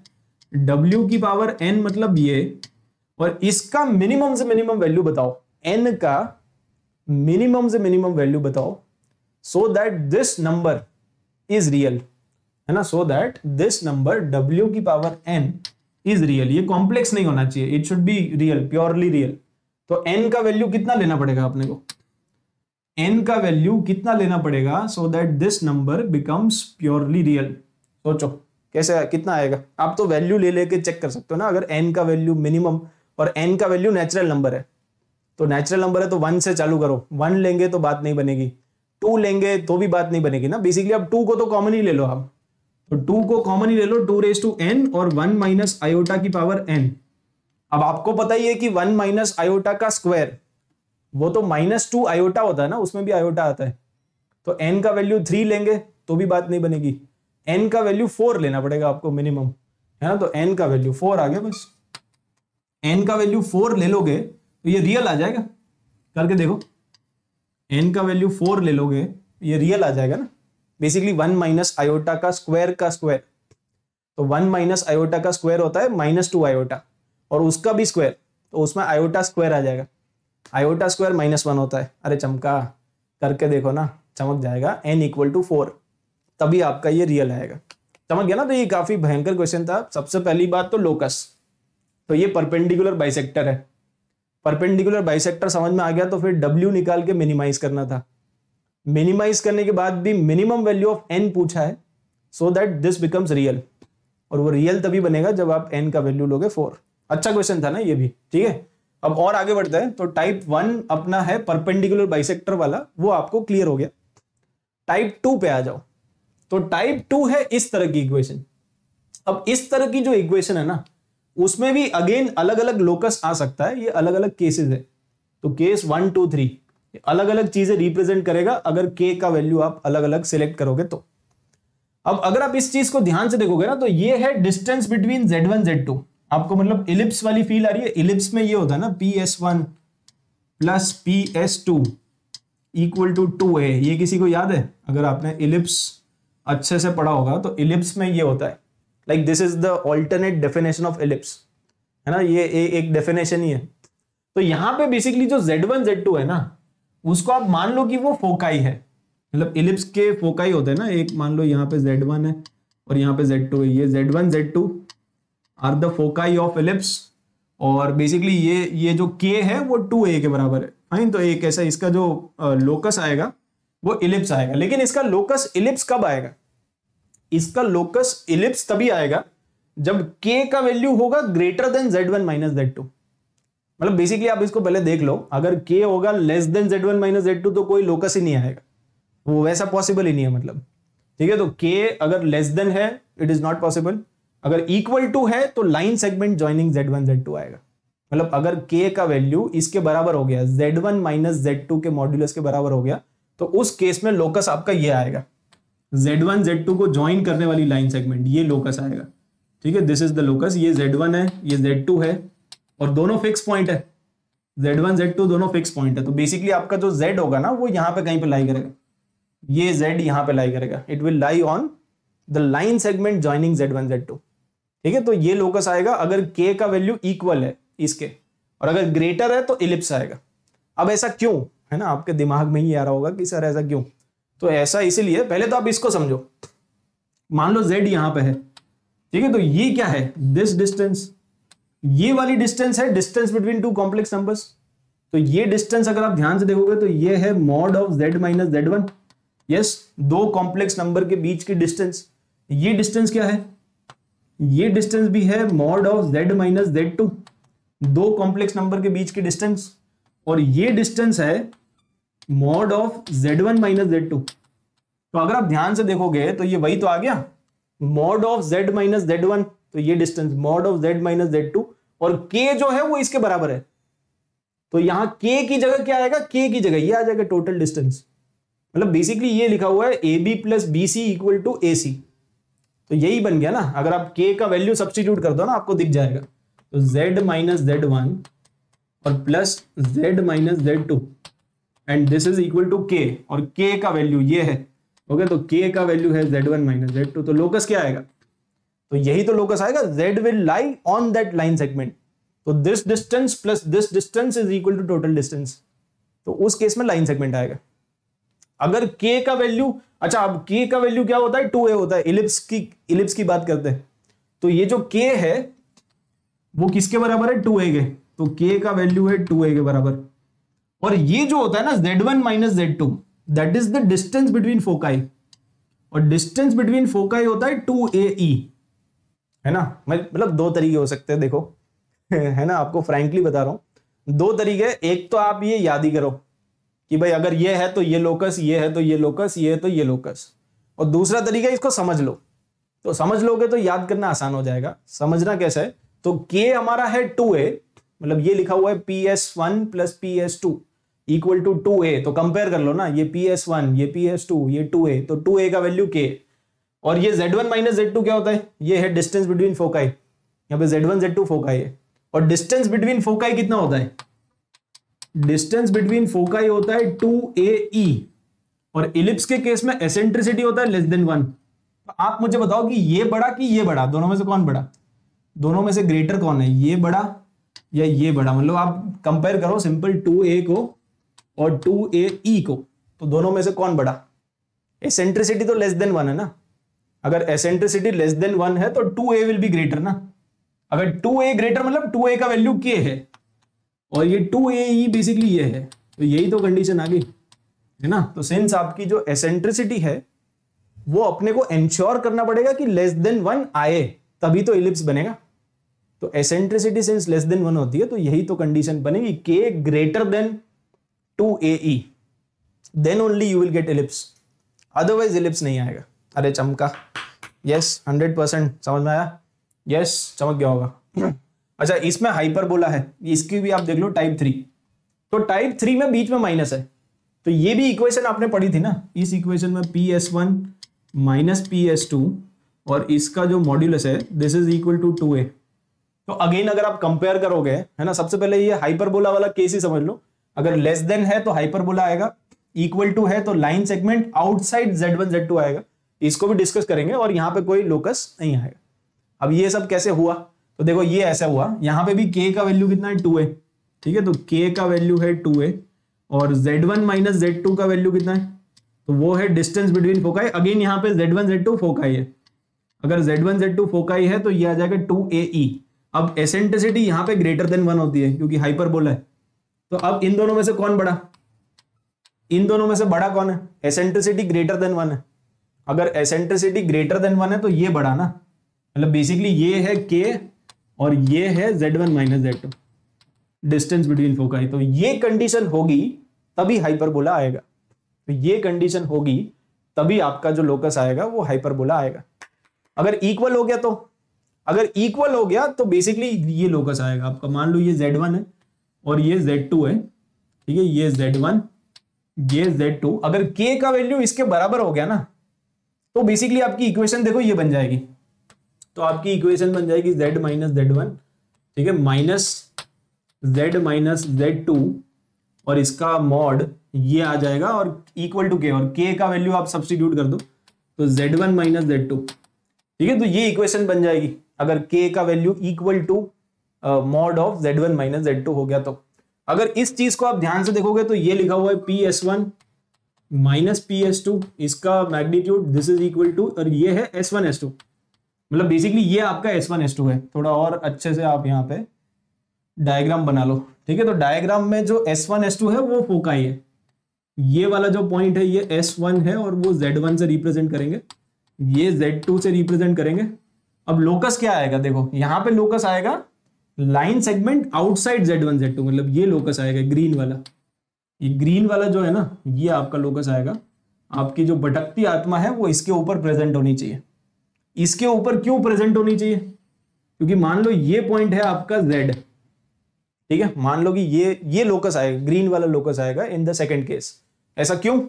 ऐसा इसीलिए क्योंकि ये distance P S one Z minus Z one तो Z minus Z one is this distance है ना? This distance is P S one और ये वाली जो डिस्टेंस है, ये कितनी है? ये डिस्टेंस है पी एस टू और P S one minus P S two करोगे तो कौन सी डिस्टेंस आ रही है? यही वाली डिस्टेंस आ रही है। तो बेसिकली आप ये तीनों स्ट्रेट लाइन में लाई करेंगे ना कोलिनियर होंगे। ये डिस्टेंस है एस वन एस टू समझ गया? तो P S one minus P S two equal to S one S two दिख गया आपको? ये ये लिखा हुआ दिख गया। P S one minus P S two करोगे तो एस वन एस टू ही तो आएगा। यस yes, तो अगर बेसिकली ऐसा होता है तो तीनों पॉइंट्स कोलिनियर होते हैं ना। तो Z one Z two Z तीनों कोलिनियर होंगे। तो इस केस में आपका जो लोकस आएगा वो हाइपरबोला नहीं आएगा। वो आएगा line segment outside Z one Z two ये बीच वाला नहीं है ना बाहर वाला आउटसाइड वाला। ये रे और ये रे तो बेसिकली डाइवर्जिंग रेज है। ऐसा लोकस आएगा डाइवर्जिंग रेज है ना उसमें था लाइन सेगमेंट इसमें था बीच वाला part line segment joining Z one Z two लेकिन यहाँ पे है line segment outside Z one Z two तो दोनों में फ़र्क है। समझ गए? दोनों में डिफरेंस है। चलो, एक आधा क्वेश्चन करते हैं, है ना? तभी फील आएगी। तो इसको फील करो। यहाँ पे आपको एक इक्वेशन गिवन है जेड प्लस आयोटा और z minus iota this is equal to eight ठीक है? तो ये बेसिकली लिखा हुआ है z माइनस माइनस आयोटा ना? समझ जाना मतलब। और इधर है z माइनस आयोटा ठीक है this is equal to eight और अगर आप इसको कंपेयर करोगे तो किसकी फील आ रही है? एलिप्स की कि हाइपरबोला की? सबसे पहले तो आप ये देखो, इसको देखेंगे तो ये P S one plus P S two है ना इक्वल टू टू ए ठीक है टू ए या टू बी होगा बेसिकली इसमें। इसमें टू बी होगा, क्यों? क्योंकि ये जो इलिप्स है ना, वो वर्टिकल आएगा। ये टू बी होगा। ये वर्टिकल इलिप्स है। क्यों? क्योंकि इसके फोकाई देखो ना, ये जेड वन जेड टू है, ये जेड वन है और ये जेड टू है। तो जेड वन जेड टू का वैल्यू क्या क्या है?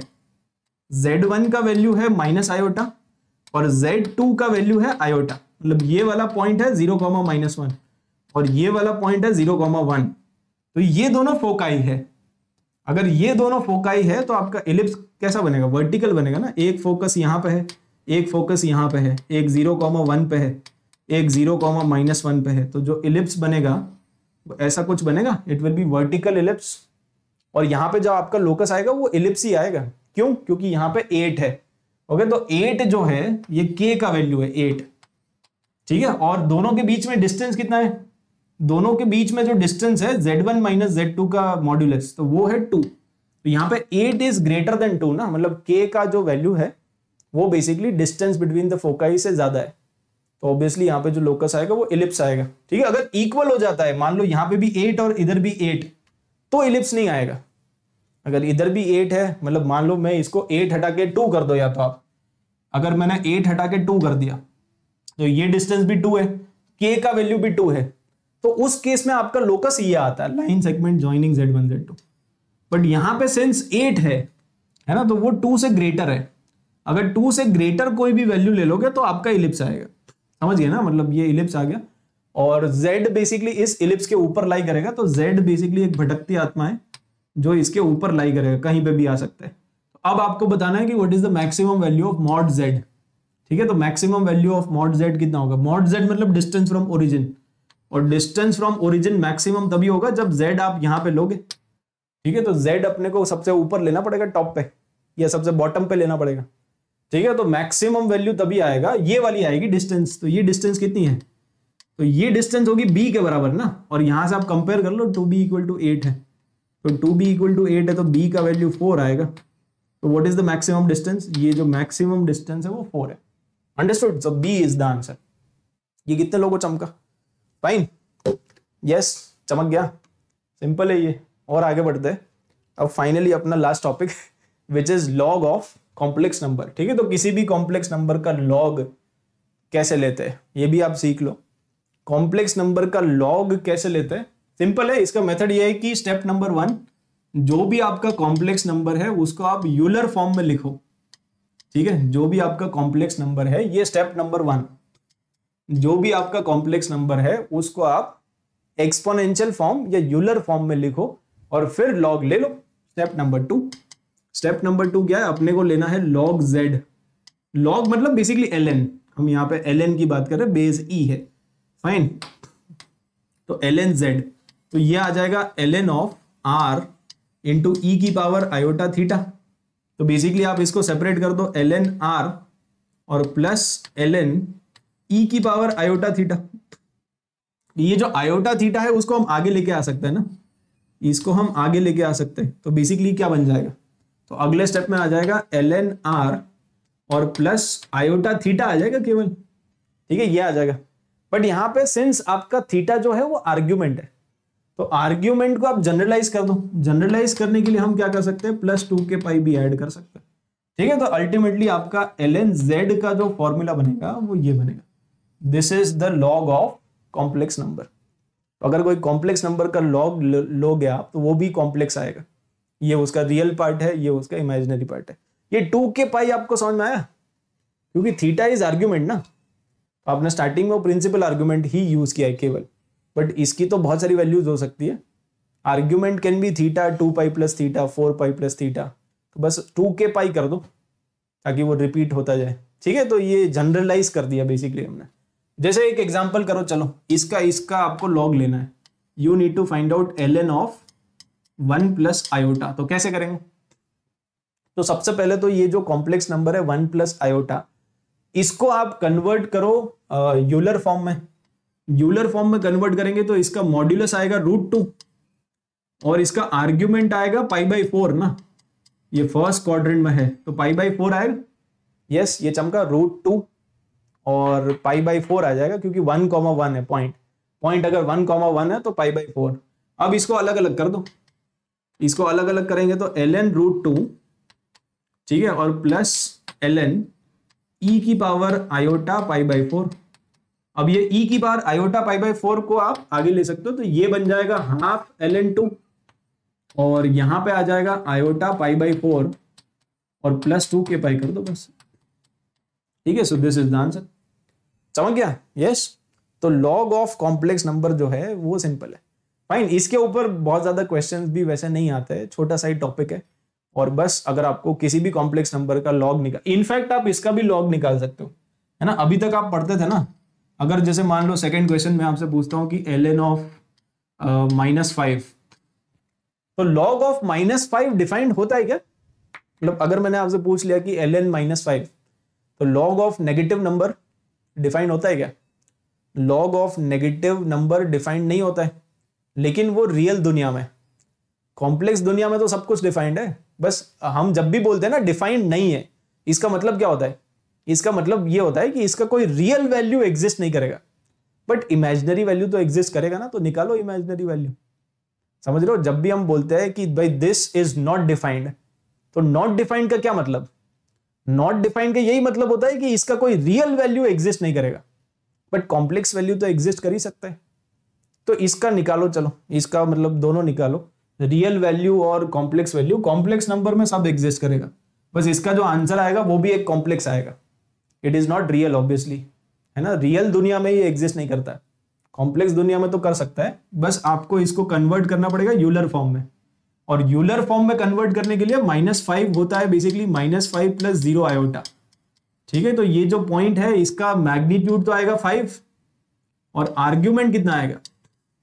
ये पॉइंट है माइनस फाइव कॉमा ज़ीरो और माइनस फाइव कॉमा ज़ीरो मतलब यहाँ पे लाई करेगा। तो उसका एंगल आएगा पाई तो e की पावर आयोटा पाई आएगा ना? अरे चमका। तो माइनस फाइव को आप ऐसे लिख सकते हो। माइनस फाइव को ऐसे लिख सकते हैं बिल्कुल। यस yes, अब आप इसमें कर लो बस। तो एल एन फाइव और प्लस कितना आ जाएगा? आयोटा पाई प्लस टू के पाई तो बस ये आंसर आ गया। ठीक है so this is the answer मतलब बेसिकली इसका जो आंसर आएगा वो भी एक इमेजिनरी आंसर आएगा। तो इसका कोई रियल वैल्यू एग्जिस्ट नहीं करेगा। रियल दुनिया में एग्जिस्ट नहीं करेगा बट कॉम्प्लेक्स दुनिया में तो एग्जिस्ट कर सकते हैं। अरे चमका, कितने लोगों चमक गया? ठीक है? तो यस फाइनली है ना, हमने सारे टॉपिक्स कवर कर लिए। एंड अपना जो कॉम्प्लेक्स नंबर है है ना, काफ़ी आई थिंक कितने घंटे हो गए? साढ़े सात घंटे हो गए क्या? काफ़ी लंबा वन शॉट हुआ है मेरे ख्याल से। रिकॉर्ड हमने सारे तोड़ दिया आज कॉम्प्लेक्स नंबर के वन शॉट में। ठीक है? तो आई होप कि सब लोगों को मज़ा आया होगा। एंड डेफिनेटली यार, आप एक चीज़ और करना। मैं आपको बताता हूँ, ठीक है? एक चीज़ और करना। अभी अपना कल, आज कौन सा डे आज थर्सडे है ना? कल फ्राइडे को अन अकेडमी एटम्स की जो टेस्ट सीरीज़ है, उसका टेस्ट है। तो वो आप डेफिनेटली दे देना। कल है फ्राइडे को और उसका टाइम है आठ बजे। ठीक है? अब आपने वन शॉट देख लिया। इसका सिलेबस है कोऑर्डिनेट ज्योमेट्री एक्चुअली वो पहले सैटरडे को था बट अभी फ्राइडे को शिफ्ट कर दिया है। ठीक है? तो एक दिन जल्दी आपका ये जो टेस्ट सीरीज़ है, वो स्टार्ट हो रहा है। फ्राइडे को आठ बजे मतलब कल आठ बजे आपका टेस्ट है। ठीक है तो डेफिनेटली आप इसको अटेम्प्ट कर लेना। इट इज़ कंप्लीटली फ्री आपको कुछ पे करने की ज़रूरत नहीं है। ठीक है, बाकी अगर आपके पुराने चैप्टर्स मिस हो गए तो आप live daily dot me slash atoms को विज़िट कर लो। यहाँ पे आपको हर एक चैप्टर का वन शॉट मिल जाएगा, बहुत ही डिटेल में। ठीक है, उसके अलावा आप यहाँ पे मल्टीपल एजुकेटर से पढ़ सकते हो। मल्टीपल एजुकेटर्स आर देयर है ना? Vibrant classes Bansal classes nucleus even China batch आपका स्टार्ट हो चुका है, जिसमें चैतन्य नारायण के एजुकेटर्स है। तो डेफिनेटली आप यहाँ पे मल्टीपल एजुकेटर से पढ़ सकते हो, कोई रिस्ट्रिक्शन नहीं है नोट्स डाउनलोड कर सकते हो टेस्ट सीरीज़ में अटेम्प्ट कर सकते हो, है ना? डाउट क्लास का फीचर भी है, हर हर एक टीचर की यहाँ पे डाउट क्लासेस होती है। इवन वॉइस चैट के थ्रू आप इंट्रैक्शन भी कर सकते हो, है ना? आपको पीडीएफ नोट्स मिल जाते हैं। टेस्ट सीरीज़ में आप अपने जो स्कोर है, उसको एनालाइज कर सकते हो, बाकी लोगों के साथ कंपीट कर सकते हो। तो ये सारे फीचर्स आपको मिल जाएँगे। एंड सबसे अच्छी बात है कि जितने भी इंडिया के टॉप एजुकेटर्स है, वो सारे के सारे एक सिंगल प्लेटफॉर्म पे प्रेजेंट है। मल्टीपल आपके बैचेस होते हैं, है ना? यहाँ पे फुल ईयर के बैचेस भी चल रहे हैं। इलेवेंथ का ट्वेल्थ का ड्रॉपर्स का फुल बैचेस रिविजन बैचेस भी अभी बहुत सारे चल रहे हैं, है ना? जैसे एक अपना रैपिड रिविजन बैच चल रहा है। तो उसमें आप अगर जल्दी जल्दी रिवाइज करना चाहते हो, सारे क्वेश्चन प्रैक्टिस ज़्यादा क्वेश्चन प्रैक्टिस करना चाहते हो अलॉन्ग विद डीपीपी है ना? डीपीपी में आपको पता होगा अभी लिमिट्स की डीपीपी में सेवेंटी वन क्वेश्चन हमने करे। तो डेफिनेटली यार हर एक डीपीपी में काफ़ी सारा आपको मटेरियल मिल जाएगा जिसको आप सॉल्व कर सकते हो। एंड ये जो रैपिड रिविजन बैच है उसको आप मिस मत करना।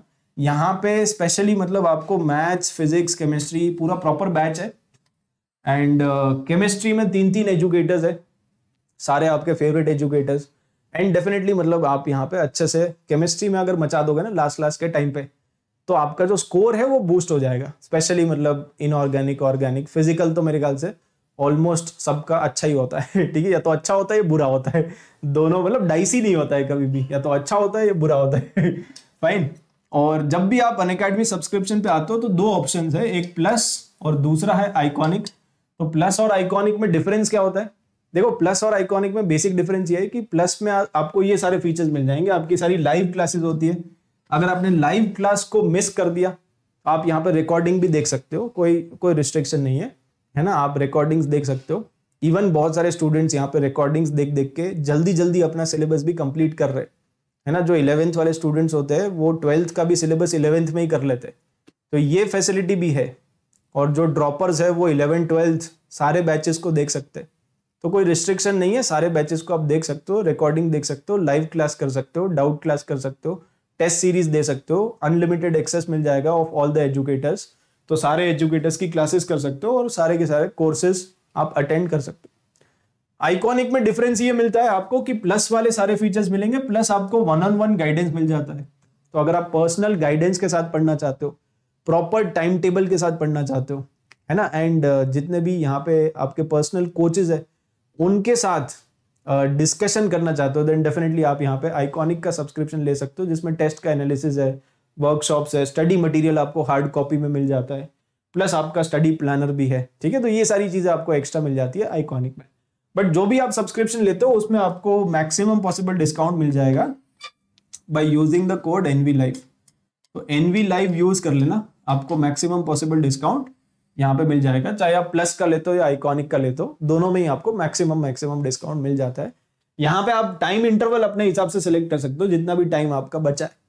ठीक है? तो उसके हिसाब से आप कैलकुलेशन कर लो, थोड़ा बहुत मैथमेटिक्स लगा लो। ठीक है? और उसके हिसाब से आप ले सकते हो। फाइन बाकी ये मल्टीपल बैचेज है जो रिविजन के लिए आपके स्टार्ट होने वाले। तो स्पेशली अगर आप अभी रिविजन कर रहे हो तो ये सारे रिविजन बैचेज ही है। ना? ट्वेंटी के लिए भी काफ़ी सारे बैच है। और ट्वेंटी वन के लिए भी काफ़ी सारे ट्वेंटी टू और ट्वेंटी थ्री के लिए काफ़ी सारे बैचेज यहाँ पे स्टार्ट हुए ठीक है? अन अकेडमी आइटम्स की टेस्ट सीरीज़ अपना टेस्ट है कल। ट्वेंटी सिक्स नवंबर को है, आठ बजे है, और इसमें डेफिनेटली आप एनरोल कर लेना। इसका लिंक आपको डिस्क्रिप्शन में मिल जाएगा। अभी का अभी एनरोल कर लो। ये टेस्ट आपको डेफिनेटली देना है। इसका सिलेबस है, जेई सिलेबस और कोऑर्डिनेट ज्योमेट्री आ रहा है मैथ्स में। केमिस्ट्री और फिजिक्स के टीचर से आप पूछ सकते हो कि उन्होंने क्या क्या सिलेबस डिसाइड किया है। ठीक है? तो बाकी आपका, लेकिन इसमें फिजिक्स केमिस्ट्री मैथ सब कुछ आएगा। ठीक है? और ये जो टेस्ट है, उसको आपको देना है कल आठ बजे, छब्बीस नवंबर को। ये काफ़ी इंपॉर्टेंट है। इसको आप देख के अपना जो परफॉर्मेंस है, उसको जज कर लेना। इट इज़ कंप्लीटली फ्री इसके लिए आपको कुछ पे करने की ज़रूरत नहीं है। अन अकेडमी आइटम्स की टेस्ट सीरीज़ है। ठीक है? बाकी उसके अलावा आप यूसीएल में पार्टिसिपेट कर सकते हो which is Unacademy champions league और इसका जो अगला एग्ज़ाम है ट्वेंटी नवंबर को है। इसमें आप काफ़ी सारे अच्छे अच्छे प्राइजेस वगैरह जीत सकते हो। ठीक है? तो डेफिनेटली आप इसको भी अटेम्प्ट कर सकते हो। बहुत सारे प्राइजेस इसमें आपको मिल जाते हैं, ठीक है? प्लस आप अपना जो परफॉर्मेंस है, उसको भी चेक कर सकते हो।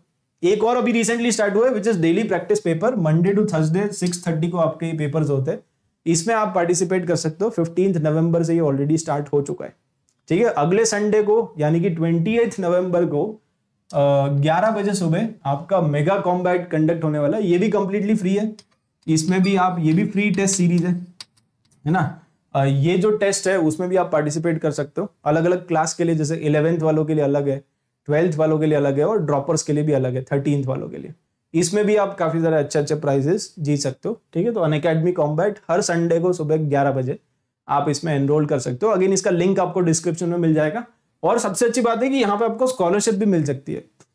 तो स्पेशली मतलब अगर आप अफोर्ड नहीं कर सकते हो तो मेरे ख्याल से ये टेस्ट आपको डेफिनेटली देना चाहिए। और टेस्ट में अगर आपकी रैंक अच्छी आती है तो बेस्ड ऑन योर रैंक आपको यहाँ पे अप टू हंड्रेड परसेंट की स्कॉलरशिप भी मिल सकती है। ठीक है तो डेफिनेटली आप इस टेस्ट को दे देना एंड बाकी मचाना टेस्ट में, ठीक है, ताकि आपको मैक्सिमम स्कॉलरशिप यहाँ पे मिल जाए। फाइन चलो, अब आई थिंक इसी के साथ हमारे इलेवेंथ के वन शॉट्स खत्म। अगली क्लास में मिलेंगे और ट्वेल्थ के वन शॉट चालू करेंगे रिलेशन एंड फ़ंक्शन से। ठीक है तो अलविदा लेते bye bye take care good night see you all in the next class